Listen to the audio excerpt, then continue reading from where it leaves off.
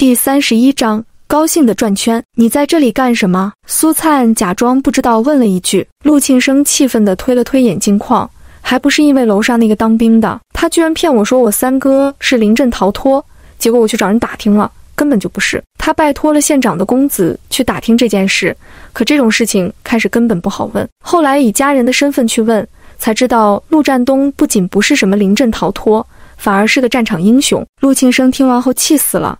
赶紧又返回了医院，谁知道之前那个骗自己的排长根本不认这件事，不仅不认，还不让自己上楼看三哥了。苏灿哦了一声，带着孩子们上楼。不是三嫂，你带我也一起上去吧。陆庆生想跟着一起上，苏灿扭头看他一眼，觉得不是一般的讽刺。作为亲叔叔，眼前站着三个孩子，他到现在都没注意到这三个孩子是谁。这说明什么？说明在他刻板的认知里。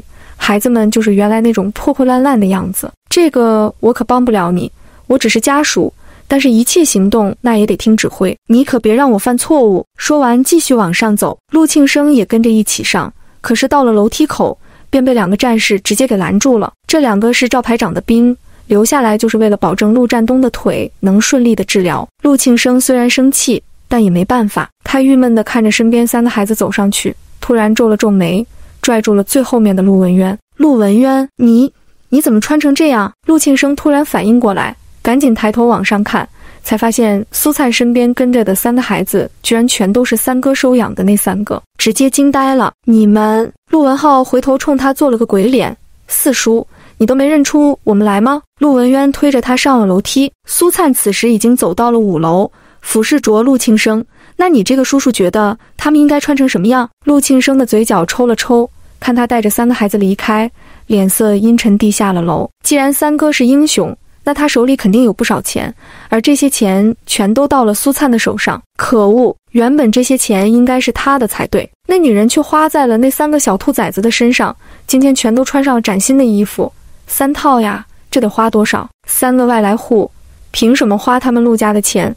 凭什么花他陆庆生的钱？苏灿走到病房门口时，没有先进去，而是让三个孩子先进了门。爸，三声清脆的声音过后，陆占东就看到三个穿着崭新衣服的孩子跑到了自己面前。短暂的惊愕过后，便是惊喜。爸，你看我的衣服好不好看？看我的凉鞋，这下我终于有鞋了，还有书包。陆文浩第一个高声炫耀，生怕陆占东看不到似的。陆文渊没有那么张扬，但他还是说了一句。苏阿姨给我们买的小家伙极力装平淡，但是上扬的嘴角根本压不下来。爸爸，我的连衣裙好看吗？甜甜脸上的笑容跟她的名字一样甜，开心的在床前转了两个圈。她太喜欢自己身上的连衣裙了，好看，真好看。陆占东笑着点头，看看儿子们，再看看女儿，除了他们身上的衣服。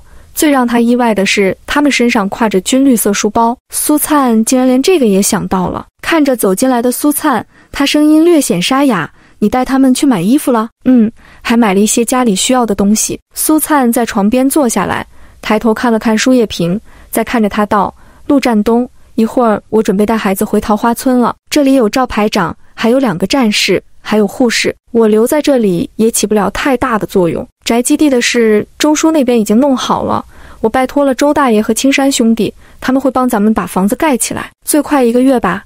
准备先盖四间房，家里孩子多，现在根本没有住的地方。咱们家盖房子，所以我必须得回去。陆占东眼神深邃看着他，回家后注意一点，陆家那边可能会找你的麻烦。自己的家人什么性格，他是很清楚的。他面对的不是一个人，而是一群人。放心吧。我心里有数。苏灿看着床边的两个小家伙，笑着打趣：“再说了，咱家不还有两个男子汉吗？他们会保护我的。”明明自己还是小萝卜头，两个小家伙竟然认认真真的握着小拳头，点了点头。爸，我们保护苏阿姨。陆占东点点头：“嗯，我们家老大老二长大了，还有我。”甜甜在旁边声音低低的开口，小脸红红的，有些羞怯。陆占东笑笑：“我们甜甜也长大了，爸。”苏阿姨还给我们买了小人书呢，还有好几本书呢，还有笔和本子。你看，陆文浩还是控制不住内心的喜悦，打开书包给陆占东看。陆占东笑着摸摸他的脑袋，好好学。苏灿接着道：“等暑假结束，我准备把他们全都送去上学。文渊都十岁了，早就该上学了。这两个小的也到了上学的年纪。”陆占东点头：“好，全听你的。他现在规划的事情全都是他之前想做的，他又怎么会不支持？医院的事情你不用担心，我现在感觉很好。好，那我们就先回去了。陆占东看向三个孩子，文渊，你带弟弟妹妹先出去，我跟苏阿姨说几句话。三个孩子听话的点头出了门。苏灿看着门关上，看着他笑笑。你想跟我说啥？陆占东看着他，沉默了几秒。这段时间辛苦你了。苏灿笑了一下，没事，正好减减肥。我会尽量早回去的。不用，你早点回去，咱家也没有住的地方。我觉得你最好能在这里住到房子盖起来。陆占东明白他的意思，竟然没有反驳。好，家里的事你不用担心，我先回去了。苏灿说着站起身准备离开，结果手被人一把握住，他意外的低头。再看了看床上的男人，感觉心跳停了一下。我会想你的。第三十二章，我们的机会来了。也不知道为什么，苏灿扑哧一下被他这句话直接逗笑了。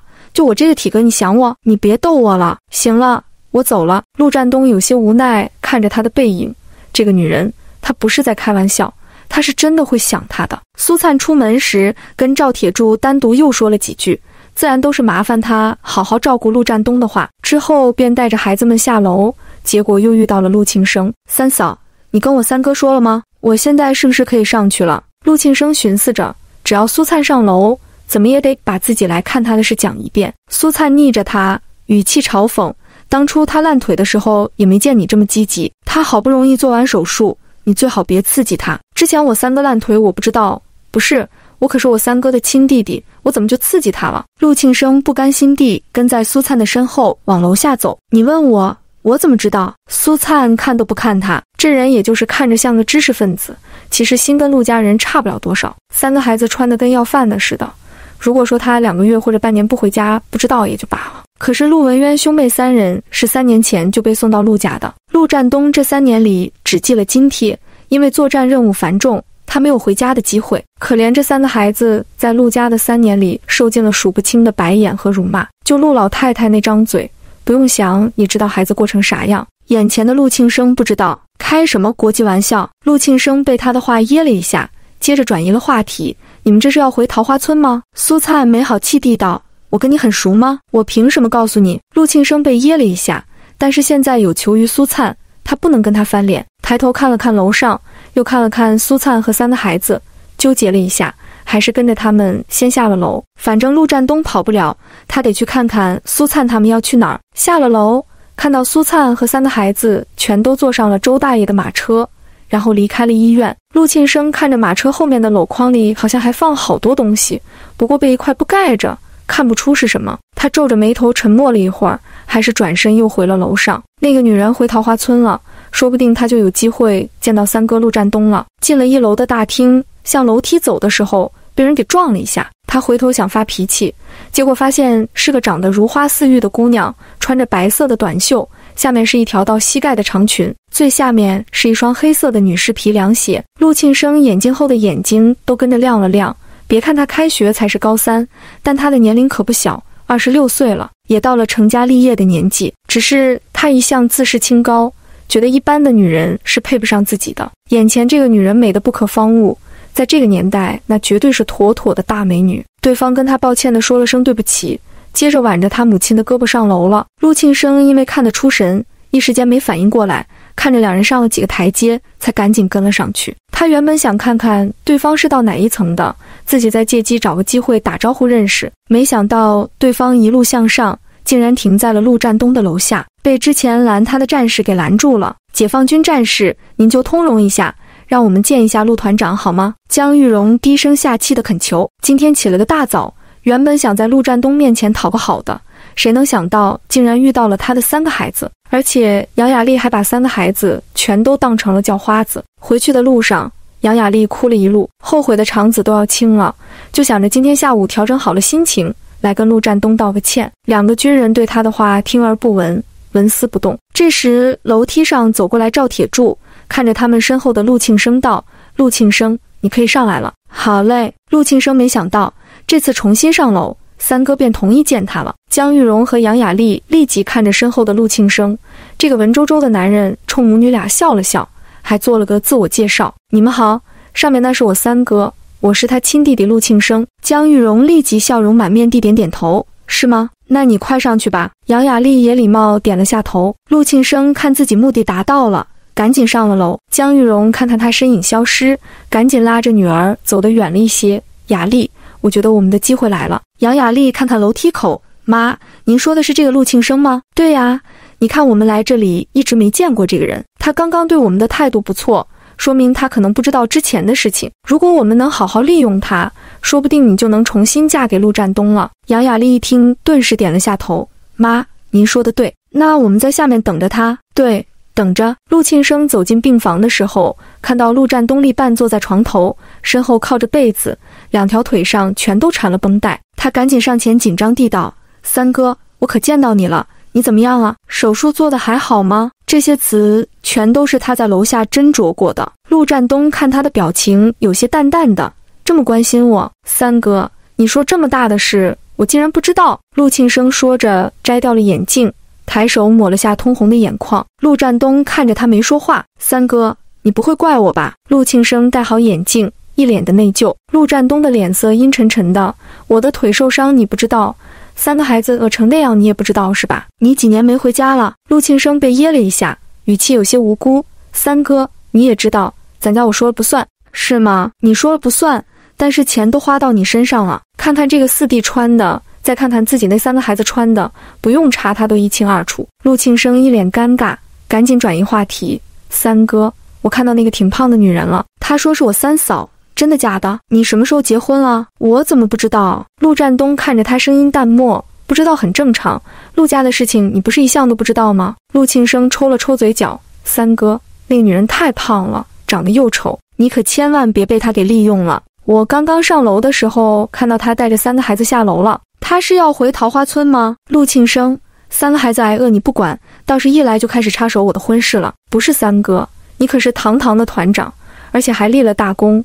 以后是要飞黄腾达的人，那个女人她根本就配不上你。陆占东的眼底附上了一层寒冰。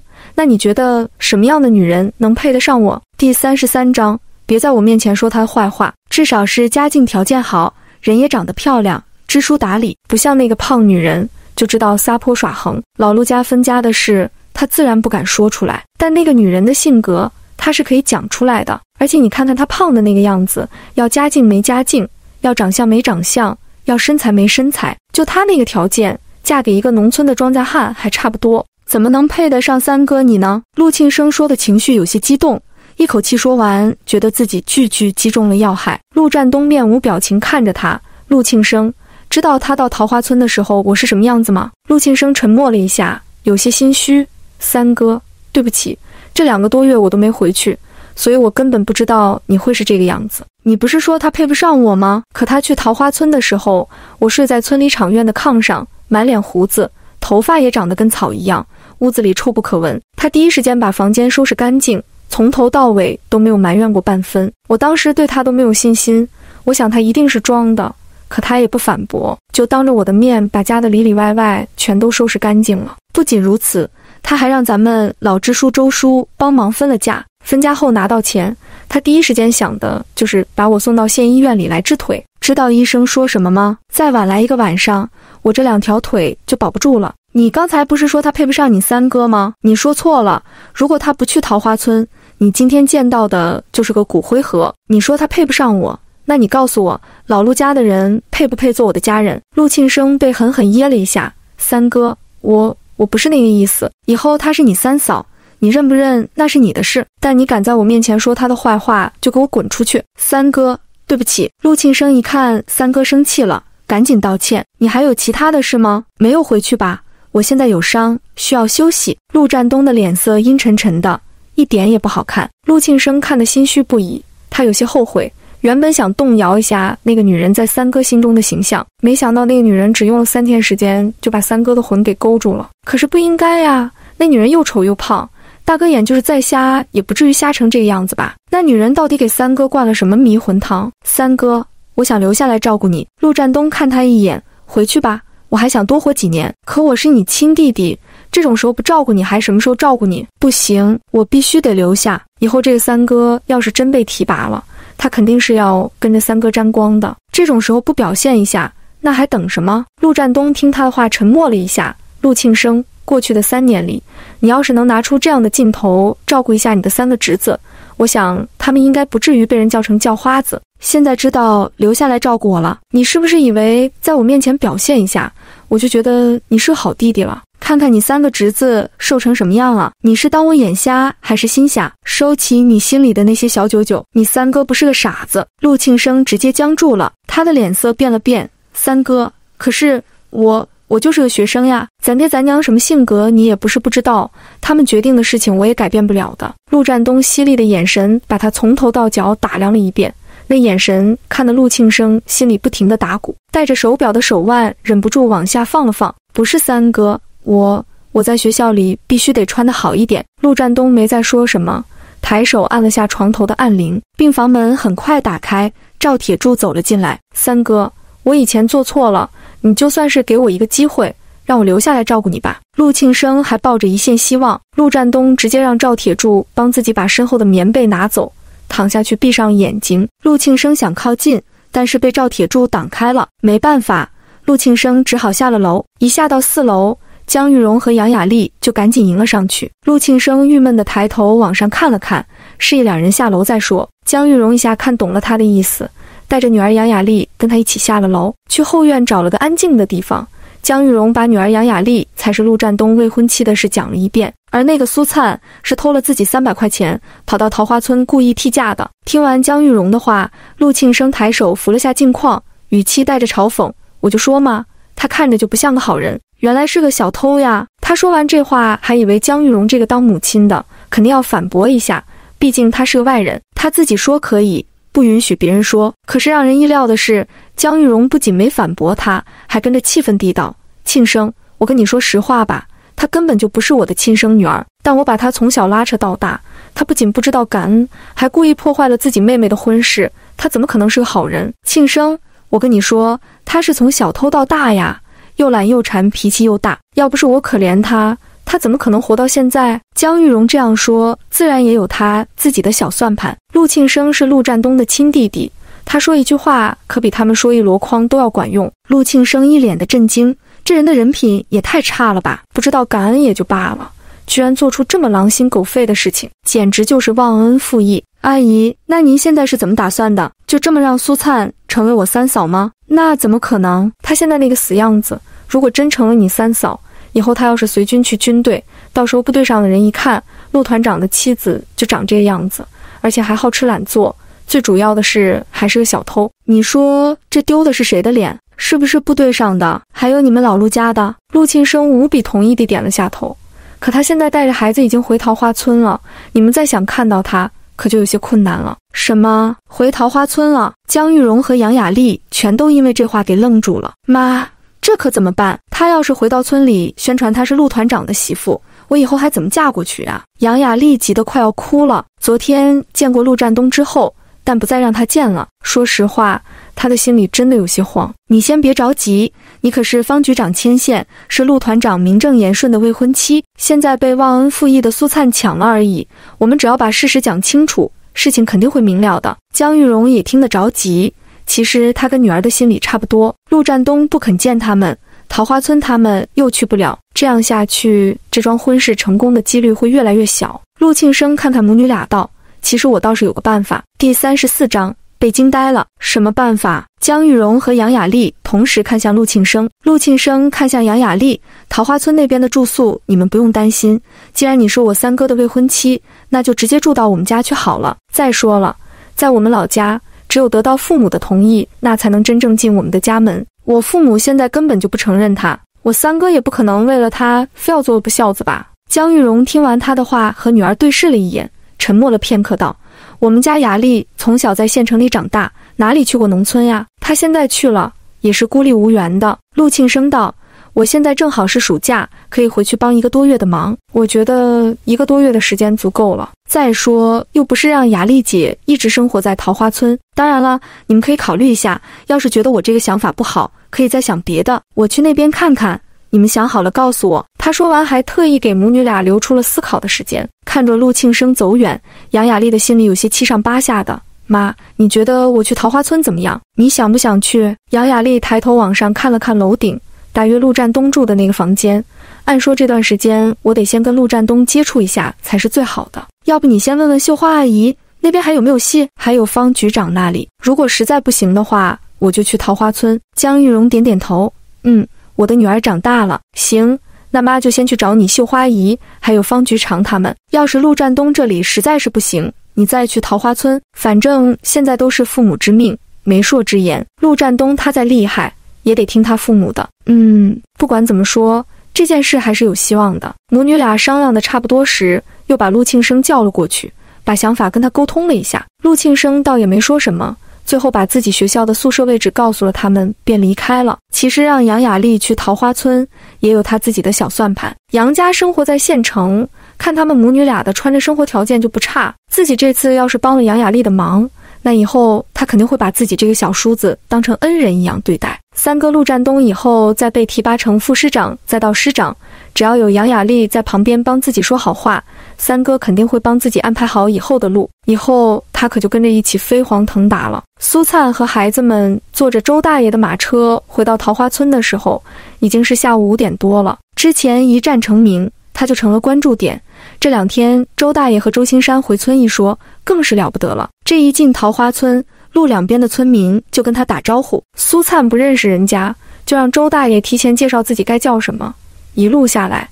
大娘、婶子、大爷、大叔的叫了一路。前世生活的年代，科技发达，但是人与人之间的感情差了很多。苏灿倒是很喜欢现在的感觉。马车很快就到了场院的新家，下车的时候，苏灿都有些惊呆了。院子里所有的荒草全都给铲除得一干二净。不仅如此，那间屋子东面已经开始打地基了，四间房子的地基全都已经规划清楚，四周的院墙石头全都拉来了。整个院子里四五十个大老爷们光着膀子在干活，抡锄头挖地基的挖地基，搬石头的搬石头，小推车、大推车、板车全都一起上了。苏灿看的都有些惊呆了。周大爷的马车一进院子，大家都停了下来。周青山和周东升带着大家走了过来。青山兄弟，这也太快了吧！苏灿看的心里感动又激动。周青山笑着道：“咱们桃花村最不缺的就是人了。”当天晚上喊了一声。大家就都来了。侄媳妇战东是军人，他住这种房子，那都是丢我们桃花村的脸。就是你放心，咱们这些人保证一个月之内把房子盖起来，还得盖好。战东媳妇，这房子你不用担心。别看咱们村不怎么起眼，有手艺的人可是不少。这石头可是凿的横平竖直的，石头全都是用的好的，冬暖夏凉好着呢。就是保证是最好的。一群大老爷们七嘴八舌。但是说出的话全都是最暖心的。苏灿感动不已，大爷大叔们，我替战东谢谢你们。战东媳妇不用这么见外，以前战东腿不好，咱们没帮上忙，心里也挺难受的。就是咱都是一个村里的人，不用这么见外。钱我们帮不上，这把子力气还是有的。就是周青山摆了下手，行啦，咱们大伙再干两三个小时，房子慢一些，但这院墙尽量早点拉起来。他一开口。大伙立即都回去干活了。苏灿和孩子们把东西搬进了屋子里，又找周青山和周大爷商量了一下，得知这盖房子的一个月里，每天都要给大家做饭吃。毕竟农村嘛，这个年代根本没有工钱，大家来帮忙，一是热心肠，二来也是为了能吃顿饱饭。而今天算是真正的第一天，因为离场院最近的地方就是陆占东的堂弟陆建生家。所以周青山跟他们两口子说好了，接下来一个月里就把灶台安在他们那里了。不过钱这方面的事还是要苏灿亲自跟他们谈一下。苏灿一听，便让周青山赶紧带自己过去看看。去的路上，苏灿问了周青山老陆家那边有没有人来找麻烦。战东哥去了县城后，晚上村子里好多人都来这里转一转，村里的民兵连也来。陆洪武再厉害，他也不敢做这种事。再说了。县公安局局长跟战东哥的关系这么铁，老陆家现在没人敢来找麻烦。听他这么说，苏灿悬着的心总算是落了地。周青山带着苏灿去了陆建生家，还没进大门，就听着院子里传来一阵阵骂声。大门口聚集着很多看热闹的人，看到苏灿时都主动搭话：“战东媳妇，你快进去看看吧，你老婆婆在这里骂了快一个钟头了，就是治不了你和战东。”他跑到人家建生这里来骂了，反正什么难听骂什么。剑生媳妇都被骂哭了。苏灿听周围大娘大婶的话，赶紧往里走。一进院子，就看到陆老太太盘着腿坐在一个蒲团上，捋着两条腿，破口大骂。旁边围着一些农村妇女劝她，可谁劝她骂谁。第三十五章抢吃的。哟，老太太，这是骂谁呢？苏灿笑呵呵走到了陆老太太面前，脸上看不出半点的生气。陆老太太看到眼前的苏灿，愣了一下。他没想到苏灿会突然出现。你个不着四六的玩意儿，你不在医院里好好照顾我们老三，你跑回来干什么？苏灿笑了一下，你这个当娘的可真有意思。当初陆占东腿烂成那样，也没见你这么关心，怎么现在看他过上好日子了，又跑过来管他的闲事了？你这个老太太脸皮咋这么厚呢？你胡说八道！信不信我撕烂你的嘴？陆老太太气得从蒲团上站了起来。撕烂我的嘴？那你撕一个试试？我可是军人家属，你要是敢撕我，我保证去县城里告你。你放屁！你是军人家属，我还是军人他娘呢！陆老太太底气十足地反驳他。苏灿笑了笑，说得好，你是军人他娘。那我问你，你是怎么照顾他这个军人的？医院里的医生说，如果再晚送去一天，陆占东的双腿就保不住了。你要是他亲娘，这心可真够狠的。桃花村找不出第二个，我当然是他亲娘。难不成他是石头缝里蹦出来的不成？呵呵，亲娘看着自己的儿子腿烂成那样，不管不问，明知道这里是自己儿子盖房子做饭的地方，跑到这里来捣乱。这是亲娘吗？我看是仇家还差不多。四周围观的村民们也跟着交头接耳，七嘴八舌。陆老太太在村里的名声一向不太好，尤其是今天跑来这样找麻烦，实在让人看不过去。老太太一看都向着苏灿，扑通一声又坐回了蒲团上，不管三七二十一，破口大骂起来。看这个样子，想跟他好好讲道理是不可能了。可这饭还等着吃呢。苏灿先安抚了陆建生的媳妇赵静。又问了问几个领头做饭的大娘婶子，最后决定把做饭的场地就挪到自己的院子里去。虽然简陋了一些，但是临时搭个棚子应该不成问题。当然，除了搭棚子，还要再盘两个新的灶台，毕竟一个灶台根本就不赶烫。说干就干，有周青山在，搭棚子、盘灶台这种事，招呼大家一声就行了。几根木头往地里一扎，上面再搭上棚顶，这个帐篷就成了。房子前面的院子很大。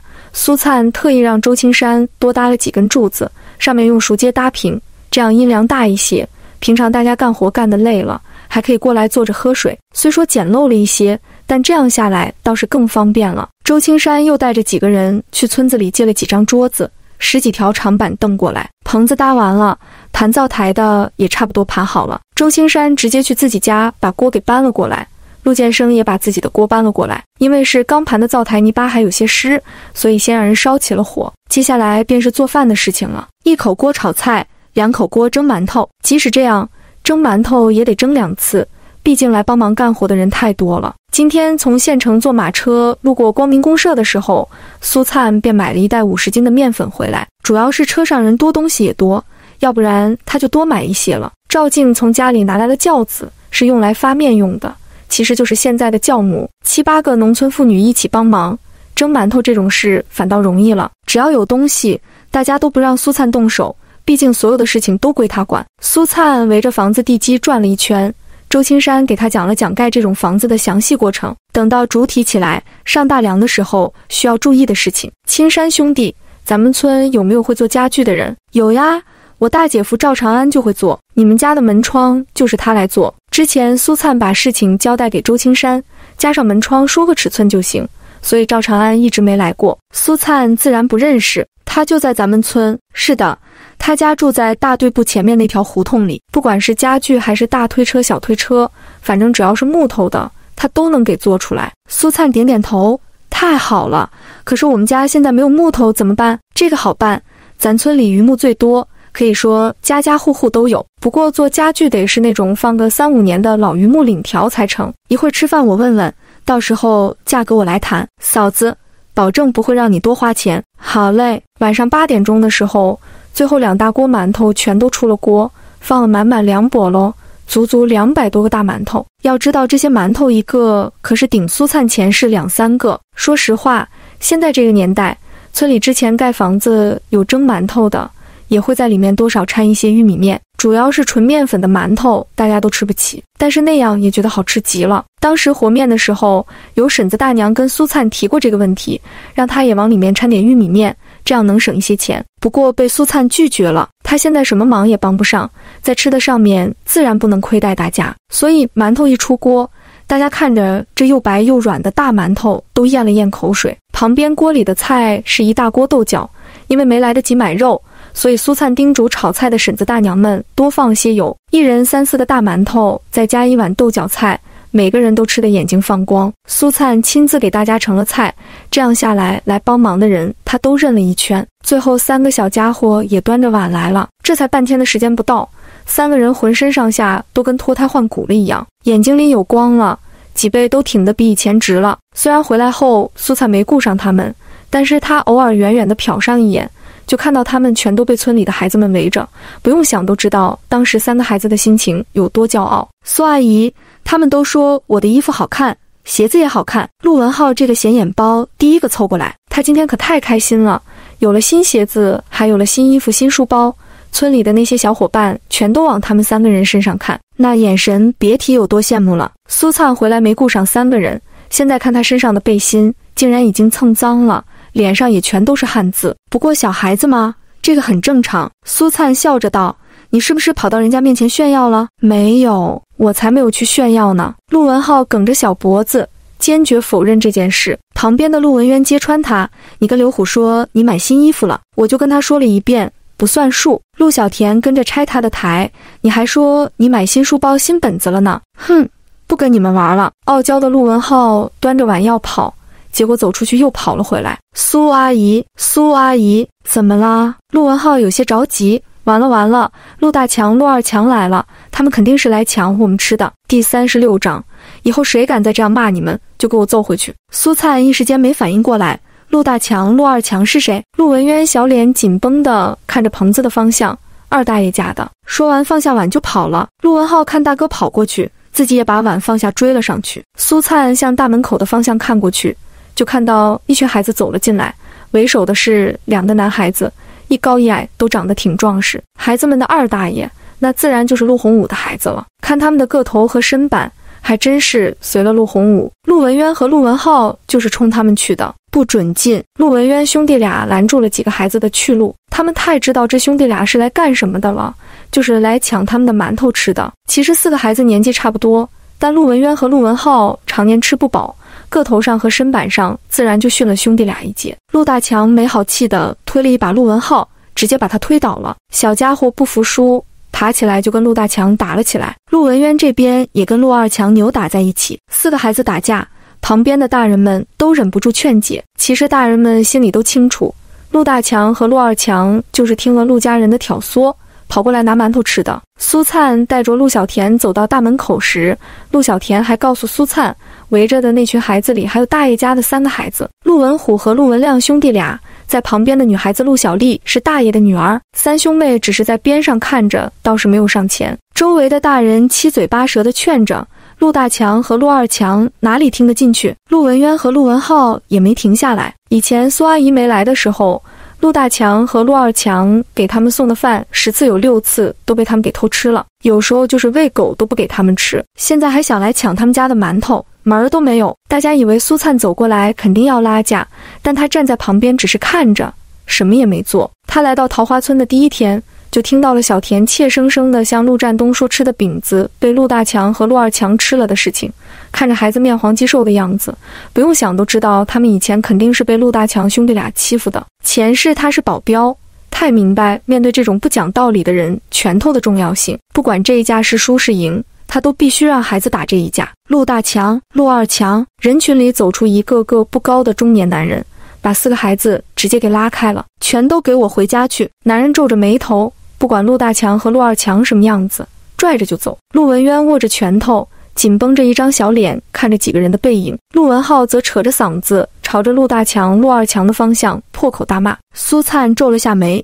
陆文浩，不许骂人！”一听苏阿姨训自己，陆文浩鼓着腮帮子，郁闷道：“苏阿姨，他们刚才也骂我们了，骂我们兔崽子，骂我们是没人要的野种。”说到最后，这孩子眼眶有些红。苏灿摸摸他的脑袋，以后谁敢再这样骂你们，就给我揍回去，揍到他不骂为止。这话是对着兄弟俩说的，但也是对村里的其他孩子们说的。以后谁也别想再欺负陆家这三个孩子。兄弟俩全都无比认真地点了点头，心里升起满满的安全感。以前爸爸不在的时候，没有人这么护着他们。苏阿姨还是第一个。行啦，现在全都洗手去吃饭。三兄妹立即跑去洗手了。苏灿给他们盛了菜。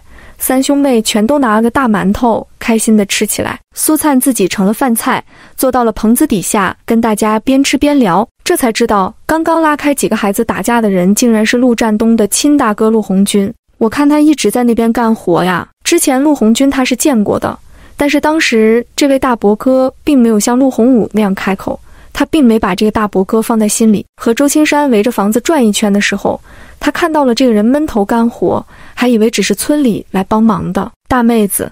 你这个大伯哥人老实，光知道干活下死力气。是的，出了名的活迷，老陆家地里的活就他干的最多，可就属他家最不受待见。不会说话呗，但人真是个好人。他媳妇在家也撑不起来，烧火做饭、洗衣服都是他的事。两口子在家里出力最多，老太太还是天天往死里骂他们。你大伯哥今天来帮忙。一是觉得对不住战东，二是他垒墙的手艺那可是很厉害的，他干活仔细垒得横平竖直，谁家盖房子都愿意请他去。这人也不挑吃的，你就是给他吃饼子就咸菜，他照样把活给你干好。听着大家的解释，苏灿倒是意外，那他之前为什么不帮帮自己的弟弟？就看着他的双腿就这么烂掉，即使周围的人都说陆红军人不错，但是苏灿还是想不通，既然是个好人。看着自己的亲弟弟和三个孩子过这种日子，他为什么无动于衷？他照顾老三最多了，但是陆洪武不让呀，兄弟俩还打了一架。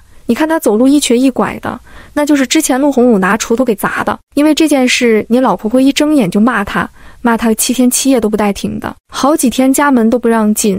他不爱说话，急了就知道找个地方蹲起来抽旱烟，再不就是去地里干活。听着大家你一句我一句的说着。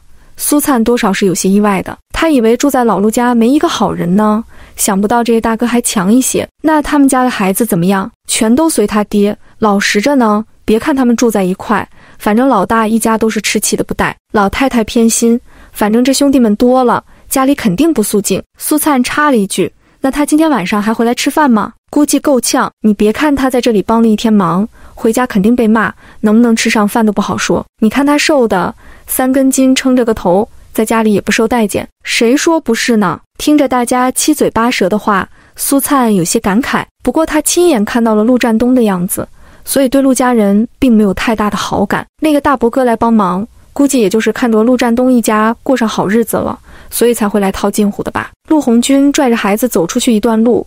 陆大强和陆二强又蹦又跳，还骂骂咧咧的挣脱开了。对于这个亲大爷，两个孩子也跟他们的爹一样，是根本不放在眼里的。已经是吃饭的时间，兄弟俩一阵风的跑回了陆家。陆文虎、陆文亮还有陆小丽跟在父亲身后，也回了家。还没到大门口，陆老太太的骂声便从院子里传了出来：“你个不着四六的玩意儿，全家就你好心是吧？胳膊肘子往外拐。”你不是愿意去帮忙吗？赶紧住到他家里去行了，谁都没有你能耐是吧？去帮忙你就别进这个家门。陆老太太在村子里撒泼惯了，张口闭口就是骂人的话，也不管骂的人是谁，反正就是什么难听骂什么。第三十七章，拿锄头劈了你。陆红军走进院子里，就看到自己的老娘坐在门口的蒲团子上，捋着腿破口大骂。看到他出现。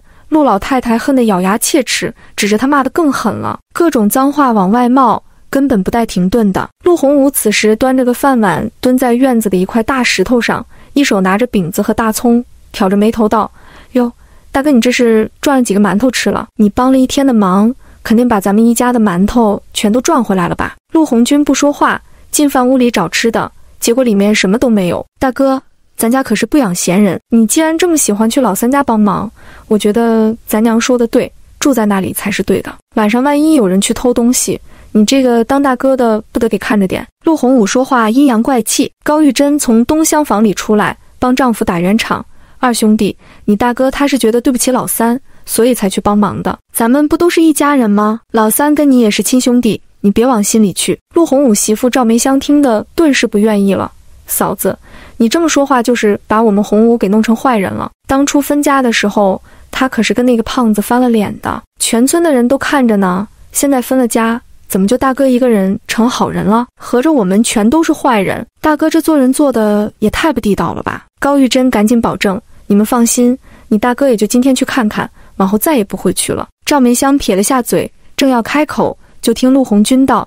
我去不去那是我的事。说完，自己进东厢房里睡觉去了。陆洪武一听，从石头上下来，把碗放下，走到了东厢房外面，冲着窗户吼道：“那你明天就试试，你要是敢去，我就拿锄头劈死你！”高玉珍吓得双腿发软，脸都变了色。哎呦，他二兄弟，你可别生气，你大哥就是跟你开玩笑的，他明天肯定不会去的。陆洪武冷哼一声：“你最好劝劝他，反正我这个人做事就这样，他要是跟我过不去。”这个家里，你们谁都别想好好待下去，全都给我滚蛋！说完，拿着碗进了堂屋。赵梅香酸里酸气道：“嫂子，好好劝劝我大伯哥吧，别到时候好人做不成，连这个家也待不下去了。人家是县城里来的，有钱盖房子，你们要是被咱娘撵出去，哼，估计连睡觉的地方都没有。”高玉珍看着两口子进屋。再看一眼大门口一脸害怕往里看的三个孩子，眼睛一红，转身进了东厢房，看着炕上的陆红军，开始抹眼泪。我可告诉你，刚才人家说的话你也全听到了。你要是敢再去，这家咱也别过了。陆红军没说话，半个回响都没有。江玉荣带着女儿杨雅丽从医院回去后，先去了跟自己家住同一个大院的县公安局长方成涛。除了住得近，再就是他年轻。有些话说起来要方便一些，但是去了才知道，方成涛还没下班，要到晚上才能见到他。没办法，江玉荣便想办法去找何秀花，想让他带自己见见肖老首长。那可是陆占东曾经的老上级，说话也是最管用的。但他在大院门外等了两三个小时，也没得到让进大门的允许。何秀花出来，把肖老首长的意思传达了一遍。玉荣。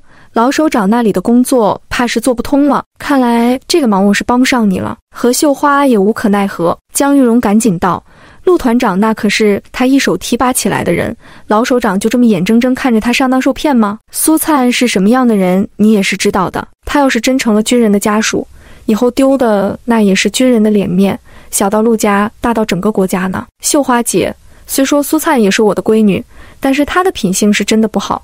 还是偷了钱跑到桃花村的这些情况，你跟老首长都说清楚了吗？何秀花点了点头，全都讲得一清二楚了。但是我公公说他相信陆占东的眼光，这门婚事他不会介入。江玉荣听得急了，可是陆占东在桃花村躺了两个多月。他能有什么眼光？何秀花有些责怪看着他。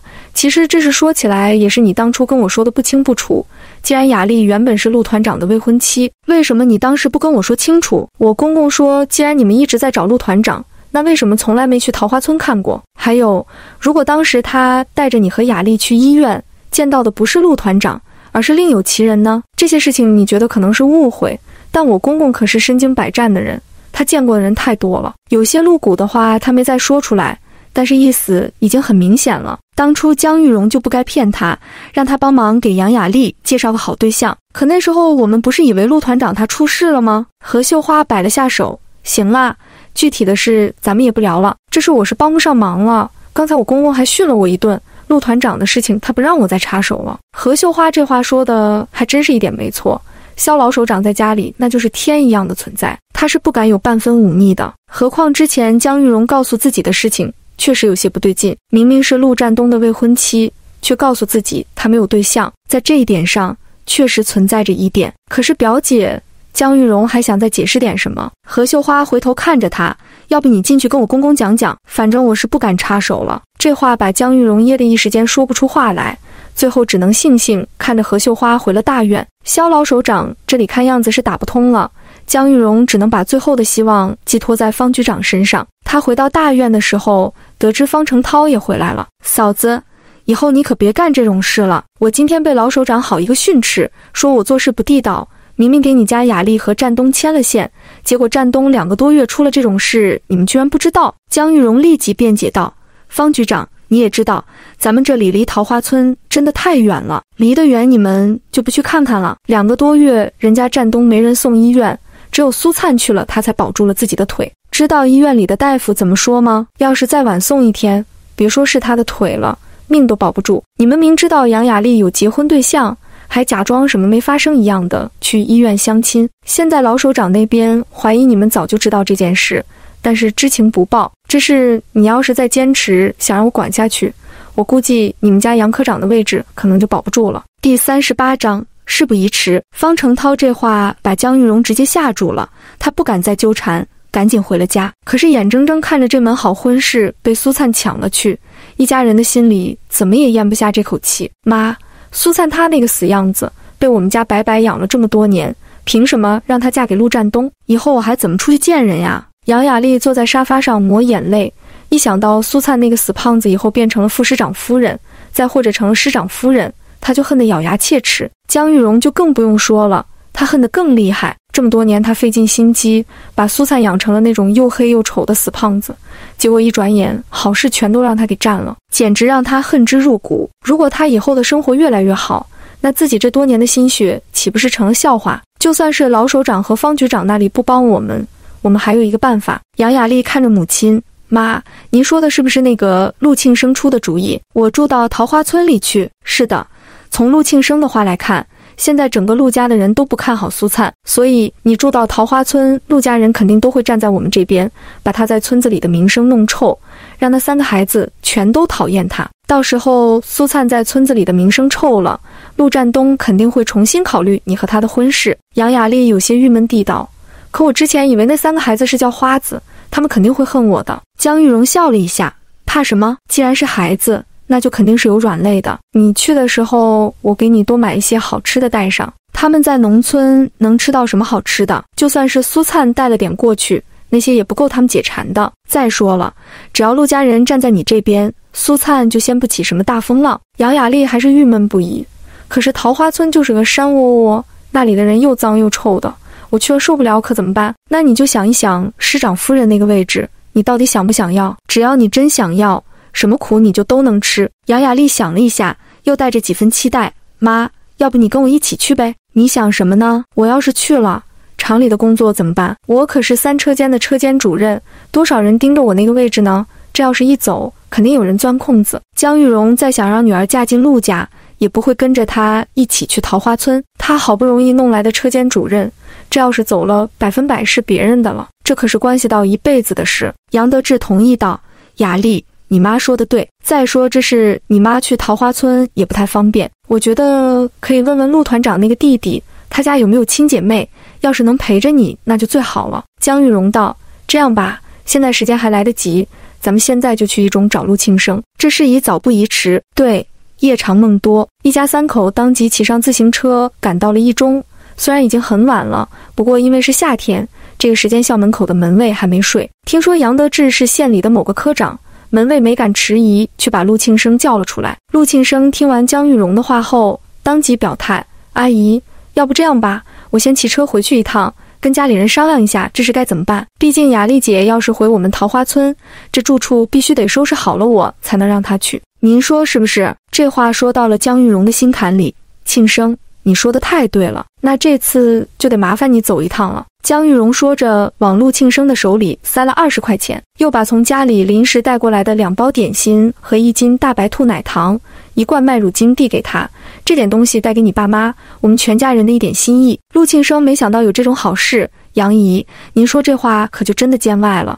这原本就是我们家自己的事。这话听得江玉荣心里格外舒服。庆生，还好有你在。要不然我们真的是没有办法了。陆庆生拍着胸脯保证：“杨姨，您就放心吧，只要有我和家里人在，苏灿用不了多久就得原形毕露。”那可太好了。陆庆生带上东西，很快骑上自行车回了老家。杨家一家三口看着他消失在夜色中，心里这才算是有了点安慰。江玉荣道：“雅丽要去桃花村，我们得赶紧准备好东西才行。回去吧。”苏灿晚餐吃完。谁家有榆木领条这件事也了解的差不多了，就是做家具差不多花多少钱都大体心中有数了。这中间，周青山让自己的孩子把姐夫赵长安给叫了过来。苏灿去找孩子们拿了纸笔，画了几张图纸，拿给赵长安让他看了看。一般村里常用的桌椅板凳，赵长安自己就知道尺寸。苏灿只是画了两个衣柜，一个碗柜。两个板箱，按照先急后缓的顺序来做。农村哪有衣柜这种东西？看到上面的图纸，村民们也没奇怪，毕竟人家苏灿是从县城里来的人，比桃花村的人见过世面，那是肯定的。这个晚上，村里帮忙的人分好工，坐在棚子底下轮流值班。今天晚上这顿饭，村里很多人都争着帮忙站岗，所以苏灿根本不用担心晚上被人偷家的事。苏灿带着孩子们先去睡了，他是真累了。三个孩子第一次跟苏灿睡在一个炕上。倒也没觉得拘束。苏阿姨给他们买了这么多好东西，今天回来，村子里多少孩子都在羡慕他们呢。苏灿躺下秒睡，不一会便响起了打呼声，家里发生了翻天覆地的变化。三个孩子哪里睡得着？尤其是今天下午回来，那么多孩子都围着他们转，看他们的衣服，看他们的鞋子，看他们的新书包，还问他们借小人书。以前瞧不起他们的人，现在都跟在他们屁股后头。兄妹三人的心里别提有多开心了。哥，他打呼噜了。陆文浩听着苏灿的呼噜声，小声开口：“那是累的。”陆文浩兴奋地翻身趴在炕上。我知道，咱们以前住在老家的时候，大爷和二大爷种地回来，晚上睡觉就打呼噜。哥，你说他在咱家待多长时间？他嫌弃咱们不？陆文渊想了一下，我觉得不嫌弃。他给咱们买这么多东西呢。旁边的陆小田也趴过来，跟陆文浩挤着脑袋。他牵我手了呢。肯定不嫌弃咱哥，你说他真会送咱去上学吗？我觉得会，可他这么胖，要是把咱家吃穷了怎么办？没事，我们长大了赚钱就吃不穷了。哥，那我们什么时候长大？快了。第三十九章意外的身影。苏灿这一觉睡到了第二天五点多，完全是被摇醒的。夏天蚊子多，这间屋子的窗户就是个摆设。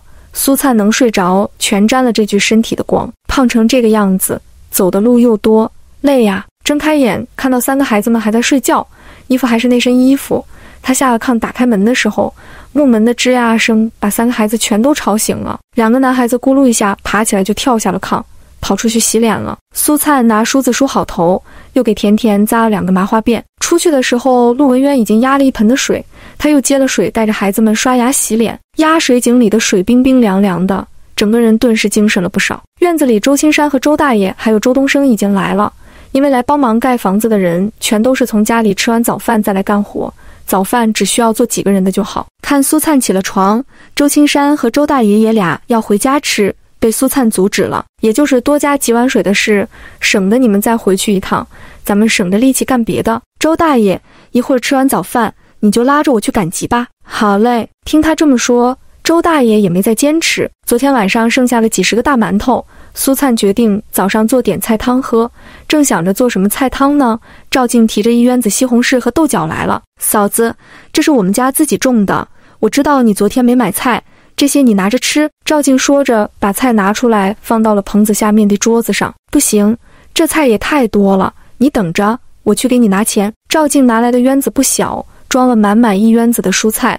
最上面还有一小捆葱和韭菜。哎呀，这点菜不值几个钱，你快做饭吧，我先回去了。赵静把菜放下，赶紧提着空院子走了，一阵风似的，生怕苏灿给钱一样。周大爷笑着道：“侄媳妇，这钱你就不用给了。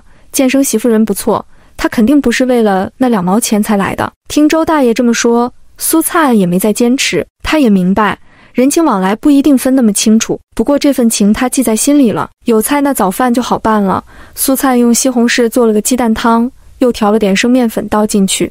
添水的时候他多放了一些，多半锅西红柿蛋汤，好看又好喝。嫂子，真没想到你这手艺这么好。周青山喝了一口鸡蛋汤，顿时赞不绝口。其实这个年代，鸡蛋和西红柿都不缺，但是能做出这么美味的蛋汤来，可不是谁都能行的。出锅的时候。他还撒了一点韭菜，喝起来又鲜又香。侄媳妇，你周大爷活了大半辈子都没喝过这么好喝的西红柿蛋汤。周大爷冲苏灿竖大拇指。周大爷，青山兄弟，我就是多放了点油，喝起来显得香而已。苏灿边说边看了看旁边的三兄妹，即使是第二次喝，他们依然喝得一脸满足。青山兄弟，一会儿吃完饭，我得先和周大爷去赶集，等回来再去看领条，要不然这中午饭就赶不上了。这么多人吃饭，苏灿怕耽误时间。行，那就等你回来再说。反正领条就放在那里，也跑不了。吃完早饭，苏灿先围着房子转了一圈。周青山立即跟着他一起看了看。昨天来帮忙的人多，地基已经打好了。嫂子，昨天晚上那顿饭，估计全村的人都知道了。今天来帮忙的人肯定很多，主体盖起来的速度应该比之前快。主体得多长时间起来？反正石头、沙子、石灰全都到位了，得看今天来多少人了。昨天四五十个，今天很可能要过百。如果是这样的话，两天主体就能起来，院墙估计更快。苏灿听得意外不已，能提快这么多天吗？周青山笑笑，嫂子不怕你笑话。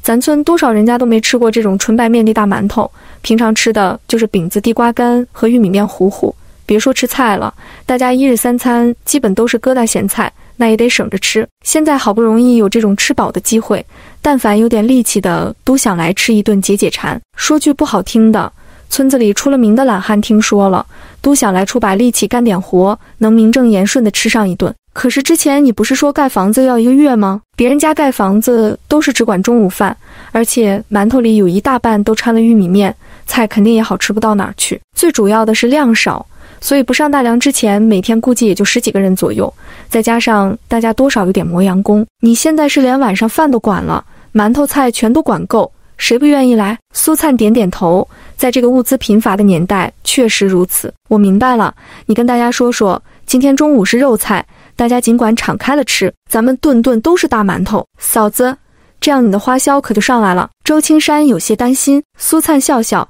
可是时间上缩短了呀。你还可以告诉他们，早上咱们也管饭，那吃饭的筷子和碗都不够了。那我再去借借。行，今天赶集我正好也买点盆和碗啥的。两人走到一半的时候，就看到石头堆里有个穿着深蓝色粗布衣服的人在默默干活。红军哥早就来了。干了，估计得有一个钟头了。周青山看着远处的陆红军，指给苏灿：“陆洪武竟然没找他的麻烦。”这个情况让苏灿有些意外。昨天他想着，陆洪武要是知道了，肯定不可能让陆红军再来这里帮忙的。估计是来得早，没看到吧？听说昨天晚上老太太骂了半宿，饭都没给他留一口。周青山说到这里，看了苏灿一眼，欲言又止：“青山兄弟，我就不过去了。这样吧，你拿上几个馒头。”再盛一碗西红柿汤给他送过去。不管当初他有没有帮过陆占东，现在来帮自己家盖房子，就是村里来帮忙的也得管饭吃。他不能太计较。嫂子，那我现在就去拿。刚才周青山就想说给陆红军送点吃的，但是又担心苏灿对老陆家的人有意见不同意，所以话到嘴边没说出来。没想到苏灿竟然自己提出来了。看着那个沉默干活的背影，苏灿转身回了院子里。第四十章。开了眼界了，他把三个小家伙叫进了屋子里，跟他们好好交代了一下。现在来帮忙的人多，孩子也多，家里人多眼杂的，他们三个必须要看好家里的财产。其实村里好心人不少，但是毕竟有个陆洪武在，昨天他那两个孩子看着就不是什么好惹的主，他必须得提高孩子们的安全意识。苏阿姨，我们今天哪儿也不去。陆文渊小脸格外认真，陆文浩跟着点头。对，苏阿姨，他们都是来找我们呢，我们不会出去的。甜甜在旁边也跟着点头。其实昨天下午他们从县城回来后，村子里一大半的孩子们全都跑来了。这个家现在可是全村瞩目的焦点。以前他们走到哪儿就被哪儿嫌弃，现在他们根本不用出门，孩子们就都跑过来了。嗯，那就好。苏灿叮嘱完，便带上包袱出了门，就看到周青山拿着馒头和那碗西红柿汤回来了。看着苏灿，摇了摇头。红军哥不吃，说什么也不吃。苏灿有点意外，看了看远处那个闷头忙碌的背影。青山兄弟，那中午的时候你可一定要劝他吃点。行，到时候他要是不好意思来吃，我给他送过去。这时候，周青山的母亲李淑兰带着儿媳妇梁秀芳，还有一群大娘婶子来帮忙了。上午还要蒸馒头，准备中午饭。苏灿跟他们交代了一下，先把剩下的面粉蒸馒头就行，不够的话，等他买回面粉再继续蒸。做菜的事情，等他买回肉来再做。之后，他便坐着周大爷的马车出发了。这次他们赶的是幸福村集，出了桃花村，往北一路往下六里地就到了。出了桃花村的村北头时，苏灿在这里意外看到了一所红砖砌成的学校，教学楼有三层，是一座非常现代化的建筑。在这种超级落后的地方看到这种建筑。苏灿惊奇不已。要知道，这里可是整个光明公社海拔最高的地方，也是最贫穷的地方了。周大爷笑着道：“侄媳妇，你可别小看咱们这个桃花村，比别的地方要先进着呢。你一会儿先看看前面这是什么。”苏灿立即随着他指的方向看过去，随着马车走出村北头，苏灿惊奇地看到了一个壮观的景象：整整一座馒头似的小山的南面，被一个又一个的家属院给覆盖了。一大片的家属院全都是白墙红瓦，还有一些植物从红色的砖墙里探出来，墙头上开满了蔷薇花。在这个年代，有这样的景色，属实让人震惊又意外。周大爷。这是什么地方呀？怎么这么多家属院？这里是不是有什么工厂？周大爷一边赶着马车，一边向苏灿介绍这个地方的来历。原来，在桃花村的北面，居然是一家化工厂。这家化工厂还是毛爷爷在的时候批准建造的。据说前前后后投资了几千万，现在刚刚投入生产一年的时间。至于具体生产什么，村民们并不是太清楚。苏灿笑了一下。咱们村虽然靠山，我还以为是四处都不透气的那种，想不到还挺发达的嘛。这种工厂在县城里都没有多少，想不到在这种大山深处，竟然也藏着一个规模这么大的厂子。周大爷道：“咱们这个村，你别看靠山，但是是整个县城最北端，刚好是跟邻县搭界。其实这个化工厂就属于隔壁的县，还有咱们一会赶的幸福村集，那都是隔壁县的。”苏灿笑着点点头。此时他想起了原文里确实有这个工厂的存在，只不过后来这家化工厂历经几十年变革，最后落了个人去楼空的下场。化工厂为了安全，用一座大山把生活区和生产区隔开了，中间用一座山洞来连接。听周青山说，家属院里什么都有：宿舍、学校、礼堂、职工俱乐部、食堂、澡堂、邮局、粮店、图书馆。车队，还有灯光球场等等，就连医生都是省城请来的，医术高明，医疗设备也很齐全。苏灿听得有些无语，当时陆家的人为什么不把陆占东送到这里来呢？这样他也不用把陆占东送到那么远的地方了。人家里面的那些设施全都是只对职工开放的，咱们这些大老粗哪里能轮得上？再说里面有些东西，我们如果买的话会贵很多。老陆家的人拿占东的津贴时拿得爽快。花的时候想抠个子出来的困难。周大爷说到这里，笑着道：“当时你能从老太太手里要出那么多钱来，真是不容易呀。这是搁到别人身上，别说两百二块钱，都得费好多口舌。”苏灿顿时明了了，有些工厂确实如此，先得保证内部的问题解决完了才行。化工厂里还有专门通省城的汽车，不过只让他们家属和职工坐，全都是免费的，咱们交钱都不让坐。苏灿点点头。这下真的是开了眼界了。原本以为桃花村是个闭塞的地方，没想到这里竟然还有着规模这么大的工厂。苏灿的脑子快速的旋转，突然间像是闻到了金钱的味道。幸福村是十里八乡最大的集市，苏灿这次来主要是奔着青菜和猪肉来的，再看看有没有自己想买的东西，开开眼界。这个年代，猪肉要凭肉票购买，还要去公社的国营食品店里买肉，正好这个集市附近就有。周大爷带着苏灿直接赶了过去。猪肉是七毛二一斤，苏灿直接买了二十斤肥猪肉。这个年代大家营养不良，最喜欢的就是肥猪肉。周大爷看得直接惊呆了，侄媳妇，夏天这肉不好放，买个斤把两斤的就行了，坏了就可惜了。苏灿笑笑，周大爷没事的，我回去把这些肉全都练出来。其实他也就是找个借口罢了，大家干的全都是力气活。多吃点肉才有力气。最主要的是，今天来的人多，饭菜的质量必须得跟上。交钱的时候，他一眼看到了旁边盆子里的猪蹄和猪下水，这些东西大家不怎么喜欢。苏灿却看得两眼放光，问了问价格，才几分钱一斤。除了猪大肠，苏灿直接把其他的猪下水全都买了，足足有四十多斤。对方给他装进了一个尼龙袋子里，放进了周大爷马车后面的篓筐里，解决了肉的问题。又去了粮油店，昨天的一袋面粉用了一多半，这东西吃得快，所以苏灿这次直接买了五袋面粉，把这两大问题解决完，接下来便是蔬菜、鸡蛋、锅碗瓢盆了，装了满满一车，两人才离开集市。别看买了这么多东西，苏灿用的时间可是很快的，家里等着肉菜下锅呢，他不能墨迹。出集市的时候问了问别人时间，也才上午九点多，时间完全来得及。不过回程的路全是上坡。马车走的自然要慢一些，等回桃花村也快十点钟了。车上的东西卸下来，苏灿让婶子大娘们先赶紧去和面蒸馒头。他刚刚扫了一眼，今天来帮忙的男劳力们确实多了一倍。这才不到一上午时间，院墙和主体已经起了一半，这真的是眼睁睁的看着往上涨呀！侄媳妇，老陆家出事了。李淑兰突然把苏灿拉到一边道：“第四十一章，坏阿姨。”苏灿一愣。婶子，出什么事了？几个大娘婶子也凑过来，把老陆家的事七嘴八舌的讲了一遍。原来陆红军一大早来帮忙盖房子，因为他来得早。陆洪武还没起床，苏灿和周大爷去赶集的时候，陆洪武也得知了大哥陆红军来这里帮忙的事，拎了根棍子就气冲冲的来找大哥陆红军了。兄弟俩一见面就打上了。陆红军个头小又瘦弱，哪里是陆洪武的对手？要不是村里人拉着，陆红军还不知道被打成什么样呢。就这样，陆红军也被揍了个鼻青脸肿，头上被划了几道口子，脚也被砸肿了。身上估计也被打得很厉害，就这样，陆红军也不妥协，从地上爬起来，还是去干活。因为有太多人拉架，陆洪武一怒之下回了家，然后陆老太太让二儿子把陆红军一家全都赶出了老房子，睡觉的被褥全给扔了出来，其他的东西一概没给。陆红军的老婆高玉珍哭着下跪求情，老太太把大门直接给关了，陆洪武堵在大门口。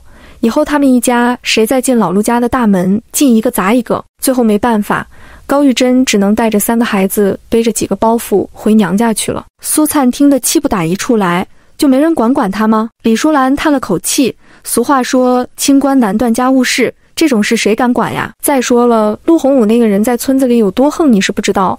这次你去分家，要不是你是县城里来的，那个家你根本就分不了。旁边的大娘婶子们附和道。谁说不是呢？这是没人敢管，谁管他能堵你后窗户那里骂个三天三夜，可不是吗？上次他在村南头喝醉了酒，回家的时候，张三儿家刚好灭灯，他就觉得人家是故意针对他，就在院子外一直骂到了天亮。苏灿算是听明白了，这个陆洪武活脱脱就是个村霸呀，难怪之前陆占东沦落到那种地步，有这么个二哥在前面挡着，谁敢帮他的忙？之前他还觉得陆红军可能是来占便宜的。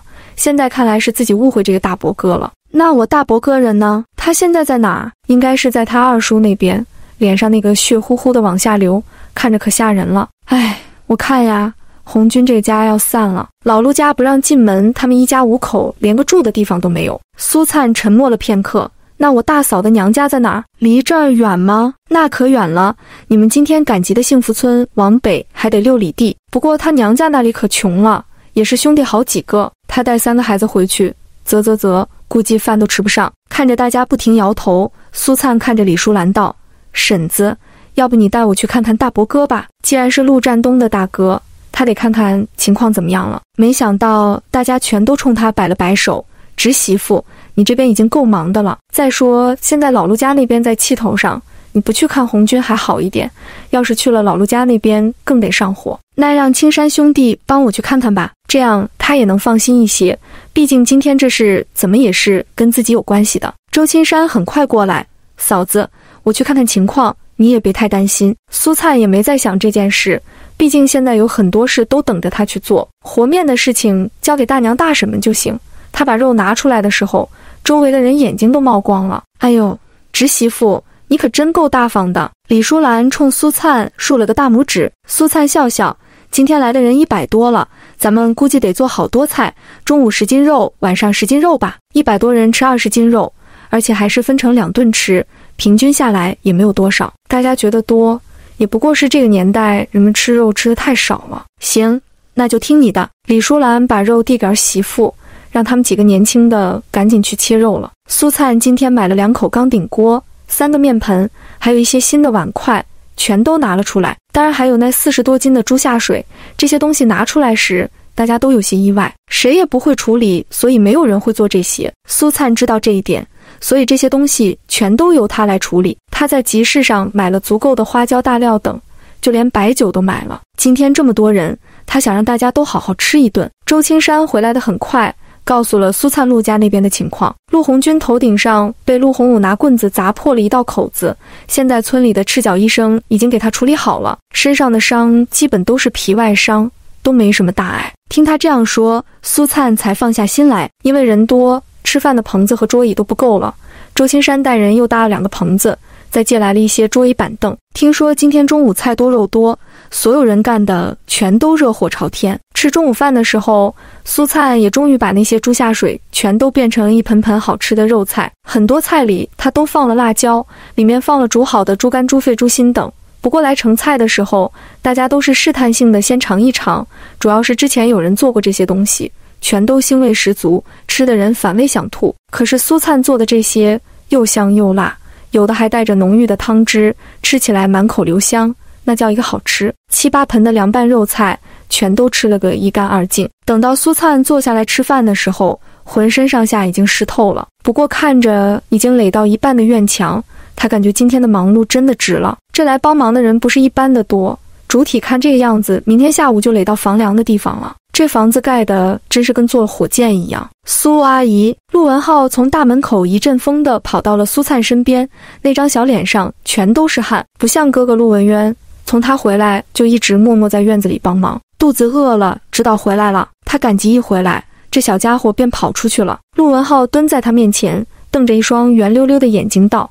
苏阿姨，我四叔把那坏阿姨带回村里来了。你四叔陆庆生，陆文浩立即点点脑袋。那天我们跟着周爷爷去医院的时候，碰到那个坏阿姨，叫我们要饭的，叫花子，土包子的那个。他现在住到我奶家去了。我奶还让二大爷放了鞭炮呢，好多人都去看了，说那个坏阿姨才是我爸的新媳妇，要做我们的新妈妈。这小家伙说到最后，嘴巴一撇就要哭。苏阿姨，我不让你走。第四十二章。泼脏水，陆文浩的话把陆文渊和陆小田也都弄得紧张了，直勾勾看着苏灿。那个喊他们叫花子的坏阿姨，他们都不喜欢。苏阿姨虽然人胖了些，但对他们兄妹三个是真的好。看着三个孩子全都眼巴巴看着自己，苏灿赶紧笑笑：“阿姨怎么会走呢？阿姨还要把你们养大成人，看着你们长大呢。阿姨要给你们做好吃的，教你们学知识。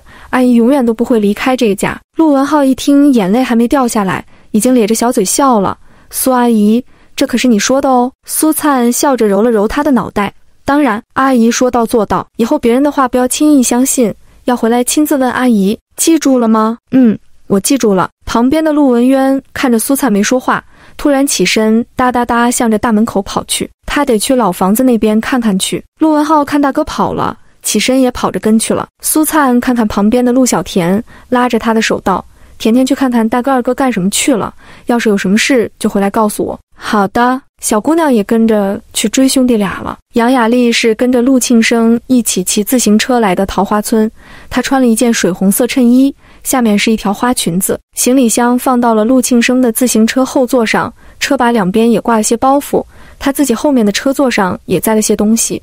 毕竟要来这里生活一段时间，吃穿住行全都得准备好才行。在这之前，他是从来没有来过桃花村的，这一路可把他给累坏了。尤其是光明公社往上走，全都是上坡路。他不止一次的想，如果不是因为桃花村有个陆占东，打死他都不会来这种鸟不拉屎的地方。进了桃花村，陆庆生趁机向村民介绍杨雅丽的身份，听说这个才是陆占东的新媳妇。村民们全都听得惊呆了，这家里已经有一个了，怎么又来一个？陆庆生这一路介绍，没多长时间，整个村子里的人都知道了这件事。两人走到老陆家的大门口时，已经有很多闲人来看热闹了。这个时候家里没有电视、收音机，一个村里都找不出一两台。平常大家最喜欢的自然就是看热闹了。再加上陆洪武也不知道从哪儿弄来的鞭炮，这种东西只有过年的时候才会有。这鞭炮一响。整个村子里的闲人很快都跑了过来。陆庆生把车子推进院子，再把杨雅丽的推进去，随后拿了一斤大白兔奶糖出来。凡是来看热闹的，一人分了一块，边分还边向大家介绍：“大娘、婶子们，这位才是我们家真正的三嫂，知书达理又懂礼貌，妥妥的大家闺秀。”就是因为他太善良，所以才会让那个苏灿给钻了空子，假装成了我三哥的媳妇，跑来了咱们桃花村。以后还得请大家多多帮忙，把那个冒牌货赶出咱们桃花村。刘二瘸子家媳妇道：“我就说嘛，人家战东那么好的小伙子，怎么可能看上一个大胖子？你们看看他胖的，走起路来跟我家养的鸭子似的。”这话一出，人群里发出一阵哄笑。如果他真是个冒牌货，那确实太不地道了。不过战东人家现在是英雄。别说他一个大胖子了，就是长得好看的也想嫁进老陆家，谁说不是呢？听着大家说话，全都向着自己。杨雅丽委屈的眼眶通红，声音也带着哽咽腔：“各位叔叔婶子们，大哥大姐们，其实不瞒你们说，那个苏灿是我的姐姐，她是偷了家里的三百块钱跑过来的。我爸妈全都不知道这个情况。我之前跟战东订了婚，他把彩礼都准备好了，没想到被我这个胖姐姐给钻了空子。如果他来到桃花村有对不住你们的地方，我替他向你们道歉了。杨雅丽说到最后，还向着大家鞠了个躬。哎呦，我看这孩子不错，那个苏灿一看就是心眼太多了。我们还寻思他怎么这么有钱，原来都是偷的呀！咱们桃花村可不能留下这种人，败坏了我们村的名声。确实，这孩子长得也好看，一看就是心处不错的那种。估计是被自己那个姐姐给坑了，明眼人一眼就能看出来。也不知道去帮那个胖子的人眼是怎么长的。谁说不是呢？村民们正七嘴八舌的时候，陆洪武的媳妇赵梅香出来了，看着杨雅丽眉开眼笑。哎呦，三弟媳妇，我们盼星星盼月亮。你可来了！杨雅丽立即看着她微笑问好：“二嫂好。”哎呦，这老三家的长得可真俊啊！赵梅香说着，招手把自己的三个孩子叫过来，嗔怪道：“你们三个拿了糖吃，怎么不叫三婶呢？”陆大强和陆二强之前在新房子那里吃了瘪，这时候全都得意地挺直了腰板，喊得格外响亮：“三婶好！”杨雅丽笑着摸了摸两人的头。笑着从自己的包里拿出两本小人书递给他们，两个男孩子眼睛顿时亮了，一把抢过去，咧着嘴笑起来。现在好了，陆文渊、陆文浩有的他们也有，看着效果差不多了。陆庆生让赵梅香带着杨雅丽进门，他在看着大家道：“七婶子、二大娘，你们几个进来坐坐呗，你们先回去歇歇吧。吃完饭我们来玩。”好嘞，现在正是吃午饭的时间。村民们也没跟着进陆家的大门，杨雅丽被簇拥着进了陆家的院子，又进了堂屋。陆老太太和陆学远都坐在八仙桌两侧等着呢。看到走进来的这个俊俏的姑娘，顿时笑得合不拢嘴。杨雅丽很乖巧地向两位长辈问了好，赵梅香赶紧请她坐下。老三媳妇长得可真好看，我们家战东找了你这个媳妇，那真是我们老陆家的福气，不像那个大胖子。又丑又胖，心还黑，就知道欺负我们老陆家。说到苏灿，陆老太太就恨得咬牙切齿的。杨雅丽听老太太的话，轻轻叹了口气：“大娘，不瞒你们说，她其实是我妈收养的一个女儿。小时候看着她可怜，才领回家的。谁知道这些年给养瞎了。”陆老太太听完，手里的大蒲扇把桌子砸得啪啪响。哎呦，我滴个黄天老奶奶，你们看看，你们看看，这不就对了吗？我就说嘛。那个姓苏的看着就不是什么好人，你看看他来到我们桃花村，那个嚣张呀！老三媳妇，你是不知道呀，他一进我们老陆家的门就砸坏了我一个水缸呀！一想到这个，陆老太太心里还心疼的不行，那么大一个水缸上来就给砸碎了，心疼的她这些天晚上睡觉都睡不好。第四十三章馋死他们。杨雅丽早就听说了这件事，但还是一脸的震惊。我的天哪！你们就不知道管管他吗？陆洪武哼了一声，他可是有个县城公安局的书，动不动就要关我们进监狱，说要把我们陆家的人抓起来。对了，三弟媳，你来了咱们家，我倒是想问问，他说县公安局局长是他叔，这事是真的吗？杨雅丽笑了一下，我们就是跟方局长住在同一个家属院里，平常认识而已。不过现在可能多了层关系，你们肯定想不到。县公安局的方局长和战东哥是很好的战友。陆洪武一拍大腿道：“我就说嘛，他怎么可能认识县公安局的局长？原来就是认识呀！现在也只是沾了老三的光。娘，咱可不能再让他待在老三家了。”说完，腾的一声站起来就要往外冲。我现在就去找他算账。二哥，你等一下！杨雅丽赶紧喊住了他。陆庆生把陆洪武又拽回了椅子里。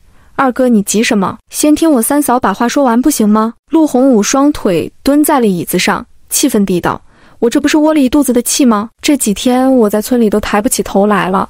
你二哥这么些年在桃花村，什么时候受过这种窝囊气？”赵梅香跟着点头：“谁说不是呢？我听说今天他去赶幸福集，买了二十斤肉，还有好多东西。我三兄弟的钱到了他手里，那是胡花六花呀。”这样过日子，早晚不是把老三给坑死了？陆老太太恨恨地道：“哼，应该是他拿了老三这个季度的津贴，两三百块钱呢。要不然，你看他盖房子能有那么多钱？这个熊娘们儿就是来祸害我们老陆家的。”苏灿回到桃花村后的一举一动，老陆家的人全都一清二楚。先是蒸大不加玉米面的大馒头，今天又买了二十斤肉，还有一车的菜和东西。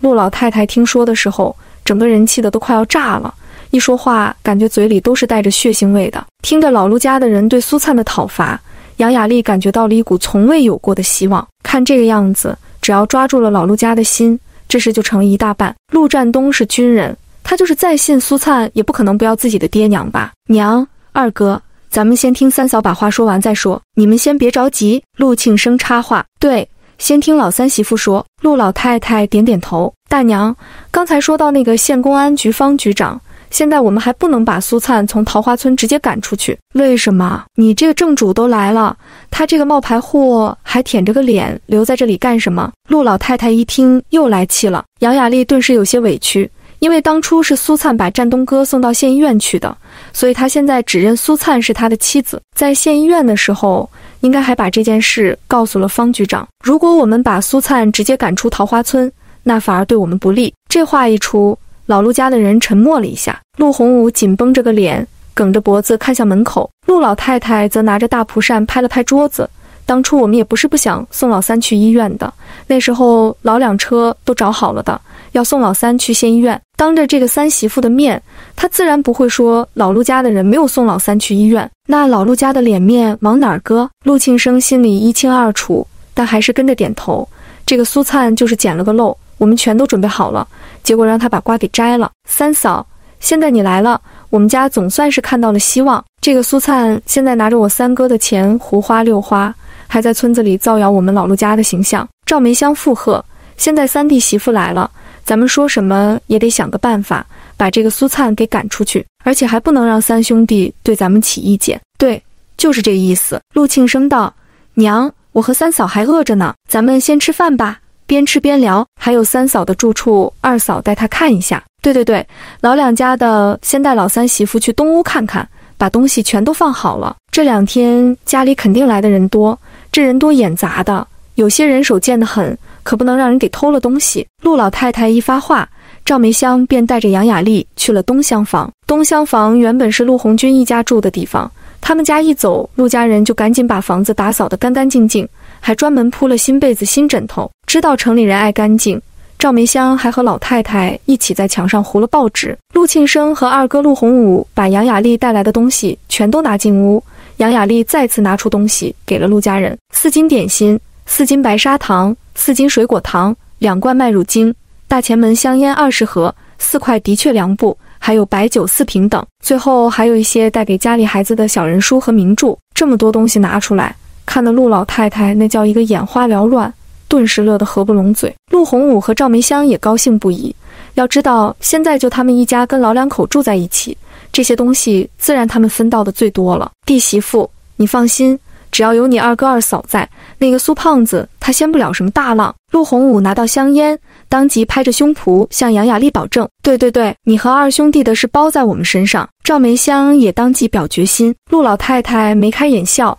让儿媳妇和儿子们把东西拿回自己的屋里去。娘娘娘！陆洪武的三个孩子从外面跑了回来。陆文渊和陆文浩在外面呢。陆老太太冷哼道：“这是看咱家也有好吃的馋过来了。老两家的，再给孩子们两块糖，出去好好馋馋他们。”赵梅香当即抓了糖块给三个孩子。杨雅丽赶紧阻止：“大娘、二嫂。”我觉得咱们现在应该先把三个孩子争取过来。要是三个孩子都向着我们，那苏灿走的可能性会更大一些。陆庆生跟着附和：“三嫂说的对，咱们现在得先把孩子给拉到咱们这边，这样事情才好办。”陆老太太皱着眉头：“三个要钱货，都不是老陆家的种，还要吃老陆家的，用老陆家的。”提到那三个孩子，陆老太太就满脸不高兴。第四十四章：成事不足，败事有余。娘。等我三哥三嫂的事解决了，三嫂跟着三哥去部队，三个孩子还不是留在桃花村吗？陆庆生这话言外之意很清楚。等陆占东带着杨雅丽去部队，这三个孩子还得依靠他们老陆家，到时候搓圆捏扁还不是他们自己说了算？陆老太太摆摆手，那让他们进来吧，先便宜便宜他们那张嘴。一听让陆文渊兄弟俩进来。陆大强和陆二强一阵风的跑了出去。这两天他们可憋屈坏了。陆文渊三兄妹又是好吃的，又是漂亮衣服，还有小人书啥的。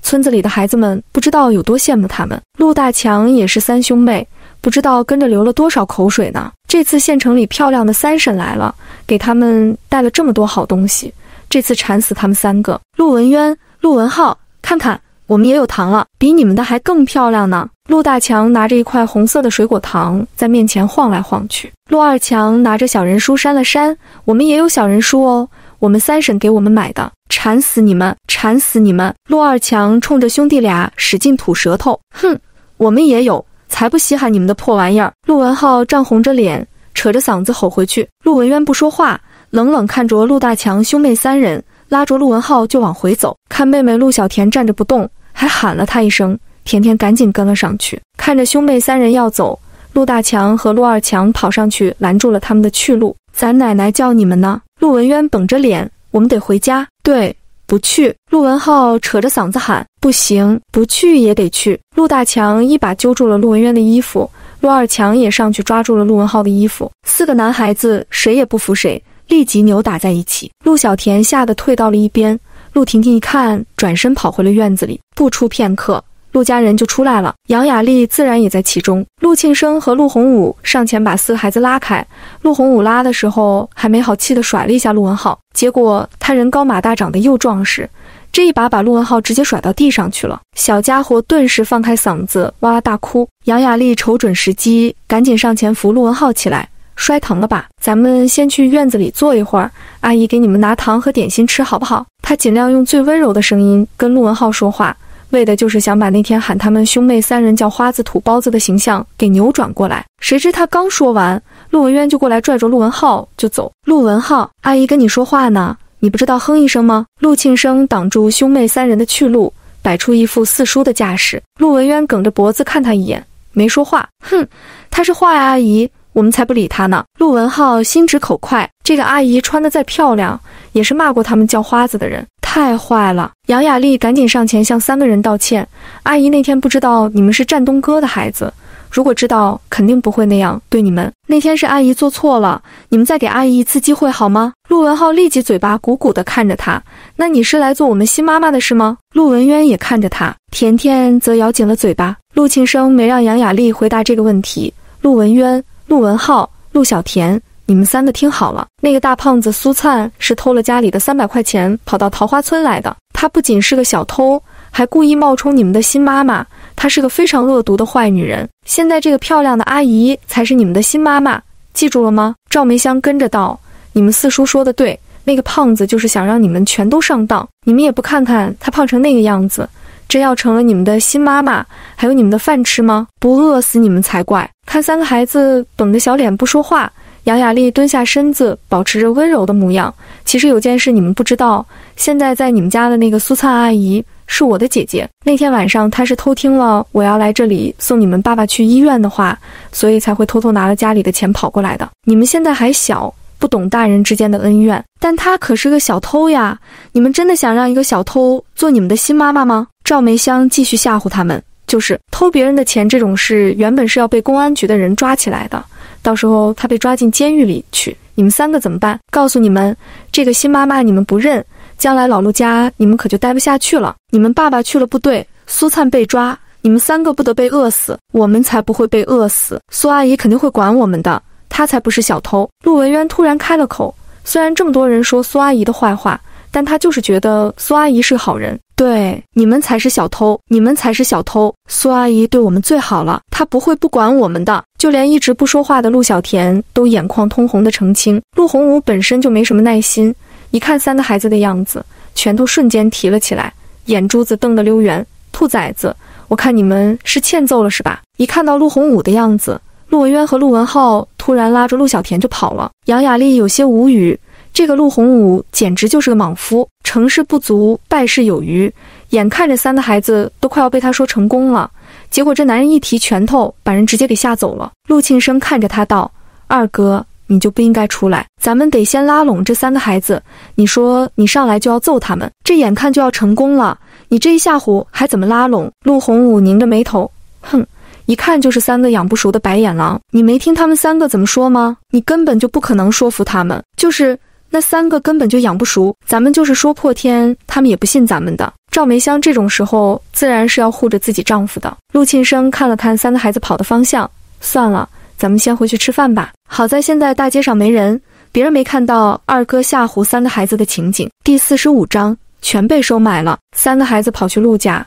苏灿这午饭根本就吃不下去。杨雅丽也跑来桃花村，是她没有想到的。听到他来的那一刻，今天上午陆红军一家被赶出老陆家这件事，突然就解释通了。看这个样子，陆洪武很可能是故意借这个机会把大哥一家赶出老陆家，然后再让杨雅丽住进来。不过以陆洪武那个鲁莽劲，他不相信是他想出来的办法。既然陆庆生跟着一起回来了。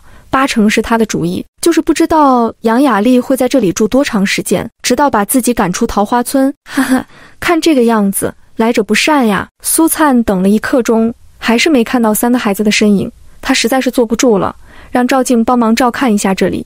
他走出大门，向老陆家走去，还没走出十米，就看到三个小家伙从远处哒哒哒的跑了回来。等他们到了跟前，苏灿先盯着三个人身上看了一遍：“你们三个没受伤吧？”陆文渊道：“二大爷把文浩给扔地上了。”陆文浩立即掀起自己后背的衣服，让苏灿看，那里一出汗就火辣辣的疼。苏灿看到擦伤了一点皮，倒不算严重，但是想到陆洪武对孩子下手，他还是很生气。你们三个给我听清楚了，以后都离二大爷远一点。他要是再敢这么动手，马上就跑，记住了吗？三个孩子全都一脸认真地点了下头。好了。肚子都饿坏了吧？咱们先去吃饭。杨雅丽来桃花村的消息跟长了翅膀一样，一下午的时间便有好多人来告诉苏灿了。听着这些大娘婶子们的小道消息，他大体知道了一些。杨雅丽住的是陆家老大陆红军一家的东厢房。陆庆生和他一起回来的时候，带了很多行李箱，看这个样子是要常住了。陆庆生趁着假期要在家里多待一段时间，不用想也知道是要帮杨雅丽在桃花村证明了。当然，除了这些，村子里传的最多的就是苏灿是个忘恩负义的养女小偷。听到这话的时候，苏灿不仅不生气，反而还想笑。这样一来，就说明江玉荣母女在陆占东那里吃了瘪。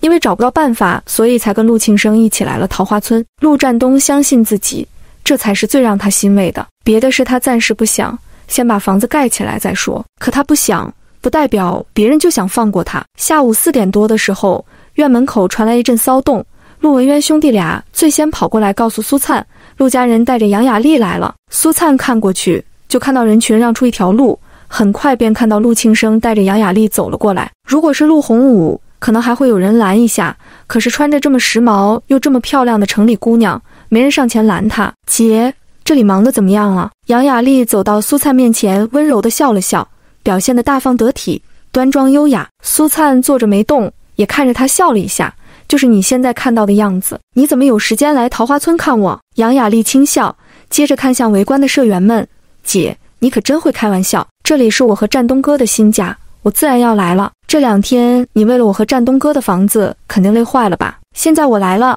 你可以回城好好休息一下了。苏灿听他的话，站了起来。你说的有道理，我确实累坏了，是该好好休息一下了。说着，他看向身边的三兄妹文渊、文浩、甜甜，你们跟我去城里看爸爸怎么样？好，三兄妹全都绷着小脸回答。听他说要去县城看陆占东，杨雅丽顿时有些心虚。旁边的陆庆生接过话去。苏灿，你这脸皮是不是也太厚了？我三嫂没跟你翻脸，是看在你们是姐妹的份上。杨家养了你这么多年，你不仅不知道感恩，还忘恩负义，冒充自己的妹妹嫁到我们桃花村来。不仅如此，还偷了家里三百块钱。你说你的良心怎么就这么坏呢？苏阿姨才不坏呢，这个阿姨是坏阿姨，她叫我们叫花子，要饭的。她是坏阿姨。陆文渊突然扯着嗓子大喊。村民们听得顿时一阵唏嘘。他是坏蛋，周爷爷都看到了。他骂我臭要饭的。哥哥一开口，陆文浩也扯着嗓子大喊，脖子上的青筋都鼓起来了。你们两个臭小子，怎么能胡说八道呢？陆庆生气死了。这两个兔崽子真是哪壶不开提哪壶。旁边的杨雅丽其实心虚不已，周围这么多人看着自己，她抬手抹了抹眼，一开口声音都哽咽了。你们肯定是认错人了，我怎么可能做那种事？姐。你不能这么教育孩子，你这样对他们真的没有好处。陆庆生抬手指着苏灿道：“就是你这个胖女人太过分了，自己明明是小偷，忘恩负义的人，现在居然又诬陷我三嫂。你说你这人怎么就这么恶毒呢？”刘二瘸子媳妇在旁边啧啧两声：“这人胖成这个样子，怎么看都不像个好心的。咱们桃花村可不能收留这种黑心肠的女人。”李淑兰道：“我看侄媳妇不像个坏的，大伯哥。”你当时不是送三个孩子去县医院了吗？你跟大家伙说说，到底是怎么回事？对对对，长生大爷肯定知道。周大爷原本被挤到后面去了，这时候才有机会来到了最前面。一看到周大爷，陆庆生立即抢先道：“咱们桃花村的人都知道，这几天周大爷又是送他去买菜，又是去医院，肯定被这个女人给收买了。他说的话不能信。杨雅丽已经把之前的事告诉了他，他自然不能让这个周长生开口。庆生呀，我说的话不能信。那这三个孩子呢？小孩可是不会骗人的。”周大爷气得胡子一颤一颤的。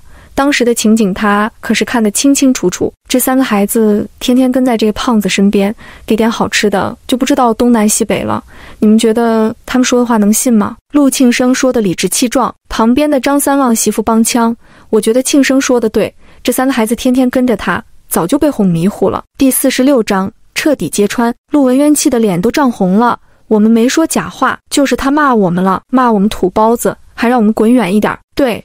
就是他骂我们的，陆文浩也扯着嗓子吼，跟哥哥一样，小脸涨得通红。你们这两个兔崽子，给我闭嘴！陆庆生气死了，他没想到陆文渊和陆文浩这么执拗。苏灿拧眉看着他，你再骂他们一声试试。陆庆生冷哼一声，我骂他们怎么了？我可是他们的四叔，这种忘恩负义的小兔崽子就该骂。哼，桃花村的老少爷们儿可都知道。他们是我们老陆家养大的孩子，可是现在却跟你一个外人站在一起，你们说这两个小兔崽子该不该骂？人群里有人附和，确实，再怎么说也是老陆家的孩子。苏灿冷笑，看着身边绷着小脸的兄弟俩，文渊、文浩，把你们的衣服掀起来。两个小家伙不知道苏阿姨什么意思，但还是利落地掀起了自己的背心。顿时露出了他们骨瘦如柴的身体，身上的肋骨根根明显，看得人唏嘘不已。苏灿看着陆庆生，嘲讽道：“这就是你们老陆家养大的孩子，你自己看看他们瘦成什么样了。我来的时候，他们身上的衣服穿的还真像叫花子。文浩连双鞋都没有。陆庆生，你再看看你身上穿的什么？光你手上那块上海牌全钢手表就一百二十元。如果不是你三哥每个季度往家里寄的津贴。”你能买得起这种东西吗？说我忘恩负义，你花着你三哥的钱，可是你为他们做过什么？我看忘恩负义的那个人是你吧？你别在这里胡说八道！我告诉你，我根本不知道我三哥的腿受伤了。他回来的这两个多月，我根本就没回来过。陆庆生说的理直气壮。你回来过？那天晚上我和老二去抓只老龟，你骑着自行车回来的。有苏阿姨给自己撑腰，陆文渊也来了勇气。对我和我哥都看见了。当时我爸也知道，陆文浩也大声喊：“你们两个胡说八道！我什么时候回来了？”陆庆生的脸色变了变，虽然心虚，但还是咬死不承认。苏灿冷笑道：“其实你到底回没回来，去问问你大哥就知道了。”这话一出，周围的村民们很多附和道：“对呀，这是问问红军就知道了。”陆庆生听得格外心虚，他自然不会去跟大哥对峙，因为那天晚上全家人在一起吃饭。他们怎么可能不知道？而且现在大哥一家被赶出了老陆家，这种时候去问他，那不是自讨苦吃吗？哼，我大哥还不是看你们家现在过好了，想过来巴结你。你觉得他会替我们家说好话？陆庆生，你问问在这里帮忙的人，你大哥有没有喝过我一口水，吃过我一口饭？这个问题，周围的人直接就回答了：这个真没有，叫都叫不过来。看着陆庆生越来越绷不住的脸色，苏灿继续捅刀：陆庆生，把你大哥一家赶出老陆家。应该也有你的一份功劳吧？就为了让他住进来，你们全家好跟着沾光，对不对？这个他自然说的是杨雅丽。陆庆生的脸上再也挂不住了，他恶狠狠地瞪了苏灿一眼：“你放屁！那是我亲哥，我怎么可能做那种事？你还知道那是你亲哥呀？前脚老陆家的人把你大哥一家全都赶出了家门。”杨雅丽后脚就住了进来，你怎么知道家里有房子？你不是这段时间一直没回来吗？东厢房住的是你大哥。西厢房住的是你三哥，你让杨雅丽住哪儿？苏灿的话句句都在抓陆庆生话里的漏洞，把陆庆生说的脸上一阵红一阵白。最意外的莫过于杨雅丽了，他没想到自己能住进陆家，还有这么一件不光彩的事。可这种时候，他不可能去质问陆庆生，便看着苏灿转移话题：“姐，不管老陆家出了什么事，你都不该冒充我嫁到这家里来。”更不应该偷咱妈那三百块钱，这个帽子必须得给苏灿扣上。要知道，偷东西这种事可是人人都瞧不起的。苏灿听他的话，冷冷笑了笑，那犀利的眼神看得杨雅丽甚至不敢直视。杨雅丽，你觉得自己很可笑吗？当初是你听说陆占东的腿烂掉了，说什么也不肯嫁，但是咱妈又拿了陆占东的彩礼，不愿意还回他，所以就让我替嫁。那三百块钱明明是咱妈给我的，你却说是我偷的。如果真是我偷的，那你告诉我，我在县城里买了两天的东西，塞了满满两大箱子。也全都是我瞒着你们偷出来的，是不是？现在这个年代买东西，那可是全都要凭票的。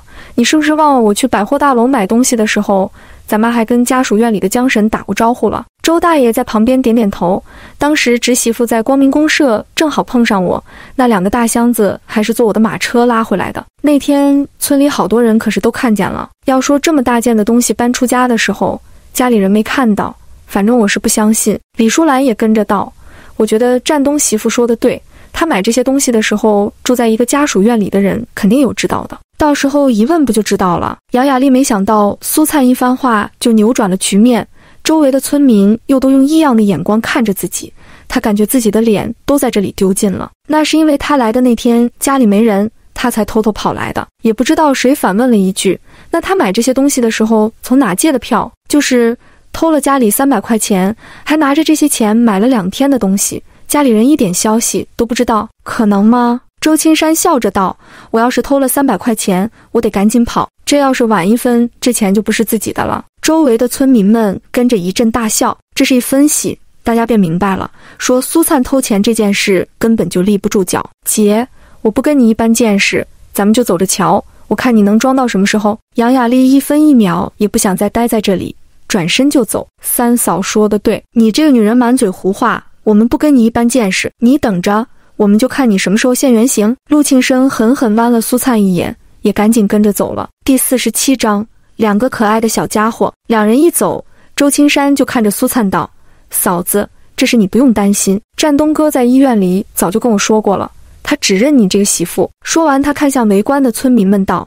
你们肯定不知道，那个杨雅丽为什么来桃花村。按说她直接去县城医院里找战东哥，这件事不是更容易解决吗？实际上，他去找了好多次，人家战东哥根本不见他，他没办法了，这才来了咱们桃花村。啧啧啧，我看这个样子，战东媳妇刚才说的对，应该就是看战东的腿烂掉治不好了，所以才让战东媳妇嫁过来的。结果战东媳妇把人送到医院，发现这腿还能治。肯定就后悔了呗？谁说不是呢？还说人家偷了三百块钱，这么多东西，他们一家人演的瞎成什么样？就是一看就是在扒瞎。周青山看着大家道：“行啦，说一千到一万，咱们还是得赶紧把战东哥家的房子盖起来，到时候他回来，一切都明白了。”对对对，干活去！大家说完全都散开了。苏灿看着周青山母子俩和周大爷道：“青山兄弟，周大爷，婶子，谢谢了，侄媳妇。”这话你就见外了，这是明眼人一眼就能看明白。嫂子，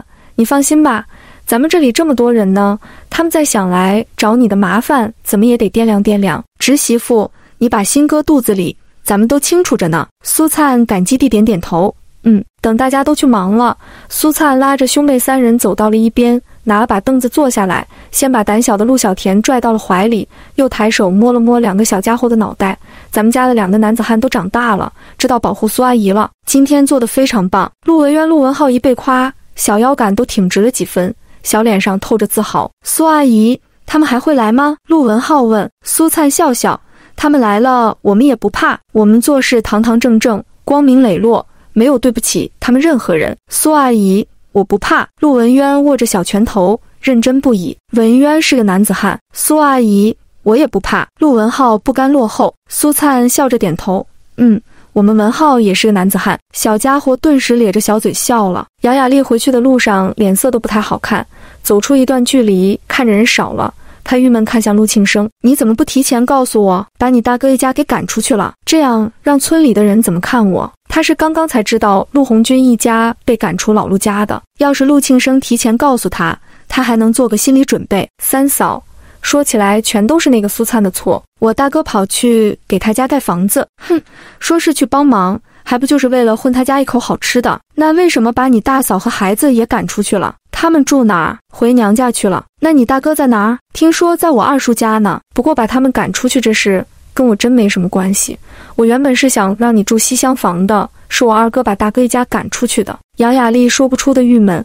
我觉得你得先把你大哥接回来。陆庆生表示无奈：“三嫂，这事我真做不了主，得问我娘才行。她是打心里不愿意让大哥一家搬回去的，要不然最先遭罪的就是他。还有他一个多月前的晚上回来的事，肯定也瞒不住了。”杨雅丽郁闷道。早知道是这样，我就不来找他了。你们不把实际情况告诉我，让他打我一个措手不及，这后面还怎么弄？三嫂，你可不能打退堂鼓。现在苏灿就是仗着村子里的村支书向着他，所以才会这么嚣张的。杨雅丽一愣，村支书？刚才那些人里哪个是村支书？刚才的那些人里没有村支书，但是那个赶马车的老头是支书的大哥。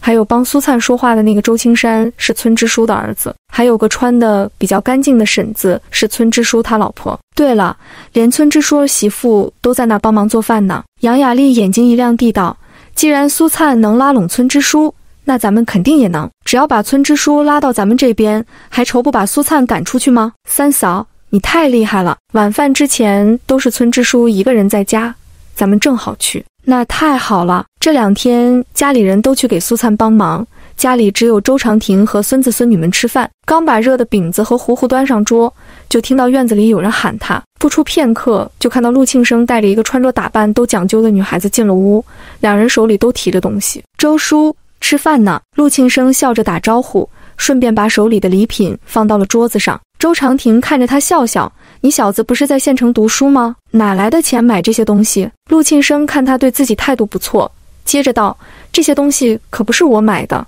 都是我雅丽姐买的。她今天晚上是特意过来看您的。”周叔，你好。杨雅丽这才笑着打招呼，表现的礼貌大方。周长亭看了看她，再看向陆庆生，有些纳闷：“你们家什么时候出来的姐姐？”其实眼前这个年轻女人是谁，他早就一清二楚了。桃花村就那么大。老陆家又是放鞭炮又是撒糖的，他不想知道都不行。何况下午这两人又跑到陆占东和苏灿的新房子那里大闹了一场，听说也是灰溜溜的走了。倒是没想到他们把主意打到了自己这里。陆庆生笑着道：“叔，实不相瞒，她不是我姐，其实她是我三嫂。”周长亭的脸色沉了几分。庆生呀，我看你是在县城里上学，脑子上坏了吧？你三嫂不是正在盖房子吗？这怎么又冒出来一个三嫂？陆庆生叹了口气，叔，不瞒您说，那个苏灿是我三嫂的姐姐。看着三嫂嫁给我哥这么好的对象，他一下子也跟着眼馋了，偷了家里三百块钱，偷偷跑来咱们桃花村的。您可是咱们桃花村的主心骨。现在桃花村的人都先入为主，被苏灿几顿饭给收买了。您可得为我们老陆家做主呀！陆庆生说完，从口袋里拿出了十元一张的大团结，足足有五张，放到了周长亭的面前。第四十八张，这个黑锅他可不想背。这次陆庆生和杨雅丽来这里，可是下了大血本的。陆庆生知道。现在村支书一家都很可能被苏灿收买了。听说分家那天，苏灿特意给送了一些好东西，所以这次他们来不仅拿了东西，还拿了五十块钱。他相信苏灿再大方，也不可能拿出这么多钱给周家。所谓人为财死，鸟为食亡。他不相信面对这么多钱，周长亭会真的无动于衷。哟，庆生呀！你这是干什么？周长亭看了一眼桌上的大团结，看着眼前的陆庆生笑了笑。陆庆生看他脸上有了笑容，觉得这是肯定是有希望了。叔，您是咱们桃花村的主心骨，村里什么事大家都听您的。我这三嫂人太老实，明明她当初跟我三哥订了婚，连彩礼都送了，还是县城里公安局长方局长给保的媒，可现在却被他姐给顶替了。我三哥可是个军人，要是娶个小偷，那不是被人笑话死了吗？叔。您说是不是？周长亭没有回答他的问题，而是反问庆生：“那你来找我是想让我帮什么忙？”陆庆生向前倾了倾身子：“叔，那个苏灿不仅是个骗子，还是个小偷。可他现在留在了桃花村，还打着我三哥的名义在那里盖起了房子。现在闹得全村都以为他才是我的三嫂。您作为咱们村的村支书，肯定不能让这种恶人留在村里，更不能让他毁了我的三哥的名声。我希望您能带头。”把那个苏灿赶出桃花村去。周长亭长长的哦了一声。如果真如你所说，他确实是骗子和小偷，我一定把他赶出桃花村。不过这件事还缺了一个当事人。什么当事人？你三哥呀，庆生。你不会以为我这个村支书只听你们一面之词就相信你了吧？这种事情必须要把所有的当事人全都请到一起，这才叫公平公正。你说是不是？陆庆生的脸色变了一下，叔。您这就是不相信我了。周长亭拍了下桌子，表情突然变得严厉。陆庆生，我还真不相信你，你以为拿这些东西和钱就能收买我了？他说着，抬手指着杨雅丽道：“你说的你这个三嫂，在县城医院里指着三个孩子骂，这种人说的话，我能相信？还有你陆庆生。”今天上午，你大哥一家为什么被从家里赶出来了？你自己一点数也没有吗？陆庆生被堵得脸色一阵红一阵白，杨雅丽也尴尬不已。叔，我大哥的事真跟我没关系，我二哥那个暴脾气你也不是不知道。行啦，周长亭不耐烦摆了下手，咱们装里装箱的，我也跟你透个底。一个多月前你晚上回来的时候，我看得清清楚楚，那时候你不知道自己有个三哥。现在知道有个三哥了，再难听的话我也不想说了。拿着你的东西和钱，赶紧走吧。这几天县城里发生的事，大哥和儿子全都告诉了他。看到陆庆生进门的那一刻，他就知道这俩人是来干什么的了。陆庆生的脸色难看到了极点，看着周长亭不再搭理自己，他知道再说下去也没什么用了，只好拿上东西和钱，带着杨雅丽离开了周家。杨雅丽郁闷死了，走到没人的地方，问陆庆生。怎么你们村里的人全都向着他？这下可怎么办？陆庆生更郁闷，还不是那个胖女人手里有点钱就不知道东南西北了。这两天做的饭菜好吃，把村里那些馋鬼全都给收买了。这样下去可不行，要不先把你大哥的事解决了吧，回家商量商量再说吧。两人回了老陆家，把去周家的情况一说，陆洪武当场就炸了。这个臭娘们，今天晚上我就把她的腿给打断，我看她还怎么扎煞。杨雅丽听了都无语了。二哥要是真敢这么做，信不信明天你就得被抓到县公安局去，至少得判你二十年。这男人真是够了，除了浑身有把子力气之外，一点脑子都没有。赵梅香吓得赶紧道：“你二哥就是说说罢了，弟媳妇你别当真，他是被那个胖子给气的。”陆老太太恨得咬牙切齿：“咱们村里的人这都是怎么了？秃子头上的虱子明摆着的是。”却都向着那个冒牌货，一个个都是睁眼瞎。杨雅丽看着老太太试探道：“大娘，现在村子里的人都觉得是因为我来桃花村，你们才把大哥一家给赶出去的。要不咱们先把人给接回来？这件事把他弄得格外被动，这个黑锅他可不想背。”陆洪武第一个不答应：“那不行，陆红军吃着我们老陆家的饭，却跑去给那个臭娘们盖房子，这口恶气我反正是咽不下。”赵梅香跟着附和。就是他陆红军做好人，咱们全家做坏人。我敢说，就算是现在把他们一家全都接回来，大哥照样去帮老三家，你们信不信？到时候那可就是搬了石头砸我们自己的脚了。娘，你说是不是这个理儿？这种时候，她肯定是站在自己丈夫这一边的。陆老太太点点头，老大就是个犟驴，你就是把他弄回来，他也是帮着那个冒牌货盖房子。陆洪武攥着拳头一砸桌子，拧眉瞪眼。他要是再敢去，我就再去砸断他的腿。看老陆家的人对陆红军这么排斥，杨雅丽也没敢再继续说下去。看来想要扭转局面，只能从别的地方想办法了。隔天一大早，苏灿是被外面的吵闹声惊醒的，他赶紧起身打开了屋门。院子里已经来了几个村民，全都在往一个地方看。苏灿看过去，发现似乎有人在打架。老三媳妇，你快去看看吧。陆洪武又在打他哥了。苏灿一听，赶紧往打架的跑，远远便看到了周青山和几个老少爷们已经把陆洪武给拉开了。走得近了，就听到陆洪武满嘴脏火，对着自己的大哥吼天动地的。看这个样子，不用想也知道，肯定是因为陆红军今天又来帮陆占东家盖房子了。青山兄弟，你把大哥放开，他不是想砸死大哥吗？让他砸好了，只要他再敢动大哥一根手指。我马上去公安局报警。第四十九章幻觉。苏灿的话一出，陆洪武的怒火立即朝着他撒了过来，抬手指着他破口大骂：“你他娘的祸害精！就是你这个臭娘们，他娘的，我今天非得揍死你！”陆洪武晃着膀子就要往苏灿的面前冲，那怒目圆睁的样子把周围的人看得胆战心惊。几个人用力拽着他，生怕他冲过去把苏灿一拳头给揍死了。放开他，青山兄弟，你放开他！我今天倒要看看。他敢不敢揍死我？苏灿说话间不紧不慢，从地上捡了根木棍站了起来。你个臭娘们，我今天非得弄死你！陆洪武暴跳如雷，额头上、脖子上全都青筋暴起，人看着已经在崩溃的边缘了。苏灿看着他，嘲讽冷笑：“是吗？陆洪武，别光说不练呀！你今天不弄死我，你就是个孙子。他今天说什么也得教训教训这个村霸。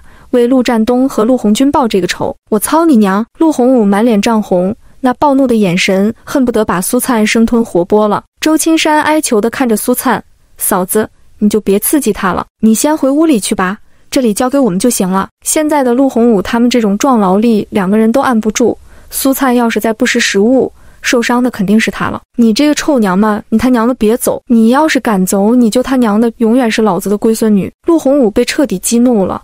这几天他只要一想到苏灿，就恨不得把他给揍个半死。既然今天他非要往上冲，那他说什么也得满足他这个愿望。行啦！突然一声怒吼，陆红军走到暴怒的陆洪武面前，闷声道：“我从今天起不再给他们帮忙了。”哐！下一秒。陆洪武一把这个大哥给踹了出去。陆红军个子不高，身体又瘦，被这一脚直接踹出去好几米，狠狠摔在了地上。好在他身后的地面全都是盖房子挖的土，没有伤到后背。陆洪武，那可是你亲大哥。周青山看得怒火冲天，旁边的村民看得也生气。他这种畜生怎么能知道那是他大哥？苏灿毫不客气看着陆洪武嘲讽，他看出来了，如果今天不能一次性把这个男人收拾了。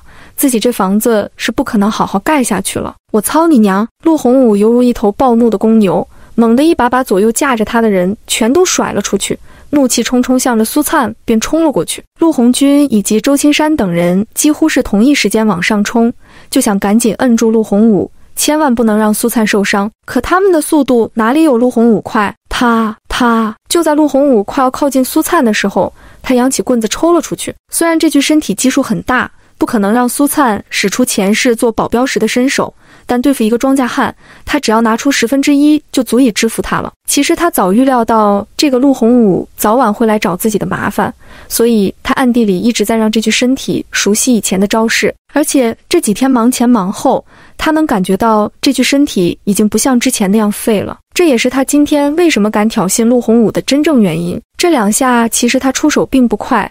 一下抽在陆洪武的身上，一下打在他的小腿上。但对一个不会武的人来说，这点速度已经躲不过去了。最主要的是，他没想到苏灿会打中他。陆洪武原本长得身高体壮，结果就这么两下，咣当摔倒在地。周青山等人全都看傻眼了。这、这、这是怎么回事？为什么打倒在地的是陆洪武？摔了个狗啃屎的陆洪武疼得站起来，被一个女人两棍子打得摔趴下。这对他来说简直就是奇耻大辱。他提着波大的拳头，怒目圆睁，向着苏灿又扑了过来。啪啪啪！第一棍子打在他的脑门，第二下戳在他的前胸，第三下最厉害。苏灿卯足了劲，打在他左边的小腿上。随着三棍子打出去，陆洪武再次被打得摔倒在地。只是这次他被打得嗷嗷直叫。第一次被打时是右边小腿。陆洪武感觉就是疼了点，可这次左小腿他感觉到骨头好像被抽断了。陆洪武倒在地上，疼得直骂娘，站都站不起来了。这眼前的一幕，把周围的几个村民全都看得一脸懵逼，当场傻眼了。这、这、这是他们出现幻觉了吗？为什么那个看着胖的，一走路就气喘吁吁、手无缚鸡之力的苏灿？竟然能把一米八多、壮如公牛的大男人打成这个样子！看着陆洪武躺在地上不断哀嚎的样子，苏灿喘了几口气，看向周青山：“青山兄弟，你找人把他抬回去吧。”“行行行。”周青山看着苏灿把棍子一扔，转身离开的背影，又震惊又忍不住的想竖大拇指：“我滴个皇天老奶奶，得亏他嫁的是战东哥那样的军人，这要是普通人娶了她，那还不得被揍死呀！”苏灿转身离开的时候。就看到不远处的陆文渊、陆文浩、陆小田三兄妹，全都瞪着大眼睛，齐刷刷地看着他。看到他走过来时，一起跑了过来。苏阿姨，你太厉害了！陆文浩的小脸上一脸的崇拜，陆文渊则眼睛亮亮看着他。苏阿姨，我想学。他要是学会了，就能保护弟弟妹妹了。苏灿笑着揉了下两兄弟的脑袋。好，等我们房子盖好了，你们谁也跑不掉。甜甜都要跟着苏阿姨学，在任何时代。学点身手防身绝对是没错的。陆文浩高兴的一蹦三尺高，苏阿姨，我去给你挤牙膏。说完，哒哒哒的跑了。陆文渊看看苏灿，也跟着跑远了。他要去给苏阿姨压井水洗脸。看着两个哥哥跑了，甜甜也跟了上去。他要给苏阿姨拿毛巾。苏灿走到屋前的棚子底下时，看到周青山安排两个身体强壮的村民把陆洪武直接背走了。他挑了挑眉，边走边哼起了歌。今天是个好日子。心想的事儿都能成。苏灿和孩子们洗漱完，周青山也走了过来。嫂子，你太厉害了！周青山这次终于冲他竖了个大拇指。苏灿笑了一下，说的格外谦虚：“我也不知道是怎么回事，就跟武术大师附身了一样，其实就是瞎忙。”天，那你这个瞎忙也太厉害了！那可是陆洪武呀，嫂子，我这么跟你说吧，咱们村这么多年就没人能打过他，只要是他跟别人干架。只有他揍别人的份。桃花村被陆洪武欺负过的人，那可是一抓一大把。仗着自己长得身高马大，又有个当兵的弟弟，还有个在县城里上学的弟弟，平常陆洪武在村子里用横行霸道来形容都不为过。谁能想到，这次竟然栽在了苏灿的手里？问题他还胖成这个样子，看着浑身上下都不可能有劲的那种。可就是他，五棍子就把陆洪武打得嗷嗷直叫，而且看他疼的那个样子，伤的还不轻。太不可思议了！苏灿笑笑：“青山兄弟，你帮我个忙呗。”第五十章附身。周青山赶紧道：“嫂子，有事你尽管说。”苏灿看向不远处那个默默干活的身影：“你去跟我大伯哥好好说一下，从今天起必须让他留在这里吃饭。住的地方我暂时帮不上忙，但是吃饭绝对没问题。今天他看出来了，陆红军确实是发自内心的想来帮忙，尤其他被陆洪武踹在地上。”看到陆洪武要打自己时，他还是不顾一切地冲上来想保护自己，这可不是谁都能做出来的。周青山点点头：“嫂子，你放心，今天我保证说服他，应该没问题。他之前不在这里吃饭，应该是怕连累你们。现在房子越往高处盖，越需要他这个手艺的人，他也很清楚这一点。所以今天腿和脚上的肿还没消就来了，那怎么能行？他这样上墙太危险了。嫂子你就放心吧，扎着架子呢。”再说他也是干这种活的老手了，心里肯定有数。听他这样说，苏灿才放下心来。行，那你一定要说服他。行。陆洪武被两个壮劳力轮流背回了老陆家。没办法，这人一米八的高子，长得又壮实，实在是太沉了。这个时间，老陆家的人都还没起床。赵梅香听到动静，赶紧下地打开了门，看着自家男人被人放到了床上，额头上和两条小腿都有些青肿，一时间懵了。这这这。这是怎么回事？背陆洪武回来的村民没有回答他的话，放好陆洪武就赶紧走人了。当家的，你这到底是怎么回事？到底是哪个杀千刀的打的你？赵梅香看得又着急又意外。要知道，这么多年桃花村可没人敢打陆洪武，因为根本就没人能打得过他。陆洪武又疼又气，牙都快要咬碎了，还不是那个胖娘们干的？胖娘吗？哪个胖娘吗？赵梅香听得一脸懵逼，她还以为自家男人伤得这么重。肯定是个大老爷们揍的，谁能想到居然是个女人？可陆洪武接下来的话更让他懵逼，还不是老三娶的那个死胖子？赵梅香眼睛瞪大了好几圈，你你你，你说的是苏灿？此时此刻，他都觉得自己的耳朵是不是出了问题？他居然听到了苏灿的名字，除了他还能有谁？几乎是下意识的，赵梅香抬手摸了下陆洪武的额头，想试试那里是不是滚烫发烧了。要不然怎么突然就说起胡话来了呢？结果惹来陆洪武一个白眼，赶紧把咱娘他们叫过来去。好，好，好，我我我这就去叫。赵梅香很快把家里人全都叫了起来。杨雅丽听到动静也起了床。陆洪武一家住在南厢房，听说陆洪武被人打了，陆庆生一副怒气冲冲的模样。二哥，你告诉我，到底是谁把你打成这样的？我们找他算账去。陆老太太坐在炕沿上。看着二儿子的两条腿都肿了，其中左腿肿得格外高，忍不住破口大骂：“哪个熊王八羔子把我们老二打成这个样？老陆家还没被人欺负成这样过。他是真觉得咱家没人了是吧？老二，你说吧，到底是谁？”陆洪武躺在炕上，疼得额头直冒汗，拧着眉头郁闷地道：“还能有谁？就是那个死胖子。”你说啥？陆老太太还以为自己听错了，旁边的赵梅香气愤道：“娘。”洪武一大早去老三那里找大哥，结果被那个苏灿给打成了这个样子。陆老太太斜一眼媳妇，他被打迷糊了，你也跟着迷糊了。就那个冒牌货，他走几步路都喘粗气，老二一手指头就能戳倒他。老太太看着炕上的陆洪武，继续道：“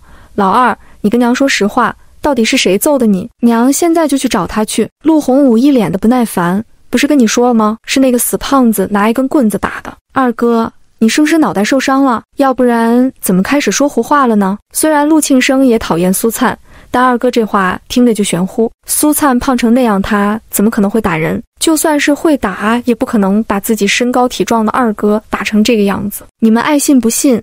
周青山他们全都在现场呢。陆洪武看向杨雅丽：“你怎么没告诉我们，你这个姐姐会武功？”这话让大家全都懵了。陆庆生瞪大了眼珠子：“二哥，你说苏灿会武？不可能呀！我跟他从小长到大。”他从来不会武功，天天都是憋在家里睡大觉。就他那个体型，你们觉得可能吗？陆家的人震惊，杨雅丽更觉得不可思议，好吗？他可是跟那个苏灿从小长到大的。苏灿要是会武，他怎么可能不知道？陆洪武皱眉，那是怎么回事？反正从头到尾我都没碰到他的身，他就把我打成这样了。你要说他不会武，反正我是不信的。他在村子里可以说是打架最多的一个人，别说是在桃花村。就是周围的村子里也打过，但就没一个能打赢他的人。所以平常在村子里，他向来都是横着走的。就苏灿那种体格，耐把自己打成这样，说他不会无鬼才信。陆老太太总算是回过神来：“老二，你这真的是被那个冒牌货给揍的？”陆洪武没好气地道：“娘，我骗你干什么？那么多人看着呢，不可能吧？那个女人怎么看也不像个会武的呀，这也太邪门了。因为没有亲眼看到那一幕。”陆庆生还是无法相信这件事。我敢发誓，他是绝对不可能会武的。如果真是苏灿把二哥打成这个样子，那就只有一种解释，肯定是撞邪了。杨雅丽反正是坚决不相信的。她跟苏灿一起长大，那女人平常性格内向，从小到大都是那种任人欺负的主。她这话一说，陆老太太一惊一乍道：“我知道了，他肯定是被人附身了。那个场院里以前可是死过人的。”老太太看向门口的陆学远老头子。你还记得不？村南头那个杨二丸子，他爹不就是被牛给顶死了吗？第五十一章，好办法。陆学远闷声点头，他爹叫杨大牛，确实会点功夫。当时也是夏天来着，生产队都在老三那个场院里晒麦子，结果生产队的牛发疯了，到处顶人，没人能治得住。他长得又高又壮，就上去想把那头牛制服，结果被牛角直接顶穿肠子了，人当场就不行了。还没拉到医院，人就没了。陆学远一向话不多，但是这种时候他还是把这段往事讲了个清楚。你看吧，你看吧，人家雅丽也说了，苏灿从来不会武，可他现在变得这么厉害，那绝对是被脏东西附身了。陆老太太向来迷信，这种时候更是笃信不已。娘，这是不太可能吧？陆庆生其实不太相信这种事。陆老太太看向杨雅丽。到底可不可能？你问问雅丽，那个冒牌货会不会舞不就行了？陆庆生看向杨雅丽，他立即摇了摇头，再次澄清：绝对不可能。我跟他从小长到大，别说他会舞这种事了，就是他现在的口才都让我觉得奇怪。以前在家里，我妈骂他多少次，他都不带吭一声的；出门就更别提了。见到家属院里的叔叔阿姨们，全都是溜着墙根走。可是你看他现在，那嘴皮子不是一般的溜。我感觉都不像我以前认识的那个苏灿了。这番话绝对是杨雅丽的肺腑之言。这段时间，她一直觉得很奇怪，曾经的苏灿可不是现在这个样子。听听听听，雅丽可是跟他一起长大的，他都这么说，那这个冒牌货百分百是被杨大牛附身了。陆老太太再次笃定了这件事，陆家人没有人在反对，因为除了这个原因，谁也找不出第二个。陆洪武的腿疼得越来越厉害。一直躺在床上，疼得哎呦直叫。陆家人顾不上去找苏灿算账，当然在没弄清楚之前，也不敢再去找苏灿算账，只能先去找车把陆洪武送到县城医院里去。杨雅丽觉得这是个自己接近陆占东的好机会，再加上他对县城医院熟悉，也有认识的医生和护士，陆家人自然乐意让他跟着一起去。桃花村只有周长生有马车，但是现在老陆家跟他闹翻了，自然没脸去借。陆学远便去借了架驴车回来。几个人把陆洪武扶到车上后，陆老太太提出自己也要跟着一起去。我得去找老三问问去，他现在是不是连我这个当娘的也不认了？陆庆生一听，举双手赞成：“娘，你这个想法好。他不肯见我和三嫂，你去了，他肯定得见。”杨雅丽也觉得是个不错的办法。陆老太太再怎么样，那也是陆占东的亲娘，她要是不肯见面，那可要落下把柄了。陆庆生和杨雅丽骑自行车也一起出了门。不过他们先行了一步，到医院等着他们。吃早饭的时候，苏灿终于在人群里看到了陆红军的影子。现在他这里早上也管饭，所以来的人很多。一顿早饭的时间，苏灿把陆洪武打伤的消息便跟长了翅膀一样传遍了整个桃花村。之前好多被陆洪武欺负过的人，但凡在这里帮忙盖房子的，都会过来夸他几句。就算有的内向的人，也会远远看着他。苏灿知道这件事肯定会在村子里掀起一些动静，倒也没怎么放在心上。现在只要陆洪武不来找他的麻烦，那就是最好的了。因为人多力量大，今天上午院墙和茅厕就全都能垒好了。四间屋的主体垒到上梁的地方，明天一大早就要上梁了。所以今天他得和周大爷去光明公社赶集，买好鞭炮和上供的贡品，还得买点红纸什么的。离开之前。苏灿看到周青山带着一个村民叫住了自己：“嫂子，这是咱村的电工赵大亮，带着线过来拉电线的。前两天一直在别的村子里帮忙，所以咱们没拉上电线。”苏灿一听，顿时惊喜不已，赶紧向他道谢。赵大亮道：“嫂子，你今天去赶集的时候买几个灯泡回来，咱们村的电全都是从北边的化工厂拉过来的，用电不花钱。”你买个一百瓦的回来都没问题，还有这样的好事，苏灿意外不已。这个村真的是越了解越神奇。明明是个靠山吃山的村子，但是这里在某些方面似乎又比别的村子先进了很多。周青山笑着解释：“这是因为北边的化工厂占了一部分我们村里的山林，也算是补偿吧。再说咱们村不大，电费对化工厂来说没几个钱。”原来如此，赵大亮很快便去忙了。周青山又跟苏灿交代了一下，今天订的东西就到了。除了两架房梁和二十八根领条会送过来，还有房梁上需要的苇子和麦秸，这些都是上梁的时候用到的。其他的土和沙子、石灰早就已经准备好了。听周青山说明天就能把屋顶弄好，苏灿有些激动，想着陆占东一回来就能看到盖好的房子。肯定会很高兴。跟李淑兰和赵静他们交代完中午的饭菜后，苏灿就坐着周大爷的马车去了光明公社赶集。农村就是有这么个好处，十里八乡都是集市，最主要的是东西又多又便宜。不过这次的路程要远一些，距离桃花村十二里地，因为太远，所以桃花村很少有人去赶那个集。好在有周大爷的马车，所以不用担心这个问题。家里的面粉下的贼快。所以今天苏灿又买了五袋肉和猪下水，自然还是少不了。青菜就更不用说了。除了这些主要的东西之外，苏灿买了一只大公鸡，一条鱼，又买了点桃酥点心，这些都是明天上梁前用来当贡品的。再去买了两挂鞭炮。从到集市，苏灿就没停下。还好周大爷对这里熟，所以他要买什么东西，周大爷便直接把马车拉过去。买了东西就放到车上，把东西买完，周大爷赶着马车往集头走。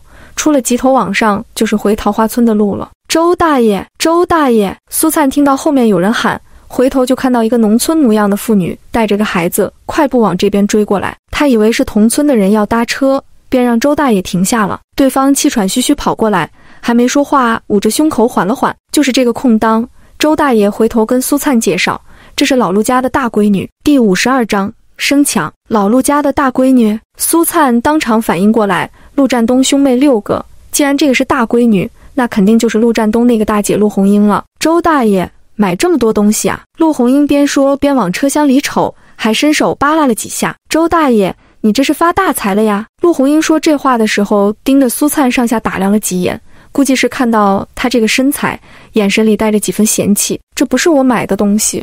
我就是帮人家跑个腿。陆红英笑着道：“周大爷，我娘和我爹怎么样？挺好的。红英，你有什么事吗？没事，我们得先走了。哎呦，周大爷，你急什么？是这样的，既然碰到你了，我就不上去了。我先借你十块钱使使吧，回头你再去我娘那里取就行了。”周大爷摆了下手：“我这身上穷的叮当响，哪有钱借给你？那这一车东西是谁家的？”陆红英说着，冲苏灿又打量了一下。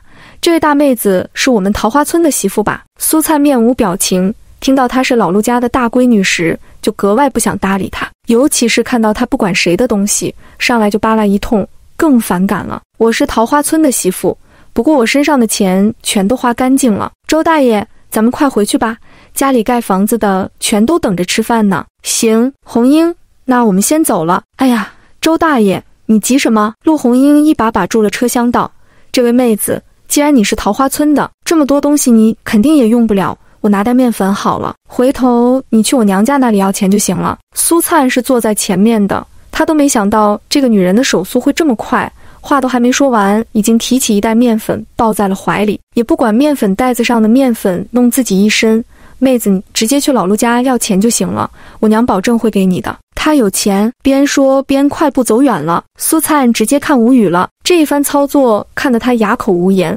老陆家的人真是一个比一个让他开眼，除了大哥陆红军，还有老三陆占东，剩下的人真是一个比一个脸皮厚。侄媳妇，这可怎么办？周大爷站在马车边，一手拿着鞭子。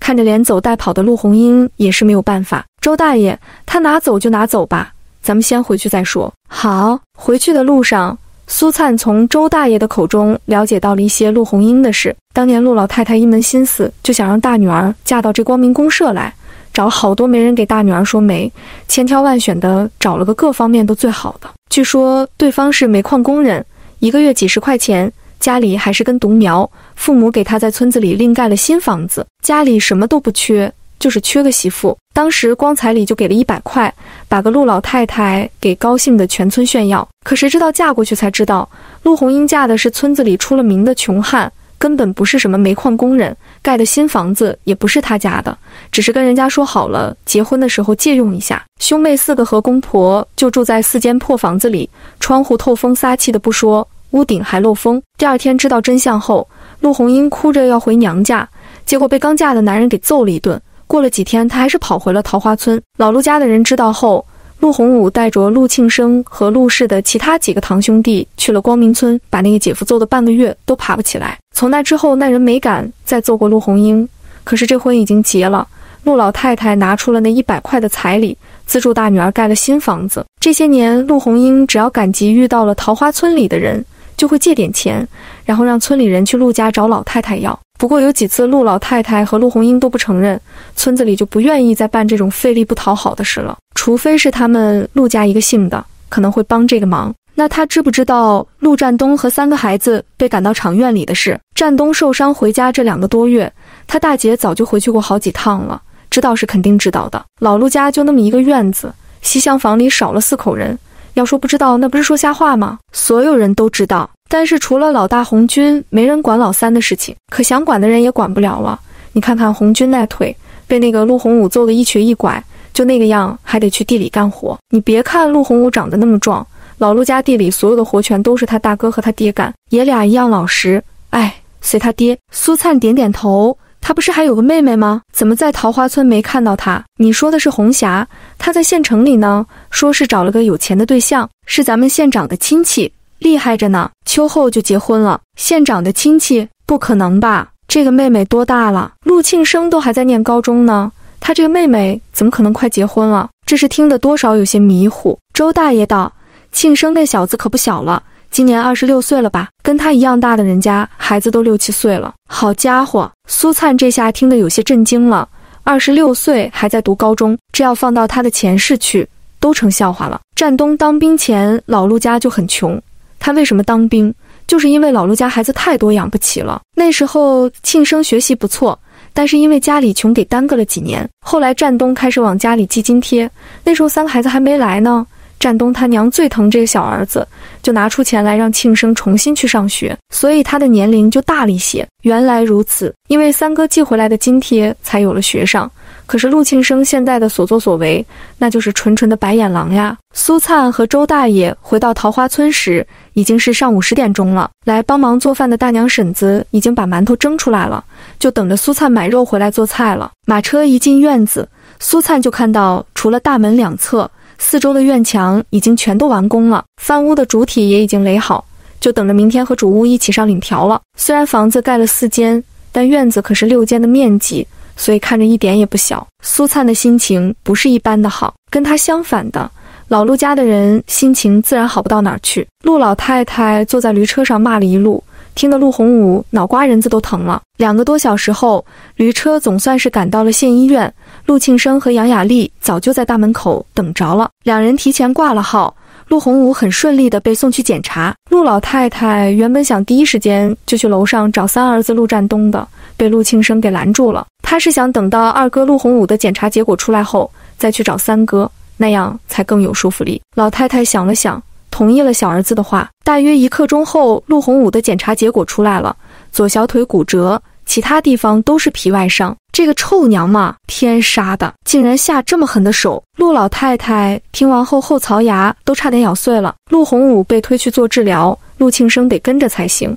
陆老太太便让杨雅丽带着自己去楼上找三儿子陆占东。第五十三章，你脑子是不是被江湖糊住了？杨雅丽心里暗喜，这正是她期盼的事情。跟之前一样，两人到了四楼往上走的时候，被两个当兵的给拦住了。陆老太太指着两人，怒气冲冲地道：“拦拦拦！你们也不看看我是谁，就敢拦我？上面住着的那个陆占东是我的亲儿子，怎么你们解放军连我这个当娘的也不让见自己的儿子是吗？”两个战士面面相觑，杨雅丽他们是见过的，但是眼前这个老太太他们还是第一次见。别人好拦，可是陆团长的亲娘他们必须得汇报一下才行。大娘，您先等一下，我们去确认一下。其中一个转身去汇报了。这有什么可确认的？陆占东就是我亲儿子。陆老太太一脸的不高兴。杨雅丽赶紧安慰大娘，我们就等一等，不能给占东哥添麻烦。您说是不是？陆老太太拍拍他搀着自己的手，看看看看，还是我们雅丽人最好了。不一会儿时间，那个战士便返了回来，同意让陆老太太上楼，但是杨雅丽不能上。你这个小兵怎么回事？我儿子可是团长，我现在就是团长的母亲，我带来的人你们为什么不让上？怎么他是敌人还是特务？如果是的话，你们给我拿出证据来。如果不是，就赶紧放行。我可告诉你们，我今年六十多了，要是被你们气出个三长两短来，你们谁都别想得着好。陆老太太倚老卖老，又仗着自己儿子是团长耍起了威风。他在村子里向来谁都不怕的主，眼前这两个还是自己儿子的部下，他就更不可能受这个气了。两个战士没办法。只能再去询问别人，他们可以拦，可是老太太是团长的母亲啊，光是这个身份就够让人喝一壶的。其中一个战士刚转过身，就看到赵铁柱走了过来，让人上来吧。赵排长一发话，两个战士便退到了一边。杨雅丽立即扶着陆老太太上了楼。这次他们很顺利，便进了陆占东的病房。娘，您怎么来了？陆占东先开了口。陆老太太没好气瞪他一眼，气鼓鼓走到床前坐下来。这才开口道：“哎呦，你这个团长现在架子不是一般的大呀！我这个当娘的想见自己的儿子，都得经过解放军的同意。”这话里带浓浓的怨气。陆占东有些疑惑，看向赵铁柱。其实赵铁柱只问了陆占东一次，确认了这个大娘是他的母亲，但是他对杨雅丽没什么好感，没汇报团长，便自己让人拦了下来。赵铁柱刚要开口，便听到陆占东道。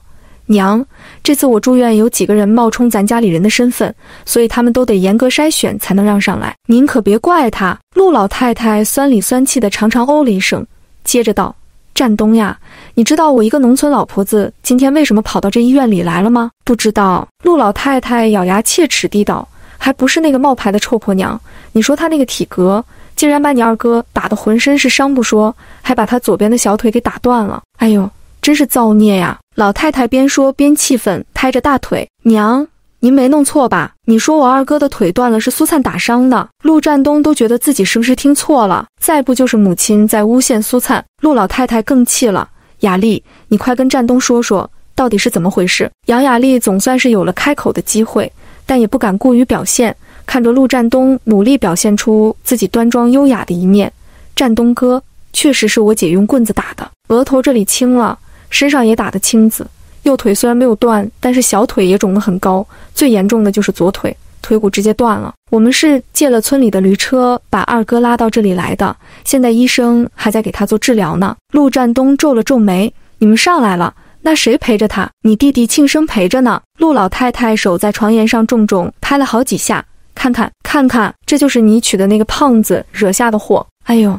你都不知道他这个祸害精这两天把家里祸害成什么样了。盖个房子买面粉，一买就是五袋，一买就是五袋；买肉也是五六十斤五六十斤的买，这叫过日子吗？这叫胡花六花，败坏头。他哪里是在帮你？他明明就是在害你。占东呀，咱老陆家可不能娶这种缺德的媳妇呀。杨雅丽觉得陆占东听不进别人的话，眼前这个可是他的亲生母亲。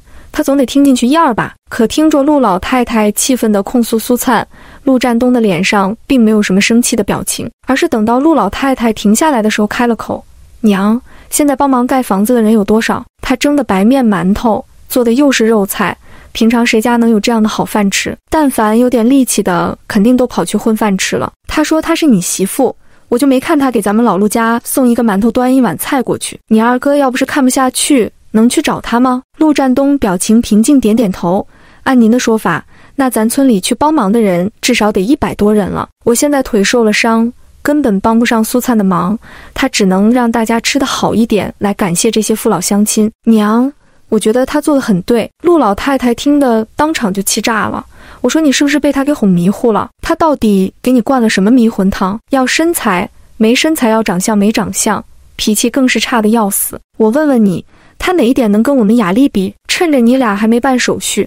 你赶紧把那个胖老婆给我弄走！我们老陆家说什么也不能要这样的媳妇。我现在只认一个儿媳妇，那就是我们雅丽。被准婆婆直接点名，杨雅丽紧紧抿着唇，乖巧站在陆老太太身边，眼神有些期待地看向陆占东。其实她也想不明白，自己明明比苏灿优秀不知道多少倍，就算是苏灿把她送来了医院，她也应该喜欢自己才对。陆占东神情严肃，看都没看他一眼，娘。苏灿已经是我的妻子了，至于其他人，我都看不上。我希望您能尊重苏灿，对他好一些。哎呦喂，还让我对他好一些？你脑子是不是被江湖糊住了？他把你二哥打成那个样子，你让我怎么对他好？你自己下不去，就让这个当兵的去看看你二哥。他是真的下死手呀！这是把我们当成一家人吗？这明明是把我们当成仇人了。这样的人，你要他干什么？娘。可我还是不相信苏灿能把二哥打伤，这个情况太让人意外了。他是个军人，自然知道陆洪武的体格代表了什么。一米八几的大男人，长得身高体壮。反观苏灿走步路都气喘吁吁，说他打伤了陆洪武，怎么可能？哼！我告诉你吧，你知道他为什么能把你二哥给打成这个样子吗？第五十四章，堵得说不出话来。不等陆占东回答。老太太直接把床拍得平平响，她是被咱村那个杨大牛附身了。以前杨大牛就是在场院里被牛给顶穿了肚子死在那里的。你现在娶的这个冒牌货，他不仅败坏家里的东西，他还惹上了脏东西。你要是跟他过日子，我告诉你，不出半年就得死在他身上。到晚上睡觉的时候，他百分百要吸你身上的阳气。你这腿就是治好了也没用，他早晚会害死你的。赵铁柱都听不下去了，大娘。您不是我们陆团长的亲娘吧？陆老太太立即剜了他一眼。谁说我不是？你去桃花村打听打听，看看你们陆团长是不是我这个老太婆子生出来的？赵铁柱一脸的不解。可我看着不像呢。我在这里也照顾了我们团长几天了。这医院里有很多都是儿子受了伤，亲娘跟着来的。那都是儿子腿长，儿子腿短的。您从进门我就没听到您问过我们陆团长一句腿伤的事。都说母子连心，我觉得您肯定不是我们团长的亲生母亲，假冒的吧？他当然知道眼前这个陆老太太是团长的亲娘，可是看他从进门到现在，根本不把团长的腿伤放在眼里，言谈举止都恨不得把那个儿媳妇给五马分尸似的。二儿子的腿断了，他立马跟着来了医院，可是三儿子腿伤两个多月。不仅不送医院，还直接赶出去，等着伤口化脓烂掉。他就想问问，这是什么亲娘？陆老太太气坏了，我人都来这里了，你说我是来干什么的？我不是来看自己儿子来了吗？战东，你看看你这都是带的什么兵？赶紧让他出去，我不想看到他。她虽然是个农村老太婆，但也知道儿子现在官比这个赵铁柱要大。赵铁柱不等团长开口，就赶紧向陆老太太道歉。哎呦！大娘，您老可千万别生气，我也不是怀疑您，主要是您看着真不像我们团长的母亲。要不这样吧，我下楼去看看团长的二哥，他受的伤是不是真的？陆老太太一脸嫌弃地摆了下手，你赶紧去看吧，我要是骗了你，天打五雷轰！赵铁柱看向陆占东，陆占东点头默许。陆老太太脸皱得跟个包子似的，一脸的不高兴。你看看你带的兵。还是解放军战士呢？他就这么对待我这个团长的母亲？什么东西啊？原来您还知道我是您的儿子？别说我这个兵怀疑您的身份，连我自己都觉得我不是陆家的人。要不然全家能眼睁看着我的腿烂掉？陆老太太被噎了一下，不过她向来脸皮厚，根本不把这种话当回事。之前的事是咱们家不懂。以为你这腿没法治了。对了，老三，你能不能给你二哥在部队安排一个职位？可以，不过您得做好他有去无回的准备。老太太一愣，为什么？到时候部队里查到他在我受伤回村后的所作所为，是要被送进监狱里去的。陆老太太被吓得咽了下口水。那那还是让他在村里吧。杨雅丽对于老太太的提议有些无语。这什么脑袋能想出这种问题来？看儿子表情冷冰冰的，老太太又回到了原来的问题上。那我现在告诉你，不管怎么样，家里那个胖老婆，你必须得休了她。你现在腿不好，只要你点个头，把她撵出桃花村，这事你就包在娘身上，保证让她麻溜的滚出桃花村。您敢把她赶出去，我就敢把陆洪武送进监狱。陆老太太气得抬手指着他：“你说说你这个榆木脑袋，怎么就看上这么一个东西了呢？他哪里好了？他救了我，如果没有苏灿，我会在这儿治腿吗？他不仅是我的妻子。”也是我的救命恩人，我劝您最好别打他的主意，否则我不介意把陆洪武送进监狱里去。老太太被气得脸都涨红了，气喘得有些厉害。他是你什么救命恩人？我告诉你，他送你来医院的头天晚上，你大哥二哥已经去借好驴车，就想着第二天一大早送你来医院的。他就是捡了个漏罢了，知道吗？陆占东看着他冷声道：“苏灿那天到桃花村的时候已经是中午了，如果陆家真要送我来这里。”那苏灿根本不可能看到我。陆老太太被噎了一下子，之前的话全都是编出来的谎言，自然没想到在时间上会出现这种问题。旁边的杨雅丽正想打圆场缓解一下，就听到推门声，紧接着走进来几个医生护士，说是要给陆占东做检查，让家属先到外面等着。陆老太太脸色阴沉沉的起身，被杨雅丽扶着出了门。坐在了外面的长椅上，我看这个老三真是被猪油蒙了心，一个冒牌货长得又丑又胖，结果还拿着当个宝贝。你说都能当到团长的人，怎么这眼就瞎成这个样呢？陆老太太想不明白，儿子为什么会一条道走到黑。大娘，我觉得战东哥还在生当初陆家人没有把他送到医院来治疗的气，看他刚才挺反感的。如果接下来您还是这么劝他，他肯定一句也听不进去。我倒是觉得从现在开始。你好好关心关心他，问问他腿伤的情况，让他体会到亲情，这样说不定他能被你感动。陆老太太冷哼一声：“我是他娘，哪有当娘的向儿子低头的？再说了，就算我当初没把他送到医院来，又怎么样？我可是生他养他的人，养育之恩比天大。还有他收养的那三个孩子，这三年要是没有老陆家管着，早饿死了。雅丽，你放心吧，这件事我保证给你解决好。”那个冒牌货在桃花村待不了多久的。杨雅丽说不出的郁闷。这个农村老大娘思想固执，一般人根本就说服不了她。可如果一直让她这么跟陆占东耗下去，最后受伤的只能是自己。大娘，我们先下楼看看二哥去吧，一会儿再上来也不迟。反正占东哥也跑不了。那也行。陆老太太挂着二儿子的腿，又被杨雅丽扶下了楼。两人下楼的过程中，赵铁柱刚好跟两人遇上。大娘，您说的还真没错，还真是被打得很严重。陆老太太没好气地剜他一眼，这还用说？赵铁柱也没停留，快步上楼了。等他走进病房的时候，医生和护士已经离开了。柱子，陆洪武的伤很严重吗？赵铁柱表情郑重，点点头。脑门青紫，右小腿也肿得比较厉害，但那些都是小伤。我问过医生了，他的左小腿被直接打断了。不过您放心。医生已经给他处理好了。陆占东的脸色沉了下去。你觉得像女人打的吗？这个还真不好判断。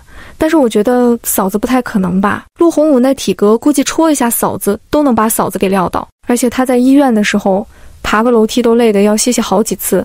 这种体格怎么可能是他打的？铁柱，你去方局长那里借辆车，让他把我送回桃花村。第五十五章。孤儿陆占东在这里坐立不安。如果陆洪武身上的伤真是苏灿打的，那苏灿肯定也受了伤。他不能让那个女人自己承受这一切。赵铁柱一听就急了：“那怎么能行？团长，你今天才做完手术第四天，这伤口还在恢复呢。现在回去，万一感染了怎么办？到时候老首长怪罪下来，我可担不起这个责任。那你让他把我送回去看一下再回来，这样我就放心了。让那个女人独自面对这一切。”他实在于心不忍，尤其是二哥陆洪武伤成这个样子，苏灿到底是什么情况？他心里更是没底。万一苏灿伤的比陆洪武还严重怎么办？赵铁柱听得一脸为难。团长，首长让我保护好你，这要是出点什么意外，我怎么向首长交代？你先给方局长打电话，麻烦他来一趟，我亲自跟他说。那好吧。给方局长打电话并不是难事，因为陆占东现在是医院里最受关照的伤员。院长曾经说过，如果要打电话，就去他的办公室。不过去打电话前，他还是先去找了医生，把陆占东想回老家看一看的情况说了一下，遭到了医生的严厉拒绝。他不想要那两条腿了是吧？那可不是一个弹孔，那是三个。赵铁柱一听，顿时有底气了。医生，我说话没什么说服力，能不能麻烦您亲自劝劝他？行。医生很快去了陆占东的病房，把他训了一顿。最后，陆占东答应好好在这里养伤，医生才放过他离开。医生训斥陆占东的这个时间里，赵铁柱去了院长办公室，给公安局长方成涛打了个电话。杨雅丽扶陆老太太下楼后，医生已经把陆洪武的腿用夹板处理好了，并送到了病房里。陆老太太一走进去。就看到里面住了十几个病人，再加上病人家属，怎么也得二十多个人。庆生呀，你二哥可不能住在这种地方。你三哥在五楼住单人间，里面光空着的床位就三个呢，让你二哥搬到那里去住。病房里人多，动静多，听着就乱糟糟的。陆洪武一听，自然是最乐意的。咱娘说的对，庆生，你快去跟老三说一说，我得搬到他那里去住，这里也太乱了。再说了，我身上这伤是他媳妇打的。他怎么也得负责吧？陆庆生有些无奈，娘，我去说，人家肯定不同意，还得你出马才行。二哥要是真能搬到楼上去住，那可就不是一般的好了。行，我去跟他说说。老太太对这一点还是很有信心的。当然，最主要的是二儿子这伤是苏灿打的，陆占东不负责，谁负责？因为陆庆生要留下照顾陆洪武，所以这次还是杨雅丽扶着陆老太太上了楼。六十多岁的老太太。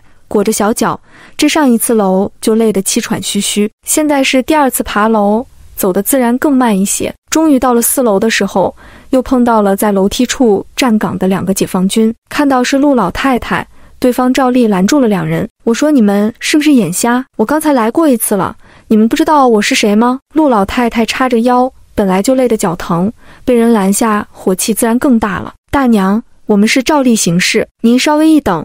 我们汇报之后，您就可以上去了。其中一名战士说完，转身去汇报了。陆老太太气得直翻白眼，不过她现在累得喘粗气，也不急着上去。不出片刻，那名解放军战士便返了回来，让两人上楼。陆老太太没好气地道：“这是什么破规矩？我看自己的儿子都不让看。”杨雅丽在旁边劝她：“大娘，部队里都是这样的规矩，您别生气了。”陆老太太一手抓着楼梯扶手，一个台阶一个台阶往上走。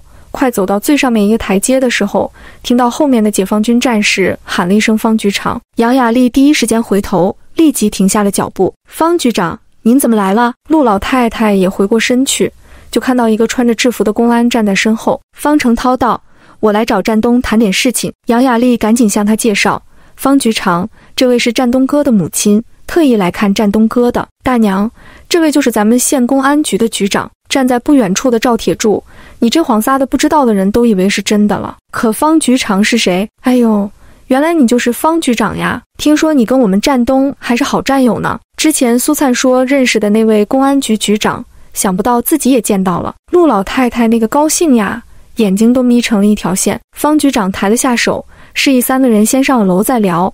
杨雅丽立即扶着老太太上了最后一级台阶。方成涛走上来，看着老太太微微一笑。之前战东的腿烂成那样，我还以为他是个孤儿呢，想不到他还是有家人的。看这误会闹的，陆老太太再笨也听出了眼前这个公安局长的言外之意。方局长，农村家里事情多，我生了六个孩子，每个都有一个家，一团乱麻，全都顾过来不容易啊。陆老太太想为自己开脱一下，就看到方成涛点点头：“您说的这个我理解，不过这一次真是多亏了您的儿媳妇苏灿呀，如果不是她……”战东说：“他现在肯定就是个骨灰盒了。我找他有急事，等会出来再跟您聊。”方成涛没让陆老太太说下去，保持礼貌地抬了下手，转身去了陆战东的病房。陆老太太冷哼一声：“现在我也认识这个公安局长了，这下我倒要看看，以后那个冒牌货还敢不敢再说让公安局局长抓洪武的话了。”杨雅丽却忧心忡忡，毕竟方局长刚才说的话并没有那好听，以为陆战东是孤儿。这话说明了什么？看方成涛的表情就能知道，他并不想跟陆占东的母亲多说一句话。病房里，方成涛在病床前坐下，不等陆占东开口，便笑着道：“你是不是觉得自己是钢铁做的？手术四天就想回家？”陆占东皱眉道：“我家里的情况太复杂了，现在他一个人带着三个孩子就已经够不容易了，可现在还要一个人盖房子。”买菜做饭还得管着家里的一切，我必须得回去看看他，要不我这心真的放不下。你让人把我送回去，只要看到他没事，我就回来。第五十六章，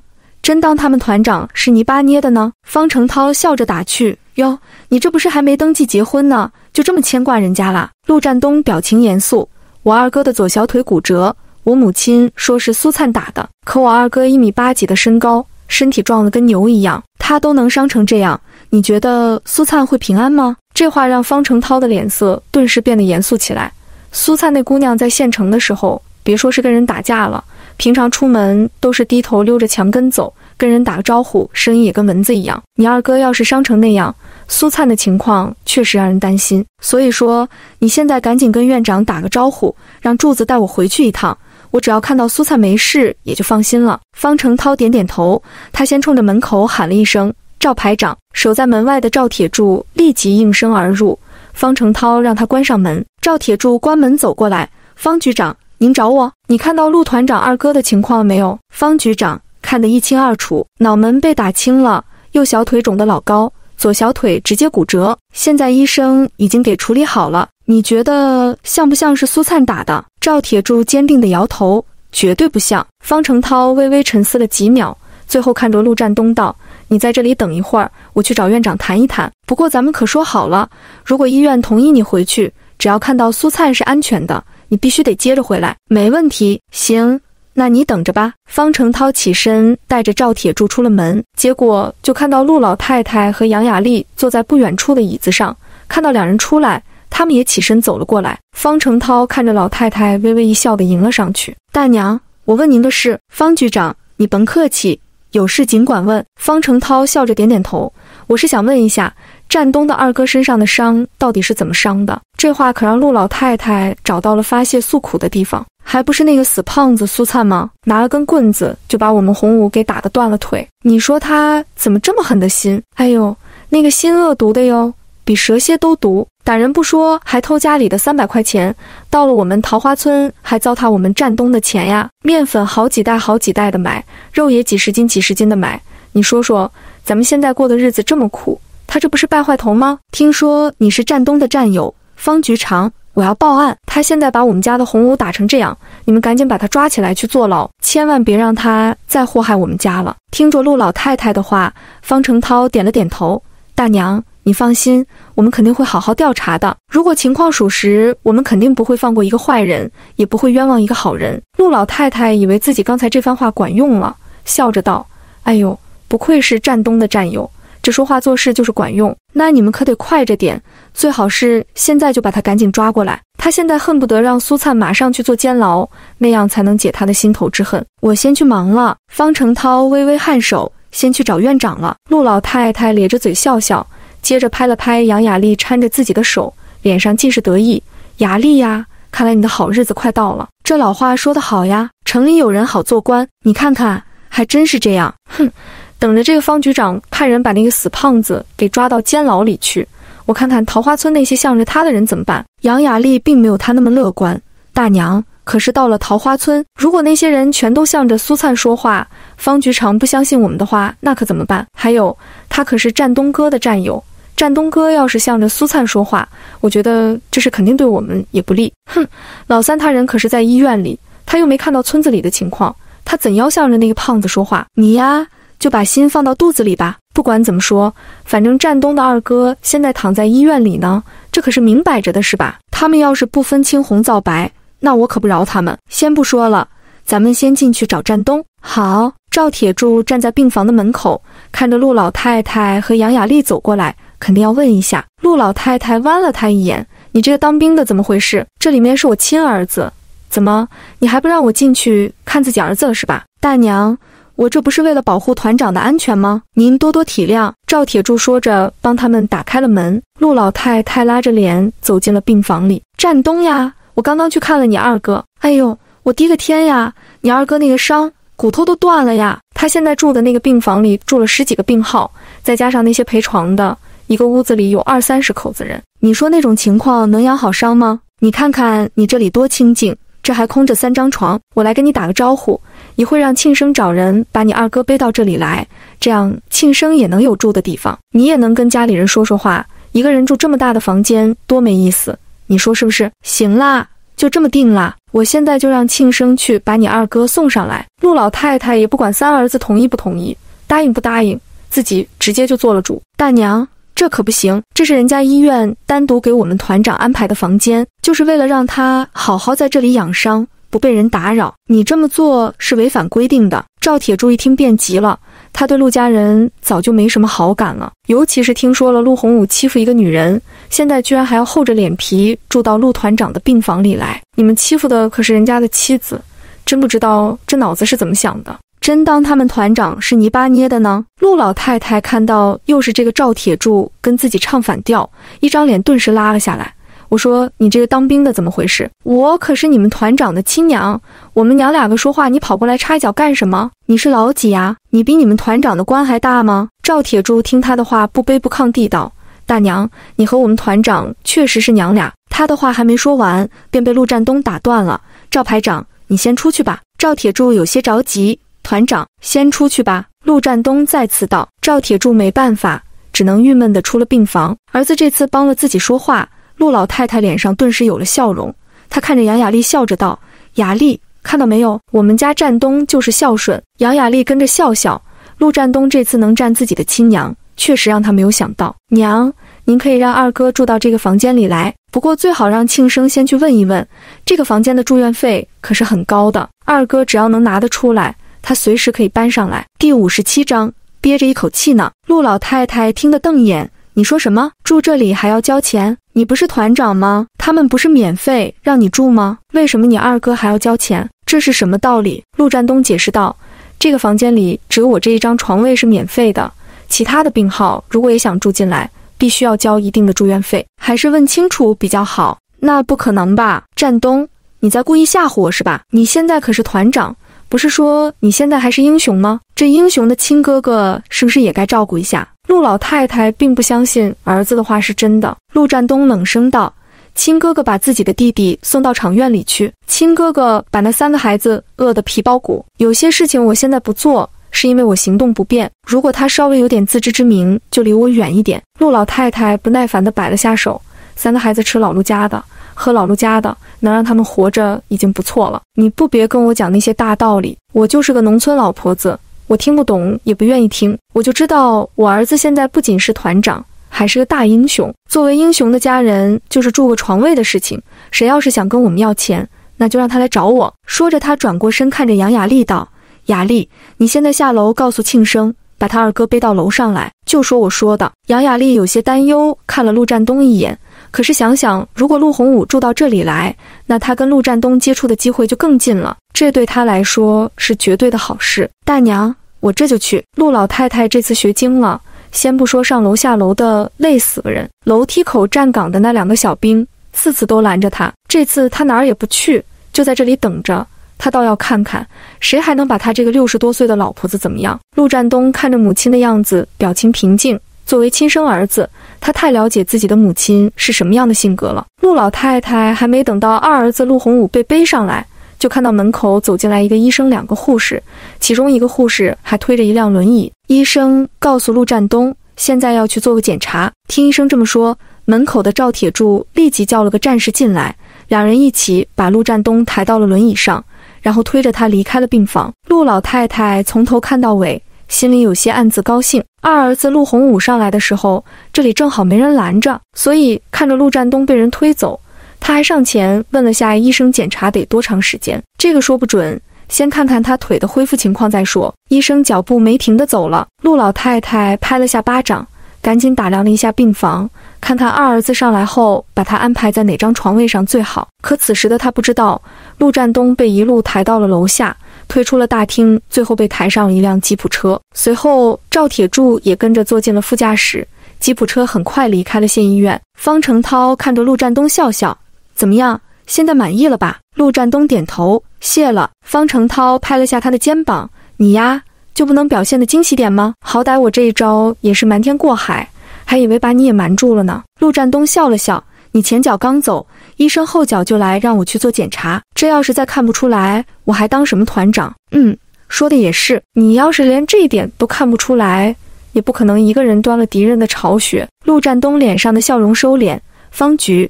有件事你得帮我个忙，咱俩还用得着帮这个字？你尽管说吧，帮什么忙？陆老太太在病房里等着陆庆生把陆洪武背上来，谁知道左等不来，右等不来，最后他出了门，到楼梯口查看，发现小儿子陆庆生背着陆洪武，累得满头大汗，气喘吁吁，一手扶着楼梯扶手，一手拖着陆洪武，整个人看着摇摇欲坠。他的面前站着那两个解放军战士，说什么也不让他上楼。我说你们怎么回事？这可是陆占东的二哥，我是你们陆团长他娘，上来好几次了，你们还不知道吗？陆老太太看得气不打一处来，迈着小脚往楼下走。解放军战士看着他走下来，依然面不改色地道：“我们必须要保护陆团长的安全，口说无凭，你们必须拿出凭证来证明自己的身份，才能上楼。”杨雅丽也有些着急了，同志，我和大娘刚刚上来过两次了，你们不是不知道，这可是陆团长的亲二哥。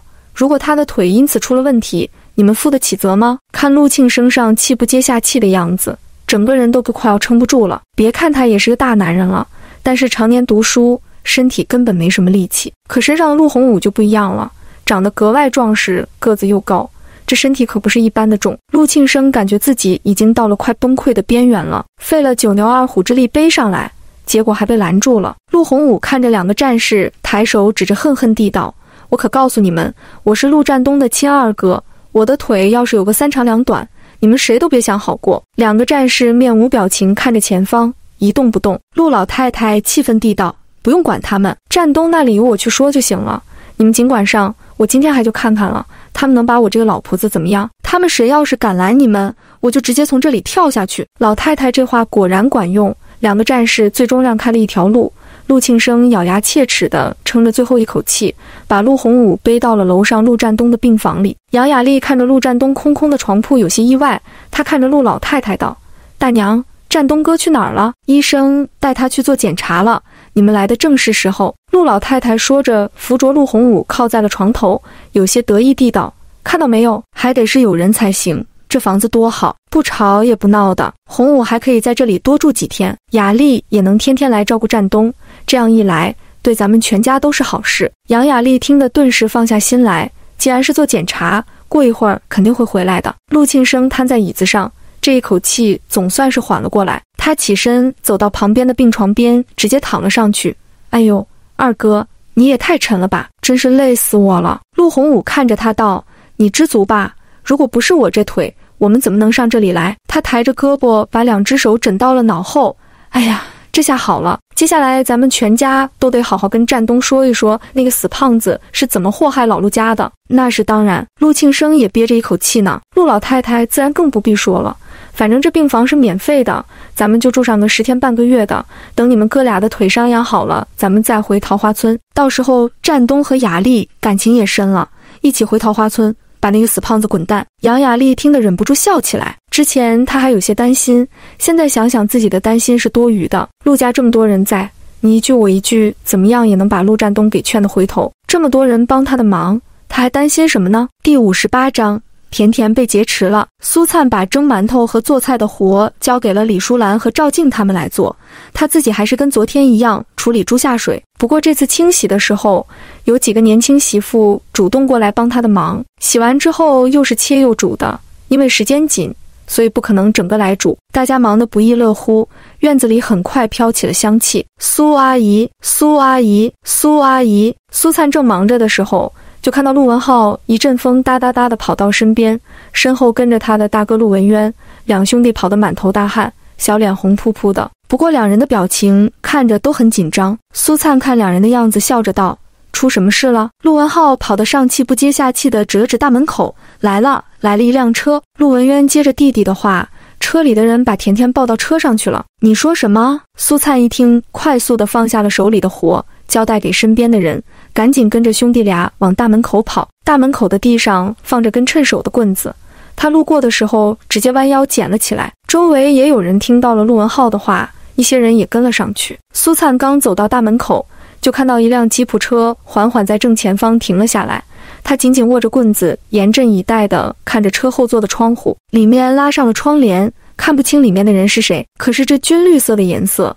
又让苏灿觉得对方应该是部队上来的人才对。此时车里的方成涛看着站在人群前面的苏灿笑了一下，对身边的陆占东道：“看这个样子，他应该是没受什么伤。这是听到我们劫持了甜甜，带着人出来找我们算账的。”陆占东皱眉：“他本来就很辛苦了，你还逗他？哈哈哈！看把你心疼的。好啦，不逗他了。”方成涛打开车门，从车里笑着走了下来。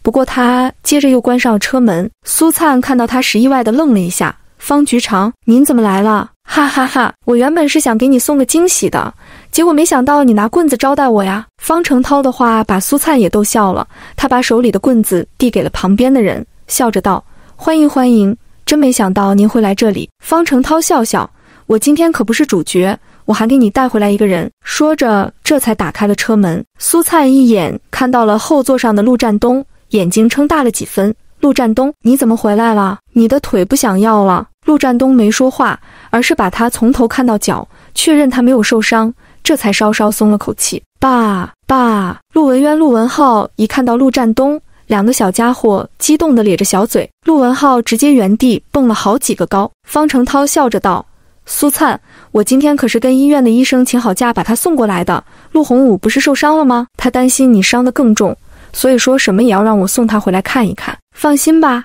医生那里已经请过假了。那太好了，青山兄弟，你们先帮忙把你战东哥抬下车吧。赵铁柱已经把准备好的轮椅搬下来。听说车里的人是陆占东、周青山和几个村民，立即绕到了陆占东那边的车门，大家一起把陆占东抬到了轮椅上。赵铁柱推着进了院子。方成涛打量着周围的一切，哎呦。这干的真是热火朝天呀！苏灿根本没机会回答，旁边的周青山和村民们就自动成了他的发言人。嫂子可不是一般的能干，这才几天呀，家里就大变样了。谁说不是呢？以前这里根本没有院墙，就那么一间破屋子，顶还是漏的，院子里全都是荒草，连个做饭的地方都没有。老三媳妇一个人就把这个家给顶起来了，太厉害了！陆占东坐在轮椅上。意外看着院子里这翻天覆地的变化，在听着村子里的老少爷们、大娘婶子七嘴八舌汇报着这几天家里的变化，言语之中全都对苏灿充满了佩服。其实这几天在医院里，他每天睡得都不是很安心。自己的家人是什么样，他最清楚，尤其是自己的母亲和二哥，不讲理，在村子里都是出了名的。今天听说二哥陆洪武受伤入院。对这家的担心更是提到了嗓子眼儿。一个从县城里嫁过去的女人，带着三个孩子，想在村子里有立足之地，那可不是容易的事。让他没想到的是，眼前的苏灿看着精神抖擞、淡定从容。这才几天的时间，三个孩子的小脸上明显能看出变化，他们的脸更红润了，眼睛里亮晶晶的。这个女人比他想象的还要能干，因为院子里有些地方还没处理好，有石头和土堆。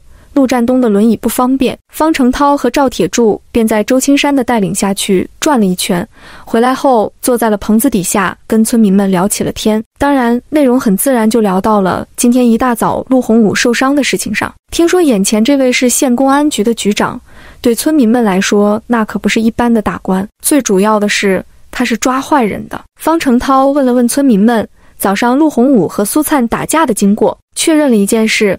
陆洪武身上的伤确实是苏灿打的，确实是。得到这个消息的时候，方成涛和赵铁柱全都不约而同往苏灿身上看了看，尤其是赵铁柱，因为陆洪武身上的伤他看得一清二楚，能伤到那个地步，有些不可思议。村民们开始七嘴八舌地说起这件事的起因，要不是陆洪武打他大哥，人家战东媳妇能打他，就是看看战东的大哥那条腿瘸成那个样子了。陆洪武还要揍他，你说这人怎么就这么狠呢？那可是他亲大哥，真的是往死里揍。前两天红军来给战东这里垒墙，饭都不吃一口。陆洪武知道了，把他揍得头破血流，还把老大一家全都给赶出了陆家。听说自己的大哥被赶出门，陆占东脸色凝重。青山，那我大哥大嫂现在住在哪？周青山叹了口气，据说当时就把扔出来两床破被子，你大嫂哭了半天也不让进门。陆洪武当时就吓唬他们，再不走就见一个揍一个。就他那个体格，谁敢留下呀？最后红军嫂子没办法，就带着三个孩子回娘家了。红军哥现在住在你二叔家。陆占东皱眉：“我大哥的腿什么时候瘸的？他还从来不知道这件事。”第五十九章就这样，这样刷刷刷。旁边的周大爷接过话：“就是你和三个孩子被赶到厂院里后，没多久就瘸了。你大哥那个性格你也知道。”死脑筋，做什么事都不知道拐个弯。陆洪武不让他去厂院里照顾你，非让他去地里干活。你大哥不去，陆洪武拿起锄头抡到了你大哥的腿上，当时你大哥就躺下了。旁边的人都摇头，就没见过这么邪性的人。要说别人也就算了，那可是他亲哥，你说他怎么就下得去手？陆占东握紧了拳头。我竟然不知道这件事，你怎么可能知道？当时陆洪武就守在场院外面，手里拿根大棍子，他连自己亲大哥都敢下手，谁敢告诉你？我娘就没让大哥去医院看看腿。周围的人都跟着呵呵一笑，那笑容里带着讽刺。你寄回来的津贴都不给你看腿，还能给你大哥看？就是进了他的口袋一个子儿，你也别想再掏出来。这话问的陆占东一时间沉默了。老陆家就是普通老百姓。如果不是陆占东寄回来的津贴，跟别人家的生活没什么区别。他原本寄回来的钱，想改善家里的生活条件，怎么也没想到会是现在这种情况。他之前一直想不明白，大哥性格老实又厚道，怎么也会在自己最无助的时候抛弃了自己和三个孩子。现在才知道，他和三个孩子搬到厂院里不久，大哥的腿就被打残了。对了，战东哥，你知道红军哥一家被赶出去之后？谁住到东厢房了吗？周青山看着他，突然道：“是不是庆生？”周青山摇了摇头。旁边有人接过话去：“就是你之前那个订过婚的媳妇，叫什么来着？杨雅丽。对对对，昨天你那个弟弟庆生，还带着他跑到这里来闹事，说人家苏灿偷了家里的三百块钱，跑到咱们桃花村来的，还让他赶紧离开，说这里是他和你的新房子。战东，你现在回来了，跟我们说说呗。”你这怎么冒出来两个媳妇？到底哪个才是你真的？听周围人一说，陆战东看着旁边的苏灿道：“我陆战东的媳妇只有一个，那就是苏灿。杨雅丽是在医院里见不到我，所以才把主意打到这里来的。除我之外，老陆家其他人的话，大家谁都不要相信。”大家听完，顿时一阵唏嘘。原来如此呀，这女的脸皮可真够厚的。人家战东不愿意，她就跑来找自己姐姐的麻烦。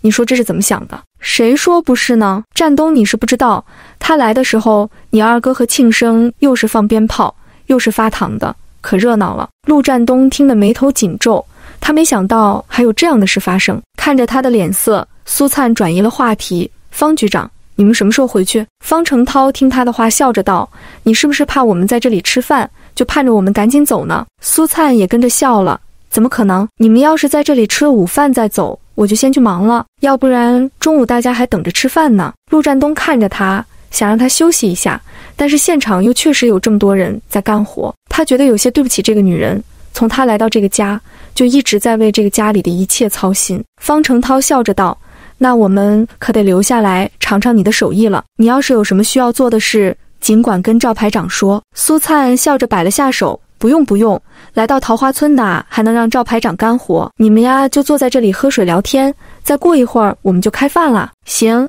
你快去忙吧。苏灿看着陆占东打了声招呼，去灶台那里忙去了。那些猪下水煮熟后，还要再经过好几道程序的处理，这个活除他之外谁都不会干。苏灿离开后。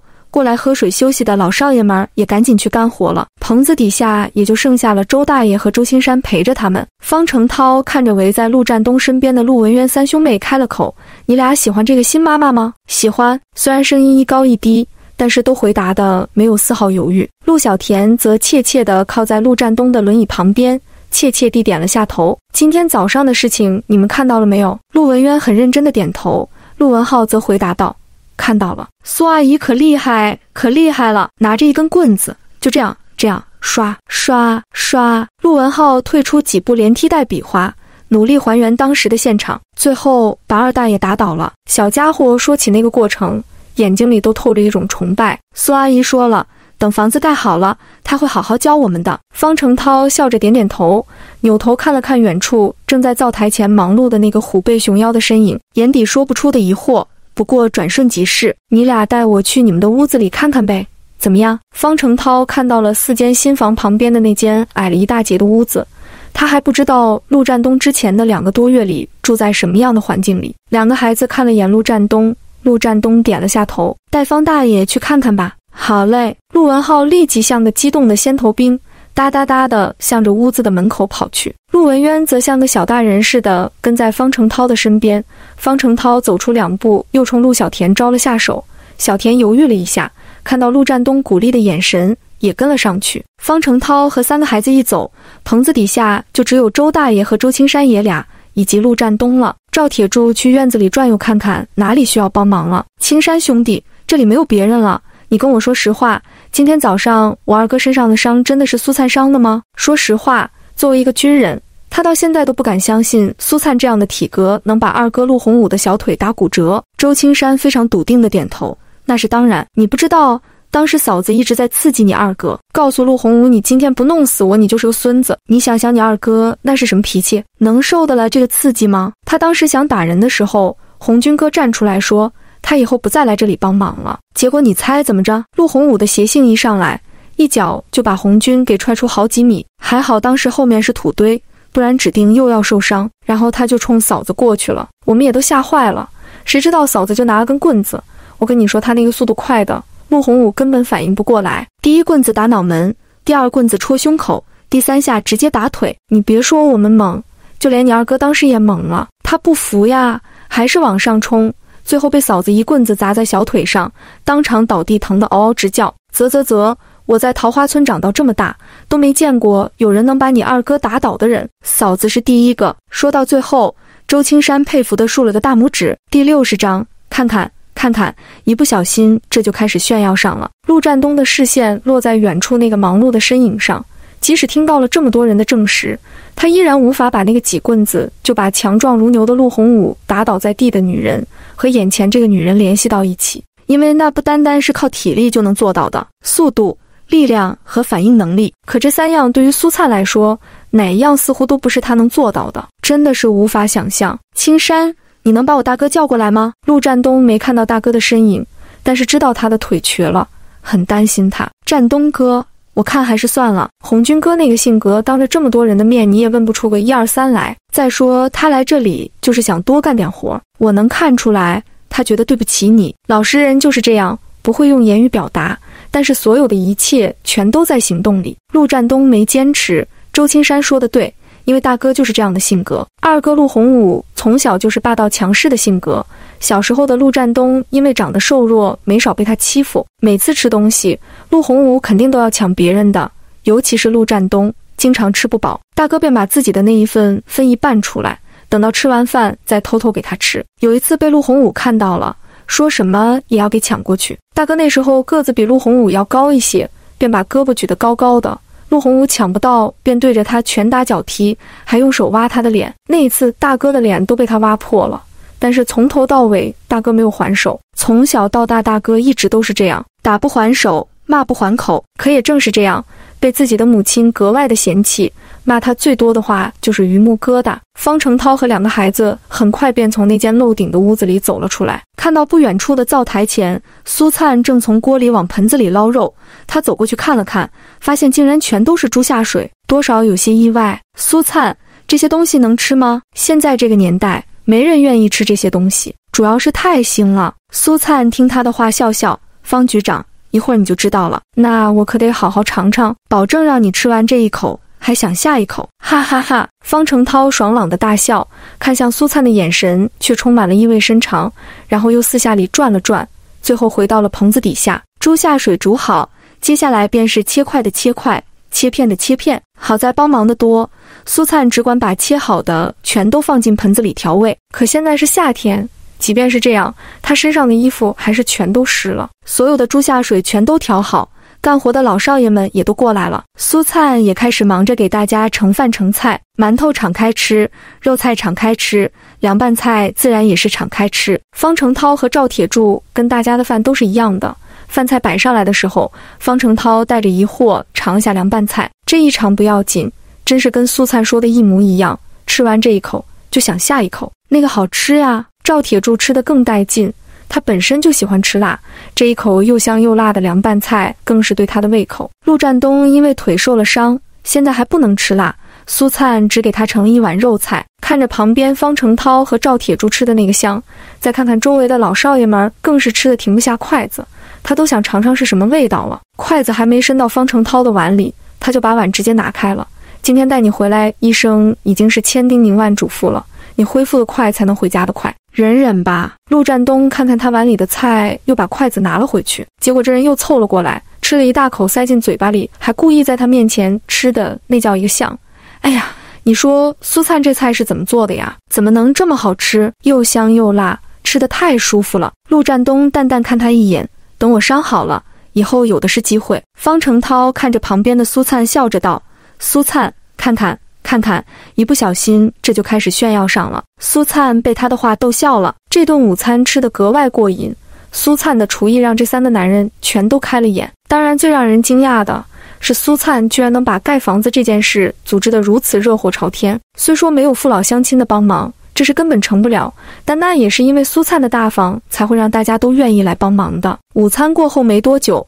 苏灿便催着方成涛赶紧带着陆占东回医院了，毕竟这里又忙又乱，他没有多余的时间来照顾他们。当然，最主要的，陆占东的腿不方便，回到医院对他来说才是最好的事情。陆占东是不想离开的，他想亲眼看着明天上梁，也想多留下来陪在苏灿身边，毕竟他才是这个家里的男人。在农村盖房子这种大事，全都交给一个女人。这在桃花村是从来没有过的事。不过他很清楚，自己留下来只会给这个女人添麻烦。陆占东，你把大哥一起带到医院去做个检查吧。苏灿看着大伯哥陆红军每天都拖着那条瘸了的腿走路，觉得这是不能拖下去。这种时候，你觉得大哥能去吗？家里忙成这个样子，以他对大哥陆红军的了解，他是肯定不会同意去医院的。你等着。我去找青山兄弟。苏灿说着去找周青山了。自己跟陆红军不熟，但是周青山可以。听苏灿说想让陆红军坐这辆吉普车去县医院治腿，周青山赶紧去找陆红军了。大约五分钟不到，他便走到了苏灿面前，摇了摇头：“嫂子，红军哥说什么也不肯去。他那个倔脾气上来，别说是十头牛，你就是一百头牛都拉不回来。”苏灿听他这么说。便暂时打消了这个念头。他如实告诉了陆占东，结果这个男人说：“我就知道是这个结果。等我出院，我来劝他吧。那是自己的亲大哥，这种时候他是不可能离开的。”行，那你们赶紧回去吧，留下来太碍事了。听着苏灿这话，陆占东沉默看着他，还没等他开口，这个女人继续道：“上完梁之后，青山兄弟说接下来要抹屋里子，再锤地面，现在门窗还没做好。”也得好多天才干完，所以你就在医院里好好住着。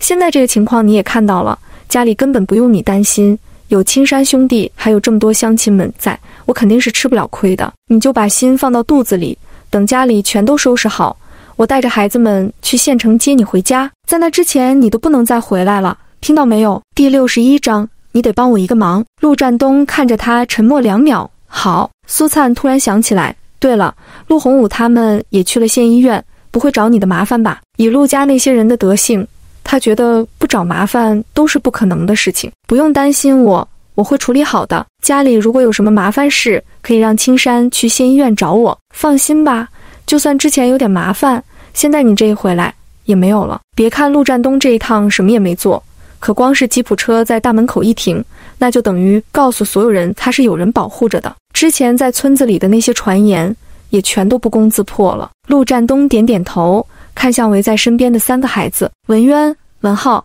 你们两个是男孩子，是家里的男子汉，这段时间要好好听苏阿姨的话，别让她操心，知道吗？两个孩子全都重重点了点脑袋。陆占东很快被人又抬到了吉普车里，周青山和一些村民全都来送他和方成涛。不过自始至终，他没看到自己的大哥陆红军。听周青山说正在屋子的架子上干活，让他来送陆占东，说什么也不肯来。吉普车很快启动离开，拐弯的时候，方成涛回头看了看人群最前面的苏灿，眼神说不出的复杂，有话就直说。陆占东早就看出来了，方成涛从来到这里就憋了一肚子的话。方成涛摸着下巴想了想，你说这人真的会因为换了个地方就像变了个人似的吗？你说苏灿？方成涛点头。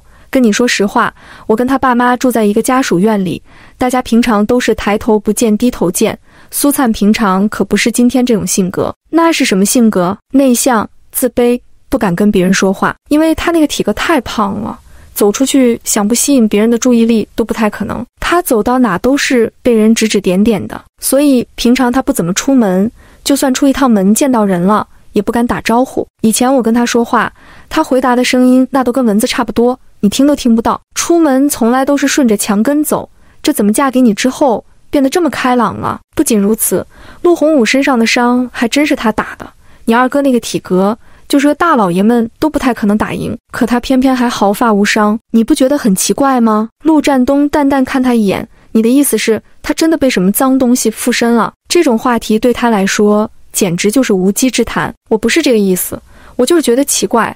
这个苏灿的变化，用天翻地覆来形容都毫不为过。我倒是觉得很正常。之前在县城里，大家都瞧不起他，但他来到桃花村的第一天，发现还有比他遭遇更惨的人，而且还是他嫁的人。如果他不撑起来，这个家肯定就要垮了。打陆洪武的事情，我觉得也没什么可奇怪的。他在县城里基本不怎么出门，平常被人指脊梁骨，可能心里憋着一口气没处使。方成涛听他的话笑了一下。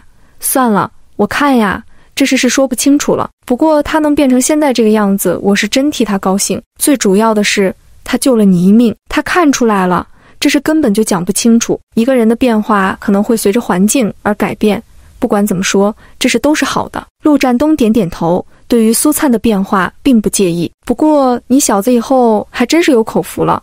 不得不说，苏灿的厨艺是真不错。看这个样子，他之前在家里没少干活，只是被他那个母亲说成是好吃懒做罢了。说到这里，方成涛突然话锋一转：“对了，这次回去，你娘和你二哥他们肯定搬到你那个病房里了。我让院长重新给你换个房间吧。那些都是小事，你得帮我一个忙。什么忙？你说吧。”陆家人自从搬到陆占东的特别病房里后，那个高兴，尤其是陆老太太。盘腿坐在了其中一张床上，大蒲扇被他从家里带了过来，一边摇着蒲扇，一边唱自在腔。这下你们可得打起精神来，趁着这段时间好好做做老三的思想工作。娘，你就放心吧，我们心里有数。陆庆生半躺在床上，头枕着医院叠起来的棉被，翘着二郎腿，晃着脚尖。娘，你说老三家回家得给咱们带好吃的来吧？陆洪武这会腿疼的没那么厉害了。陆老太太笑笑。那是自然，老三现在可是战斗英雄，立了大功的人物，以后要提副师长的人。别看他是县城里的，那也得舔着个脸，好好巴结巴结咱呢。陆洪武住进这间病房没多久，杨雅丽便骑自行车回自己家看看去了。陆庆生摸着自己咕噜咕噜叫的肚子，又抬着腕表看了下时间，饿死了。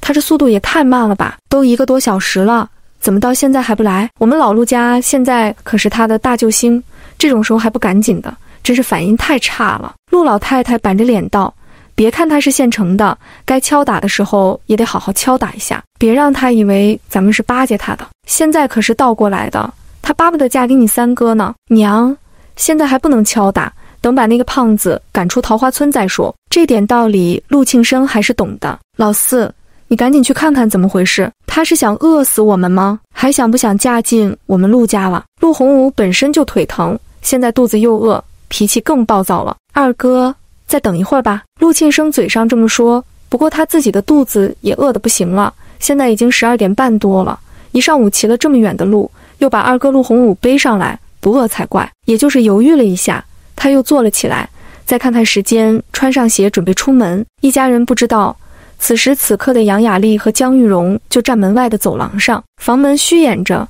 里面的谈话全都一清二楚地传了出来。听得母女俩的脸色不是一般的难看。今天江玉荣正好歇班，杨雅丽和陆庆生是提前到的医院。其实那时候他就提前回家了一趟，把陆洪武来住院的事告诉了江玉荣。这种时候，江玉荣自然想在陆家人面前买个好，所以他赶紧在家里又是炖鸡又是烧鱼，忙活了大半天，等着女儿杨雅丽一回去，母女俩就赶紧把做好的饭菜送了过来。谁知道刚走到门口。就听到了陆老太太和两个儿子的对话。第六十二章不好的预感。江玉荣转身想走，就看到眼前的病房门被人从里面打开了。三嫂，阿姨怎么不进来呀？陆庆生没想到母女俩就站在门口。江玉荣毕竟是个车间主任，平常跟工人和领导打交道，那可不是一般的多，心理素质自然比一般人要强。看到陆庆生的下一秒，脸上便已经满是笑容了。这不是刚到门口吗？正要敲门呢。你就出来了。陆庆生闻到了浓郁的饭香味，赶紧笑着让开。阿姨，快请进，我娘一直念叨你呢。是吗？那我们可得好好唠唠。江玉荣笑容满面进了房间，杨雅丽可做不到母亲那么游刃有余，紧咬着牙根指甲陷进了肉里。陆庆生赶紧把自己母亲向江玉荣介绍：“哎呦呦，我还寻思这雅丽的娘跟我年纪差不多呢，想不到这么年轻呀！你要是不说，这走在大街上都以为你们娘俩是姊妹呢。”江玉荣哈哈大笑：“老嫂子，你也太抬举我了，我哪有那么年轻？年轻可太年轻了，你这看着比我们家大儿媳妇都年轻。”哈哈，老嫂子。您可真会说话，难怪能培养出战东这么优秀的儿子来。江玉荣说着，又上前问了问陆洪武的伤势，这才把自己带来的饭菜拿了出来，鲫鱼还有红烧肉，青菜都不怎么多，看得陆老太太直瞪眼珠子。哎呦呦，大妹子，你这手艺也太好了吧？那我们可得先尝尝。陆老太太赶紧让小儿子陆庆生拿碗筷，忙着盛饭菜。江玉荣看着老太太道：“老嫂子，你们先吃着，我带雅丽回家一趟。”换换衣服，洗个澡啥的。你们吃完了，正好也睡个午觉。我让雅丽下午四五点钟的时候再过来，那也行。我们就不送你们了。寒暄几句，江玉荣带着杨雅丽离开了病房。走出门的一刻，他那张脸立即拉了下去。杨雅丽的心情自然也好不到哪儿去。娘俩憋着一肚子的气回到了家里。一进门，江玉荣就气得把手里的包往桌上一砸：“什么东西？如果不是看在他儿子是军人的份上。”我会去伺候他们一家。杨雅丽更是气得不行，还真是把自己当成祖宗了。之前我在桃花村的时候，还以为他们是真的拿我当自己人，没想到竟然是这副嘴脸，恶心死了。女儿，你也别着急，等到你嫁给陆占东，到时候他们谁都别想沾你一点光。杨雅丽冷笑，还让他们沾光？我让陆占东一辈子都不回那个破地方，我看看他们能怎么样？对。一辈子也别让他回去，真是气死我了！忙活了两三个小时，自己都没吃上一口，结果全都喂了狗。江玉荣恨得咬牙切齿：“妈，现在我们怎么办？你先不要暴露，明天我就上班了，可没时间伺候这群祖宗，就让他们去楼下的餐厅里买着吃。”好，陆老太太和两个儿子这顿午餐吃的那个香呀，这辈子都没吃过这么好吃的饭菜。哎呦，娘！这也太好吃了！你得跟老三家好好说说，我这段时间腿受了伤，得好好补一补，让他每天都送饭过来。仗着自己是伤员，陆洪武吃的最多，吃饱了还想着吃下一顿。放心吧，他现在恨不得好好巴结我们呢。只要我吱一声，他肯定得天天给咱做好吃的。陆庆生笑着道：“我看杨家是真有钱，之前去咱村的时候，你看看人家买的那些东西。我三哥也真是的。”你说这脑子怎么就不开窍呢？他俩要是现在马上成了，咱们得跟着沾多少光？陆老太太恨恨地道：“谁说不是呢？说起来还是怪那个死胖子。不过这次好了，他不是厉害吗？这次咱们家的人全都在老三这里了。等他把房子盖起来，也就到了他滚蛋的时候了。”陆庆生看他门口，有些纳闷：“娘，二哥。”你们说三哥这检查的时间是不是也太长了一些？怎么还没有检查完？不会是查出什么重病了吧？你可别吓我！好端端的，怎么可能查出重病？陆洪武枕着后脑勺，娘，老三不会是怕给我们交病房的钱，偷偷换病房了吧？那这房间我们住的话可就贵了。陆庆生听得有些担心，不行，我得去问问再说。他有些不放心，毕竟陆占东去检查的时间太长了，这午饭都吃完了。他竟然还没回来。陆庆生走到楼梯那里，两个站岗的战士还在，那个一直看不顺眼的排长不知去哪儿了。陆庆生过去想问问两个解放军知不知道他三哥的下落，结果是一问三不知，问不出来，他就下楼四处转了转，可是转了两三圈都没看到陆占东的影子，最后郁闷地回到了病房里。娘，没有找到人，我觉得情况不太好。陆庆生有一种不太好的预感。有啥不好的？反正我是他亲娘，咱们就安心住下。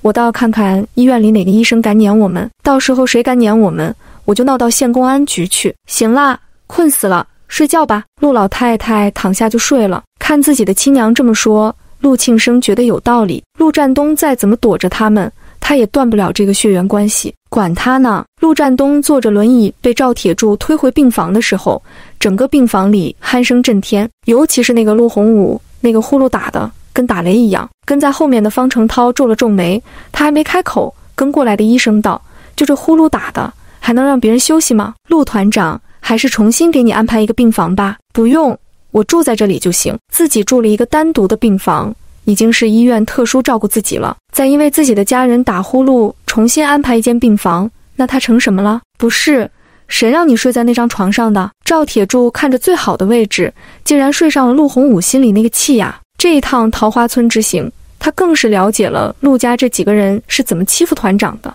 再看到他们时怒气直冲脑门，你他娘的吼什么吼？被吵醒的陆洪武眼珠子一瞪，冲着赵铁柱骂了起来。第六十三章，吓得腿软。赵铁柱是上过战场的人，此时看着陆洪武的样子，眉头紧拧。拳头握得咯咯作响。如果眼前这是个敌人，他保证一拳过去把对方的牙齿打掉。哟，这么厉害呀！难怪打自己的大哥这么下得去手。方成涛看着陆洪武笑了笑。轮椅上的陆占东脸色说不出的沉重。这个二哥向来都是仗势欺人，从他的所作所为可见他在村里有多么横行霸道。陆洪武这一嗓子把陆庆生和陆老太太全都乱醒了。老太太不悦地坐起来，正想发火。结果就看到方成涛站在三儿子陆占东身边，那个赵铁柱则站在二儿子的床边，门口还跟着医生和护士。哎呦，方局长来啦！老三，你这检查怎么这么长时间？陆老太太笑着下床，旁边的陆庆生也赶紧起来了。陆洪武躺在床上一动不动。反正这个位置他就躺了，他倒要看看谁还能把他赶走。陆占东自然不会跟他计较，他让赵铁柱和方成涛把自己抬到了最角落的一张床上。三哥，你在这张床上休息吧。陆庆生看着这情形，感觉多少有些尴尬。陆占东没看他，让医生给自己做检查。陆老太太倒是一点也不觉得有什么问题，都是一家人。睡哪个床还不都是自己家人睡？趁着医生给陆占东做检查的时间，方成涛走到了陆洪武的床前，居高临下看着他：“你就是陆洪武吧？”陆洪武一副不在乎的样子看着他：“是，怎么了？是这样的，为了能调查清楚你被打的事情，我和你三弟回了一趟桃花村。”陆洪武的脸色顿时变了变，旁边的陆老太太凑过来：“啥？你们？”你们回桃花村了，陆庆生也跟着紧张起来。方成涛的脸色变得严肃起来。大娘，你之前不是说要报案吗？既然要报案，那我们作为警察，自然要好好调查一下。不过在调查的过程中，我们查到了新的案子，就是陆洪武无故殴打陆红军，导致他的腿受伤残疾。陆洪武，你的行为已经严重违法，接下来我们会对你严肃调查。陆洪武听得脸色大变，陆老太太更是被吓坏了。哎呦！方局长，我那就是说说罢了，你可千万别往心里去啊！再说，老大是他亲大哥，他们兄弟之间闹点矛盾的事，我们自己处理就可以了，就不麻烦你们公安同志了。他没想到之前发狠说的话，眼前这个公安局局长竟然当真了。方成涛脸色一脸看着他，大娘，报案这种事情可不是说着玩的，而且今天这桃花村一行。我才知道之前战东同志为什么这么长时间没被送到医院里来。大娘，你刚才说陆红军是他的亲大哥，我想问问您，陆战东是不是您的亲儿子？他住的那场院屋子里的情况，陆家人不知道吗？他和三个孩子饿成了什么样，陆家人也都不知道吗？你们知不知道，你们的所作所为已经涉嫌虐待军人和军人家属了？这种罪可是很重的。不是，我们。我们不是寻思着他和三个孩子能过得更好一点吗？陆老太太听的是真害怕了。她就是再无知，也知道眼前这个是公安局局长。我可不这么认为。今天我去他们住的那间屋子里看了看，那种情况下，但凡有点良心的都能看出来那是什么情况。再看看你们现在这个房间是医院里，照顾他是军人特意安排的，你硬是带着陆洪武住了进来，可想而知，当初在桃花村的时候。战东和三个孩子是一种什么样的状态？从桃花村横到医院里来了是吧？赶紧把腿伤养好，准备坐牢吧。方成涛说这番话的时候，脸色阴沉到了极点。他今天到桃花村进场院的屋子里看时，心情说不出的复杂和沉重。如果不是苏灿、陆战东能活着离开桃花村，都是个问题。不是，方局长，我们错了。战东，这可是你亲二哥。你赶紧跟方局长求求情！陆老太太吓坏了，赶紧哀求地看向陆占东三哥：“我们不住这儿了，你千万别往心里去，这事确实是我们做的不对。”陆庆生也感觉到了事情的严重性，赶紧向陆占东求情。他知道，只要三哥抬下手，这件事就过去了。对对对，我们不住这儿了，占东呀，你就看在娘生了养了你的份上。饶了你二哥吧！老太太看方成涛的脸色铁青，也赶紧去三儿子面前求情。陆洪武顾不上腿疼，躺也不敢躺了，直接从床上坐了起来。陆占东看向方成涛道：“方局长，他们都是我的家人，这件事我就不追究了。你不追究，但是国家得追究。”方局长一出口，把陆老太太吓得腿都软了软。不过他接着道：“这样吧。”看你们接下来的表现，现在马上回自己的病房去。是是是，我们马上就走，马上就走。陆庆生赶紧上前收拾东西，陆老太太也忙着收拾了带来的小包袱。陆庆生原本有些头疼，再把二哥背下去这件事，主要是他太沉了。谁知这次陆洪武直接扶着他的肩膀头站了起来，黑着一张脸，一瘸一拐的出了门。陆庆生，其他人一家三口很快离开了。房间里顿时安静下来。方成涛走到门口看了看，确定三人离开了，这才返回了房间里。赵铁柱已经把陆洪武躺过的那张床重新铺好，然后和方成涛一起把陆占东又移到了这张床上。方局长，今天的事谢谢了。方成涛叹了口气：“你呀，可真是够能忍的。行啦，你先好好休息吧，我回去了。”好，即使心情不好，午饭过后，杨雅丽还是去了医院。没办法。谁让陆占东是即将提拔的副师长呢？刚走进大门就被陆庆生拦住了。三嫂，我们和二哥又搬回原来的病房了。为什么？陆庆生便把三哥陆占东和方成涛一起回桃花村的事讲了一遍。杨雅丽听完，脸色都变了。他他回桃花村了？那那我回桃花村的事，你三哥肯定也知道了吧？知道是肯定知道了。现在有个不太好的事情得请你帮忙。什么事情？第六十四章。打算，陆庆生着急道：“方局长知道我二哥把大哥的腿打瘸的事情，说等他的腿恢复了，就要把他抓去坐牢。这是你无论如何都得帮帮我们。”杨雅丽一怔：“不可能吧？他和你三哥再怎么说也是战友的关系，这点面子他肯定还是会给的。再说了，你大哥和二哥打架，这算是自己的家事，只要你大哥不去告状。”就算是公安局也不会轻易就抓他的。可他当时说的挺严肃的，估计是为了把你们赶出那个病房，故意吓唬你们的吧。再怎么样，他也会看在战东哥的面子上放你二哥一马的。陆庆生顿时松了一口气。你要是这样说，那我就放心了。人家就是吓唬你们，你们还真信了。只要不抓我二哥，怎么都好说。不过这楼上看来一时半会不能上了。杨雅丽想了一下，你二哥虽然不能住到楼上去。但是大娘再怎么说也是你三哥的亲娘吧？陆庆生眼睛一亮，对呀，我娘再怎么说也是他的亲娘，我怎么把这茬给忘了？陆占东回来这一趟，表面看似什么也没做，但是起的作用可不是一般的大，有一些平常根本就看不到的面孔也过来帮忙了，连帮厨的大娘婶子都多了十几个。苏灿明白，那是陆占东和方成涛带来的效应，三个孩子格外的兴奋。在院子里跟一群孩子跑来跳去的。晚饭过后，周青山拿着写好的一副对联回来了。这对联没让苏灿经手，由他和陆红军一起贴到了房梁上。苏灿凑上前看了看，只见两架房梁上各贴了一张红纸，左边梁上写着“鲁班问梁何日上”，西边梁上写着“太公答曰：此时吉”。嫂子，咱们这里有个规矩。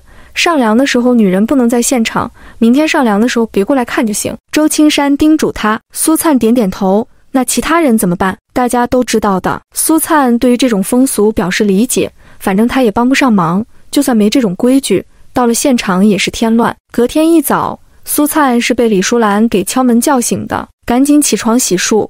几个大娘婶子已经到了，赵静和几个年轻媳妇也到了。苏灿昨天晚上就把鸡给炖好了。因为炖的是整鸡，所以费了些功夫。上供是按吉时来的，这个过程因为需要男人出面，这个活就交给了陆红军，毕竟他是陆家人。接着便是放鞭炮，鞭炮过后，老少爷们便把粮架了上去，整个过程都很顺利。早饭过后，便是把二十八根领条全都放到房梁上，然后便是放苇子、麦秸，再压上准备好的土，最后上面放了和好的泥巴抹平，这些全都干完。已经是晚上了。苏灿早就听周青山说过，要等到屋顶上的泥巴全都干了，才能进行最后一道工序，就是把活起来的石灰沙子全都运到屋顶上，用特殊的工具砸平整，这样才算是真正的结束。就算现在是夏天，等泥巴彻底干了，也得等个两三天，所以这个时间就可以开始处理屋里的地面了。一般人家这个时候都是自己来做这件事了。毕竟能省则省，所以周青山得征求他的意见。我的意见就是用最快的时间干完，人多力量大，地面要用人工去锤，那肯定还是人越多越好。你就继续让大家伙来吧。周青山点头。这样的话，一天的时间，当门就能锤好了。接下来就是抹屋里子，估计也差不多一天的时间。等到屋里子抹完，就可以锤屋顶了，也是一天的时间。只要老天爷不下雨，三天这屋就盖好了。我姐夫那边，他们三个木匠一起干，到时候门窗也差不多了。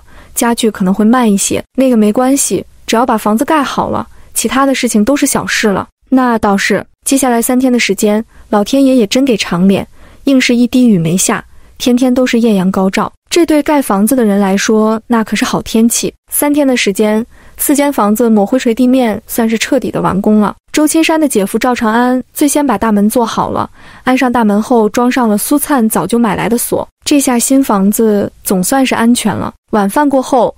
周青山帮苏灿算了一下这些天的花销，吃饭加上所有盖房子的材料，总共花了四百冒头。嫂子，这些钱花的有些多了。对于桃花村来说，这已经是一笔不小的开支了。整个村子里都没有赶上这个钱数的。苏灿笑笑，我觉得倒是一点也不多。时间就是金钱呀。我们家要是慢腾腾的盖这个房子，哪里能等得起？现在这个季节，这大雨说下就下，万一下个几天几夜。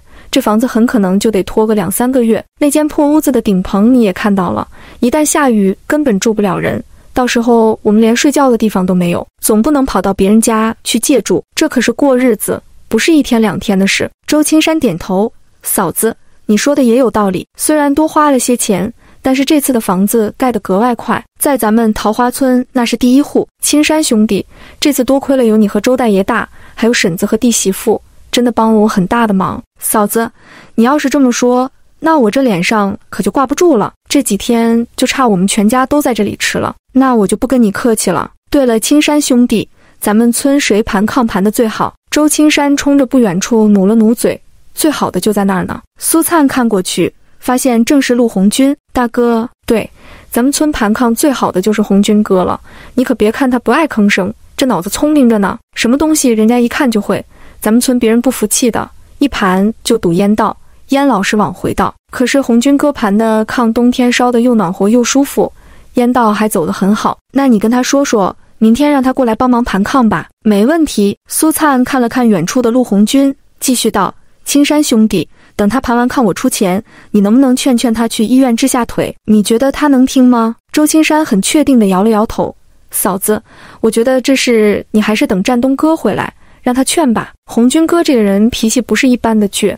再说你拿钱给他治腿，他这个当大哥的肯定觉得面子上挂不住。再者说了，从他来干活到现在，你跟他说过话吗？苏灿摇了下头，没说过。不是他故意疏远陆红军这个大伯哥，而是只要看到他快走近了，陆红军就往更远的地方去干活了。你说的有道理，那就听你的。等到陆占东回来后，让他来劝大哥去治腿。顿了一下，他又继续道。青山兄弟，我打算把东西搬进新房子后，让大哥暂时先住现在的那间屋子，再把大嫂他们接回来。回头让我叔再帮忙给画个宅基地，你看他们能住吗？当然，只要他们愿意住新房子也没问题。我就是怕大哥不接受。其实大嫂高玉珍和三个孩子肯定没问题，但是他知道陆红军这个人表面看似固执，其实是很有原则的一个人。周青山摇了摇头，嫂子。我觉得这事还是等战东哥回来再说吧。红军哥这个人，别说新房子旧房子，他也不会住的。那我明天让周大爷陪我去一趟长留村，把大嫂和孩子们先接回来，这样没问题。第六十五章，这个主意好。即使搬到了十几人的病房里，陆老太太每天都上楼跟三儿子陆战东唠叨好一会儿。她是真怕二儿子陆洪武被抓起来，那可是坐牢呀。陆洪武再霸道，也怕这个。一开始。杨雅丽跟着老太太一起上楼，但是这次站岗的战士说什么也不让她上了，只允许老太太一个人。经历了之前的事，陆老太太也不敢那么强硬了。杨雅丽只能在四楼等着。其实第一天，陆占东便答应了老太太，自己不会追究陆家人的责任，毕竟是一家人，他不可能狠下那个心。也就是方成涛看不过去，故意吓唬吓唬他们罢了。听三儿子不追究责任，陆老太太松了一口气。接下来几天，每天都来这里诉苦，把小时候怎么养几个孩子不容易的事讲一遍。说到动情处，哭得一把鼻涕一把泪。娘，我说了，不追究二哥的责任，就不会追究他的责任。您不用再担心了。陆老太太抹了把眼泪，你是不追究呀？可是那个方局长说国家还要追究呢，我一个老太婆子要顾着这么一大家子人，到头来还要看着你二哥去坐牢，我的命好苦呀！我滴那个亲娘呀，你快睁开眼瞧瞧吧，我活着还有什么用呀？说到最后，他直接一屁股坐在地上，捋着两条腿，拉着长枪，哭的那叫一个哀怨。门外的赵铁柱听到动静，赶紧推门进来，就看到老太太坐在地上嚎啕大哭，顿时有些无语。陆占东抬手捏了捏眉心，趁着他换气的功夫道：“娘，我告诉方局长，不会再追究二哥的责任了，这样总可以了吧？”他知道自己的母亲这么做的目的。就是为了让方局长不再追究二哥陆洪武的责任。陆老太太不见棺材不落泪，那你让他来一趟，我要他当着我的面说，反正只要公安局长不松口，他是不会罢休的。陆占东看向赵铁柱，你给方局长打个电话，麻烦他过来一趟吧。是一个电话打过去，方成涛果然来到了医院。上到四楼的时候，碰到了等在这里的杨雅丽。方叔，杨雅丽赶紧笑着跟他打招呼。方成涛点点头。意外地笑了笑，来看战东怎么不上去？杨雅丽没想到他对自己的态度这么好，赶紧略带委屈看向楼梯口的两个战士，他们不让上。他以为方成涛会接着他的话说带他上楼，谁知方成涛道：“奈叔帮不了忙，我先上去了。”好的，方成涛笑着看他一眼，上了楼。如果在没有去桃花村之前，有些话他是想跟杨雅丽说一说的。可是去过桃花村。看到苏灿和现场那个热火朝天的场面之后，他觉得有些话说了也是多余的了。方成涛走进病房时，看着老太太盘腿坐在陆占东旁边的床上，板着一张脸，阴沉沉地坐在那里。方成涛笑了笑：“哟，大娘这是跟谁生气呢？”陆老太太看了他一眼：“我跟谁生气也不敢跟你生气呀，你可是县公安局的局长，万一发火把我这个老太太抓起来，那可怎么办？哎呦，我的亲大娘！”我抓谁也不敢抓战东的亲娘呀！您可是生了他的人，我怎么可能抓您呢？就是之前看战东的腿烂成那个样子，心疼他罢了。方成涛对这个老太太自然是满肚子的不满意。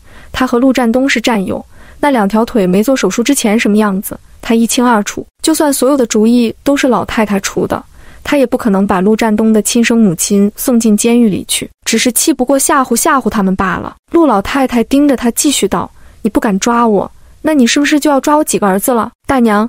陆洪武打您大儿子这件事，得看您大儿子的意见。如果他不追究，我们就不会抓陆洪武。你说的是真的？方成涛笑笑，当然，我一个公安局长还能骗您不成？那就好。陆老太太听完方成涛的话，抬腿便下了床，也不说话，踮着小脚出了病房，和杨雅丽下楼去了二儿子的病房里。听说方成涛亲口承诺，只要大哥陆红军不追究责任。这事就算是过去了。陆洪武冷哼一声：“娘，你可别指望我去找那个榆木疙瘩道歉。他这辈子就没低过头，自己那个大哥就是个窝囊废，他怎么可能跟一个窝囊废道歉？门儿都没有。”陆老太太看向陆庆生：“老四，你用自行车把我驮回去，我去跟老大说。我就不信了，这个当娘的话他能不听？”陆庆生一脸为难：“娘，从这里回咱村二十多里路呢。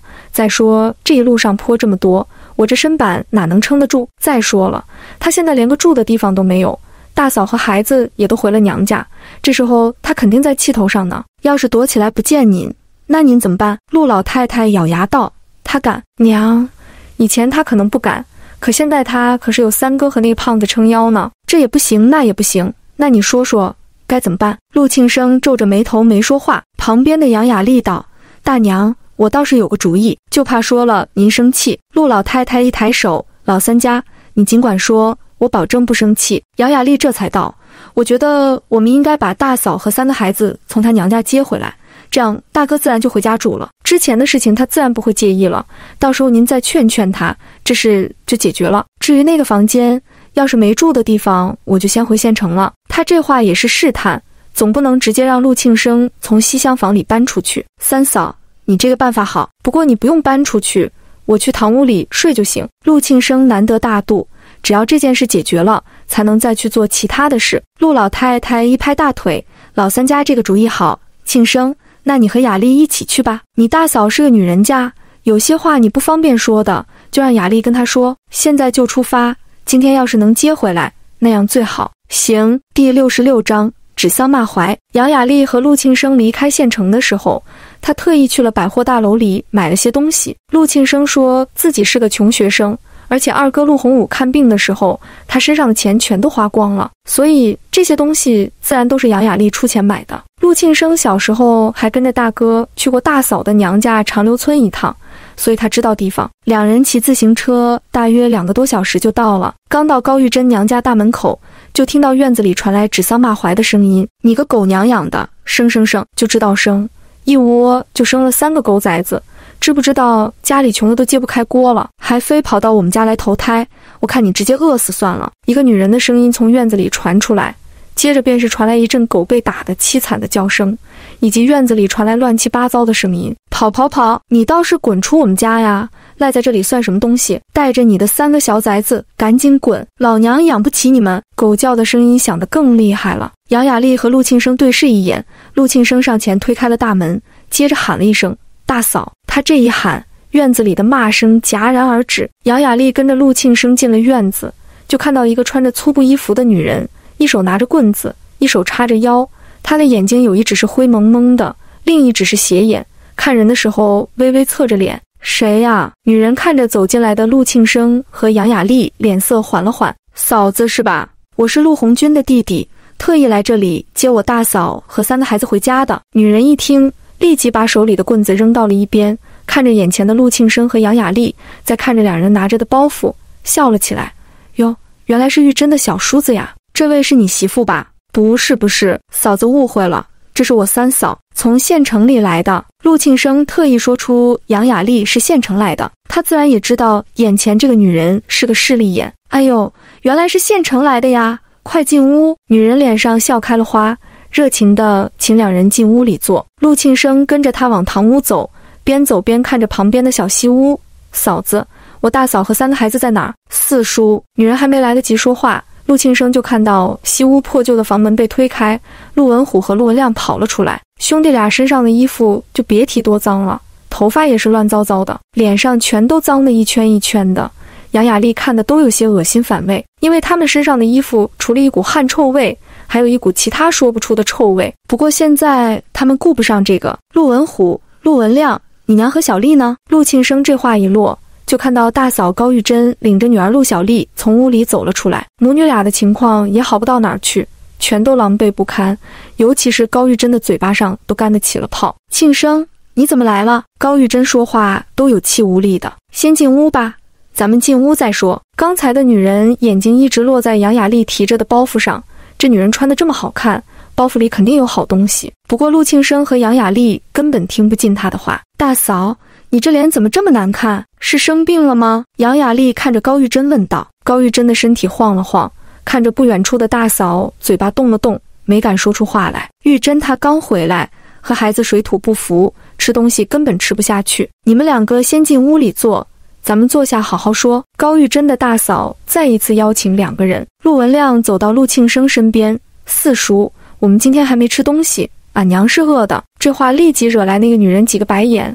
你这孩子说话怎么不摸着自己的良心呢？我们家什么时候缺你们吃的了？要是不给你们吃东西，你们能活到现在吗？回来这么多天，早就饿死了好吗？杨雅丽看这个情况道：“大嫂，我们今天是来接你和孩子们回家的。现在时间不早了，我们还是回去的路上说吧。”对对对，咱们还是先回去吧。文虎、文亮扶你娘，咱们回家。陆庆生更不愿意在这里待下去。陆庆生说完，看向那个女人道：“嫂子。”这几天麻烦你们了，我们就先回去了。原本带来的东西是想着给他们分一些的，看这个情况，他一分都不想留下。哎呦，还有你们这样走亲戚的，今天走了以后就别再来了，我们可养不起。女人一看他们不留东西，直接要走，瞬间就翻脸了。高玉珍听得脸色难堪，她看到了杨雅丽手里的东西，但总不能她开口让留下。杨雅丽听她的话笑了笑：“嫂子别生气，我们带来的东西不多。”寻思着拿不出手呢，正好他们没吃饭，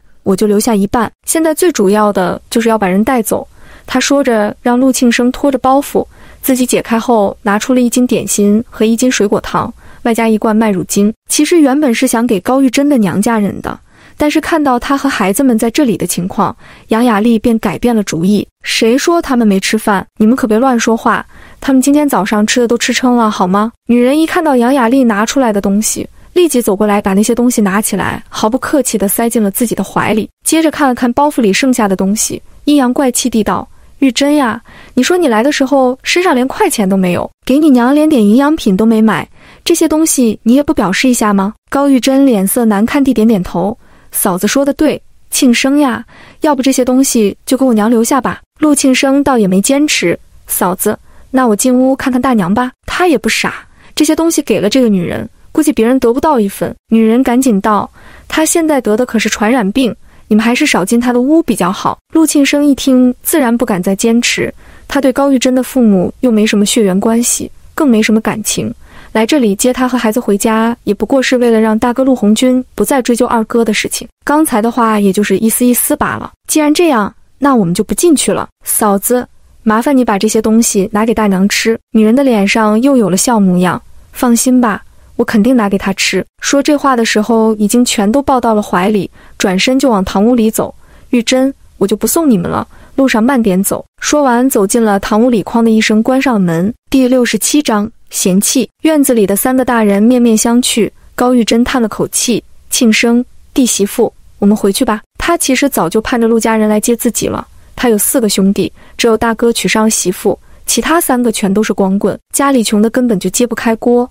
他带着三个孩子回来，可想而知会有什么样的待遇。这几天过的日子让他度日如年。可是陆红军不来接自己，他又拉不下脸回去。现在陆庆生来了，他说什么也得赶紧走。老陆家虽然干的活多，但是孩子大人能吃饱饭呀。三个大人带着孩子出了门，看着高玉珍走路有气无力的样子，杨雅丽道：“大嫂，你不是病了？”你是饿的吧？高玉珍看着他点点头。自从回到这个家，一天就吃一顿饭，有时候连一顿也吃不上。他饿得心慌腿软，路都走不利索。三个孩子也饿得有气无力。四叔，你还有吃的吗？陆文亮上前拽着陆庆生的衣角，眼巴巴看着陆庆生从头到脚的打量，希望能看到他藏了一些吃的。旁边两个孩子一样眼巴巴地看着陆庆生，连口袋都翻出来了，全都被刚才那个死婆娘给抢走了。哪还有吃的？陆文亮，你离我远一点，臭死了！大嫂，你看看你们几个，这回了一趟娘家，怎么跟进了羊圈一样，臭成这个样子，回去不得让人家笑话死！说到最后，陆庆生一脸的嫌弃，他是真的受不了这娘几个人，这才几天时间，怎么就臭成这个样子了？这话让高玉珍尴尬的抽了抽嘴角，脸上一阵红一阵白的。西边那个屋里确实有些味道，之前里面养了几只羊，我们回来后把羊赶出去。在那里支了张床，难怪陆庆生听完脸上的表情更嫌弃了。大嫂，不是我说你，就算你是从家里吵了架回娘家的，可是你之前也帮衬过娘家不少，怎么这次回来这种待遇？你们娘家人也太看不起你了吧？你说说你这是怎么混的？高玉珍低着头，被堵得说不出话来。他能说什么？没有靠山的人又拖家带口的，一下子带回三个孩子。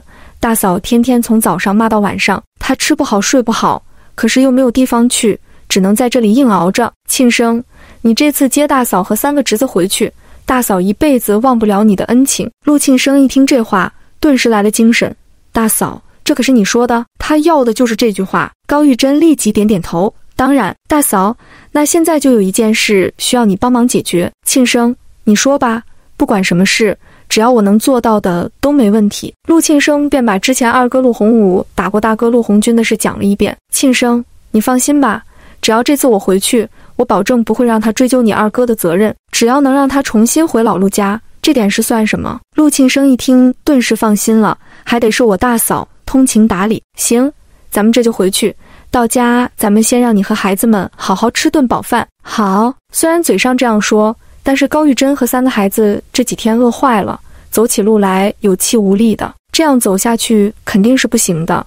从这里到幸福村还有五里地，到了那里再往上还有一路上坡的六里地，这要是走起来，哪辈子能走到桃花村？庆生兄弟，咱们来的时候，我看幸福村那里有饭店来着，咱们先驮他们过去吃点东西。陆庆生第一时间想到钱的问题，可我身上没钱了，没事。我有听他这么说，陆庆生这才让娘四个分配了一下，自己载着大嫂，前面的大梁上做老大，另两个孩子坐杨雅丽的车子。娘四个身上一股羊屎味，陆庆生好歹是农村长大的，可是杨雅丽一路都恶心的想吐。好不容易坚持到了幸福村，车子一停下，他就跑到旁边吐去了。陆庆生看着旁边的高玉珍道：“你看看三嫂人家县城里的人穿得这么干净，让你们都快熏死了。”高玉珍一脸的尴尬，他自己也觉得臭死了，特意上前把三个孩子往旁边拽了拽。陆庆生找到一个包子铺，杨雅丽进去买了些包子。娘四个吃的狼吞虎咽，好几次都噎得翻白眼。陆庆生一脸的嫌弃，能不能慢点吃？带你们几个出趟门，真是把老陆家的脸都丢尽了。要不是为了二哥陆洪武不坐牢，这一趟打死他都不会来的。别看他把娘四个接回来，但是打心底里瞧不起他们，又蠢又笨，一点脑子都没有，活该走到现在这个地步。高玉珍哪里顾得上他说的话？这几天和孩子们饿得半死不活的，现在看到有这么好吃的包子。他哪里停得下？陆庆生吃了四个包子，杨雅丽原本也能吃两个的，可是闻着母子四人身上的味道，他实在是咽不下去，太臭了。不过高玉珍和三个孩子是真的吃饱了，看他们噎得够呛，杨雅丽还让陆庆生去包子铺里借了碗水出来给娘四个喝。现在必须要在高玉珍和三个孩子面前树立一个好的形象，这样以后他们才可能帮上自己的忙。他看出来了。指望着陆老太太和陆洪武是不可能了。老太太尖酸刻薄，陆洪武就是个莽夫。这个陆庆生在陆占东那里也没什么好印象。老陆家唯一能帮上自己忙的人就是陆红军一家，所以他必须得让高玉珍对自己感激涕零。只要把他拉拢到自己这一边，接下来的事情才能好办一些。在陆庆生脸上表现出嫌弃的时候，他就是再恶心也得硬生生装着。实在忍不住的时候，也赶紧跟高玉珍道个歉。一番操作下来，高玉珍反而不好意思了。从幸福村往回走，全是上坡，车子骑不了，几个人只能步行。杨雅丽就利用回去的这段路，跟高玉珍好好套近乎。高玉珍原本就对陆庆生和杨雅丽感激不尽了，听着杨雅丽一路都向着自己说话，高玉珍觉得这三弟妹真不是一般的好。听说苏灿盖房子的这几天，老陆家连个馒头渣渣都没捞着，对苏灿的意见更大了。第六十八章。下跪，高玉珍冷哼道：“哼，之前苏灿刚回来的时候，我们这三个孩子不也去过场院吗？他什么时候给过他们三个一块糖吃了？他就没把那个大哥放在眼里。谁说不是呢？你不知道，大哥开始给他干活的时候，饭都不吃他家一口的。后来要不是这个苏灿，我大哥能和二哥翻脸吗？都是这个女人从中搞的坏。”陆庆生在旁边火上浇油，杨雅丽故意叹了口气：“我这个姐姐，其实她知道我去了桃花村。”就是故意想气陆家的人，你们谁对我好，谁帮着我，她就跟谁对着干。哎，三弟妹，你别难过。这次我回去，他要是敢找麻烦，我肯定不会让他有好日子过的。他也就是仗着手里攥着老三的几个钱，所以才会扎缩炸晒成那个样子。你看看他手里要是一分钱没有，在桃花村还能活下去？高玉珍的话突然让陆庆生的眼睛一亮。他看了看不远处路边的几块大石头，停下了脚步。走累了，咱们去那边坐一下吧。行，把车子停好。陆庆生特意不让三个孩子跟着，三个大人走到那边的大石头前坐了下来。大嫂、三嫂，我看这个苏灿的手里应该还有很多钱。大嫂，你刚才说的话有道理。如果他手里一分钱没有，我估计用不了几天他就得从咱村里滚蛋，这样问题不就彻底解决了吗？高玉珍同意点头。老四。你说的在理，可是这钱在人家手里，我们总不能去抢吧？陆庆生想了一下，接着狡黠的笑了下：“大嫂，我倒是有个主意，不过这主意能不能成就看你的了。”老四，你尽管说。苏灿原本打算明天一早坐周大爷的马车去把大嫂他们娘四个接回来，这些天他忙里忙外的，脚都不沾地了，根本顾不上他们。现在基本告一段落，明天就可以去接他们回来了。结果做完晚饭的时候。就看到虎头虎脑的陆文浩哒哒哒的跑了回来。苏阿姨，我大娘和文虎哥他们回来了。苏灿刚把灶台里的火灭了，看着跟在后面跑过来的陆文渊，也跟着冲自己点了点头。他们回你们奶奶那边了。这个情况倒是让他有些意外。陆文浩摇头，抬手指了指大门口的方向。大娘和他们三个都在大门口呢，可臭了。说完还捏了下小鼻子。苏灿顺着他手指的方向看向大门口。就看到大门后面露出三个小脑袋，全都一脸紧张看着院子里。苏灿起身走到了大门口，一走出去就看到大嫂高玉珍和三个孩子落魄不堪的样子。高玉珍头发乱糟糟的，身上一股说不出的臭味，隔着几米远都能闻得到。三个孩子更不用说了，身上的衣服又脏又臭，看着那叫一个可怜。大嫂，你们先进来吧。苏灿什么也没问，既然娘四个跑到他这里来，肯定是被赵梅香给赶出来了。高玉珍带着三个孩子走进了院子里，几个人身上的臭味太难闻了。苏灿知道他们现在一无所有。便让陆文渊兄弟俩去烧热水。当时他带着三兄妹去县城的时候，每个买了两套衣服，现在每人穿着一套，正好跟高玉珍这三个孩子身高体型差不多，便拿了出来。反正过几天他就带三个孩子去县城接陆占东回来了，到时候再给三个孩子买套新衣服就行了。他不在乎这个。烧水的时候，苏灿让娘四个先洗了手和脸，然后他去屋子里拿了一斤点心出来，这是后来他去赶集的时候买的。看娘四个的样子，这几天肯定是遭了不少罪。一看到点心，三个孩子的眼睛都冒光了，接过去就狼吞虎咽地吃了起来。中午的时候虽然吃了包子，但这可是点心啊，他们从来没有吃过呢。香里带甜的桃酥，吃起来那叫一个香。陆文渊还主动去倒了热水给他们。到现在这个时间，高玉珍和三个孩子肚子里早就没东西了，吃的桃酥格外好吃。吃完一块，高玉珍看着苏灿，又可怜巴巴地道：“三弟妹。”还有吗？这么好吃的东西，活这么大岁数，他还是第一次吃。苏灿便又拿出来四块，一人分了一块，看着他们大口大口吃的样子，道：“大嫂，一会儿吃完，咱们先洗个头，冲冲身上，然后我给孩子们换身衣服。我的衣服都有些肥大，你要是不嫌弃，就暂时先穿我的。不嫌弃，不嫌弃。”高玉珍连连点头。吃完点心。水还没烧开，苏灿便问了高玉珍这几天回娘家的情况。高玉珍说的一把鼻涕一把泪，把这几天在娘家的遭遇全都一五一十讲了出来。娘家大嫂不孝顺，别说是对她了，就是对高玉珍的亲娘，那天天都是指桑骂槐的。就算是住在羊圈里，每天也过得胆战心惊，一天吃一顿饭都吃不饱。这是饿到了极点，没办法。才带着孩子一路走回来的。可是好不容易回了桃花村，赵梅香还堵大门口，把他们娘四个骂了一通。最后没办法，他只能来这里找苏灿大嫂。你们就在这里安心住下，家里刚刚盖好了房子，咱们现在有住的地方，你们不用担心，以后有我们饭吃，保证饿不着你们。高玉珍听得眼泪汪汪的。三弟妹，大嫂以前没帮过你的忙，你现在还对我们这么好，咱们不是一家人吗？我盖房子的时候。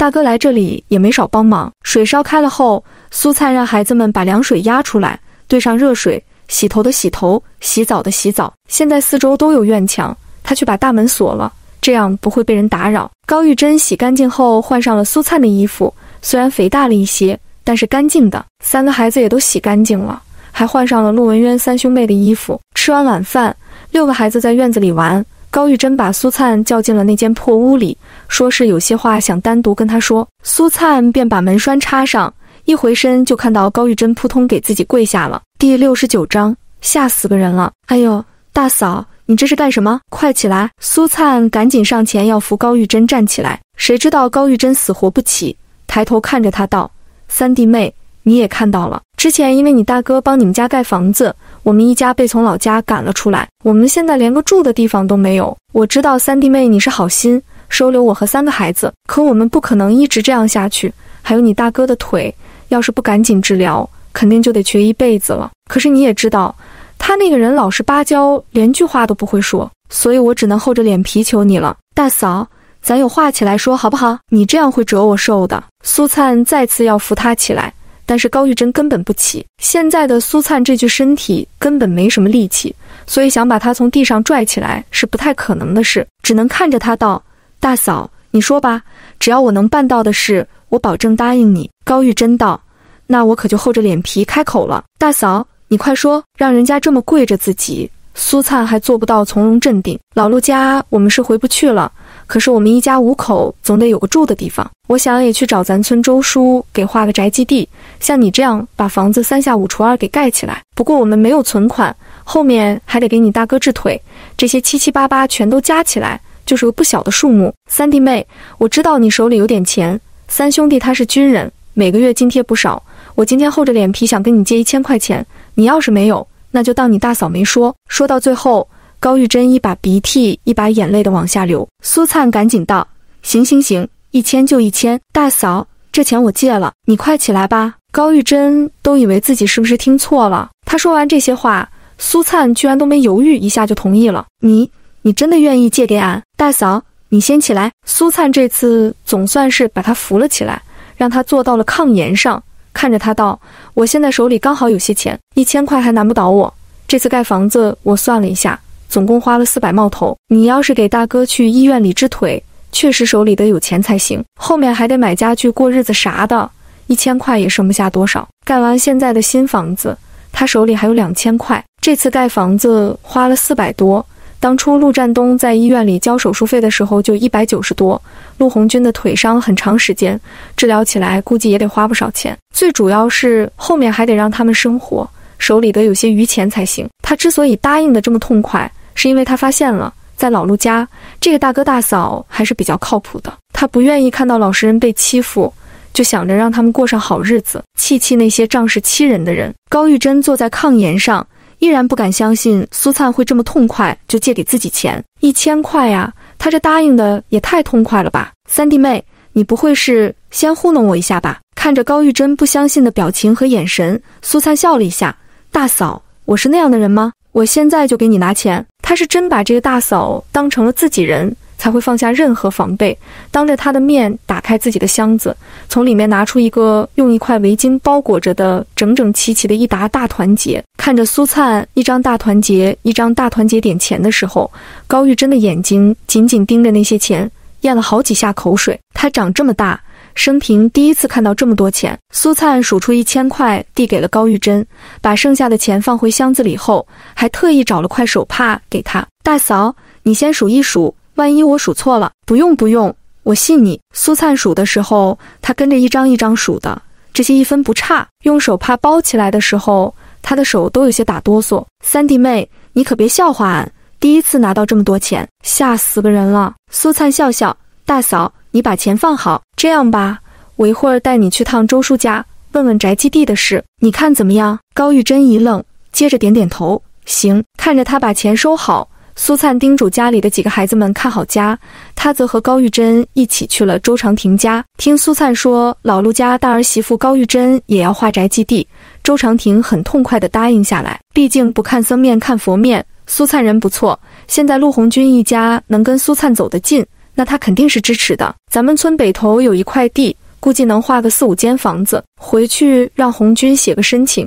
只要大队里这些干部们都同意了，我到时候就拿到镇上去批，批完就可以盖了。周长亭的话让苏灿有些意外，因为这些手续他都没有走过。周长亭笑着道：“战东是军人，申请书青山帮忙给写了，再加上你是县城来的，对这里也不熟悉，这些实情我们直接上报镇政府，政府都是很支持的。”苏灿这才知道里面的一些隐情，对这个村支书一家再次充满了感激。从周长亭家出来。高玉珍看着苏灿道：“三弟妹，我去找你大伯哥去，他是家里的老爷们，这宅基地的事他必须得知道才行。”苏灿点点头：“行，那你去吧。”和高玉珍分开后，苏灿便回了自己的新房子。离开周家的时候，苏灿带走了分家后寄养在周家的那只老母鸡。这段时间鸡养得很好，李淑兰还特意给他装了一点高粱，教给他回去怎么喂鸡。苏灿带着老母鸡回了家。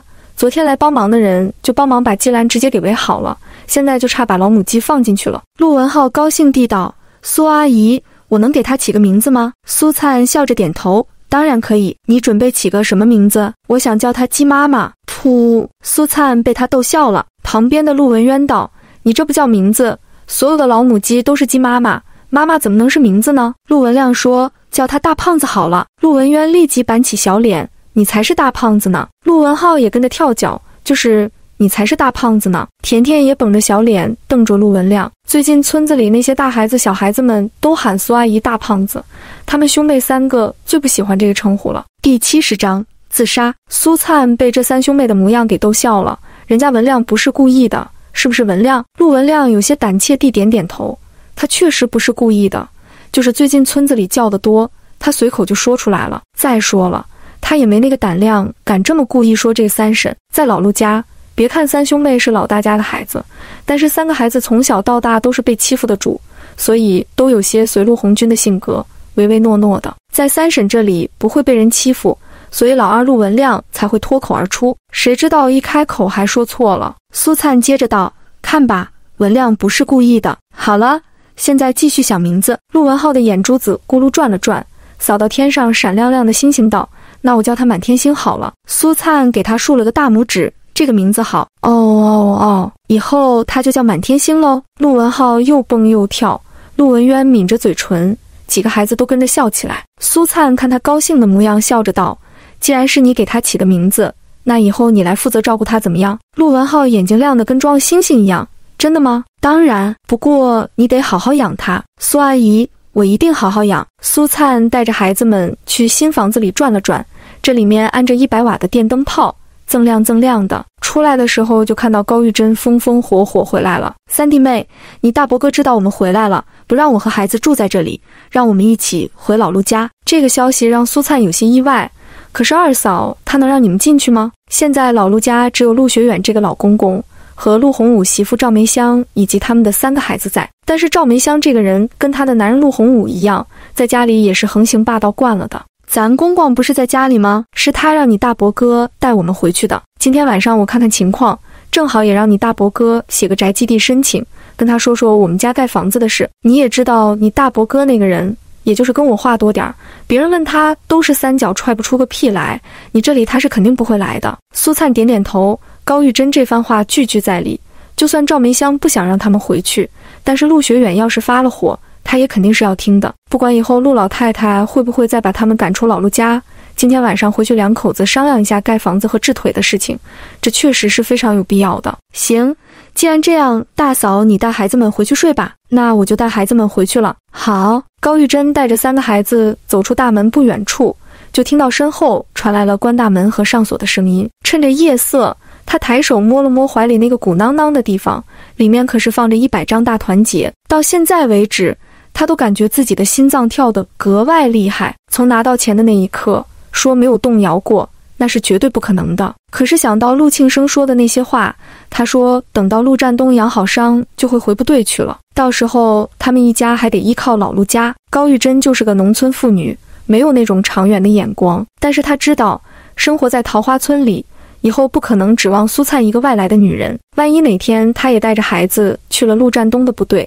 自己一家还得继续在桃花村生活，当然最主要的是陆庆生和杨雅丽把自己和三个孩子从娘家接了回来，这份恩情他必须得还的。思前想后，他都觉得自己必须得站在老陆家这一边。这个晚上是盖好新房子后，这个家里第一次只有苏灿和三个孩子。一关上大门，三个小家伙便高兴地跑进了新房子里。现在有这么宽敞又明亮的新房子，旁边那间破屋子瞬间就不香了。苏阿姨。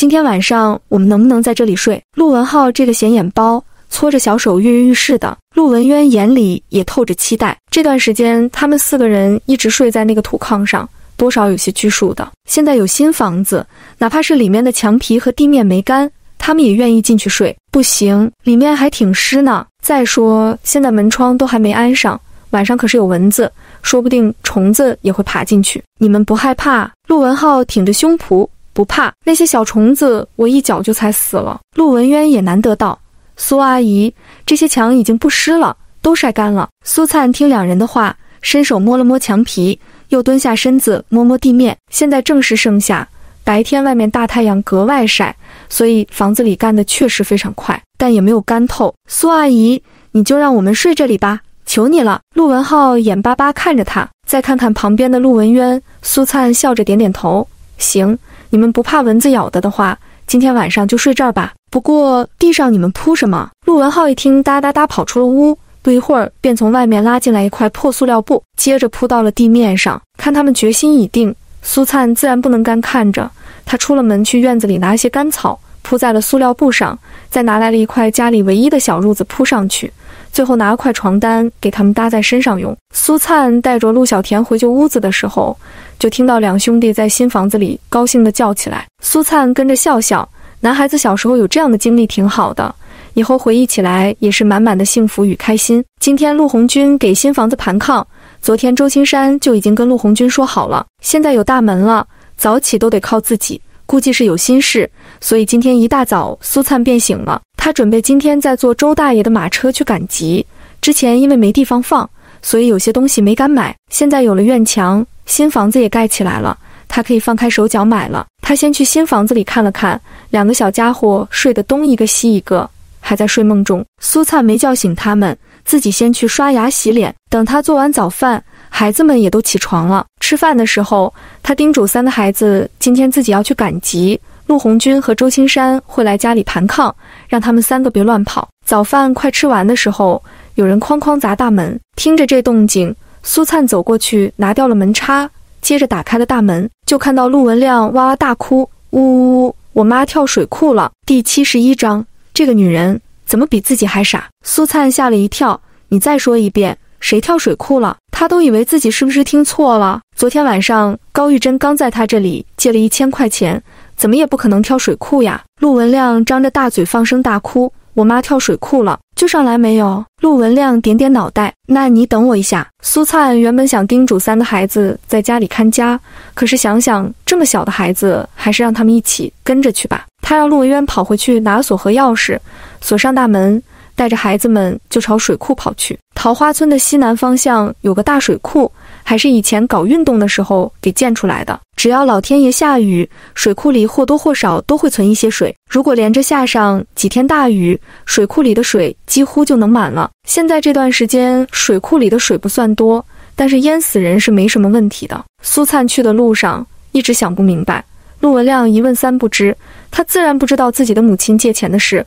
唯一知道的就是妈妈跳水库自杀了。路上碰到几个村民，苏灿觉得既然高玉珍就上来了，这种事还是别张扬的好。他得先弄清事情的来龙去脉。苏灿体格胖，脚步跟不上这些常年劳作的人。等他气喘吁吁赶到地方，发现高玉珍已经背就上来了，正靠在水库边上的一块石头旁边，人看着很虚弱，浑身全都是水。旁边站着个拄着锄头的村民，身上的衣服全都湿了。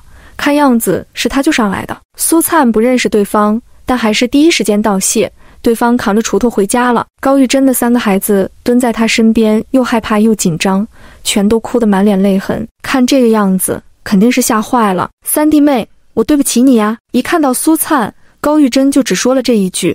苏灿问他到底是怎么回事，他便不吱声了。村里的人看他没事，也都松了一口气。大家想问出原因。但他就是紧闭着嘴巴不说话，最后还是苏灿说要带他回自己家，他才同意被人扶起来，一脸虚弱的往回走。走到村头的时候，他坐在一块玉米地旁边不走了。三弟妹，我想跟你说说话。听他这么说，其他人自然全都走开了。苏灿让自家的三个孩子和高玉珍三个孩子走远一些玩，看到只剩下自己和苏灿，高玉珍站起来对着苏灿就要下跪，被苏灿一把扶住了。大嫂。你这是干什么？到底出了什么事？咱们没有过不去的火焰山，你好好跟我说说。高玉珍重新坐回石头上，低头看着地面。三弟妹，你昨天晚上借我的那一千块钱，我给弄丢了。说完，扯着嗓子哭了起来。你说我怎么就这么蠢呀？一千块呀，那可是我的命呀，我还怎么活呀？苏灿皱了皱眉，并没有发火。大嫂，你好好想一想，什么时候丢的钱？高玉珍哽咽地道。我也不知道，晚上睡觉我还特意放到枕头下面枕着的，可是今天一大早起来就不见了。那你问过二嫂了吗？问了，可是人家说我逗她玩呢，还说我穷成这个样子，是不是想钱想疯了？高玉珍说着，攥着拳头猛砸自己的胸口。你说我怎么这么蠢？我怎么就这么蠢呢？我该死呀，真的该死！看着捶胸顿足的样子，苏灿握着他的手安慰道：“大嫂，钱丢了就丢了吧。”那一千就当是我自己掉了，别难过了，钱没了还能再赚，身体要紧。高玉珍哭着道：“可是没了钱，我们一家人以后可怎么办呀？我手里还有一千块，这样，回头我先给你拿五百，咱先把房子盖起来。我听青山兄弟说，盖房子其实三百块以内应该是没问题的。大哥的腿等战东回来，他们哥俩商量商量再说，别难过了。”高玉珍听苏灿的话愣了愣。刚才的话也只是随口一说，他没想到苏灿不仅说不要那一千块了，甚至还愿意再借自己五百。这个女人怎么比自己还傻？你，你还能再借我五百？苏灿笑了一下，那当然，咱们又不是一分钱没有。你放心，只要有我在，你们家的房子保证能盖起来，大哥的腿也保证能治好。一千块在这个年代确实是一笔巨款。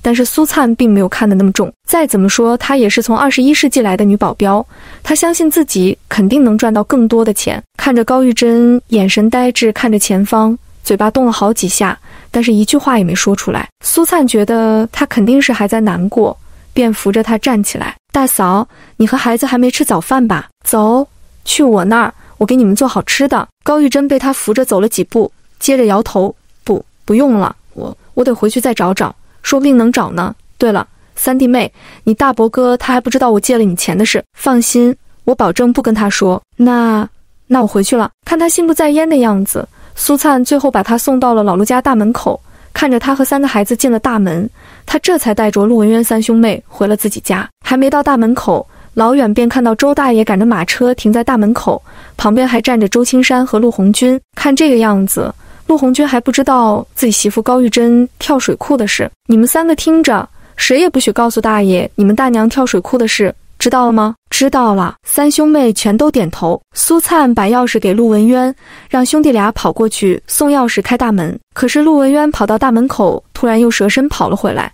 苏阿姨，咱家大门开了。苏灿眉头一皱，怎么开的？不知道。突然有一种不好的预感从背后升起来。钥匙在他手里呢，而且三个孩子从头到尾跟着他，谁开的大门？他快步走到大门口。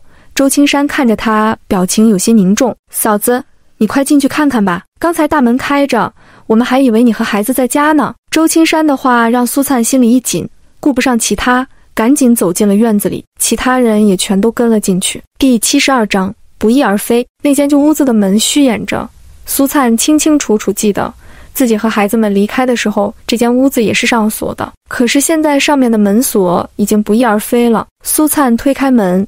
眼前的一幕让他皱了皱眉，他带来的箱子全都被打开了，里面的东西乱七八糟扔了一地，包袱就更不用说了。除了箱子，其他只要是能翻的地方也全都翻了个遍。想都不用想，家里这是招贼了。他把箱子里放钱的地方里里外外全都找了个遍，剩下的一千块钱不翼而飞。周青山和陆红军一起把地上的东西收拾好，嫂子。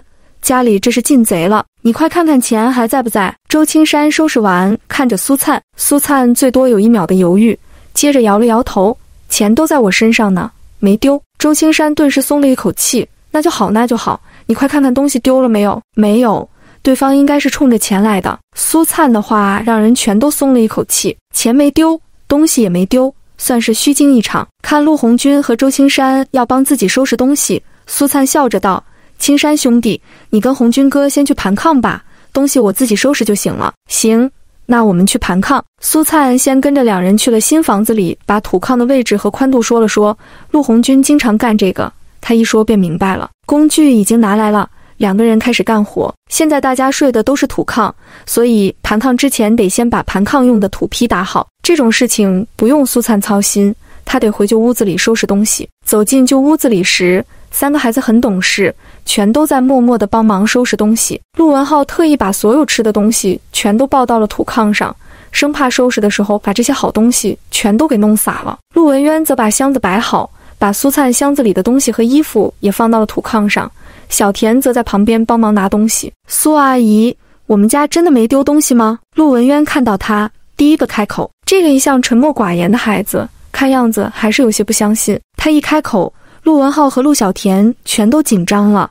瞪着大眼睛盯着他，接触到三个孩子紧张的眼神，苏灿跟着笑了笑。没有钱，我一直放在身上，他们怎么可能偷得走？你们苏阿姨聪明着呢。苏灿拿过椅子坐下，看着三个孩子道：“你们先过来一下，我有话要跟你们说。”三个孩子立即放下手里的东西，走到了他面前。虽然这次我们家没丢东西，但是这个贼撬开了我们家的大门，把我们家翻了个底朝天。你们说气不气人？三个孩子全都点了下头。气人！东西不用你们收拾。不过现在我给你们一个任务，去问问村里的孩子们，谁看到今天早上有人进我们家了，或者有没有陌生人来我们村。别人要是问为什么，就告诉他们我们家今天进小偷了，东西没丢，钱也没丢，但是把家里翻了个底朝天。明白了吗？三个孩子立即点点头，明白了。好了，去吧。三个孩子跑出去的那一刻，苏灿的脸色瞬间沉了下去。东西丢没丢，暂时还不清楚。但是钱是真的丢了。昨天晚上借给高玉珍一千后，他手里还剩下的那一千块，全都被小偷给偷走了。还好他穿的衣服里还揣着四十多块钱，这段时间一直要外出，所以他每天都会在贴身口袋里放些钱。现在全家上下只剩这仅有的四十多了。回想昨天晚上，高玉珍突然带着三个孩子来家里找自己借钱。一开口就是一千块，那时候他并没有怀疑高玉珍的动机，可是想到今天早上高玉珍跳水库的事，他跑去水库看高玉珍，小偷恰恰是那个时候撬锁进了家门，这要巧合的事情不得不让人怀疑。这段时间，他从村民的口中还有自己的所见所闻能看出来，陆红军的人品是过硬的。也正是因为太过相信陆红军。所以，他从昨天晚上起就没有对高玉珍起任何的疑心。可是现在看来，如果不是背后有人给他出主意，他不可能来找自己借钱，而且一开口就借一千块。最重要的是，昨天晚上拿钱的时候，他亲眼目睹了自己拿钱的过程。这件事到底跟高玉珍有没有关系？他必须得弄清楚。苏灿用最快的速度把屋子里的东西收拾好，拿出一个小包袱，装了些点心和麦乳精。外加一斤糖果，全都收拾好后，苏灿跟周青山说了下自己要去赶集的事，家里就交代给他们照顾了。然后坐着周大爷的马车出了村。此时的老陆家，孩子们全都被支出去玩了，大门紧紧插着。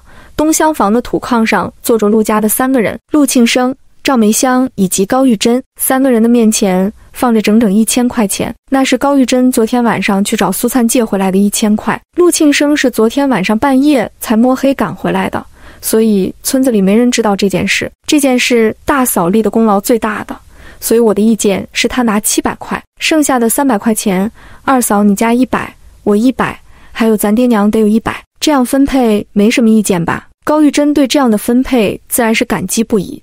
他没想到陆庆生会这么向着自己。原本他以为自己最多能分到二百块就不错了，没想到他竟然要给自己七百。他有些受宠若惊。大嫂分的也太多了吧？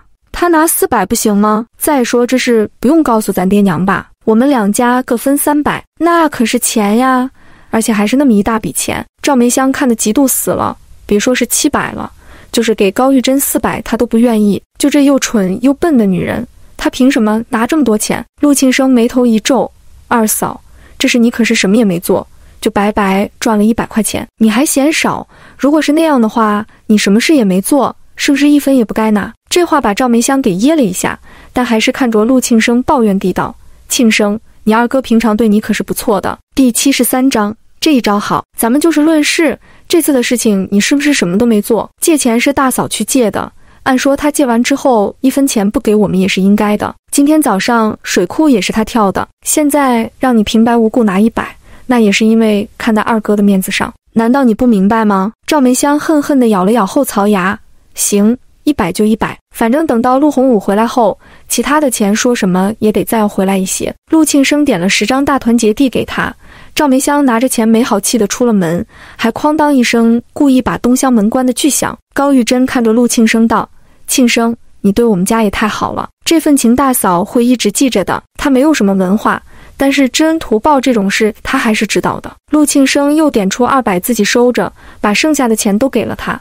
大嫂，你这就是把我当成外人了。咱们现在可是一家人，你放心，以后只要你和大哥有什么事，尽管跟我说，我保证在这个家里只要有我一口汤喝，就绝对不会让你们一家四口饿着。高玉珍被这话感动的不行，点出一百块给了他。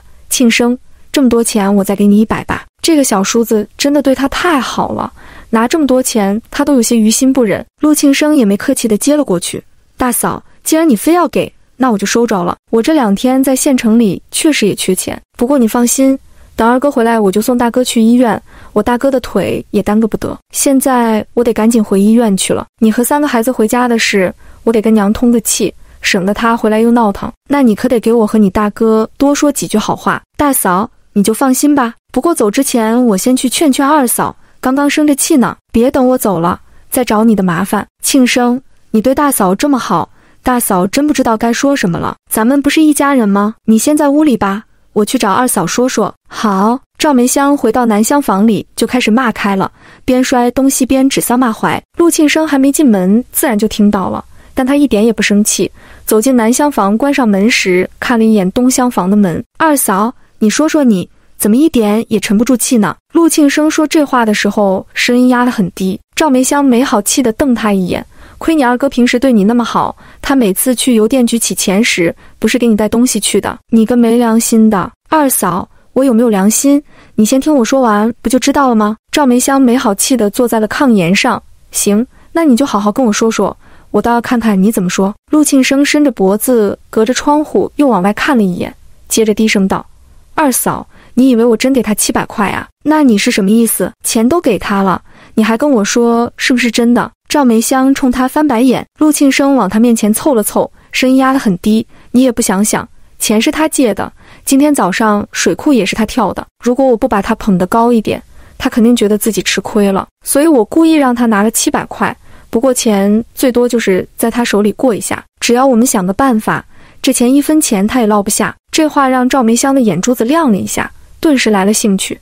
这话怎么说？你想想啊，他要是拿着这七百块钱，肯定会像那个苏胖子一样跑出去盖房子，到时候他过起了自在日子。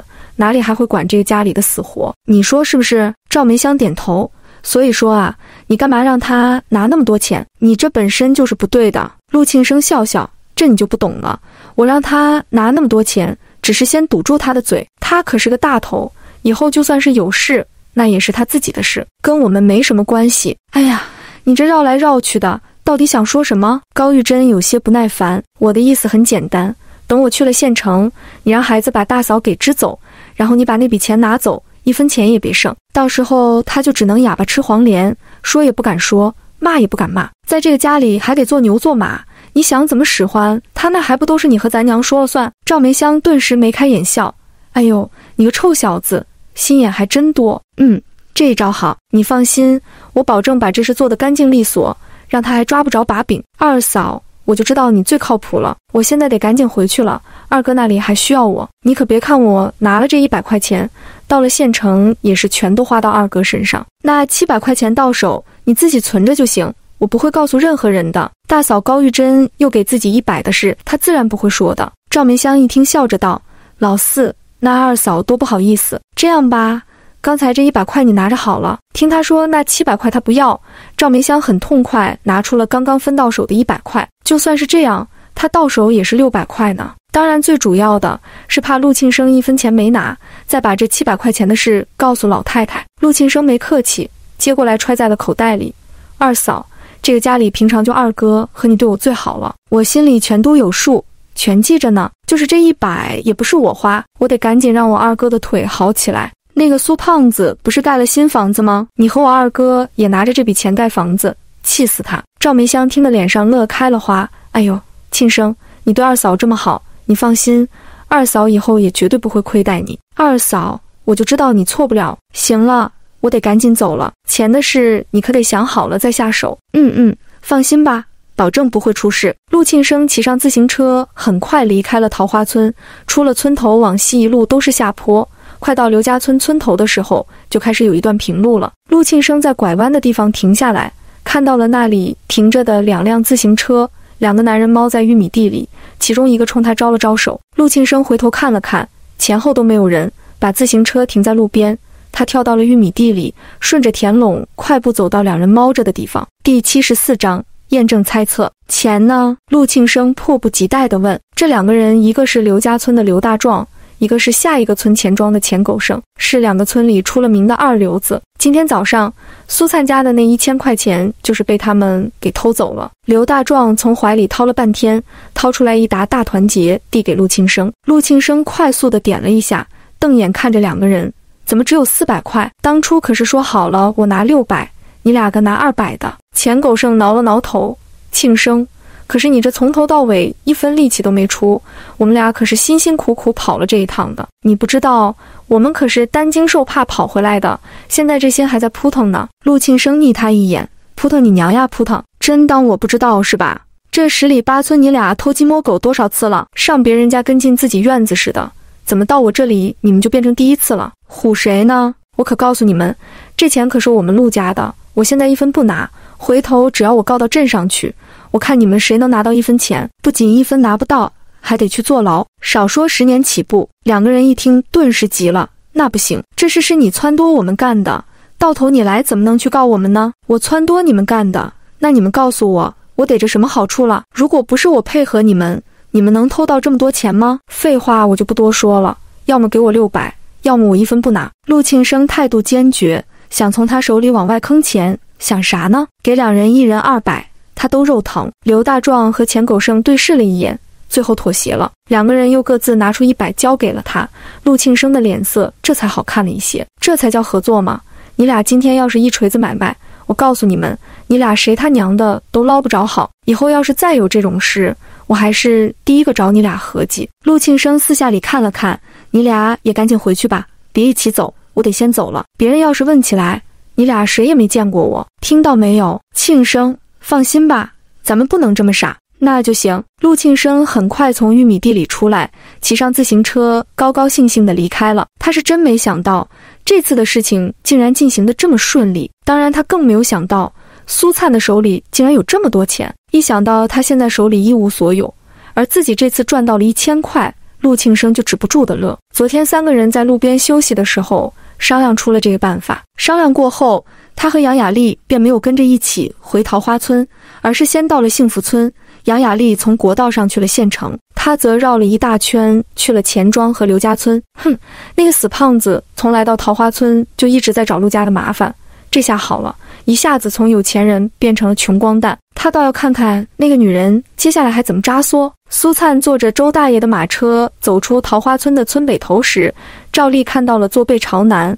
背靠那座小山，满山遍野的家属字，红色的砖房在这个年代很少见，尤其是一大片的红砖房就更少见了。大爷，咱们村有进到这里面卖东西的吗？周大爷笑笑，咱们庄户人家哪里有东西卖给他们？咱们去买人家的还差不多。村子里从来没有过这个先例，最主要的是家属院里的职工比村子里的人有见识，一点东西也不缺。山北面有个供销社，咱们村的人倒是可以去买东西。但都太贵了，咱们这些庄户人家哪里买得起？那我要是进去卖稀罕东西呢？怎么能进到家属院里？家属院的每条街虽然都直通和村子中间的那条马路，但是每条街都设了门卡，想进去似乎并不容易。这个得认识里面的人才行。不过家属院往上走有个山洞，工人上下班都是走山洞，就在路边卖东西，应该可以吧？周大爷从来没有过这种经验，更没有过这种想法。其实不只是他。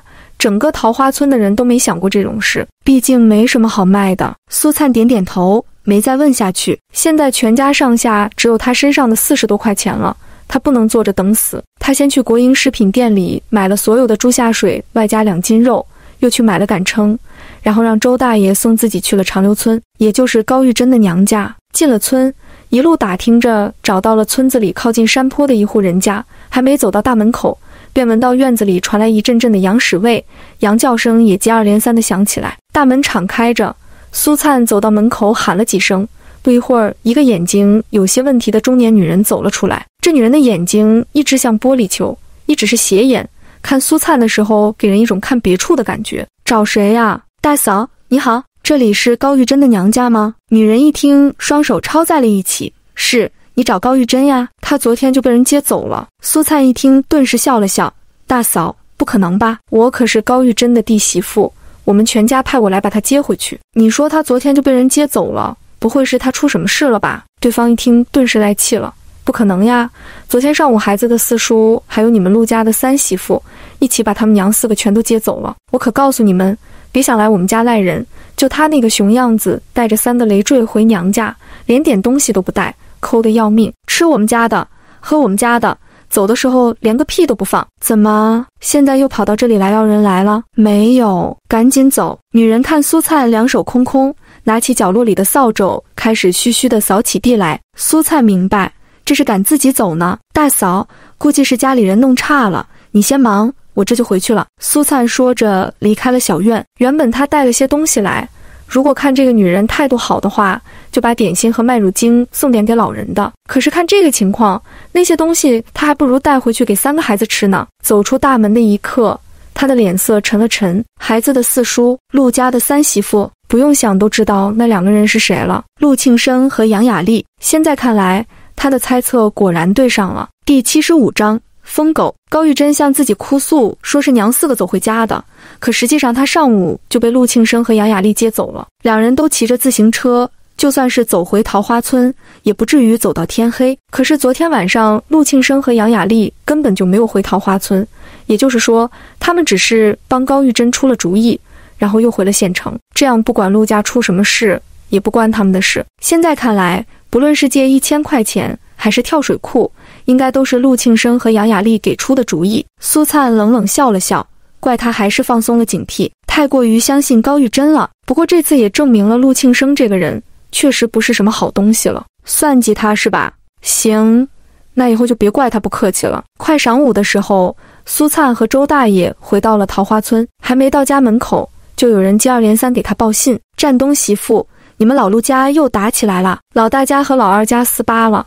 这次高玉珍跟疯了似的，以前真看不出来，她发起疯来也够人喝一壶的。谁说不是呢？从来没见过她这个样子，跟疯了一样，把那个赵梅香往死里打。谁说不是呢？以前看着赵梅香咋咋呼呼的，感觉很厉害，谁知道真打起来不是高玉珍的对手，真是邪门了。到底因为什么呢？怎么突然就打起来了？谁知道呢？村里人虽然知道妯娌俩打架打得很凶。但并不知道原因。苏灿一听便心知肚明，估计高玉珍发现自己被人算计了，但又是哑巴吃黄连，有苦说不出。周大爷劝苏灿：“侄媳妇，这两人打架的事，你别去掺和，都是些陈芝麻烂谷子的事，说不清道不明的。”苏灿点头：“大爷，我听您的。这是让他掺和，他都不掺和。两个人不管打成什么样，反正没一个好人。”苏灿把猪下水卸下来。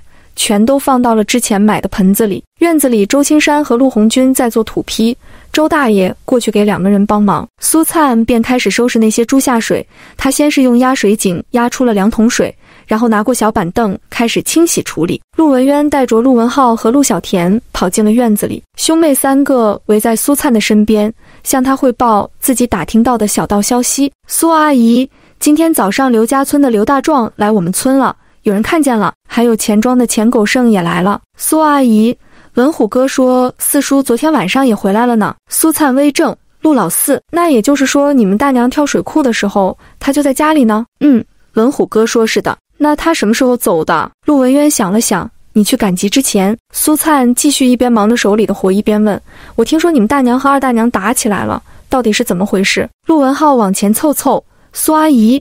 打得可凶了呢！二大娘那么厉害的人被打哭了，你们大娘呢？在家里呢。苏灿抬头看了看不远处正在和周青山干活的陆红军，看这个样子，估计他从头到尾都没回去看一眼，不知是不屑还是受够了。他沉默了两秒，还是放下手里的活，起身走了过去。大哥，我听孩子们说大嫂和二嫂打架了，你回去看看吧。陆红军手里的活停都没停一下，就回了他两个字：不用。周青山道。嫂子，这女人干架不用管他们，一点芝麻大的事都能吵得鸡飞狗跳。要是真有什么大事，早跑过来了。苏灿点点头，也没再继续劝下去。猪下水收拾起来有些费劲，洗完第一遍，他便放到了一边，去饭屋里做午饭去了。三兄妹很自然跟过去，点火的点火，洗菜的洗菜。苏阿姨，我们什么时候去看我爸爸呀？陆文浩干完活，凑过来看着苏灿。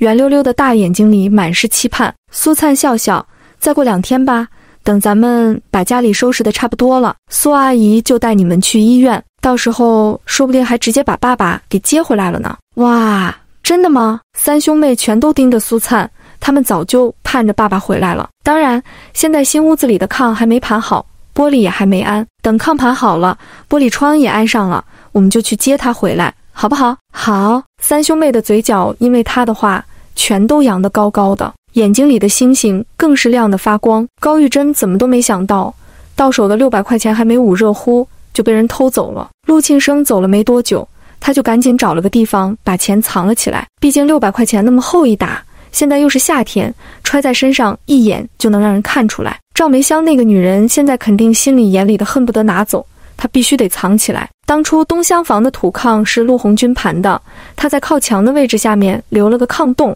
大约是枕头大小，上面是一块木板盖着。每次家里有点钱，高玉珍都是放在那里面，盖上木板，上面再铺上草垫子和炕席，根本看不出下面有什么。放好之后，公公陆学远让他去井里挑点水回来，因为家里新买的水缸没水了。走的时候，他还特意把屋门给锁上的。谁知道等他回来，炕洞里的六百块钱就被人偷走了。把孩子叫过来一问，才知道他前脚刚走。三个孩子就被叫去干活了。当时公公陆学远要去东厢房里拿东西，所以孩子便把钥匙交了出去。可只有高玉珍知道，老公公陆学远根本就不知道那六百块钱的事。现在钱不见了，肯定是赵梅香那个女人给偷走了。那么大一笔钱呀！高玉珍一出屋，看到赵梅香，话都没说就扑了上去。赵梅香以前看着咋咋呼呼，挺厉害的样子，可是哪里耐得住高玉珍这副拼了命的样子？两个女人你来我往。打了几十个回合下来，赵梅香的脸被抓破了，头发也被薅下来好几绺，衣服也被撕烂了，腿上身上就更不用说了。高玉珍像个发疯的母狗一样，开始的时候赵梅香还能跟他打个来回，可是后面被打得连还手的力气都没有了。看着高玉珍那副发了疯、双眼通红的样子，赵梅香直接吓得落荒而逃。现在这个家里没人替自己撑腰，她便借了辆自行车去了县城。第七十六章。看好戏，赵梅香翻山越岭的骑了十几里地，路才走了一半，就遇到了坐着马车回来的陆老太太和陆洪武，后面还跟着骑着自行车的陆庆生和杨雅丽。赵梅香，你这脸是谁挠的？陆洪武一看，瞪着一双牛眼问。陆老太太也皱眉道：“这是被人打了吧？谁敢打我们老陆家的媳妇？”陆庆生和杨雅丽更是纳闷了，尤其是陆庆生。自己前脚刚从村里出来，赵梅香后脚就变成了这个样子。这不问不要紧，一问之下，赵梅香一把鼻涕一把泪的哭诉事情的经过。听说她这脸上、头上、身上全都是高玉珍给打的，众人全都震惊了。这个臭婆娘，我看她是不想好好过日子了。看我这个婆婆不在家，她这是要扎缩呀。以前看着就是闷不出声，怪老实的，想不到跟老大一样。也是个倔驴，看我回去怎么收拾他！陆老太太向来宠这个二儿媳妇，一听是大儿媳妇给打的，顿时气不打一处来。陆洪武就更不用提了，这个狗娘养的，欺负到我头上来了。就他们一家穷的叮当响，还说你偷他们的钱，我看他是疯了。走回家，我倒要看看他到底有多横。在苏灿那里吃了亏，这几天陆鸿武已经憋着一口气了，现在连高玉珍都揍自己的女人。这口恶气他怎么咽得下？一行人往回走，陆庆生故意落在后面，和赵梅香一起走，看着离的马车远了一些，才跟赵梅香道：“二嫂，你不会是拿钱的时候被他抓包了吧？”赵梅香郁闷不已：“怎么可能？咱爹让他出去挑水，从头到尾我都让孩子在大门口给看着的，谁知道他找不到钱后上来就挠我？你都不知道，我从来没见过他那个样子，真的跟一条疯狗似的。”那钱呢？你不会是又还给他了吧？赵梅香冷哼一声：“我要是还给他，那这些伤不是白受了吗？他一分钱也不会给高玉珍那个女人。”陆庆生点点头：“嗯，说的也是。你们怎么这么快就回来了？你二哥的腿伤能行吗？医生说了，回家养着就可以了。住在医院里也是多花住院费，还不如回咱自己家。再说家里还有那个死胖子在。”谁也不放心，那个死胖子手里肯定没什么钱了。不是说今天早上他家进小偷了吗？东西翻了一地，说是没丢东西，没丢钱，肯定是他手里没什么钱了吧？要真有钱，小偷能空着手走？陆庆生点点头，我估计就是算是被偷了钱，他也不敢承认。这段时间他盖房子的事让多少人眼红？要是知道他丢了钱，别人肯定会笑掉大牙。他也就是打掉牙齿往肚子里咽呗。听他这么一说。赵梅香的心情都跟着好了，那也就是说，她现在是个穷光蛋了。哎呦喂，看她以后还怎么扎梭！放心，她手里铁定没钱了。接下来咱们就等着看好戏行了。太好了！杨雅丽一路上从赵梅香和陆庆生的口中，也大体知道了事情的经过。昨天上午，他和陆庆生把高玉珍和三个孩子从长留村接走。陆庆生路上给高玉珍出主意借一千块钱的事，在听赵梅香说今天一大早苏灿夹着贼了，大体也明白了事情的经过。那么大一笔钱，他虽然也羡慕，但也清楚那些钱到不了自己手上。他更关心的是怎么把苏灿赶出桃花村这件事。不过从现在来看，苏灿手上没钱了，接下来看他怎么跟陆占东交代。他对三个孩子还能一如既往那么好吗？就凭他那个肥胖的体格。有什么好吃的东西，肯定是紧着自己吃够了再说吧。不管怎么说，接下来有好戏看了。这段时间受的气也跟着舒畅了一些。一行人回到桃花村的时候，已经过了晌午饭时间了。不过天太热，村民们都在睡上觉，街上看不到几个人。马车是陆庆生昨天就跟别人说好了，一块钱拉回来的。陆庆生把陆洪武背进了屋，其他人也跟着进了院子。一走进去。就看到高玉珍两眼发直地坐在东厢房的门台上发呆，头发披散着，衣服也被扯破了。旁边蹲着三个孩子，看到陆老太太一行人回来，全都紧张站起来，贴在了墙根边，紧张看着众人。娘，你你们咋回来了？一看到陆老太太气势汹汹地看着自己，高玉珍紧张地站了起来。我看你真是欠揍。谁让你进这家门的？你要是回来就好好过日子。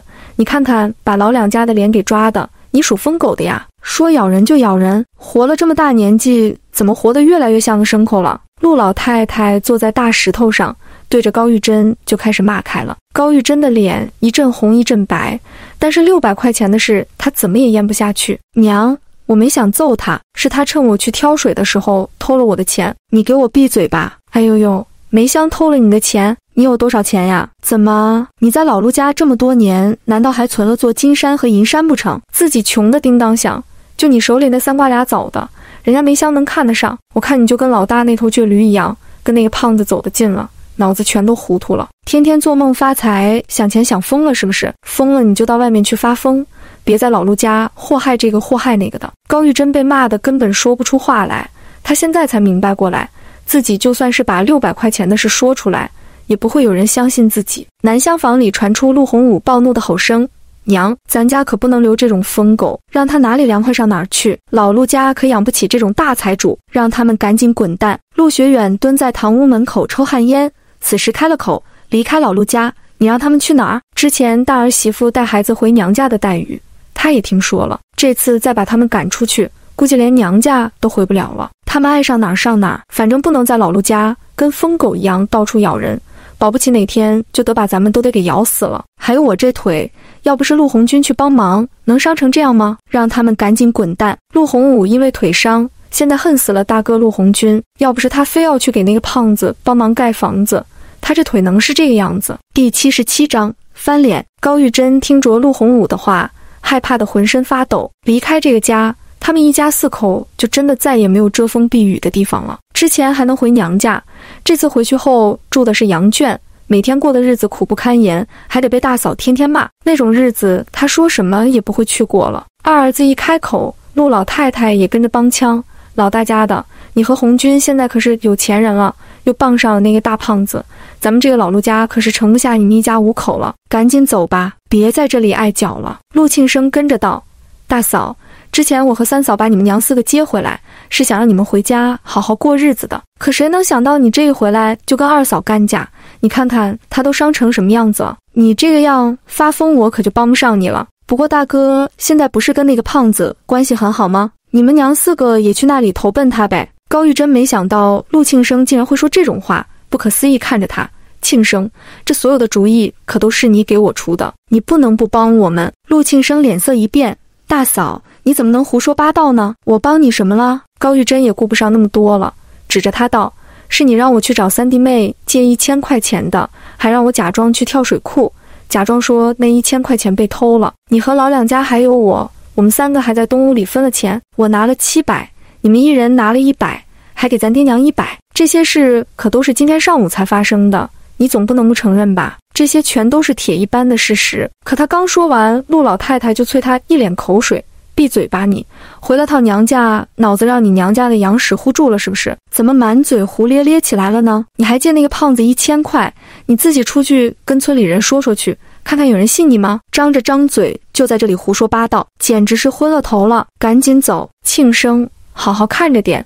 他们要是不出去，就拿叉把他们全给我叉出去。陆老太太踮着小脚，板着一张脸进了堂屋。高玉珍抱着最后一线希望，看向陆庆生。庆生，可他刚一开口，这人就皱着眉头，冲他不耐烦摆了摆手：“行了，你赶紧走吧，我对你已经仁至义尽了。之前他还想着把大哥一家留下来，好让他们在这家里做牛做马，可现在他觉得把他们一家全都赶出去，去给苏灿添麻烦，那才是最好的结果。”高玉珍面如土灰的哆嗦了几下嘴唇：“庆生，你。”你再帮帮我吧，赶紧走！陆庆生说着，凑到他面前，压低声音：“你把我卖得干干净净，还想让我帮你？高玉珍，你做梦呢？”陆庆生看向旁边的赵梅香：“二嫂，肚子饿死了，咱快做饭吧。”刚刚他去锅里看了一眼，什么都没有。赵梅香原本不想做，可是看看高玉珍那个样子，心情好的不行，马上做。陆庆生带着杨雅丽去了堂屋，关门的时候还传来陆老太太的骂声：“庆生，人滚出去没有？娘。”还没呢，您放心，他要是赶不走，我保证把他的脸扇肿。苏灿从吃完午饭就没闲着，买回来的猪下水都被他处理干净，然后开始卤煮。之前赶集时，他买了四个钢顶锅，为的就是卤煮这些猪下水的。几十斤猪下水够他忙活一阵的。三个孩子也不睡上觉，全都在旁边帮他的忙。周青山吃完饭回家睡上觉，陆红军没地方可去。一个人默默在院子里打土坯。他之前借住也是这家睡两天，那家睡两天，没什么固定的住处。苏灿把所有的猪下水处理完，想让三个孩子去睡会觉，谁知陆文浩起身冲着大门口哒哒哒的跑了出去。陆文渊一看，也追了出去。陆文浩不一会儿又跑了回来。苏阿姨，苏阿姨，苏灿坐在板凳上，看着他一阵风似的跑到面前，笑着道：“怎么了？”陆文浩指着大门口道。大娘和陆文虎他们又来了。苏灿抬头看过去，就看到高玉珍披头散发的走了进来，脸上满是泪痕。三弟妹，苏灿的脸色冷了冷，看着他一路走到了自己面前，刚要开口，就看到高玉珍扑通一下跪在了他面前。三弟妹，我不是人，你骂我吧，打死我吧。苏灿看他一眼，并没有马上回应他，而是看向陆文虎，文虎。文渊，你们两人去把大门插上去。是两个孩子转身跑过去，关上大门，插上了门插。跑回来的时候，陆红军放下手里的工具，走了过来。高玉珍，你干什么好事了？一看到自己丈夫，高玉珍眼泪哗哗往下落，哭得浑身都跟着哆嗦，好一会儿都说不出话来。苏灿看向几个孩子，文虎、文渊，你们几个在外面玩，谁也不准进屋。听到没有？几个孩子全都绷着小脸，点点头。他们不知道发生了什么事，但是看这个情况也知道不是什么好事。苏灿说完，这才看向地上的高玉珍大嫂：“我们还是进屋说吧。”说着，他也不去扶高玉珍，转身进了那间旧屋子。高玉珍失魂落魄地站起来，看了眼旁边的陆红军，跌跌撞撞跟了进去。陆红军没问他，也跟在他身后进了屋，把屋门插上。高玉珍回身，又对着苏灿跪了下去。你到底做了什么对不起老三家的事？陆红军皱眉看着高玉珍，如果不是出了天大的事，自己媳妇不可能这么做。大嫂，你还是站起来说吧。苏灿拿过凳子坐了下来。高玉珍剧烈摇头，眼泪止都止不住。三弟妹，我对不住你，我不是人呀。说着又开始呜呜的哭。陆红军脸色凝重，站在一边，有什么事就赶紧说出来。高玉珍哭着道。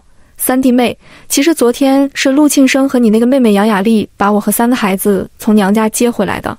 那时候我们娘四个饿得前胸贴后背，他们给我们买了包子吃。当时我觉得他们是两个好人，谁知道我们回来的时候，陆庆生给我出了个主意，让我回来跟你借一千块钱。我寻思要盖房子，再加上给你大伯哥治腿，还有以后的生活，真得一千块。陆红军的脸色铁青，你真跟三弟妹借了？第七十八章。刘谢，高玉珍哭得上气不接下气的点头。我没想到弟妹她竟然真的借给我了钱呢。高玉珍看着丈夫额头青筋暴起的样子，眼泪流得更凶了。昨天晚上三弟妹借给我之后，我就带着钱回家了。老四给我出了个主意，让我今天一大早假装去跳水库。我一大早就跑了过去，还让文亮特意来叫弟妹。谁能想到弟妹去水库找我的时候，家里进了小偷。苏灿冷冷看着他。就算我家里进了小偷，你手上不还有一千块钱吗？一千块可以做很多事了。你跑到我这里哭成这样是什么意思？他不会因为这个女人哭几下就心软的。高玉珍抹了把眼泪和鼻涕，哭着道：“当时我和陆庆生还有赵梅香都坐在东厢房的炕上分那一千块。当时陆庆生让我拿七百，他和老两家都拿一百，还有咱爹娘也得一百。我当时觉得他对我真不错，还以为他是对我真好，还偷偷给了他一百。谁知道？”陆庆生前脚一走，咱爹就让我去挑水。等回来的时候，钱全都被赵梅香给偷走了。我去找他要钱，可他根本不承认。所以你气不过，就把赵梅香狠狠打了一顿。高玉珍哭着点头，看着苏灿频频的磕头：“三弟妹，我对不起你，我对不起你，我该死，我该死呀！”苏灿赶紧上前阻止了他，结果他抬头的时候，额头磕出了血。这地面这么硬，他是真磕呀！高玉珍。你跟我去找陆庆生。陆红军听得脸色涨得青紫，伸手拽起高玉珍就要往门口拖。大哥，你等一下。”苏灿上前拦住了陆红军：“这件事我们还没问清楚，而且有件事我还得问问大嫂才行。”听他这么说，陆红军皱着眉头甩开了高玉珍：“你最好一点不落地，把事情全都说出来。”高玉珍瘫在地上。到了这种时候，他自然没有任何想隐瞒的事了，便把刚才老陆家的人回来后，陆庆生根本不承认钱的事情，一五一十的讲了出来。苏灿的脸色依然冷冰冰的。不对，还有件事你没有讲。高玉珍听得一愣，弟妹，我可是全都说出来了，真的没有别的事了。苏灿眼睛犀利看着他，那你告诉我，今天早上我们家被小偷翻了个底朝天，是怎么回事？我借给你一千块。手里还剩了一千块，你知不知道那一千块全都被小偷偷走了？陆红军眉头一拧，默默看了眼苏灿。高玉珍立即摇头：“弟妹，我做的事情我全都告诉你了，可是小偷这件事真的跟我无关呀。昨天晚上从你这里回去后，陆庆生问过我当时借钱的情景，我没多想就把你藏钱的箱子告诉他了。天啊，我都做了些什么呀？”说到这里时，高玉珍突然反应过来。后悔的肠子都要青了。陆红军把拳头握得咯咯作响。这次他没去拽妻子高玉珍，而是转身自己就要出门。他得去帮苏灿把钱全都要回来。大哥，你能不能别这么着急？这边事情还没讲清楚呢。你现在跑过去找陆庆生，你觉得他会承认吗？苏灿喊住了他。陆红军握着拳头，绷着脸。这里可是有证人证着他呢。战东可是他的亲哥，他怎么能这么算计你？我得去问问他。他还有没有心？不仅陆战东是陆庆生的亲哥，自己也是他的亲大哥。可就是这个亲弟弟，算计完大哥一家，又算计三哥一家，这还是人吗？有证人证着又有什么用？大哥，你让大嫂出去告诉桃花村的人，我借给他一千块钱。你觉得村子里有几个人能信？还有小偷的事，偷钱的人不是陆庆生。借钱的人也不是他陆庆生，到时候你怎么说？你是说他偷了那一千块钱，还是说他帮小偷报信了？谁证明？苏灿的话让陆红军的脸色格外难看。两千块钱呀，就这么没了？弟妹，这口气你能咽得下去？我咽不下去。两千块，在桃花村盖四间房子都能盖十家，这么多钱。他都没想过这辈子能有这么多钱，我可没说要把这口气咽下去。只是这件事我们不能冲动，现在不用想都知道，老陆家就等着看我们的笑话呢。你现在带着大嫂找回去，除了被人骂一顿，很可能在整个桃花村都臭大街，别人会觉得你俩想发财想疯了，还会因为我丢钱的事趁机看我的热闹。所以你现在越回去找他们，他们越高兴。老陆家现在怎么对自己？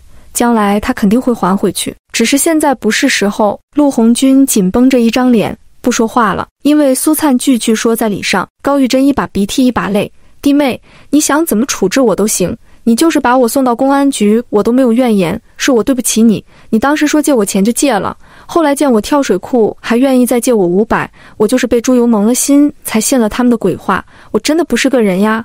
呜呜，他是真的悔死了。陆庆生露出真面目的那一刻。他才明白自己中了人家的圈套。苏灿没说话，就让他瘫坐在那里哭。等他哭得差不多了，他才开了口：“大嫂，如果你今天不来找我，我这辈子都不会原谅你。”说着，他走过去要把高玉珍扶起来：“起来吧。”高玉珍摇了摇头，泪眼模糊看着他：“弟妹，你放心。”我一会自己去公安局，就是就是我家那三个孩子以后就没人照顾了，你能不能看在？你还有脸提？高玉珍没说完，便被陆红军一嗓子吼了回去。他哆嗦的瑟缩了一下身子，哭得泣不成声。他自己从地上爬起来，看着苏灿不知所措，弯了下腰。我这就去公安局自首去。说着，他转身去拿门插。行啦，过来坐吧。苏灿上前握住了他的手腕。带着他走到了炕边，知道自己去公安局自首，看来还有救。三弟妹高玉珍不知所措看着他。第七十九章，从来没有人这么为他着想过。苏灿看着他道：“大嫂，不瞒你说，我今天和周大爷去赶集的时候，去了一趟长留村。”高玉珍听得更不知所措了。三弟妹，我当时我听你大嫂说，昨天上午你和三个孩子就已经被人接走了。我当时便明白是怎么回事了。平常你在老陆家洗衣做饭，干的活最多，但是手里可以说一分钱都没有。突然跑来找我借一千块，这是怎么想都不正常。但我当时借给你，是真的希望你和大哥能搬出老陆家，过属于自己的日子，再把大哥的腿治好，以后不能说过的多好。至少不会再看陆家人的脸色。高玉珍听得泪流满面，我对不起你，我真的对不起你。苏灿的话让他无地自容，羞愧难当。大嫂，这件事你确实做错了，不过你能知错就改，这是最让我开心的一件事。公安局你就不用去了，老陆家的人现在就等着你和我的笑话呢。你要是去了再被抓起来，他们不笑掉大牙才怪。可是我不去公安局，那两千块钱就要不回来了。两千块把我们全家都卖了。都不值这个钱，两千块呀！她嫁到老陆家十几年，手里现在都不到五块钱。苏灿扑哧笑了一下，看你这话说的，别说你和大哥了，就那三个孩子都是三个宝贝。两千块咱可不卖。行啦，大嫂，这次的事情算是给我们一个教训。他们现在想看我们的笑话，我们就偏偏往好里过。那两千块钱的事你也不用担心，最多就是在他们手里过过手罢了。将来我还会再要回来的。我今天去赶集的时候买了些猪下水，等做好了，我准备让周大爷帮忙给拉到北边的化工厂那里去卖。你正好给我打下手。家里现在有新房子，你和大哥要是不嫌弃，这间旧屋子你们就先住下。等攒够了钱，也在村里盖个新房子，你们看怎么样？可是猪下水能赚着钱吗？高玉珍就是个农村妇女，对于赚钱做生意这种事。根本没那个想法。当然，前几天你不在这里，我做的那些猪下水在咱们村可不是一般的受欢迎。高玉珍立即点头：“三弟妹，我听你的，你怎么说我就怎么做。以后我们全家给你当牛做马。”苏灿被他的话逗笑了：“咱们是一家人，不说那种话。”旁边的陆红军握着拳头，眼眶有些发红。他不会说感谢的话，只能把这份情记在心里。大哥，下午安玻璃的过来。你和青山看着装就行了。陆红军点点头。苏灿看向高玉珍，大嫂，你和孩子还没吃午饭吧？高玉珍不好意思地摇摇头，没事，我不饿。你不饿，孩子还饿呢。大嫂，你先去洗把脸。咱家孩子多，这件事不管谁问起来，都别告诉他们。一会儿青山兄弟和周大爷来帮忙，你就当什么事也没发生过一样。咱不能让任何人看咱的笑话。大嫂，你能做到吗？这话说的，高玉珍眼泪又开始往下掉。弟妹，我真是脑子里糊了屎。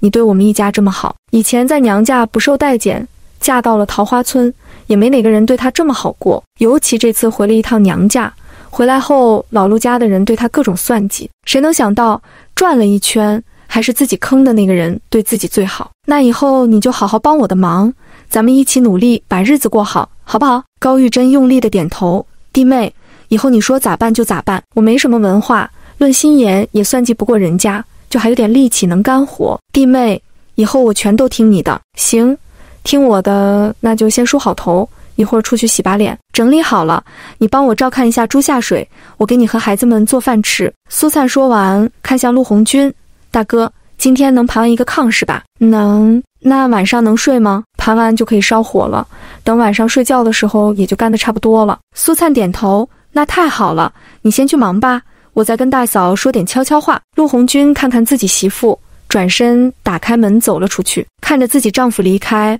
高玉珍诚惶诚恐看着苏灿弟妹，你要跟我说什么？她还是紧张不安。苏灿笑笑，不说什么。我怕我一出去，大哥一生气再揍你怎么办？所以我让他先去干活。陆红军攥着的拳头就一直没松开过。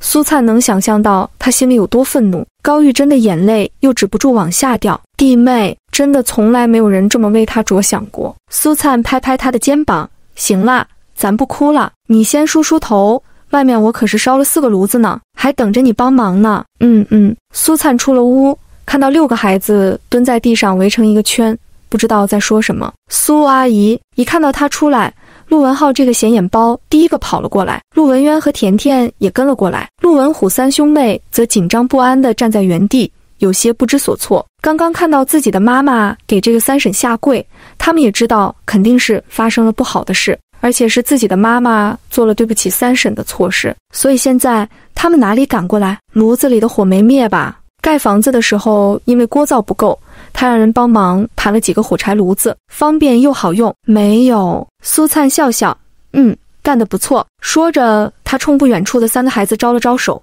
文虎、文亮、小丽。你们三个过来。三个孩子犹豫了一下，抿着小嘴唇，忐忑不安走了过来。这三个孩子从小在老陆家长大，因为父母在家里不受待见，平常也是经常被家里瞧不起的，所以性格一看就是自卑懦弱，格外老实的那种。只有老二陆文亮还活泼一些。孩子们都围过来，苏灿便拿了个板凳坐下来，看着他们道：“文虎、文亮、小丽，今天你们的妈妈跟二大娘打架的事，你们也知道吧？”三个孩子全都怯生生地点点头。第八十章。开张做生意，奶奶那边的房子不会再让你们回去住了。不过没关系，从今天开始，你们和爸爸妈妈全都住在三婶家，再也不会让你们饿肚子了。苏灿说着，又看向自家的三个孩子：文渊、文浩、甜甜，你们三个也是从苦日子过来的，以后你们六个要好好相处，不准打架，谁也不准欺负谁，能做到吗？能。三个孩子挺着小胸膛，回答得格外响亮。苏灿笑笑。文虎，你们三个还没吃午饭吧？三个孩子怯生生点点脑袋，紧紧抿着嘴角，都先忍一会儿，我给你们做午饭吃。你们几个呢，把炉子照顾好，别把火给灭了。苏灿说完，起身去新盖的饭屋了。屋子的门没有关紧。高玉珍听到了苏灿说的话，她把头发梳好。出来后，先在孩子们的注视下去洗了把脸，然后把自己的三个孩子叫了过来。妈，今天做了对不起你们三婶的事，可是三婶既没打我，也没骂我，还让我们一家五口以后住在这里。你们三个要记着，以后长大了不孝顺自己的爹娘，也得孝顺你们三婶和三叔，记住了吗？三个孩子懂事的点头，记住了。文虎，去把大门打开去吧。嗯。陆文虎转身跑去开大门。几个孩子也跟着跑了过去，孩子多，又都是差不多的年纪，很容易能玩到一块儿去。苏灿很快做了一锅面疙瘩，现在家里不缺面粉，也不缺蔬菜，做顿娘四个的午饭还是很容易的。先用葱花炝锅，再放进一些切好的蔬菜进去翻炒，最后倒上一锅水，烧开后把搅好的面糊倒进去，等到开锅后，就是一锅香喷喷的面疙瘩了。高玉珍和四个孩子看着桌子上的面疙瘩汤。都忍不住咽了咽口水。长这么大，除了昨天吃过的那顿包子，他们就没吃过这么好吃的饭。大嫂，快吃吧，吃完了还得干活呢。苏灿怕娘四个放不开，说完后就去照看那四个火柴炉子去了。周青山和周大爷很快来了，看到高玉珍带着三个孩子在这里吃饭，倒也没说什么。他和赵梅香打架的事，一中午就传遍了整个村子。听说陆洪武出院回了家，看这个样子，不用说也知道又被陆家赶出来了。两人刚进大门没一会儿，送玻璃的也到了。赵长安做好的门窗也用地板车拉了过来。这种事情有陆红军和周青山在，旁边还有个周大爷，根本用不着苏灿操心。猪下水煮的差不多了，他全都捞到了盆子里。高玉珍和三个孩子都喝了两大碗，吃得饱饱的。刷完碗筷，他赶紧过来帮忙。高玉珍平常在家里干活就是一把好手，干活做事都是很麻利利索的那种。切起猪下水来。又快又好，倒是让苏灿有些意外。苏灿把这次的猪下水分成了两样，一种是不辣的，一种是辣的。调好味道后尝了尝，感觉非常不错。三弟妹，你这手艺也太好了吧！高玉珍是第一次吃苏灿做的猪下水，整个人都被这种味道给震惊了。苏灿笑着道：“到底好不好？咱们得到了化工厂才知道，肯定有人买，主要是太好吃了。他要是厂里的工人，保准会买来吃，因为做的多。”所以还得用上周大爷的马车，四口钢顶锅里都装的不少。周青山和陆红军帮忙抬上去。苏灿和高玉珍坐着周大爷的马车去了村子北面的化工厂。化工厂和桃花村交界的地方是个三岔路口，过了三岔路口，往上三分钟就是连接家属院和山那边工厂的山洞。过了三岔路口，往下路的北边就是家属院，路南则是桃花村。苏灿早就探好了地形。所以就选择在山洞口公路的路边停了下来。这里是工人下班后的必经之地，最容易揽到生意。正对着山洞口的马路对面是一座红砖砌成的办公大楼。听周大爷说，里面住的就是这个工厂里的领导。两扇大铁门紧紧关着，旁边开了一道小铁门，门口有个保安大爷在那里站岗。已经是下午五点多了。山洞那里没看到有半个人影。苏灿用带来的碗装了一碗不辣的卤猪肉，向着那个门岗走了过去。苏灿还没走到跟前，保安梁大爷便隔着老远闻到了香味。这个年代，这种香味可是轻易闻不到的。他从保安亭里出来，苏灿笑着跟他攀谈了几句，听说他要把这么一碗肉送给自己。梁大爷有些受宠若惊，他原本是想拒绝的，但是那碗肉实在是太香了。他家里过得也不宽裕，这么香的肉哪里吃得上？梁大爷，这肉您要是吃着好吃，就帮我宣传一下。那可真是不好意思了。梁大爷最终还是把岗亭里的饭缸拿出来，把那碗肉倒了进去。这肉一收下，话就好说了。梁大爷不仅告诉了苏灿山洞那边几点上班、几点下班，连这边的办公楼哪天领导来开会的多都告诉了他。而且今天苏灿来的就很巧，工厂的领导们今天来了很多，而且还有一刻钟就要散会了。苏灿一听，谢过梁大爷，回了马车前，跟他说的一样。大约一刻钟过后，院子里便响起了说话声。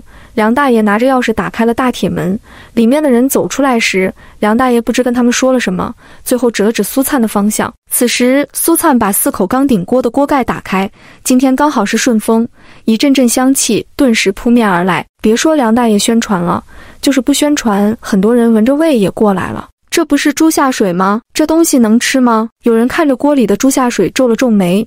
一脸嫌弃的表情，高玉珍看得心都揪起来了。苏灿听对方的话，笑笑：“各位领导，咱们是先尝后买，不好吃不要钱。这边是辣的，这两锅是不辣的，大家先尝一尝。听说先尝后买，一群人都来了兴趣。不过有的人还是一脸嫌弃，毕竟这东西一股腥味，以前也吃过，让人恶心反胃。哎呦，你这是怎么做的？这也太好吃了吧，又香又软，满口留香。”吃到嘴里，让人还想吃下一口，可不是吗？这个辣的更好吃，这味道可比咱们食堂做的好吃多了。确实，确实，哎呦，太好吃了！你这怎么卖的？第八十一章一炮打响，有人开始问价格了。苏灿笑着回答：五毛一斤。有几个人带了饭盒，立即道：“给我来两斤，我们家人多，把我这个饭盒装满吧。”好嘞，这生意一开张，便再也停不下来了。有的人没带饭盒。便先回家属院去拿了，毕竟家属院就在旁边，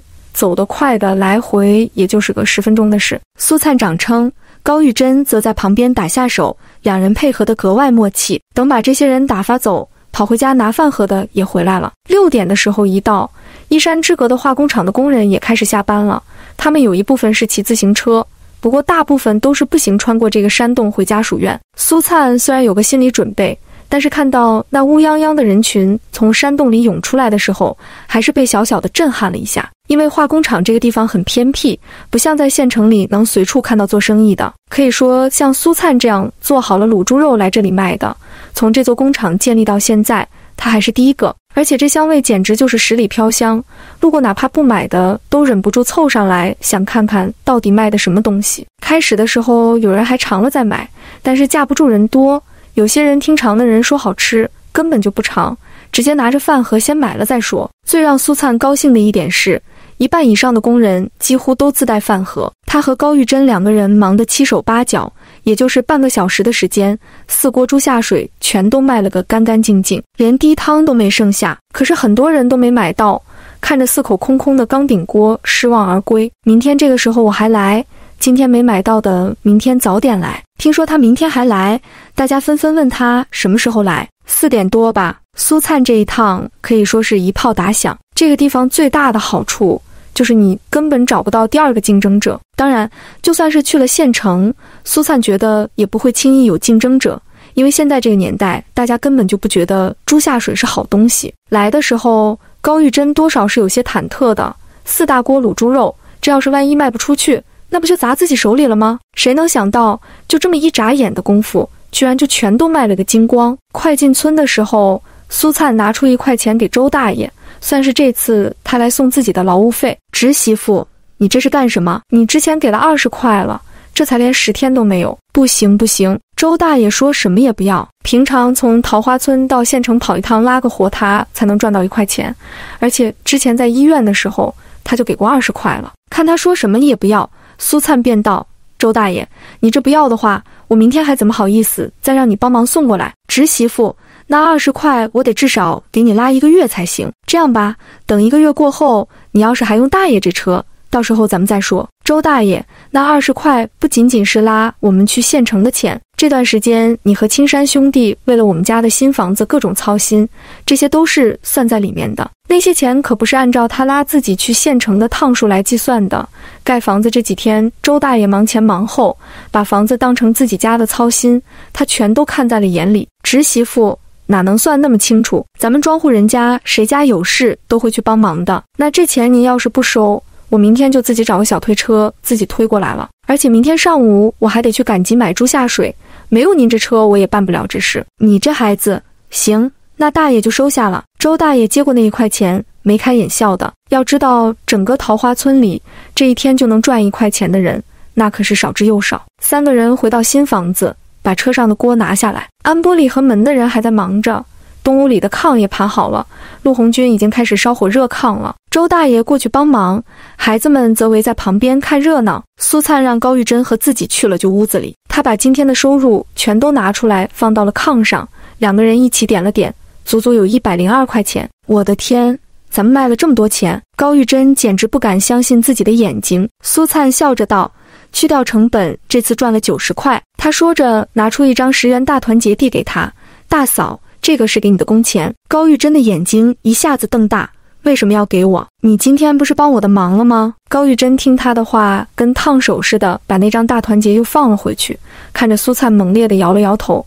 三弟妹，我不能要这个钱，你这不是骂我吗？现在他们一家住在这里，吃在这里，他要是还拿苏灿的钱，那他还是个人吗？苏灿笑笑，咱们一码归一码，这个钱是你应得的。我今天看出来了，大嫂你干活麻利。比我还利索，以后有你在我能省不少心，所以这钱你必须得拿着。高玉珍直接站了起来，三弟妹，那两千块钱我们全家得赚六七年不吃不喝才能攒够。可你不仅不跟我计较，还要再给我钱，你这比骂我还让我难受。这钱我说什么也不能要。红军要是知道了，他得骂死我。这钱你要是给了我，这个家我们还怎么住下去？我这脸都没地方搁了。他虽然脑子有些笨。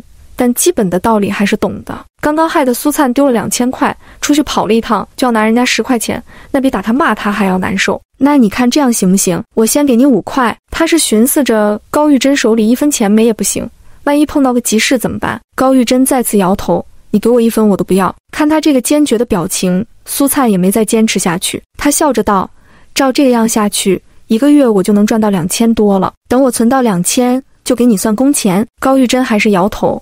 三弟妹，你不用总是想着给我算工钱，我现在能有个住的地方，还能让孩子们吃饱，你都不知道我有多知足。说到这里，他又哽咽了。大嫂，你放心，用不了多久，你和大哥也会有钱盖新房子。只要有我在，谁都别想看你们的笑话。高玉珍眼眶通红的点头。弟妹，幸亏还有你，要不然我们全家都不知道该怎么活下去了。第八十二章，馋得直流哈喇子。大嫂，说实话。你也算是在最后的时候救了自己一把。你今天要是不来找我道歉，我肯定不会帮你的。所以以后我们做事千万不能做亏心事，因为有时候就算钱到了你手上，也就是过个手罢了。而且这钱离开的时候，很可能还会刮你一层皮。你说是不是？这番话对高玉珍来说深有体会。弟妹，你说的太对了。有时候算计别人就是在算计自己。以后我再也不做亏心事了。既然这钱你不收。那我就收起来了。对了，大嫂，你会做棉被吗？当然会了。弟妹，你是有棉被要做吗？要是有的话，尽管交给我就行。那棉衣呢？只要是针线活，我都会做。老陆家所有的棉被全都是他做的，不仅仅是棉被，就算孩子们冬天的棉衣，也都是他一针一线缝起来的。他的手艺好，有时候还会帮村里其他人家做一些，没少惹陆老太太骂街。有时候他帮了别人。老太太还会跑到人家家里去要好处，以至于现在很少有人找她帮忙了。太好了，咱家现在最缺的就是棉被。明天上午你跟我一起去赶集，买些棉花和布料，只要有空的时候就做点。现在是夏天，身上盖块布都行，但是夏天一过，这秋天就到了，到时候褥子、被子，还有孩子们穿的厚一点的衣服，就都得备上了。行，家里现在没有馒头了。我寻思晚上我们要不就炒菜烙饼吃。高玉珍听得有些犹豫，弟妹那样太费了吧？薄单饼一个人能吃好多张呢。今天晚上可是七个大人六个孩子呢。俗话说，喝汤省，吃饼费，吃顿饺子卖快递。没事，家里还有几袋面粉呢。再说这活也不是天天干，孩子们也在长身体，都不能亏着。高玉珍的嘴巴动了动，最终还是点了点头。好，虽说家里多了五口人。但对苏灿来说，多了个好帮手。高玉珍和面，苏灿便去炒菜做粥，还让孩子们出去借了个烙饼的鏊子回来。其实家里已经有一个了，苏灿赶集的时候新买的，用这东西烙饼，苏灿就不在行了。但对高玉珍来说，小菜一碟，把面团全都切成均匀大小的剂子，然后用细一点的擀面杖全都擀成奥子大小的薄饼，然后一张一张放到盖垫上。奥子烧热后，把盖垫上的薄饼转动一下，之后慢慢滑到奥子上，饼到了上面一受热。很快从四面八方鼓起小包，再翻过来的时候就会鼓几个大包。陆文渊和陆文虎是家里的大孩子，苏灿让他们每人负责一个鏊子。小家伙们见过别人家吃这种饼，但那时候他们也只有瞪着眼睛干看着的份。现在自己家也做了，全都干的不是一般的带劲。苏灿炒完菜做完粥的时候，就看到高玉珍已经烙熟了很多张了，全都摞在一起。走进了，闻着一股十足的面香味，把几个孩子馋得直流哈喇子。让苏灿欣慰的是，即使如此，他们也没有一个先去拿着吃的。苏灿拿起两张撕成了六份，先让他们解解馋。小家伙们拿到手里，全都吃的眼睛亮晶晶的，一蹦三尺高。对他们来说，根本不需要就着菜和粥，就这么干嚼，他们都吃得喷香喷香的。不过毕竟人多。这点饼根本不够吃的。高玉珍教苏灿怎么擀饼，等他接过去，自己又去糊了一盆面。两个人一起做，速度多少快了一些。饼差不多的时候，苏灿变成了饭，让干活的几个大人先吃。玻璃和门全都安好了，苏灿去看了看，非常满意。今天晚上就可以在这间屋里睡觉了。晚饭又是饼又是肉菜。几个干活的人吃的那叫一个香。要知道，这饼可不是谁家都舍得这么烙的。安玻璃的大哥是外村的，第一次吃到这么好吃的饭菜，一个没刹住车，光是薄单饼就吃了十五张。听得高玉珍那个心疼，十五张。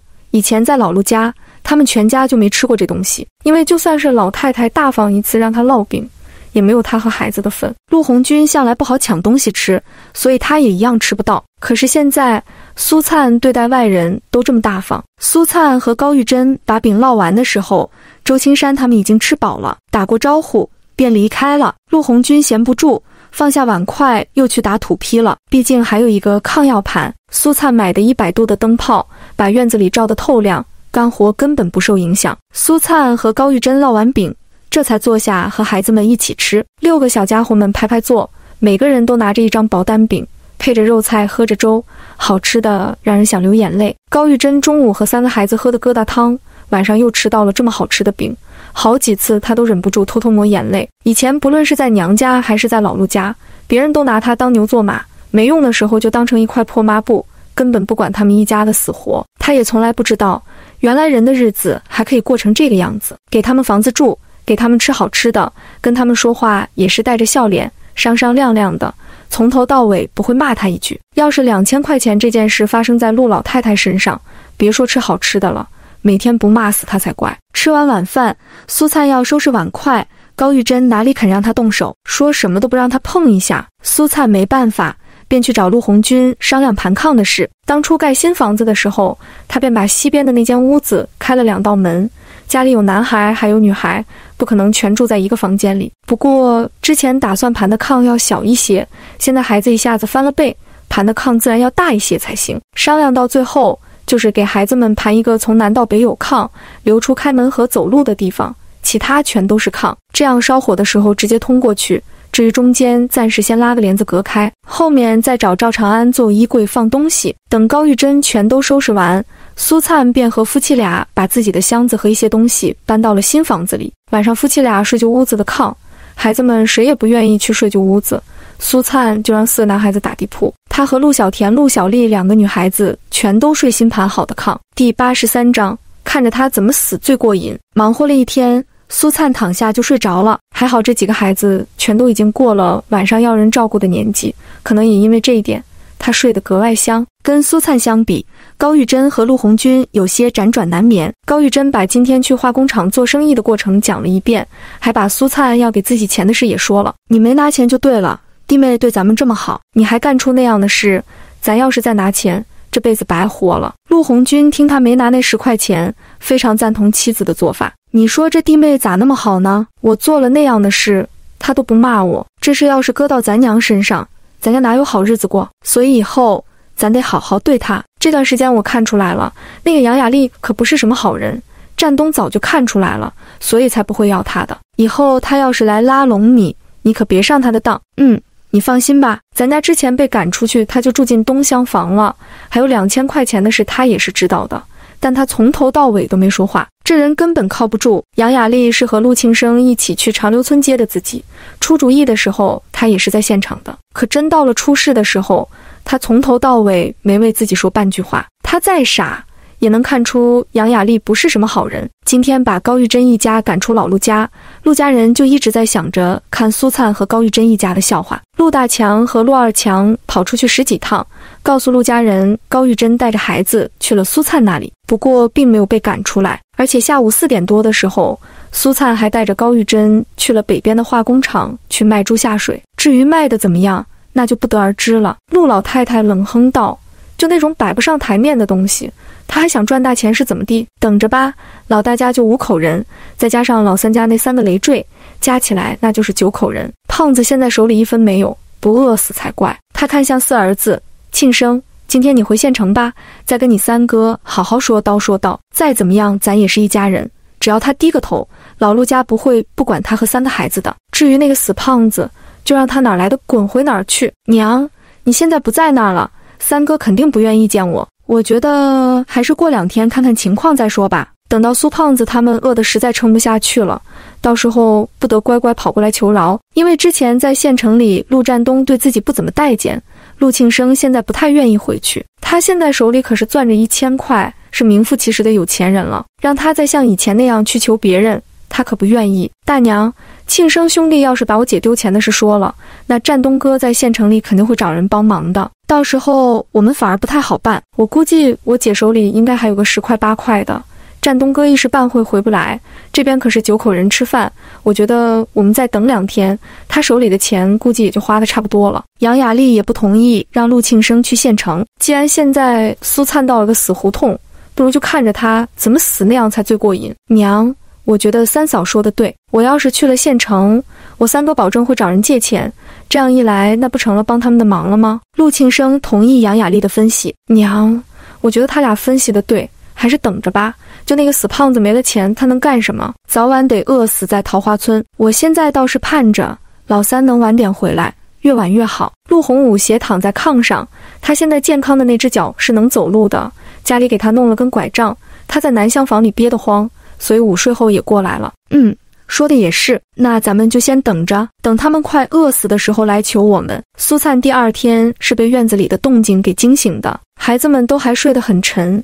他穿好衣服下了地，打开房门的时候，看到陆红军和高玉珍已经全起来了。高玉珍已经在做早饭了，陆红军则把院子里全都收拾得干干净净，整个院子里看着面貌一新。弟妹，你起来了，这饭还没做好呢，你先睡一会儿吧。一看到苏灿。高玉珍赶紧从饭屋里走出来，大嫂，你和大哥怎么起这么早？这也太勤快了。高玉珍不好意思道：“不怕你笑话，我和你大哥昨天晚上兴奋的睡不着，一直聊到很晚，总觉得这日子有奔头了，结果一不小心睡过头了。以前起的比这还要早呢。之前在老陆家，全家的家务活都在她一个人身上，她和丈夫是起得最早的那一个，一个做饭，一个挑水。”苏灿笑笑。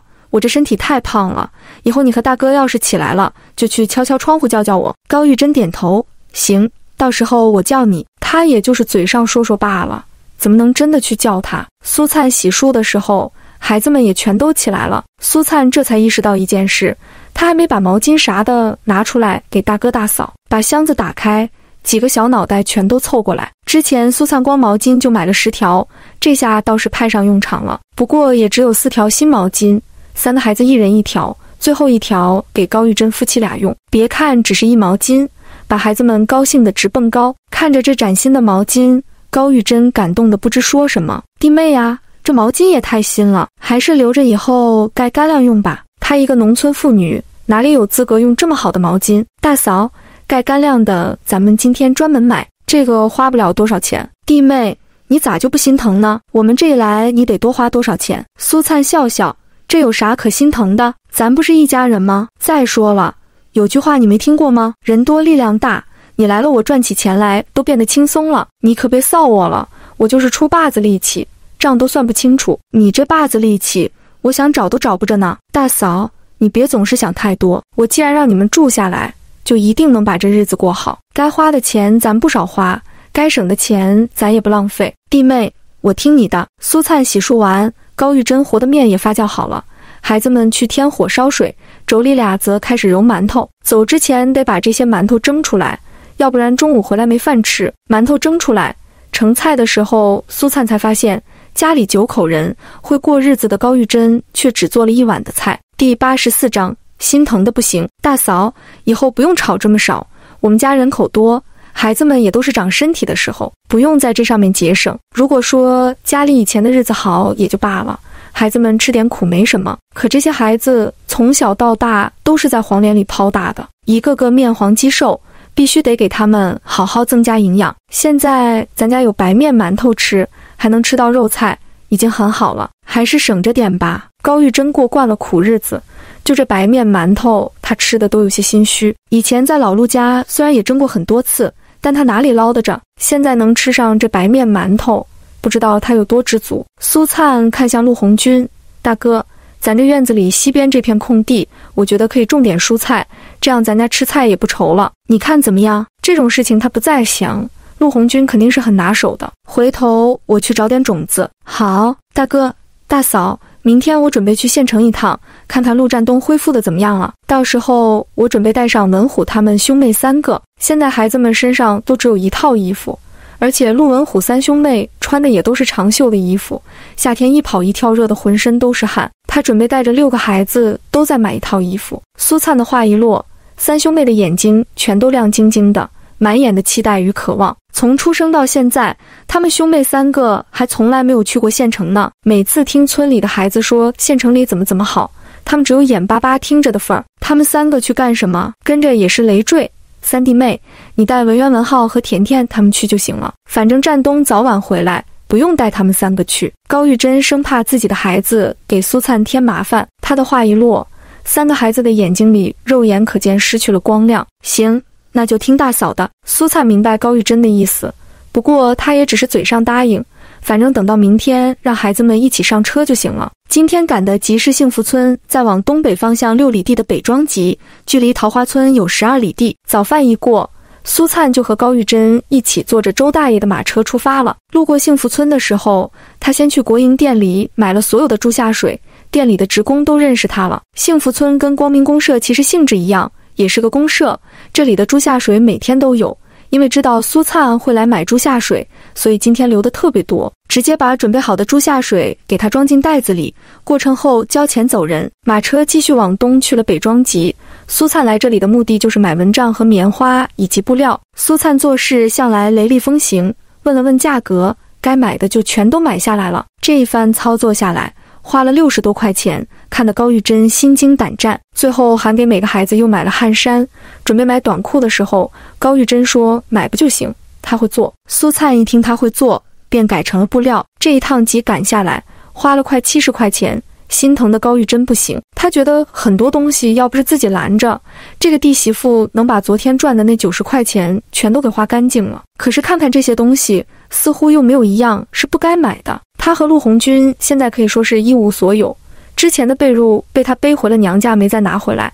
老陆家一件东西也不肯给他们，所有的东西现在都得从头开始置办。想着苏灿被自己害得丢了两千块，现在还要养他们一家人，管他们吃，管他们喝。还要管他们住，他就忍不住偷偷掉眼泪。这辈子没人对他们一家这么好过，把他们当成人看。她就是个农村妇女，没什么本事报答苏灿，以后只能努力的多干些活。一回到家，苏灿和高玉珍便开始收拾猪下水。今天比昨天多了几十斤，不过有高玉珍在，她活干得格外利索。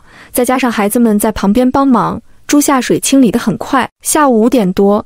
苏灿和高玉珍准时坐上周大爷的车去了化工厂。马车还没停下来，就有二十几个家属围上来了。这些人都是昨天吃过苏灿的卤猪肉后，等着再来买一些的；还有的是听说卤猪肉好吃，也跟着过来看看的。今天苏灿带来了五个锅，赶集的时候看到猪下水多，他临时决定又买了一个钢顶锅。人一围上来，就再没断过。化工厂的工人一下班。这五锅的卤猪肉依然是半个多小时便被抢购一空。毕竟苏灿卖的卤猪肉比一斤猪要便宜好几毛，而且味道还极好，香辣适度，满口余香。别说没买过的人，就是买过的，依然还跑来再接着买。苏灿告诉大家，明天他要去一趟县城，所以只能后天再来了。很多没买上的人听得失望极了。这一趟刨去成本，苏灿赚了一百一十八块钱。高玉珍高兴地咧着嘴直笑，他是真高兴。虽然这些钱一分也没进自己的口袋，可他很清楚，苏灿有钱了，不会亏待他们的。大嫂，你手里有没有钱？高玉珍被问得愣了一下，接着道：“有有有，多少？”高玉珍不好意思地道：“四块五毛二。”苏灿瞪大了眼睛：“你在老陆家这么多年，手里就四块五毛二？如果他没记错的话，今天赶集的时候，这个大嫂把手里的钱全都花出去了。”家里的钱那有我的份。你大哥这个人向来不好争抢，再说钱也不是我们挣的，有我们的饭吃就不错了。苏灿点了二十块钱给他，那这二十块钱你先拿着吧。高玉珍赶紧摆手，就听苏灿道：“咱家人多，有时候我不在家需要用钱的时候，你一分也拿不出来，那肯定不行。这钱就当是应急用，我也不是天天给你，就怕万一有个急事的时候用上。如果用不上，你就先存着。再说，就算是花了。”也是为这个家花钱，你不用难受，弟妹。既然你这么说，那我就先存着这钱。想想苏灿说的也对，高玉珍就接了，反正只是应急用，他平常也没花钱的地方。因为昨天晚上陆红军又打了很多土皮，所以今天苏灿和高玉珍回家的时候，给孩子们盘的炕就完成了。陆红军和周青山正在忙活着烧炕的事情，苏灿一回来，周青山便过来找他了。第八十五章，陆占东回家，嫂子。这炕也盘完了，新房子的活剩下的红军哥一个慢慢干就可以了。明天我就不过来了，不过有什么事尽管去找我。这段时间亏了你和周大爷帮忙，要不然我自己一个人还不知道忙到什么时候呢。苏灿对周青山是感激不尽的。自从来到这个村子，周家人对自己的帮助最大。嫂子，你说这话就见外了。我和战东哥是穿开裆裤一起长大的，咱不说这种见外的话。行。那以后我有什么事就去找你，那我就先回去了。那怎么行？一会儿就吃晚饭了。不用了，我今天晚上还有点别的事。周青山其实是不好意思再在这里吃了，下午的活很轻松，再厚着脸皮留下吃饭，太不好意思了。那好吧，那我就不留你了。苏灿把周青山送到了大门口，这才返了回来。下午去化工厂卖卤猪肉的时候，他特意留出了两大碗。既然周青山不在这里吃晚饭，他准备把这碗肉给周家送过去。天空在这时候打起了雷，苏灿抬头看了看，有雨点落在了脸上。不知什么时候乌云开始布满了天空，看这个样子要下雨了。苏灿第一时间想到的便是四个火柴炉子，全都是泥巴糊起来的，这要是淋了雨就没法再用了。他叫来陆红军和高玉珍，先把火柴炉子搬到了饭屋里。饭屋比平常人家盖的要大。当时村子里还有人说，一个饭屋盖这么好做什么？但是苏灿坚持空间大一些，现在果真有了用处。把柴火炉子搬进去，钢顶锅也拿进屋，外面瞬间下起了瓢泼大雨。苏阿姨，明天我们就去不了县城看爸爸了，是吗？陆文浩有些失落。旁边的陆文渊道：“明天肯定不下雨，他也期望去看爸爸。”苏灿看着两人眼巴巴的样子，笑着道：“没关系，明天要是下雨，我们就后天去。”反正天总会晴的。晚上，孩子们总算是有了属于自己的炕，就是现在还没有褥子，只能垫些麦秸在上面。不过即使这样，几个孩子也是格外开心。高玉珍和苏灿把今天买的粗布料拿出来，现在有了东西，高玉珍准备连夜做一床褥子出来。客厅是两间屋子的大小，地面很宽敞，最适合做被子了。苏灿想帮忙，可奈何这身体太胖，除了帮他揪揪不脚。其他的忙根本帮不上。高玉珍手脚麻利，做起这种活来根本不像平常被人欺负的那个。苏灿在他的眼睛里看到了亮光。不得不说，高玉珍的针线活不是一般的好，她引线引得格外快，而且又快又规整。苏灿第二天醒来的时候，才知道他昨天晚上竟然熬夜做了三床褥子，一大早又去饭屋里做饭去了。苏灿走出去。发现雨已经停了，他准备去洗漱时，听到大门口传来敲门声。他赶紧走过去，打开了大门，意外看到了大门口停着一辆军绿色吉普车。赵铁柱已经下了车，看到他时笑着打招呼：“嫂子好，你好，你好，你怎么来了？”苏灿说这话时，就看到他打开了后座的车门。他一眼看到了里面坐着的陆占东，顿时一脸的意外：“陆占东，你怎么回来了？”陆占东听着这话，淡淡一笑。赵铁柱抢着回答道：“团长在那里，天天担心家里的情况，每天都恨不得回来。医生拗不过他，检查了他的腿伤之后，确定回家后养着就可以，这才同意他出院的。也就是说，以后不用再去医院了。团长用的药，隔段时间我会送过来的。只要好好休养，别伤到两条腿，不会有大问题的。那太好了，你等一下。”我去叫人。苏灿转身去叫陆红军，这一嗓子把孩子们也全都喊了起来，一个个跑到了大门口。陆文渊和陆文浩还有陆小田三个人最开心，高兴的又蹦又跳。爸爸回来了，爸爸终于回来了。陆红军和苏灿一起帮忙，把陆占东放到了赵铁柱的后背上，让他背进了屋。高玉珍听到动静也出了饭屋。几个人把陆占东小心翼翼抬到了炕上。昨天晚上，高玉珍新做好的褥子立即派上了用场。陆占东躺在上面，感觉格外的舒服。从进大门的一刻，他就看到了整个院子里的变化。新房子已经全部盖好完工，院子里也收拾得很规整。不用想也知道，这些肯定都是这个女人的功劳。赵铁柱把带来的药全都交代给苏灿后，便离开了。知道他还有重要的事。苏灿也没留他。听说陆占东还没吃早饭，苏灿先去洗漱了。孩子们也全都跟着出了屋。苏灿洗漱完进了屋，看到陆占东已经靠着墙坐了起来。陆红军把其他的两床褥子放到了他后背倚着。不知这段时间是不是养得不错，这个男人的脸色有了翻天地覆的变化，白了很多，脸上也不再是瘦脸瓜腮的。多少有些肉了，比之前更帅气了。早饭是馒头和肉菜，外加两盘切好的卤猪肉拌黄瓜，一盘是辣的，一盘是不辣的。陆占东看着家里的饭菜，多少有些意外，这伙食可真不是一般的硬。不过他相信苏灿肯定有他自己的打算。既然陆占东回来了，苏灿便想着今天继续去买猪下水。现在手里缺钱，一大家子人要养呢。他把陆文渊和陆文虎叫过来，让他们去告诉周大爷。今天他照例去买猪下水。苏灿走后，陆占东才从大哥大嫂的口中得知了两千块钱丢失的事情，也知道了大哥一大家子人为什么会住在这里的原因。难怪苏灿这么急着去买猪下水，原来原因在这里。这个老四，我平常对他那么好，想不到他竟然做这种事。陆占东眉头紧皱。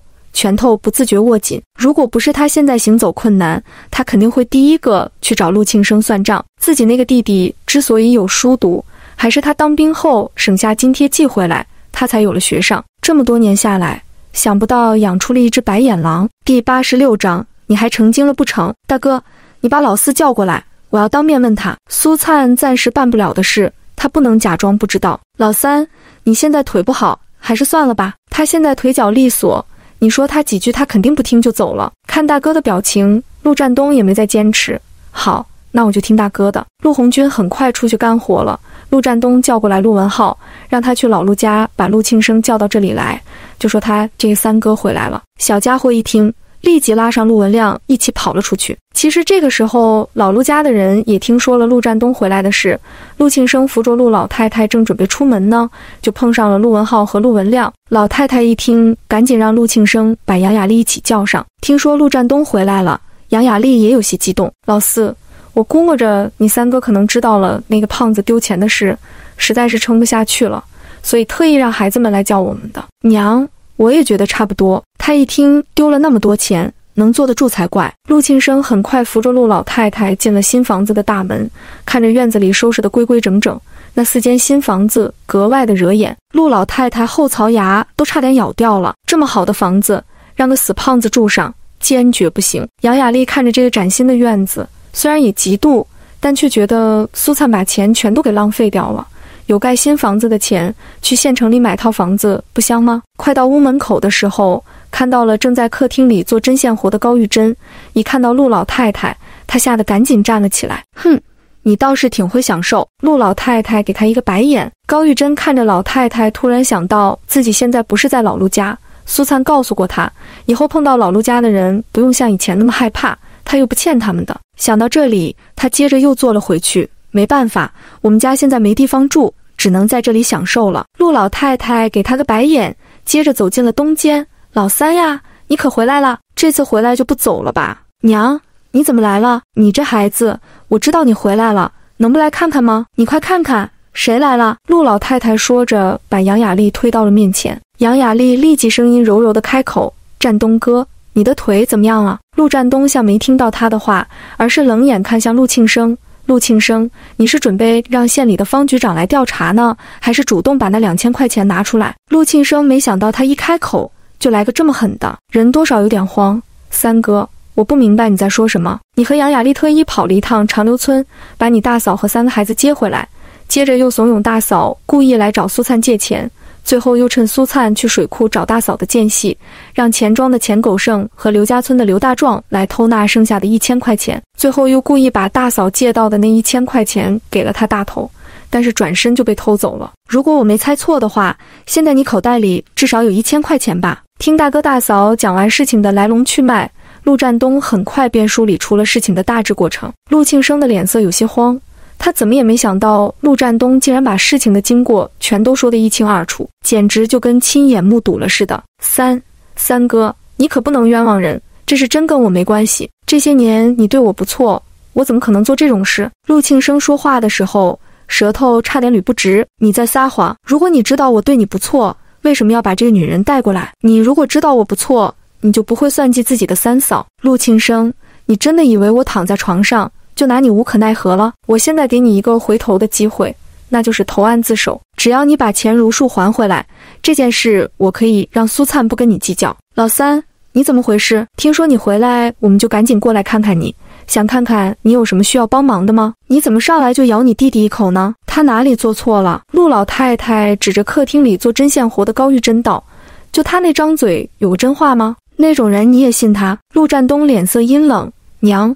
这是你最好劝劝老四，到时候别怪我不念兄弟情分。反正我看现在也没什么兄弟情分了。如果没什么事，你们走吧。好你个老三，我看你现在是翅膀硬了是吧？怎么连我这个当娘的你也往外赶？陆老太太气愤地往炕上一坐，干脆不走了。你是我娘，我当然不能把你往外赶。但是陆庆生和杨雅丽这里不欢迎你们。杨雅丽的脸色说不出的尴尬。陆庆生的脸色也好不到哪儿去。雅丽，老四，你俩先回去，我今天就住在这儿了。我倒要看看他能把你怎么样。听老太太这么说，两个人也没再留下来。反正光这个娘自己就能把陆占东和苏灿治得挺挺的。苏灿回来的时候，就看到了坐在院子里扇着蒲扇的陆老太太，把猪下水卸下来。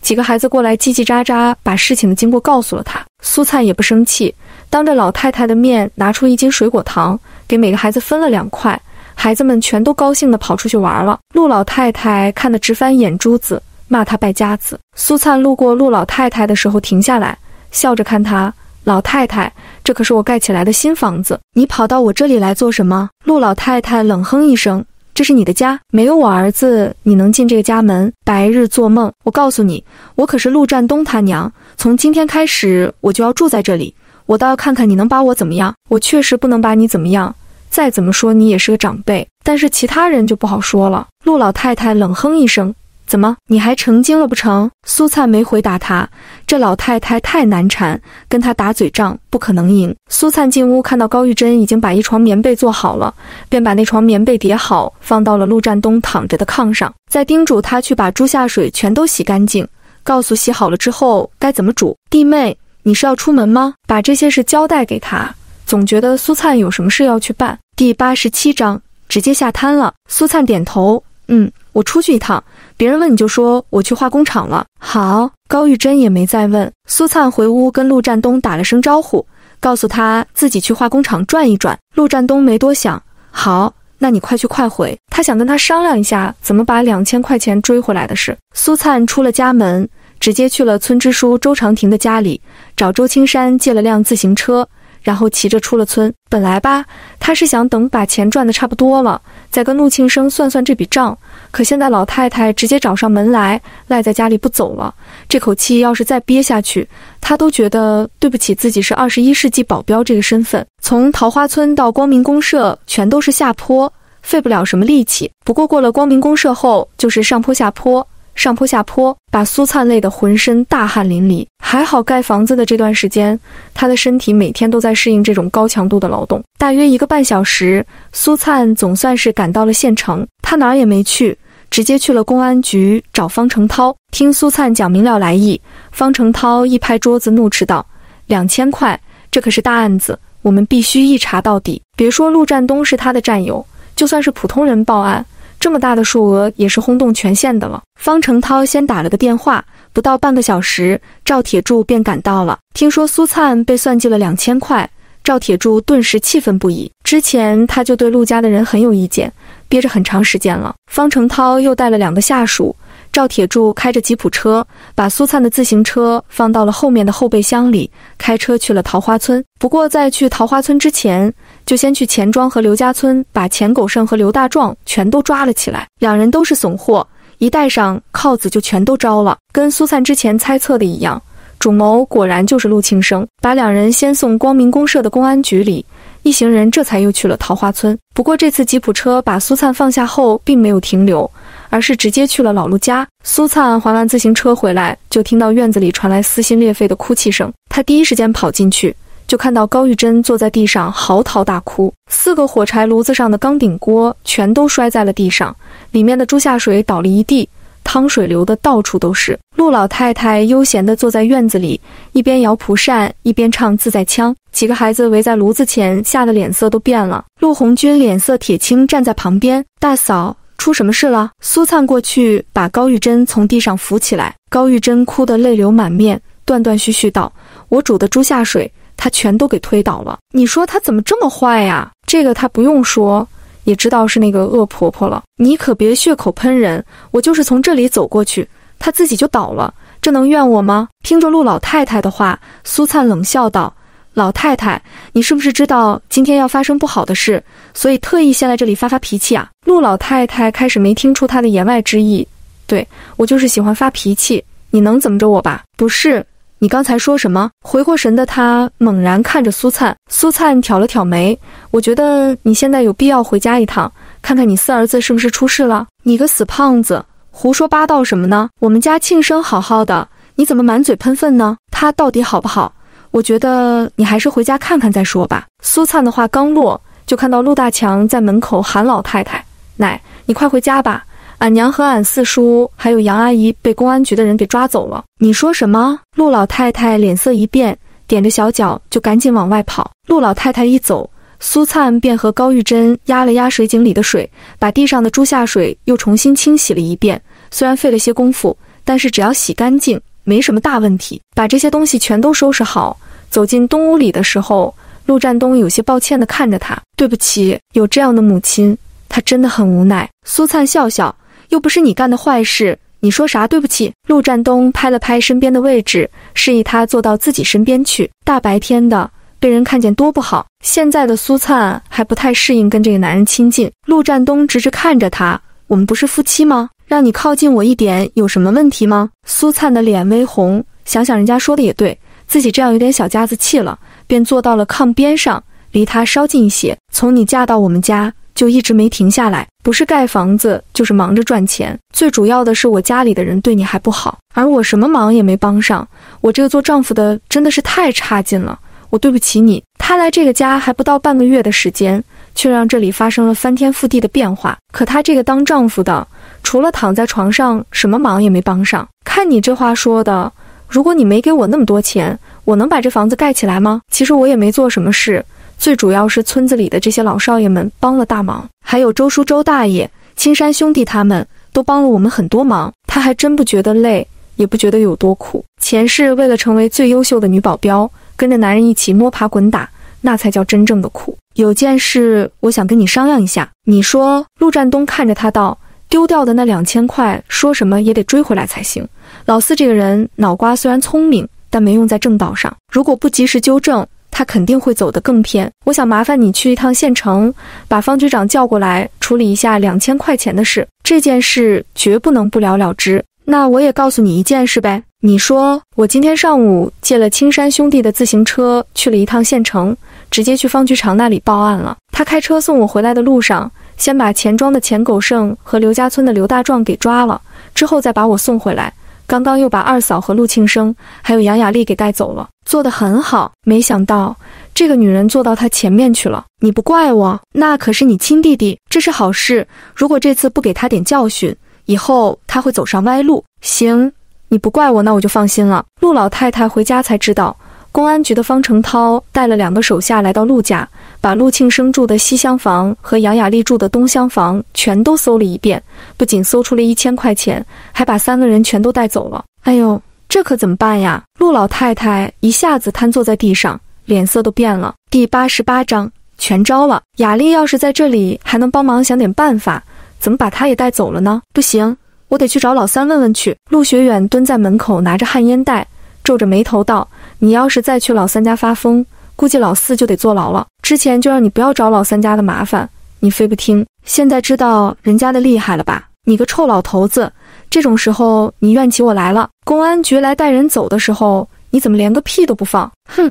你们算计人家老三家的钱，我能说什么？谁算计他的钱了？是他自己没那个本事守住钱。”陆老太太强词夺理：“那你去找老三家吧。”这是没人报案，人家公安局的能来带走老四他们，你们把人家逼急了，就别怪人家去报案。陆学远一向老实，不爱说话，但是憋了一肚子的话，今天实在忍不住了。老头子的话让陆老太太一脸郁闷地坐下来。我早上去了老三家，那个死胖子就出了门，到了中午才回来。接着咱老四就被带走了，这是肯定是他干的，钱在他手上丢的，你还不让人家报案了？你个老不死的！你到底是向着哪边的？陆老太太气得又开始骂街。听他一说，陆学远不再说话了。陆老太太寻思了半天，最后还是又去了陆占东家。大门敞开着，正是吃午饭的时间。高玉珍和苏灿正收拾饭菜往客厅里端，就看到老太太着急忙慌地走了进来。苏灿直接把她当成空气，半个眼神都不给她。陆老太太学精了，这次也不跟苏灿打招呼，直接进了客厅。又进了东屋，看着陆占东就好了起来。老三呀，庆生和你二嫂被公安局给抓走了，你可得救救他们呀！苏灿冷声道：“老太太，你不用找他，案是我报的，公安局的人也是我带回来的。你要是再在这里闹下去，我保证让你们家老四一辈子都在监狱里度过。不信的话，你就在这里继续嚎。从现在开始。”他不会再惯着这个老太太了。陆老太太剩下的话哽在喉咙里，直接卡住了。她拼命咽了咽口水。你，你为什么这么恶毒？苏灿冷笑一声：“恶毒这个词用得好。陆庆生联合钱庄和刘家村的两个小偷来偷我的钱，你觉得是他恶毒还是我恶毒？不可能，你血口喷人。”苏灿再次笑了笑：“不瞒你说。”上午回来的时候，方局长带人去抓捕那两个小偷的时候，他们当场就招供了。如果不是证据确凿，你觉得公安局带他走的时候会直接带上铐子吗？陆老太太指着他骂：“你这个恶女人！你说你怎么这么坏？”炕上的陆占东沉声道：“娘，苏灿她不是恶女人，那两千块钱是我和苏灿的钱，这事是老四做的不对。”老太太看儿子站在苏灿这边就气：“我看你真是被猪油蒙了心。”被这个女人迷了眼了，苏灿冷声道：“她是不是被我迷了眼不重要，重要的是陆庆生偷的一千块钱可是会坐牢。你在我这里多待一分钟，他就多一分钟危险。”陆老太太一听，吓得脸色大变，顾不上跟他吵架，转身急匆匆地离开了。看着他的背影，苏灿微挑了挑眉。旁边的高玉珍拉着他去了饭屋：“三弟妹，你今天上午去报案了？”苏灿便把今天上午去公安局的事告诉了他。大嫂。可能公安局那边还会过来找你了解当时的情况，你不要害怕，只需要把所有知道的情况如实说出来就可以了。高玉珍又心虚又害怕，可是我确实借了你一千块钱，现在的他肠子都要悔青了。放心吧，你是被他们算计的那一个，公安局那边了解清楚后不会找你的麻烦的。这是他早就跟方成涛打过招呼了。高玉珍这才放心的松了一口气。猪下水掉在地上后，沾进一些泥巴和沙子。虽然苏灿和高玉珍清理得很仔细，但是想想万一被人吃出沙子，那可就砸了自己牌子。所以今天这一锅，他准备煮出来，给几家关系好的送一些过去。把猪下水煮出来，苏灿正在调制的时候，方成涛坐着吉普车赶了过来。进门之后才知道是方成涛过来了解一些情况的。除了问苏灿两千块钱的事，还询问了高玉珍。苏灿从头到尾没问方成涛案子的进展。他知道在这方面有规定。方成涛走的时候，他让赵铁柱直接搬了一缸顶锅调制好的卤猪肉，并把今天这些猪下水掉在地上的事说清楚。苏灿，你这样，那我们可就不客气了。方成涛自从上次来吃过之后，对苏灿的手艺还是念念不忘的。方局长，咱们之前本来就是熟人，再加上战东这关系，你跟我还客气啥？哈哈哈，说的也是。陆战东腿不方便，苏灿把方成涛送出了门。方局长，你认识的人多，我想向你打听一下，我们这个公社哪个村子里养猪场？这个你可真问着人了。距离咱们县城最近的那个村子西龙村，那里有一家养猪场，不过具体情况我就不太清楚了。你是不是想买猪下水？苏灿点头，是的。不过那里离我们村太远了，这倒是真的。不对，你等一下，我想起来，你们这里往北下到幸福村就有个养猪场。苏灿眼睛一亮，幸福村有养猪场，他还真没听说过呢。你可以去打听打听，我记得去那里办过一个案子，当时无意间听到的。太好了，那我回头去问问。方成涛离开后，苏灿一进屋，陆占东就把他叫了过去。方局长跟你说案子的事了没有？我没问钱狗剩和刘大壮，还没到公安局就直接撂了，是老四主动找的他们。老四给他们踩点打掩护，他们负责偷。那老四招了，嗯，说自己就是想给你一个教训。那一千块还没来得及花。那赵梅香呢？她可是偷了大嫂六百块，她也招了，说是老四出的主意，把自己摘得很干净。哈哈，她要是干净。我的名字倒过来写，赵梅香一看就是那种心眼多的人。钱狗剩和刘大壮一人分了二百，两个人拿到手后花了一部分，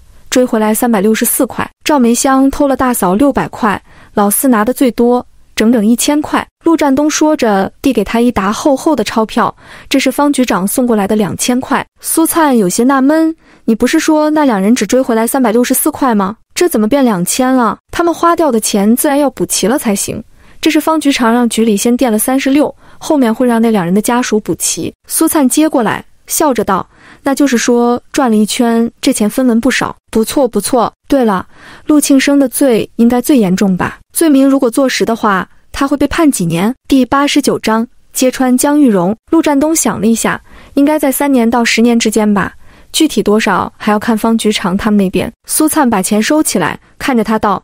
这可是你亲弟弟，他要是被判了刑，你不会恨我吧？算计你就等于算计我，我为什么要恨你？苏灿点头，你这样说我就放心了。这样看来，这个男人的三观还是挺正的。陆庆生一招供就要面临五年左右的刑期，因为他是所有事情的主谋，还是拿钱最多的那个人。赵梅香偷了六百，也要面临坐牢的风险。杨雅丽虽然没拿钱。但也算是教唆从犯。方成涛让两个下属来了桃花村，把陆庆生要判刑的事一说，陆老太太当场背过气去，直接昏过去了。在醒过来的时候，整个人就跟丢了七魂三魄似的，躺在炕上哼哼唧唧，又是发高烧，又是说胡话的。这个臭娘们儿，我看她是要整死我们家，我去找她算账。陆洪武气得暴跳如雷，他媳妇赵梅香现在还关在公社里。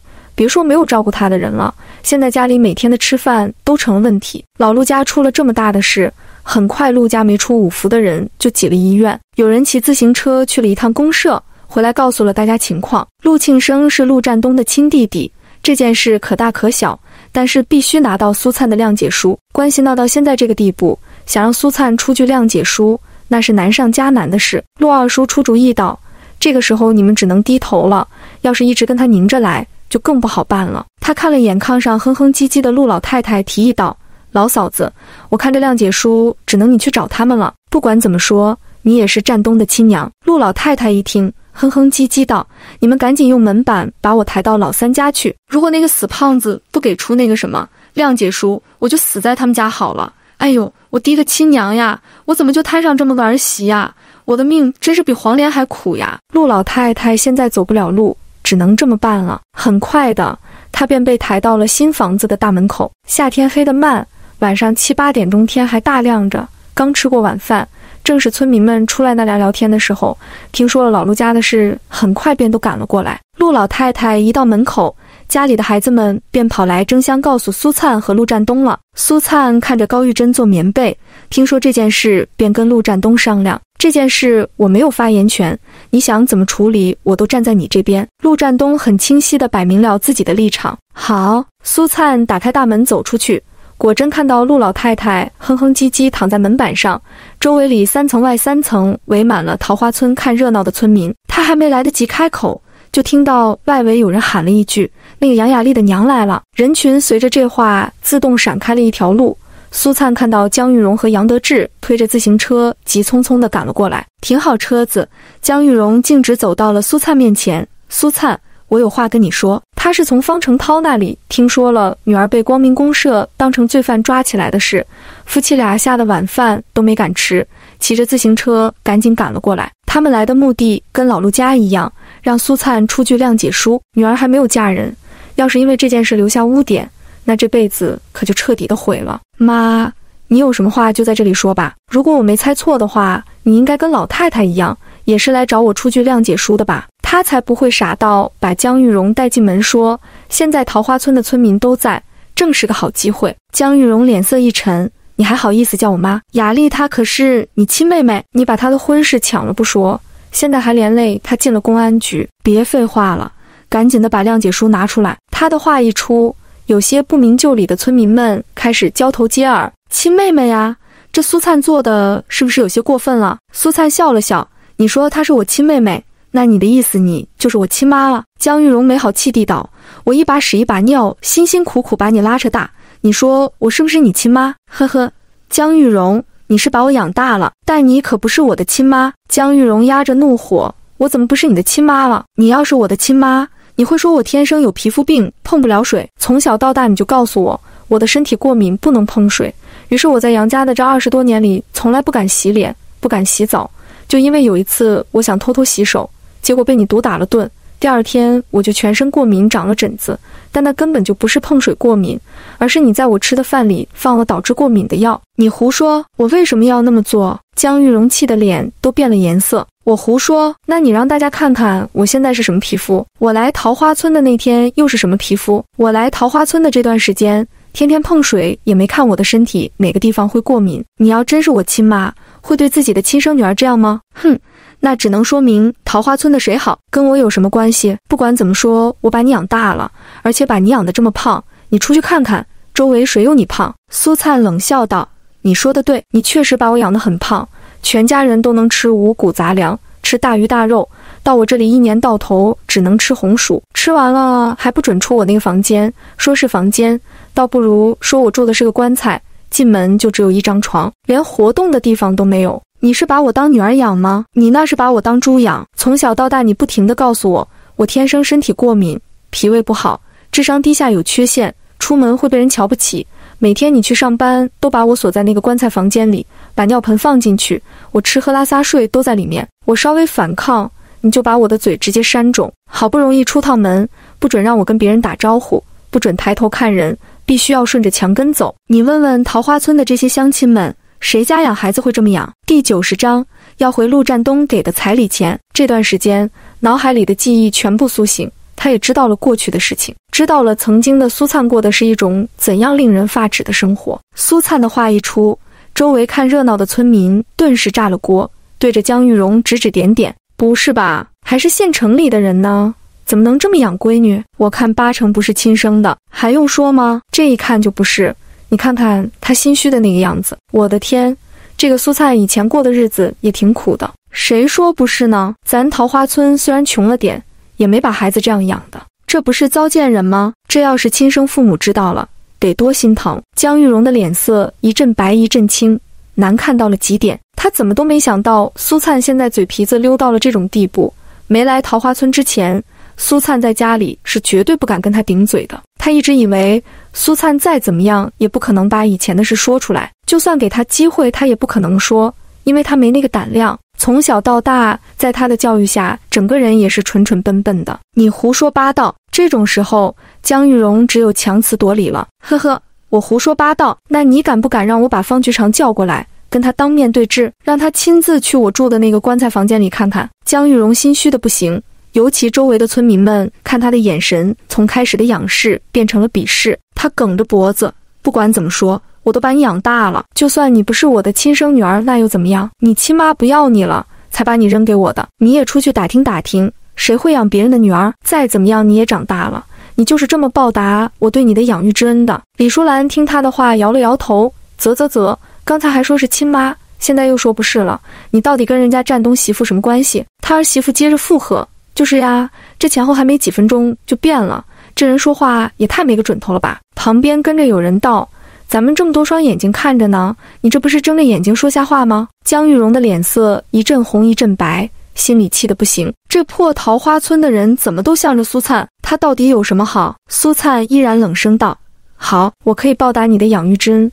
你现在当着大家的面告诉我亲生父母家在哪儿，只要我找到他们。”不仅是我一个人，我带着全家来感谢你的养育之恩。江玉荣没好气地道：“我怎么知道他们在哪？刚才你说是我亲妈不要我了，才把我扔给你的，替别人养大一个孩子，你会不知道他家在哪？”江玉荣，我现在有理由怀疑你当年是故意从我亲生父母的手里把我给偷走的。江玉荣的脸色大变。神经病！你在胡说八道什么？谁会闲的没事偷别人的孩子？那你紧张什么？你又害怕什么？我不知道你父母在哪儿，我也不认识他们。你是我在垃圾桶旁边捡到的。这话一出，村里的村民们不饶他了。哎呦，你这人说话怎么颠三倒四的？刚才说人家的父母不要了，把他扔给你，现在又说是在垃圾桶旁边捡的。我看八成是个偷孩子的，不会是看人家日子过得好，故意把人家孩子偷走的吧？这人不实在，说话没个准头，看着穿的人五人六的，那张嘴，啧啧啧。江玉荣听得一肚子怒火，可现在在人家的地盘上，再生气也得忍着。一直沉默的杨德志这是开了口：“灿灿呀，再怎么说，我们也曾经做过一家人，你能不能看在我的面子上，给雅丽开一张谅解书？”听着杨德志这声“灿灿”，苏灿都觉得恶心。这种时候你就别装了。还叫我灿灿，你好意思叫吗？我可没忘记我房间外面的锁是你提议买的。每次江玉荣打完我，你都会跑到我面前装老好人，让我以后在那个家里尽量别发出声音，不要惹他生气。以前我傻的要死，还以为你是个好人，可现在我才明白，你这种人心思更狠更恶毒。因为江玉荣不藏着掖着，但你表面做好人，背地里捅刀子，让我看在你的面子上，你在我这里有面子吗？杨德志被嘲讽的脸色铁青。一句话也说不出来，江玉荣快要气炸了。但是想到女儿的事情，还是压着满肚子的怒火道：“这也不行，那也不行，怎么样你才肯写谅解书？我可以给你们写谅解书，但是有些事情我们必须得说清楚了再说谅解书的事。他今天一个也不会放过。”江玉荣硬着头皮道：“行，你说说。之前我先问你一个问题，我现在是不是陆占东的媳妇？”江玉荣绷着一张脸，违心回答：“是。”苏灿点头。很好，既然我现在是陆占东的媳妇，那之前他跟杨雅丽订婚的三转一响，你们是不是该还回来？他那是自愿送出去的东西，你错了。他之前只是腿受了伤，没办法去你们家要回来。我现在是他媳妇，自然要帮他把东西全都要回来。不过那些东西你们家肯定已经用了，东西送回来我也不愿意要，就按现在的市场价给钱吧。我之前早就算好了，收音机三十二块。上海牌全钢手表一百二十块，自行车一百六十八块五，缝纫机一百七十五块四，这些加起来一共是四百九十五块九，再加上平常送的一些水果点心和衣服，我也不跟你多要五百块钱，给钱吧！江玉荣气的脸色一阵青一阵白，恨得牙根直痒痒。这五百我给了你，你就写谅解书是吧？我说了，我在写谅解书之前，我们必须把所有的事情全都讲清楚。旁边的村民道。这钱是人家占东的，既然不嫁给人家，这钱必须得给。就是这么多钱不给人家，那不是丧良心吗？杨德志碰了碰江玉荣的胳膊，赶紧给吧。方成涛告诉他们的时候，特意叮嘱过他们，来找苏灿的时候一定要多带些钱，越多越好。所以他们是有备而来的。江玉荣是真不愿意给五百块钱呀，不是一笔小数目。第九十一章。江玉荣这辈子没栽过这么大的跟头，可是女儿的名声要紧，当着这么多人的面拿钱，他不放心，特意走出一段距离数够了五百块回来，没好气给了苏灿。苏灿扬了扬眉，把钱揣进了口袋里，继续道：“不愧是县城里来的，做事就是大气。接下来就是我的事了。你说你不知道我的父母在哪里，但是这些年你每年都会收到他们的汇款，有时候五十，有时候一百。”有时候两百，你拿着我父母的钱折磨我、虐待我，我也不跟你多要。他们前前后后寄给你们几千块，你给我两千就行。这具身体的原主，在他没穿过来之前，听到过江玉荣一家的讨论，只是原主这些年被养的脑袋不太灵光，所以根本不知道那些钱是自己的亲生父母寄来的。苏灿接受这些记忆后，很快便明白了是怎么回事。我滴个黄天老奶奶，这是拿了人家的钱呀！啧啧啧。这一家子人心也太黑了。我还以为他是真好心呢。江玉荣听着周围的话，气得七窍生烟，指着苏灿道：“你放屁！我什么时候拿过你父母的钱了？”他实在是想不明白，这么隐秘的事，这个蠢货是怎么知道的？苏灿环抱双臂，拿不拿你自己心里清楚，别当我是傻子。邮电局可是有汇款单底子的。杨德志一脸愁容地接过话去：“苏灿，你说的对，这些年我们家对你照顾的确实不太好。”对你造成了一定的伤害，可是两千块钱实在是太多了，我们真的拿不出来啊！我们身上现在只有五百了，你看能不能通融一下？他是怕苏灿真要去查汇款单底，那可不是闹着玩的。苏灿冷声道：“我这已经给你们打折了，少一分都不行。两千块，要么你们现在回去拿钱，要么就让杨雅丽在公安局里多住几天，反正她也是第一次去，长点经验也不错。”他这话一出。周围有人扑哧一下笑出声，鬼的个，长点经验也不错。谁会去那种地方长经验呀？你你你，你这心也太黑了！江玉荣恨得咬牙切齿，他这辈子就没栽过这么大的跟头。苏灿呵呵一笑，跟你比起来，我可差远了。杨德志试探地道：“那如果我们拿了这两千，你是不是就能写谅解书了？”当然，他很清楚，能从这两口子身上榨出两千五百块，已经是极限了。行。那我现在回去拿钱。杨德志说着，把江玉荣拽到了一边。回去一趟翻山越岭的，他就暂时留在这里。他们来的时候确实带了钱，但也只带了一千五。江玉荣虽然气得要死，但是也只能以女儿的名声为重。今天晚上无论如何都不能让杨雅丽在公安局里过夜。江玉荣气得到旁边找了个位置坐下。苏灿招手把陆文渊叫过来，在他耳边低语了几句。陆文渊转身跑进了院子里，苏灿垂眸看着还躺在门板上的陆老太太。刚刚他和江玉荣吵架的时候，这老太太看的不是一般的带劲，现在这时候又哼唧上了。老太太，谅解书还想要吗？陆老太太一听这话，让旁边陆家院的人扶着她坐了起来。要，我当然要。不过我可告诉你，我一分钱也没有，你可别想跟我要钱。这个苏灿跟杨雅丽的父母狮子大开口要那么多钱。他听得都心惊胆战，所以必须得丑话说在前面。他说这话的时候，就看到陆红军和高玉珍从院子里走了出来。刚才苏灿把陆文渊喊到身边，就是把他们夫妻俩叫出来。没钱是吧？既然你没钱，那我接下来可要关大门了。咱们看看谁能耗得过谁。苏灿也不惯着他，转身就往院子里走。大哥大嫂，走，我们回家。陆红军和高玉珍现在都是无条件站在苏灿这一边。他说什么？他们就做什么。眼看他真的要关大门，陆老太太赶紧道：“苏灿，你给我站住！他可不能让小儿子在公安局里过夜。”苏灿放在大门上的手没动。我告诉你，接下来我要跟你谈的就是钱。你不是说你没钱吗？没钱，咱们就免谈。陆老太太气得嘴唇哆嗦，脸色青紫。旁边陆家院的人有过来打圆场的，侄媳妇，你先别急着走，有什么话你先说出来。然后老嫂子看看能不能解决。苏灿站在原地没动。行，当着咱们村这些大爷大叔、大娘婶子们的面，我就好好说一说。说完，他拽着高玉珍走到老太太面前，陆红军也跟着走了过来。苏灿接着道：“老太太，现在大哥大嫂住在我的新房子里，这是咱们全村都知道的事。既然他们住我的房子，那我就要管他们的事。当初你们把大哥大嫂赶出陆家时，半分钱都没分给他们，现在就趁着这个节骨眼，把他们的家分了。粮食、被褥和家具，他们全都不要，只要二百块钱，你拿出来给他们，就当是分家了。这番话听得高玉珍眼眶瞬间红了，陆红军在旁边也握紧了手。他们夫妻俩怎么都没想到，苏灿第一件事想的竟然就是为了给他们分家。陆老太太一听便炸毛了，就他们两个废物，一天到晚半分钱不赚的货。也值二百块钱，你当我们老陆家是大财主呢？一分也没有。苏灿冷哼一声：“大哥大嫂这些年没有功劳也有苦劳，你自己拍着胸脯问问自己的良心，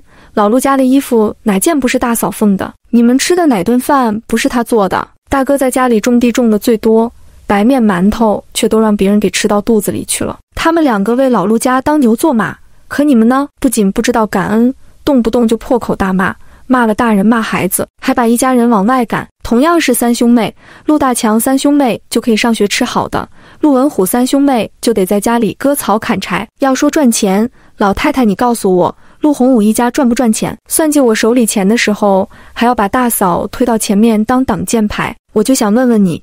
你们还有没有心？第九十二章算总账。陆红军一家的遭遇，桃花村里的人最清楚了。几乎所有人都赞同苏灿的话。陆红军是出了名的老实人，老陆家的地几乎全都是他种的。高玉珍也是，不仅要去地里干活，家里的活也全都包了下来。夫妻俩累死累活干到现在，还落不下一句好话。陆老太太冷哼道：“他们是这个家里的人。”就得为这个家出力。咱们桃花村老辈子到现在，哪家不是这样过的？一分钱不赚，还要分二百块钱。那你让他们俩弄死我算了。陆二叔过来劝苏灿侄媳妇：“你说的这些，我们也全都知道。不过咱们桃花村能吃国家粮的没几户，大家都是从地里刨食吃。这红军分家可以，但是我觉得钱确实有些多了。”他这话立即得到了周围村民们的赞同。现在大家都是勒紧裤腰带过日子。手里真没几个钱。陆二叔又看向陆老太太道：“老嫂子，今天当着这么多人的面，这个家不分肯定不行了。”陆老太太阴沉着一张脸：“分家也行，但是只能分粮食分东西。老大一家没赚过一分钱，这钱我是不会给的。”陆二叔这次看向陆红军：“红军呀，你们两口子这些年确实出了不少力，但钱也确实没赚过一分。分东西分粮食，我觉得合情合理。”至于钱呢，分家之后你们可以自己去赚，你说是不是这个理？陆红军点头，他本身也不是计较的人，钱我们不要，就分东西和粮食吧。高玉珍跟着点头，行，那这事就这么办。陆红军一答应，苏灿也不好再说什么，既然要分家，那肯定要去老陆家分。陆老太太哼哼唧唧，被人抬回了老陆家。桃花村里都知道老陆家出了大事，不管是村南头还是村北头的。只要听到动静的都跑了过来，把老陆家从院子到大门口围得里三层外三层。之前苏灿和陆占东分过一次家了，比着之前分家单再分一遍就可以了。村民们有好心的借了地板车，把陆红军一家分到的东西全都送到了苏灿的新房子里。苏灿，你现在赶紧写谅解书，分了家。陆老太太说话顿时有底气了。苏灿冷笑一声。现在只是把大哥大嫂的事情解决了，我和陆占东的事情你还没解决呢。这谅解书我不能写。陆老太太听的声音都拔高了。你又想闹什么幺蛾子？当初我刚到桃花村，陆占东和三个孩子一无所有，我才让分家的。但是这段时间我算了算，怎么算对我们一家都不公平。陆占东当了十几年的兵，之前的我们不算，他当了三年团长，每个月的津贴是一百二十多，他每次只留下十几块。其余的全都寄回了家里。按一百块钱算，一年就是一千二百块，三年就是三千六百块。这还不算他之前当营长的时候一个月九十块，当连长的时候一个月六十块，当排长的时候一个月五十二块。他当团长之前的钱我就不跟你算了，毕竟陆占东是你亲儿子，他寄些钱回来孝敬你们老两口是应该的。但是当团长这三年的钱你必须得给我，多了我也不要。两千块一分不能少！你这个死婆娘，你怎么张口就是钱，闭口就是钱？你当我是印钱的是吧？你怎么不去死？你个天杀的狗东西！我们老陆家怎么就摊上你这样的货？我的个亲娘呀！我的命怎么这么苦呀？一听苏灿要两千块，陆老太太再也忍不住。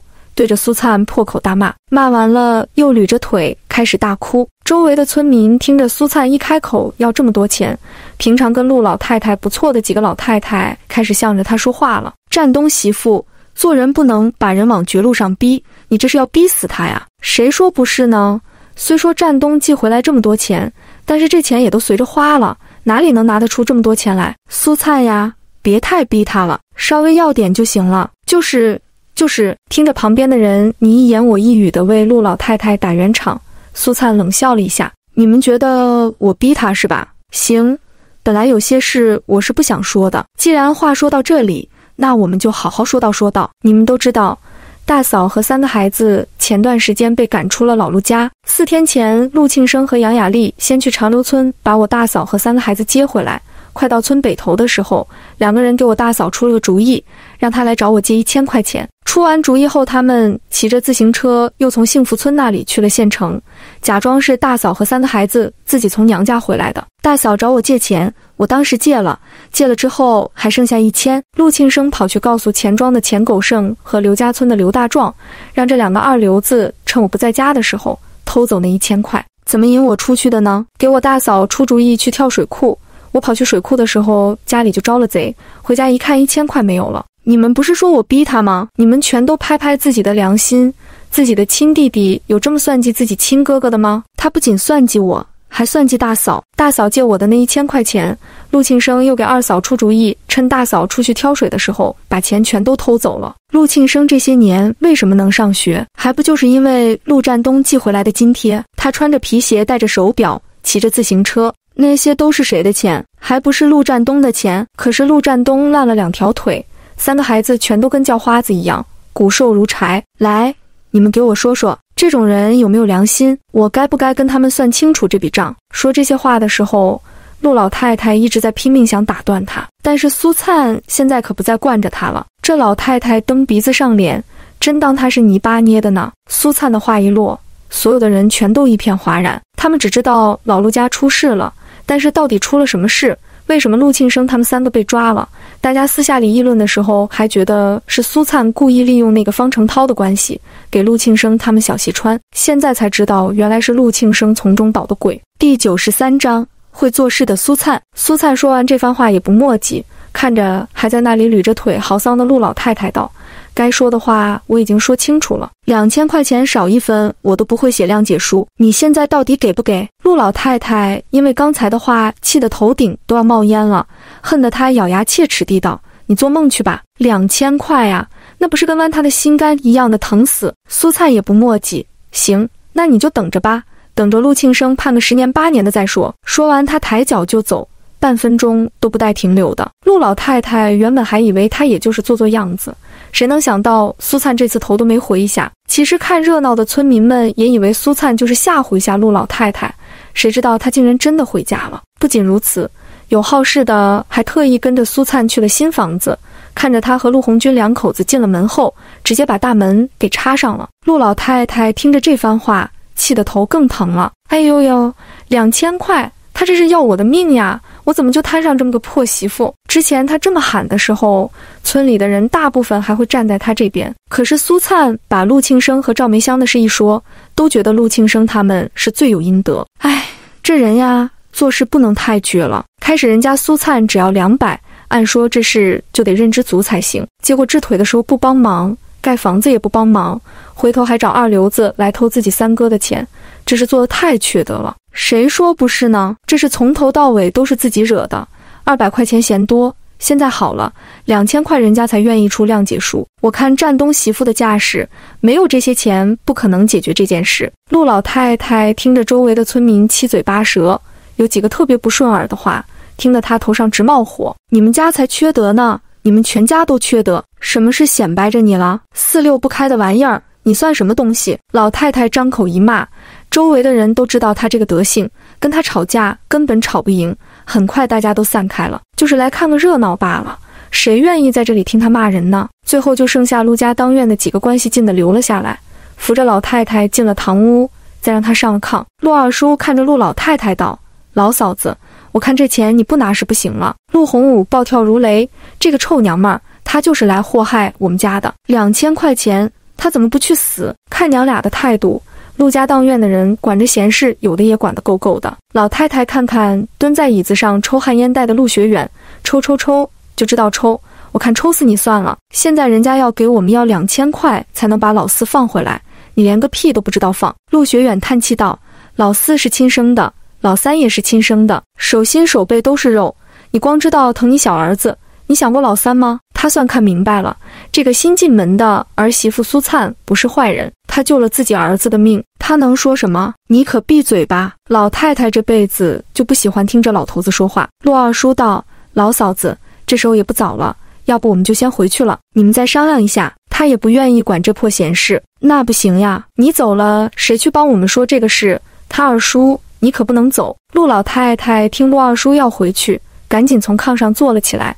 这么地吧，他二叔，你去找那个苏胖子说道说道，告诉他两千块钱实在没有，给他二百块吧。陆二叔听着这话就头疼，人家要两千，你就给二百，我觉得够呛，这都不用去问，百分百是白跑一趟，你就先去问问呗。再说这事总不能他说两千就两千吧。在陆老太太的催促下，陆二叔最终点了头。同意跑这一趟。到了苏灿家时，他正和陆红军夫妻俩整理刚刚分家得来的东西，看到陆二叔来了，苏灿招呼他进了有炕的那个房间。陆占东就在炕上坐着。今天晚上的事情，他虽然没有在现场，但是家里现在有六个孩子，一个孩子就是一个通讯员，十几趟下来，他就把事情全都听明白了。陆二叔说完来意后，陆占东先开了口：“二叔，这件事我全都听苏灿的，他要两千，我就支持他要两千；他要五千，我就支持他要五千；他一分不要，我就支持他一分不要。这话已经说得清清楚楚。”明明白白了，这件事必须得看苏灿的意见，别人说的不好使。原本陆二叔还想着从陆占东身上下点功夫呢，这下子把路都堵死了。行，那我就跟侄媳妇说，侄媳妇，我今天来就倚老卖个老，这两千块能不能再少一点？你老婆婆那边实在是拿不出来，也算是给我个面子。苏灿点头，行，既然二叔开了口，那我就卖你个面子。原本我是这么打算的。只要有人来当这个和事佬，来一次多加两百块钱。这次我看二叔的面子，就不要这二百块了，还是按两千算。不过接下来老陆家那边只要找一个和事佬过来谈一次，就加两百块钱。不过我不会让二叔白跑这一趟。今天的卤猪肉，一会我让孩子们给您端两碗过去。不过今天这肉一开始被老太太全都推到地上了，您千万别嫌弃。陆二叔原本听苏灿前面的话，觉得这侄媳妇不给面子。结果后面听说给自己端两碗卤猪肉，这心情又转了回来。哎呦，这哪能嫌弃？咱家穷地方，一年到头能吃几顿？行，我也说句公道话，老太太呀，这一辈子就毁在那张嘴上，张口闭口的骂人。我们这管闲事的都管得不舒服，哪里像人家苏灿，自己就过来跑了一趟，结果就给了两碗卤猪肉。二叔，你这话提醒我了，如果老陆家拿出两千块。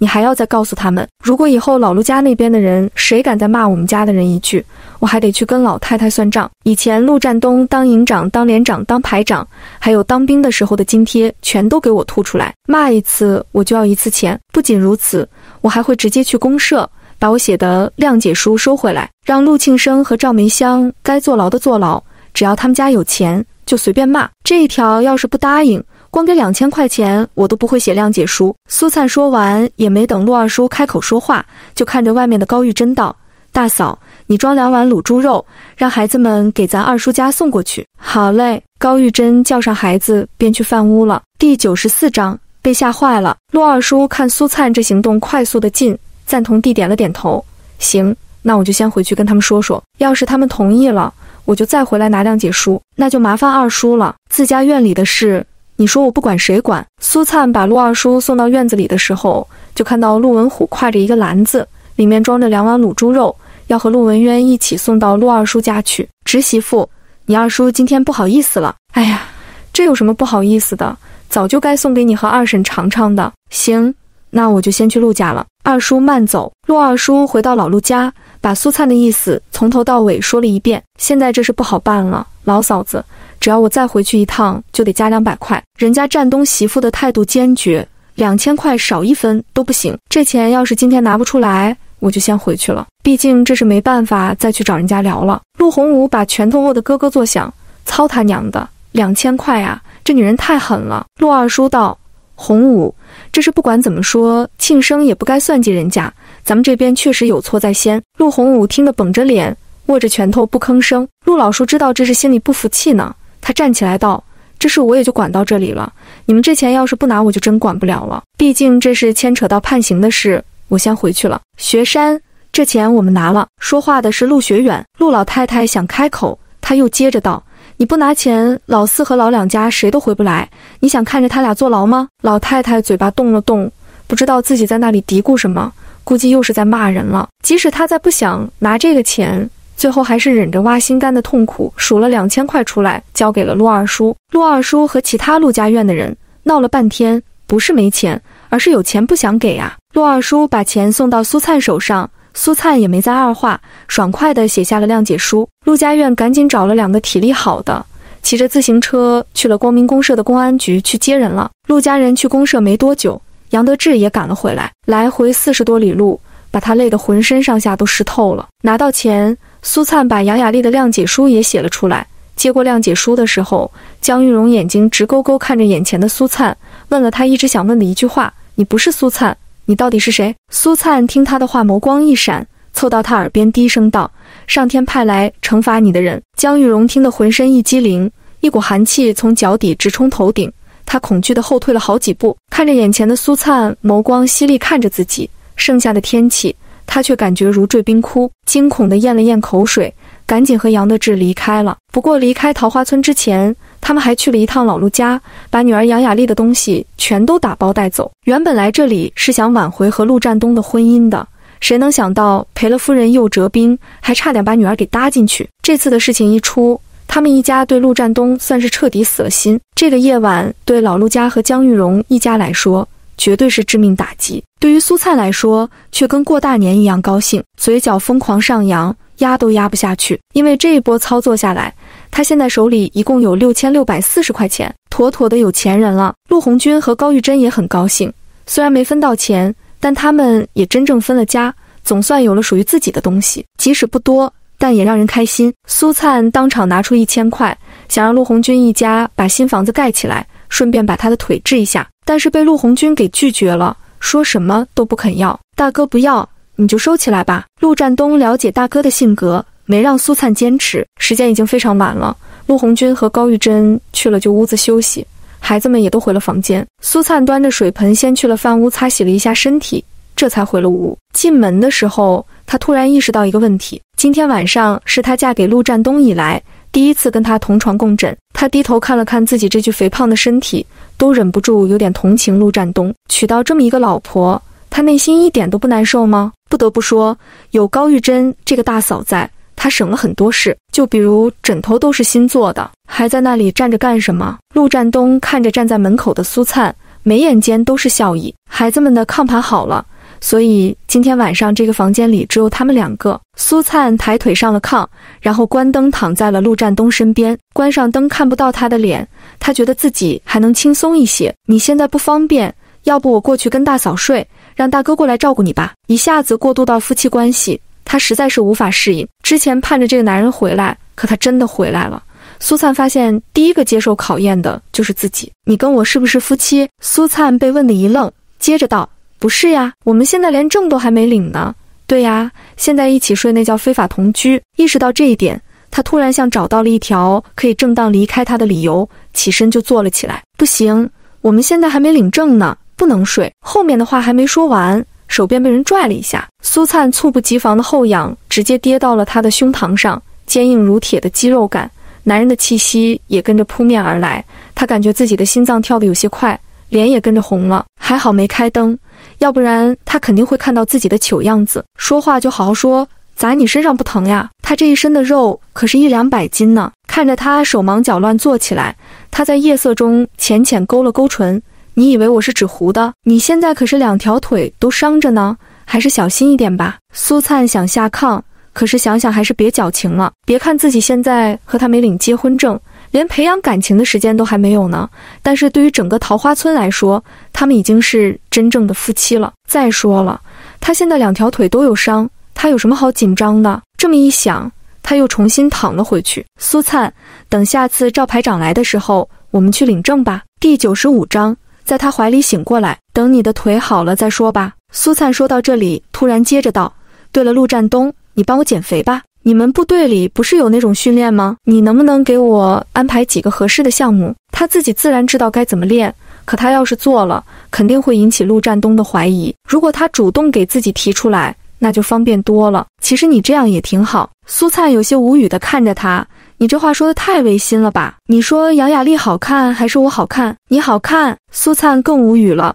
是我这样是挺好看的。村里人背地里都叫我苏胖子、大胖子。叫杨雅丽的时候，就变成了那个漂亮的好看的姑娘。你自己没点分辨能力吗？我不在乎你的身材，你不在乎，我在乎。难道你喜欢自己的媳妇走出去，别人都给她背地里起外号吗？你真的喜欢吗？看着他有些生气了。你真要减肥？嗯。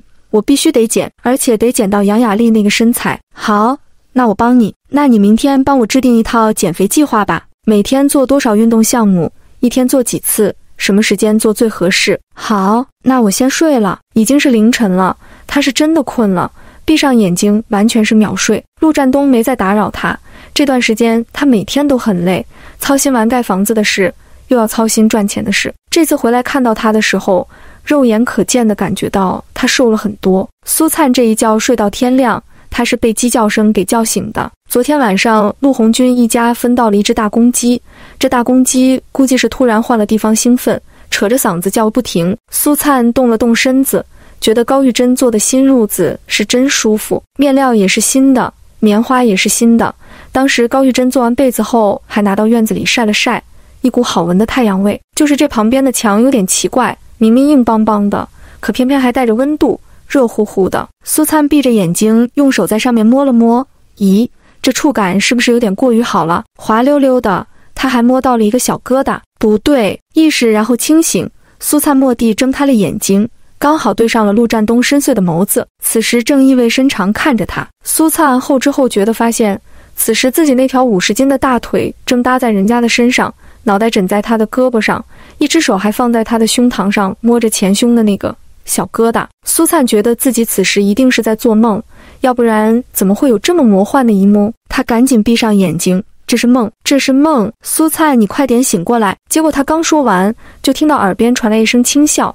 他猛地睁开眼睛，看到的还是那张脸，挺帅的。现在的他要是再觉得这是梦，那就太傻了。他的脸一下子爆红，两辈子都没经历过这种事，完全没经验呀。那个不好意思哦，我睡觉太没人样了。苏灿说这话的时候，能听到自己的声线都是带着颤音的。丢死个大人了！他把那只摸着小疙瘩的手光速收回来，与此同时，那条五十斤的大腿也缩了回去，再扶着炕坐了起来，都不敢看那个男人的眼睛。那个没压到你的腿吧？他赶紧往他小腿的位置挪了挪，去检查他的伤口。自己这个大体格子，大晚上的要是在那上面砸一下，后果不堪设想呀。陆占东淡淡一笑：“你压的是大腿根，离伤口还很远。”这话不说还好，对于从二十一世纪穿过来的苏灿来说，立即意会到了一些敏感的问题。大腿根，那不就是？难怪他刚才感觉有个硬硬的玉米心。苏灿赶紧跳下了炕，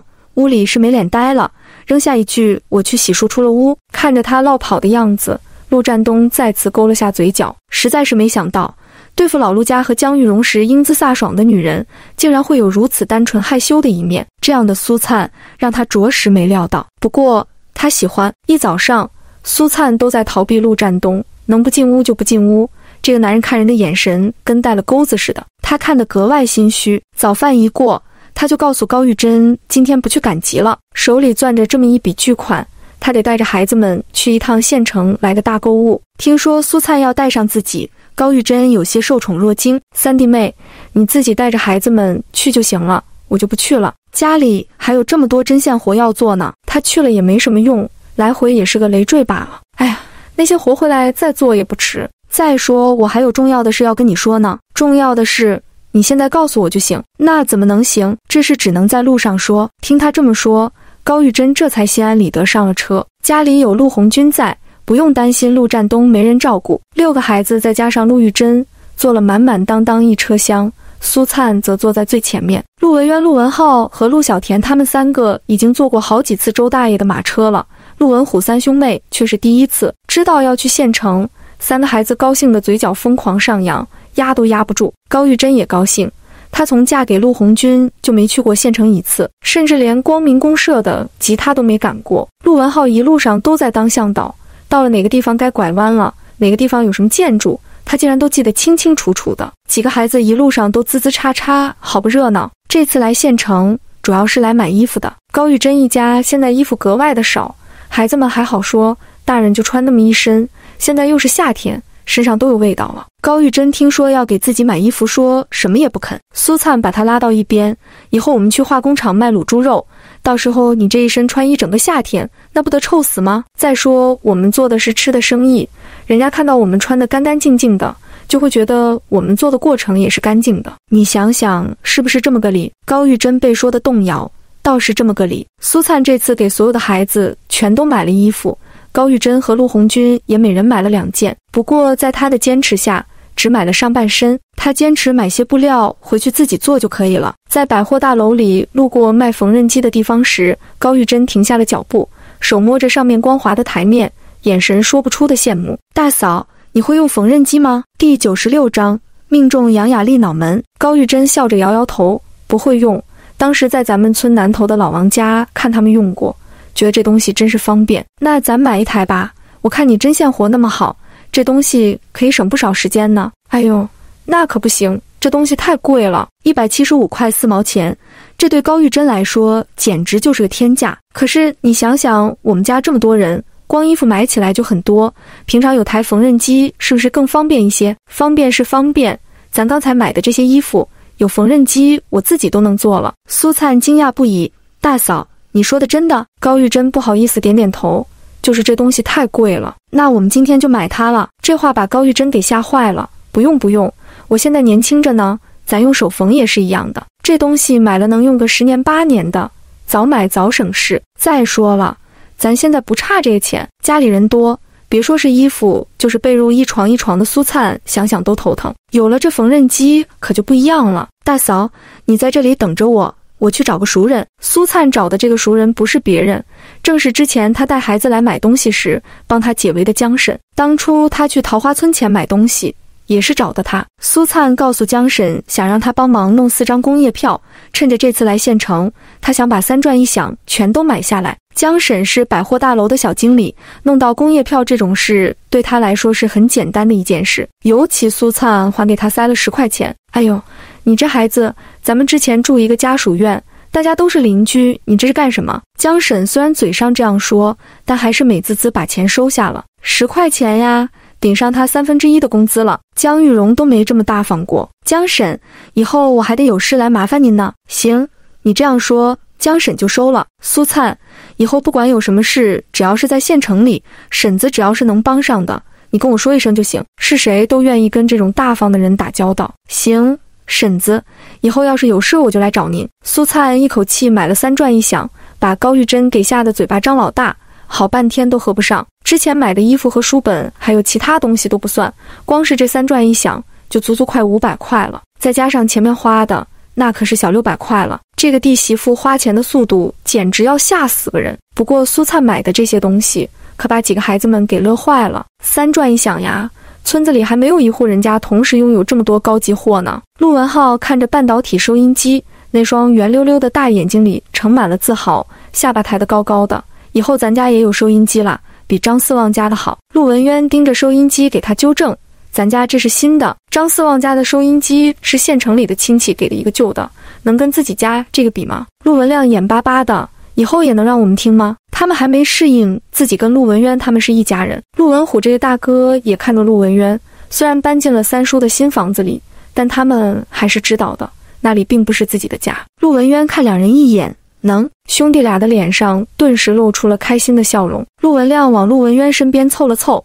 那今天买的小人书，我们也能看吗？能。陆文虎兄弟俩又开心的笑了。兄弟俩长期生活在老陆家，已经养成了每次询问陆大强和陆二强的习惯。可不管他们问多少次，陆大强和陆二强从来都不会给他们好脸色。有好吃的故意馋他们，有好玩的故意馋他们，有新衣服新鞋子故意馋他们。反正只要有任何好东西，他们兄妹三人都只有眼巴巴看着的份儿。可现在陆文渊兄弟俩说，他们也可以听收音机，他也可以看小人书，兄弟俩的心里别提有多开心了。陆文渊，你真好。陆文亮打心底里觉得他们好。陆文渊看着他郑重道：“是我苏阿姨好。”陆文浩附和：“对，是我们苏阿姨好，她可好可好了。”苏灿没有听到孩子们的对话，因为他在后面推着自行车。自行车的后座上绑着缝纫机的工作台和支架，马车只能装个缝纫机机头，如果全放到马车上，就得少两个人的位置。苏灿，你给我站住！苏灿推着自行车才走出几米远，便被人喊住了。他顺着声音看了一眼，真是冤家路窄，在这种地方竟然碰上了江玉荣和杨雅丽，仇人相见，分外眼红。尤其是杨雅丽，恨不得上去掐死他。要不是这个女人。他怎么可能被抓到公安局去？虽说没判刑，但已经够丢人的了，简直就是他人生中的奇耻大辱。杨雅丽气冲冲走过来，抬手就要扇苏灿的耳光。从昨天晚上到现在，他气得肚子都快要炸了。突然让他碰到了苏灿，而他这个时候两只手还推着自行车，只有等着自己挨打的份。所以他算定自己这口恶气肯定能出。可他挥出去的巴掌还没扇到苏灿脸上，脑袋上就被人梆的一下砸中了。他疼得尖叫一声，本能的往后趔趄了几步，被江玉荣赶紧扶住了。扔东西的自然是苏灿，自行车把上挂着提篮，里面放着一包水果糖。杨雅丽气冲冲往这走的时候，她随手拿起一颗糖捏在了手里。前世的她除了一身的好身手，扔飞镖也是百发百中。桃花村可不缺小石头，她这段时间没事的时候，除了拿着小木棍熟练身手，再就是小石头了。所以这颗糖在他手里，那可不是一颗普通的糖，而是武器。杨雅丽的脑袋倒是没破，但被砸的地方火辣辣的疼。江玉荣怒不可遏：“你这个狼心狗肺的东西，我养你这么大！”你不但不知道感恩，还恩将仇报，有娘生没娘养的东西！我看你跟个畜生没什么区别。昨天晚上在桃花村栽了那么大一个跟头，全家都憋着一口气，没想到他竟然自己送上门来了。这口恶气说什么他也不能就这么咽了。第九十七章，房子塌了。苏灿听他的话冷笑：“畜生，能骂出刚才这些话的人，才是真正的畜生吧？”江玉荣。你最好把你的嘴巴管好了。现在的苏灿可不是以前任由你的捏圆搓扁的人了。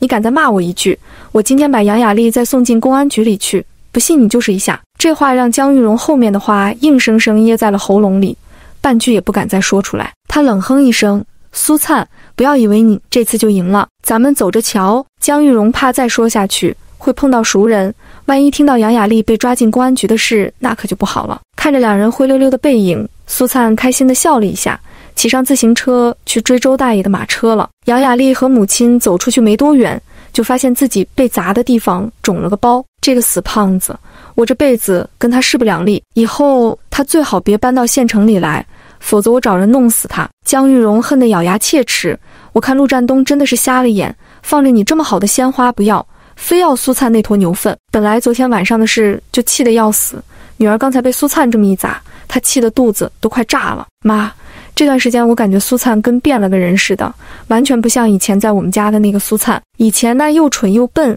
现在这个怎么这么聪明呢？真让人百思不得其解。杨雅丽这次受的打击有些大，她以为自己能完胜苏灿的，谁能想到她还真有些本事。哼，她聪明个屁，还不是跟她那个妈一样。蠢得让人随便摆弄。昨天晚上，苏灿靠近他耳边说那句话的时候，江玉荣吓得汗毛炸起。不过今天一想，又觉得苏灿是在故弄玄虚。妈，苏灿的妈到底是谁啊？江玉荣想到那个年轻时就貌美如花、处处都压自己一头的女人，恨得牙根痒痒。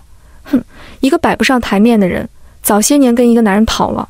我都不知道他人在哪里，有些事他自然不能告诉女儿。杨雅丽倒也没再问，而是转了话题：“妈，有件事我没告诉你，什么事？今天回来的时候，在一中校门口，我碰到陆庆生的同学了。你猜他是谁的儿子？谁的？县长的。”江玉荣听了这话，眼睛一亮：陆庆生竟然和县长的儿子是同学，可不是吗？妈，你不知道，当时县长的儿子眼睛简直都要盯在我身上了。江玉荣听得眉开眼笑。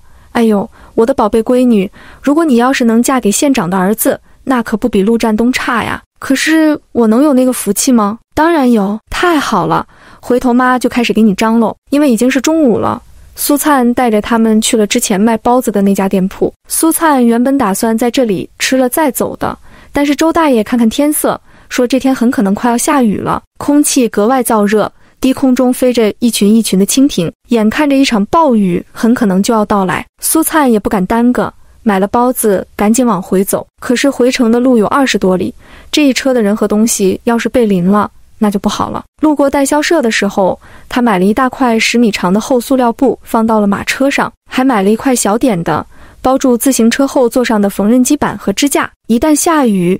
也好有个遮挡，正好快出城的路上有一家国营食品店，他进去买了五斤猪肉。现在陆占东和孩子们都需要增加营养，他不想在吃的上面亏待了他们。这雨来的还真不是一般的快，马车还没走出县城，瓢泼大雨便哗啦下了下来。好在苏灿提前做了准备，塑料布也买得很长，装起来还能把马车从头盖到尾。孩子们全都用脑袋顶的塑料布，水积得多了，就用小手指头往上戳一下。玩得不亦乐乎，因为出县城的路是上坡路。高玉珍不顾他的反对，跳下车，从后面帮他推着自行车，这样苏灿能轻快一些。两个人全都淋得像个落汤鸡。高玉珍边走边后悔，早知道就不该让文虎他们来的，把这个弟媳妇淋病了，可怎么办？大嫂。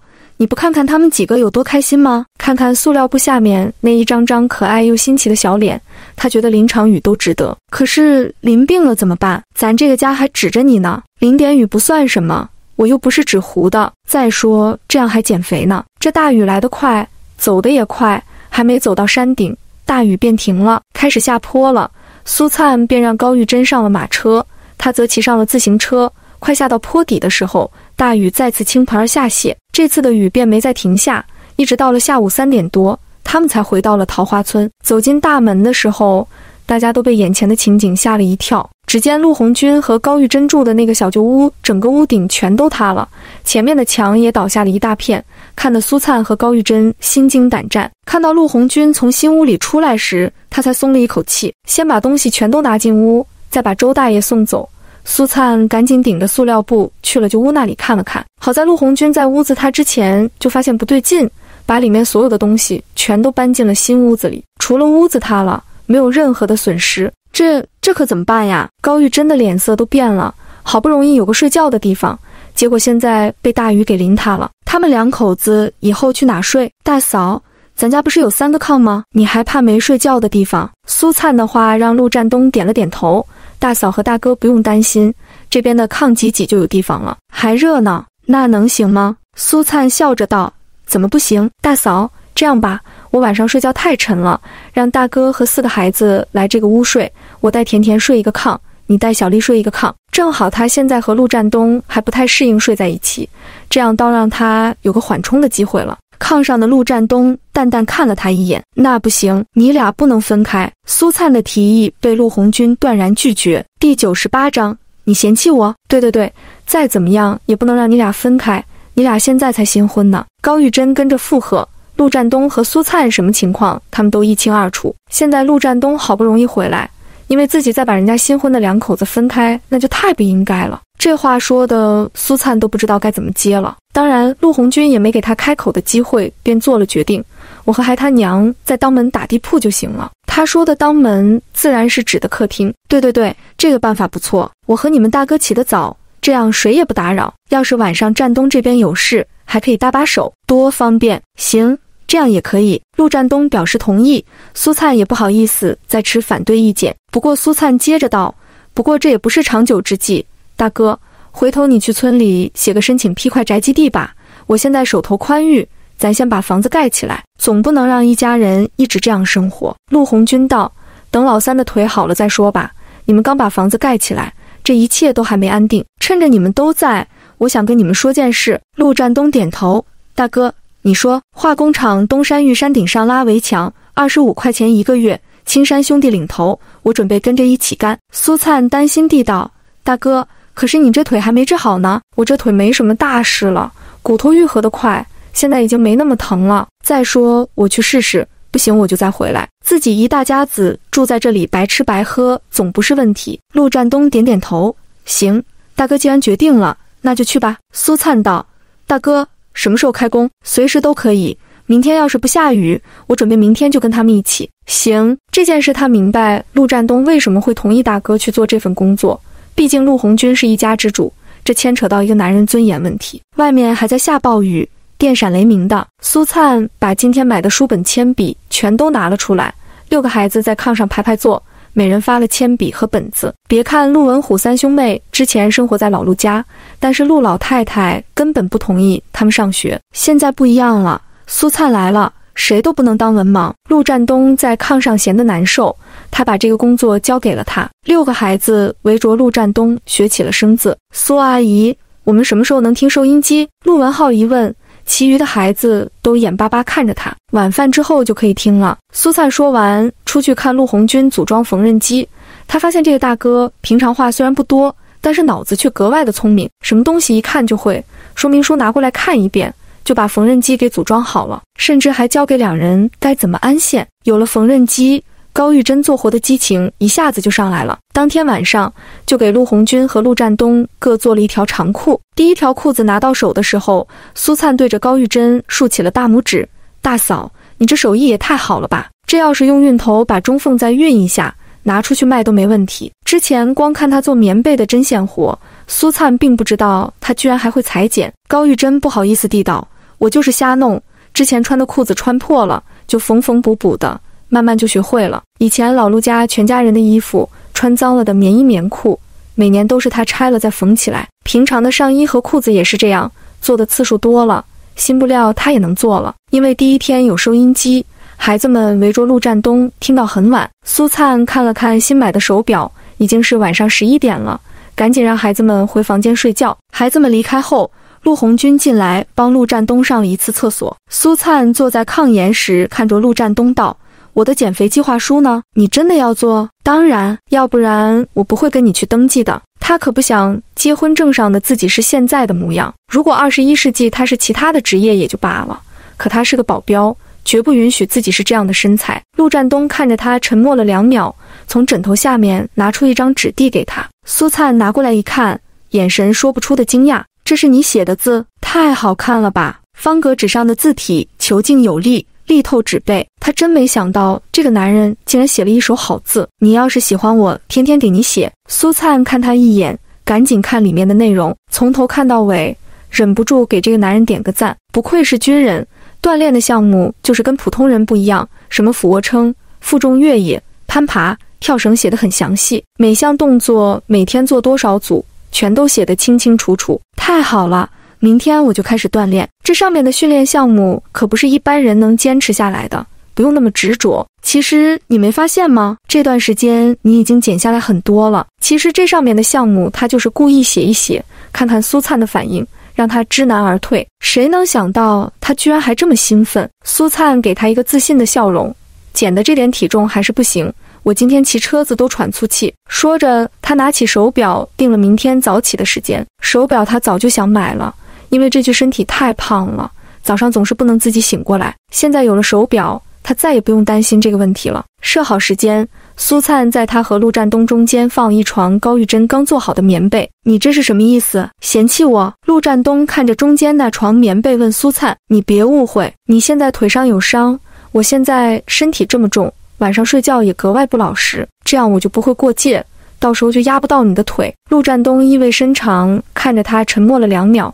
意外地点了头，好，那就按你说的做。听他这么一说，苏灿顿时松了口气，熄灯上炕睡觉。这次因为中间隔了一床棉被，苏灿完全没有了思想压力，很快便进入了梦乡。隔天手表定的时间一响。苏灿变醒了，他睁开眼睛，正准备起床，结果整个人直接僵住了，几乎是跟昨天一样的姿势。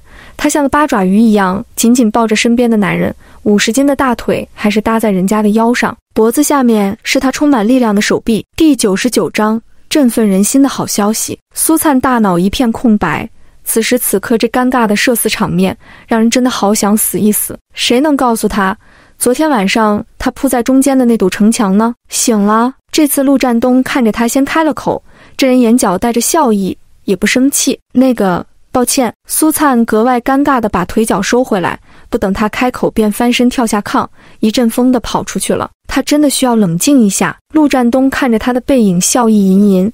这个女人真的是太有意思了，跟别人吵架思维敏捷，直击要害；盖房子的时候热情大方。掌控全局，做生意的时候头脑灵活，就是跟他相处的时候，他像个单纯害羞的小姑娘。苏灿内心 OS：前世他学了各种技能，可唯一没学过的就是谈恋爱呀。苏灿出门才发现，原来雨还在下，比昨天小了一些。但也算是中雨了。陆红军没办法去东山的山顶上垒围墙，便披着一块塑料布在西边的旧屋子那里整理掉下来的石头。高玉珍则已经在饭屋里开始做午饭了。苏灿也找了块塑料布披上，拿了自己的牙缸去了饭屋，舀了水之后便在院子里刷牙，一边刷。眼睛一边看着眼前的雨水发呆。这雨要是一直这么下，那他猪下水的生意就太受影响了。吃完早饭，苏灿决定去村里走一遭。自从来到桃花村，他还没有围着桃花村好好的转一转呢。高玉珍怕他迷了路，便和他一起披着塑料布出了门。桃花村依山根而建，南北长，东西短。南北一共有三条路贯穿整个村子，海拔最高的一条也最宽。除了本村的村民们走，大部分都是从南边的煤矿上来的煤车，一辆一辆的大黄河装着满满的煤矿运往省城。从桃花村穿过去要少走几十里的路程，所以司机们没有不愿意走这儿的。中间的一条是村子里的主路，也最平整。走的人最多，西边一条地势稍矮一些，走的人最少。路过村支部的时候，看到村支部的大门锁着，但是大门中间露出一个拳头宽的门缝。苏灿无意识地往里瞅了一眼，竟然看到了一台拖拉机。这个情况让苏灿有些意外，问了高玉珍才知道，村子里不仅有拖拉机，而且还有三台。除了大队里有一台，还有两个生产队也有一台。这些拖拉机的具体情况，高玉珍就不清楚了。周青山家就在旁边，苏灿当即去串了个门，高玉珍则先提前回家了。进院子的时候，从堂屋里刚好出来一个陌生人，手里提着当下人们常用的黑皮包，看样子是外村的。周青山跟苏灿打了招呼，把对方送出了门。苏灿进了堂屋，周长亭和李淑兰一看到他，都热情的招呼。两家原本关系就处的不错，经过前天晚上那一战，苏灿在村民们心目中的地位那就更高了。坐下没聊上几句，周青山便进了屋。不等苏灿问，周长亭就主动告诉了他，原来刚才走的这个是乡里的干事，下来传达政府材料的，承包到户，责任到人。那以后咱们就是个家种个家的地了。包产到户这件事，苏灿前世是在书本上学到的，没想到自己刚穿过来没多久就成了这件事的亲历者。如果他没记错，一九七八年，南方的某个农村里有十八户农民率先实行了包产到户。粮食产量翻倍，极大的鼓舞了人民群众的信心。之后开始全国逐步实行。现在是一九七九年，没想到这股春风已经吹到了这里。对，这次文件并不是一次性所有的村子都实行承包到户。咱们公社先拿了两个村来做试点，一个是洼里的，一个就是咱这个村。洼里的其实就是指靠近黄河边上。种庄稼能浇上地的那种平原村落，那什么时候开始？过完秋就可以了。那时候地里的庄稼全都收回来了，就可以开始丈量土地了。苏灿点点头，接着话锋一转：“周叔，那咱们大队部的拖拉机到时候准备怎么处理？”周长亭苦笑了一下：“这些东西肯定就卖掉了。不过咱村这个情况，家家户户穷得叮当响，我估计想卖都卖不掉，到时候只能联系外村的了。”苏灿一听，眼睛亮了一下。周叔，那我们家买一台。周家人听他的话，全都愣住了。李淑兰好心道：“侄媳妇，战东可是军人，等他的伤好了，还要回部队的。你家买一台给谁开呀？我开呀！”这话再一次把周家人给震惊了。周青山赶紧劝他：“嫂子，那东西可不是闹着玩的。咱全乡我就没听过有哪个女人敢开拖拉机的。”周长亭同意：“侄媳妇。”今年开春的时候，咱村刘二瘸子，他翻车把腿都砸断了。妇女没有开这个的。他知道苏灿现在手里有钱，但是并不相信他能开得了拖拉机。叔，你放心吧，我保证能开的了。不过等到秋天过完，时间太长了。周叔。我就想问问，我现在能不能把这拖拉机买下来？当然可以，我还正愁卖不掉呢。反正承包到户这事文件已经下来了，是板上钉钉的事。听说南方那边有个村子，人家去年就开始承包到户了，而且非常成功。就是因为他们成功了，咱们这边也才开始的。你不来，我本来也打算等到雨停了，去大喇叭喊一喊，问问咱村谁家能买拖拉机。你还真是来巧了，侄媳妇。你要是真买，我这就带你去看看。叔，我当然是真买了，看完我就回去拿钱去。这种事情，苏灿自然不会有二话。行，那咱们走吧。周长亭也很激动，卖掉一台拖拉机能给村支部创收不少钱。一听苏灿真要买，周青山也跟着去了。周家跟大队部就是路东路西的距离。几步就到了大队部门口，周长亭拿出钥匙打开门。苏灿走进院子的时候，总算清楚看到了这台拖拉机的全貌。周长亭去屋子里打开大喇叭，让村干部过来一趟。苏灿则和周青山在外面看拖拉机，看得出来大队部对这台拖拉机还是很珍惜的，特地用熟秸给他搭棚子。第一百章，土豪苏灿，青山兄弟，咱村平常谁开这台拖拉机？我开。苏灿有些意外地看着他。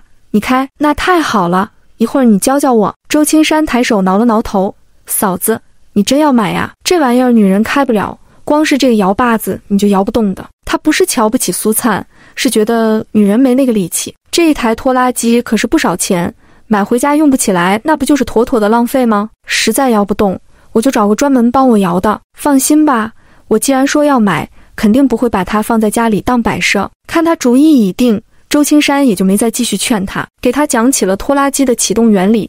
让周青山意外的是，这个苏灿不是一般的聪明。他讲了一遍，他居然就记住了该怎么启动。苏灿看着雨停了，对周青山道：“青山兄弟，你拉我转一圈吧，我正好看看你是怎么开的。”行。周青山也没犹豫，启动拖拉机出了大队部，拉着苏灿去了村西的大路。这条路宽敞平整一些，学起来也更容易。周青山把拖拉机开到快下坡的地方，但又掉过头来：“青山兄弟，我会了。”你让我开一圈吧。周青山一脸疑惑看着他，但最终还是点了头。行，反正他在旁边指导着，应该不会出大问题。周青山重新摇起了拖拉机，苏灿坐在驾驶座上，轻松自如地开了起来。前世他开过飞机，开过坦克，所有的机动车全都熟练掌握。开拖拉机对他来说算是小儿科的了，但是不知情的周青山却被他震惊得目瞪口呆。他开着拖拉机从大队部拉着苏灿到了村西的大路，但是苏灿却拉着他真真正正围着村子转了一圈，上坡下坡、拐弯直行，他全都开得又稳又熟练。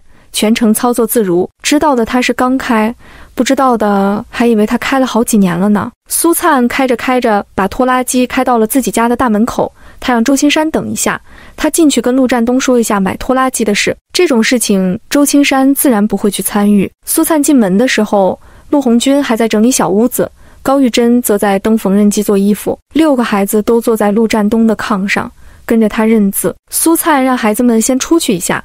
他关上门，把买拖拉机的事告诉了陆占东。你会开？听他说完，陆占东意外看着苏灿。青山兄弟拉着我在西大路那儿学的，我已经学会了，而且拖拉机就在咱家大门外，是我开过来的。青山兄弟在外面等着呢。如果你同意的话，我现在就拿钱去大队部交钱。为什么要买拖拉机？咱们这里离县城太远，一来把它当成交通工具，可以省不少时间；二来我想把猪下水的生意做得更大。咱家孩子多，我得为他们以后打算。第三就是以后不管家里有什么活，都能轻快一些。陆占东看着他，沉默了几秒。那你先把青山兄弟叫进来。好，这次陆占东并没有像之前那样支持苏灿，他是有顾虑的。毕竟女人开拖拉机这种事还没有过这种先例，要是放在部队，他不用担心。可苏灿他不是军人。周青山很快进了屋，格外兴奋地把苏灿刚刚的表现告诉了陆占东。占东哥。嫂子太厉害了，我就从来没见过像她这么又聪明又有胆量的女人，记忆力真的超级好。我讲了一遍，他就全都记住了。听完周青山的讲述，陆占东看着苏灿满眼期待的眼神，点了头。好，那就买下来吧。苏灿的脸上顿时浮起了笑容。那我去交钱。周青山先出了门，苏灿点了两千块，揣在口袋里出了门。走的时候，他特意让陆红军跟着一起去了大队部，让他帮忙摇车把子。去大队部的路上，陆红军坐在后面的车斗里，震惊地看着苏灿熟练开着拖拉机，把他和周青山拉到了大队部。下车的时候，他看了苏灿好几眼，虽然他不说话。但是那眼神里带着不可思议和震惊。原以为这个三弟妹已经很厉害了，没想到还有更厉害的。当然，震惊和惊讶的不止他一个，还有一个周青山。拖拉机重新开回大队部，不过苏灿并没有把它开进去，而是停在了大门口。嫂子，你以前是不是开过拖拉机？周青山不可思议看着他。一般的农村妇女，别说掌握了，平常只要一发动起来，拖拉机那震耳欲聋的发动声。大部分妇女们一般都跑到一边去，没人敢靠近。这个女人却开的比他这个老司机都要稳。苏灿自然明白他为什么这么说，他笑了笑：“我好像天生对机械方面的东西比较感兴趣吧，再就是记忆力比较好而已。只要我认真听，基本一遍都能记住。”周青山佩服地冲他竖了个大拇指：“嫂子，你真是太厉害了。”陆红军留在外面，两人进了大队部。村干部们也早都到了。周长亭已经把苏灿要买村里这台拖拉机的事告诉了大家，几个村干部也很激动。现在苏灿可以说是村子里最有钱的人了。前天晚上那一战，桃花村的人都知道他现在手里有六千多块钱。侄媳妇，我们讨论了一下，最后这台拖拉的价格定在一千五百块钱。你要是觉得贵了，要不就先回家跟战东商量一下，毕竟这个钱数太多了。虽然知道苏灿有钱，但是一下子拿出一千五百块，这可不是个小数目。周青山抢着道：“爹，人家嫂子刚刚开着拖拉机已经回家一趟了。战东哥同意嫂子买这台拖拉机，是吗？”周长廷顿时松了口气，其他村干部也全都面露笑容。周叔，钱我带来了。咱们写收据吧。行，苏灿点出一千五百块，交给村里的会计，会计再把收据写好，周长亭签字，最后盖了村里的公章，这才交给了苏灿。拿到收据，苏灿高兴地出了大队部，周长亭和村干部们都跟着出了大门。听周青山说苏灿会开拖拉机了，都想到底是真是假。这种事情没有亲眼看到，谁都不敢相信。陆红军手摇启动。等他坐进了车斗里，苏灿这才跟周长亭他们摆摆手，开着拖拉机离开了。看着拖拉机在视线里越来越远，周长亭和几个村干部全都瞠目结舌。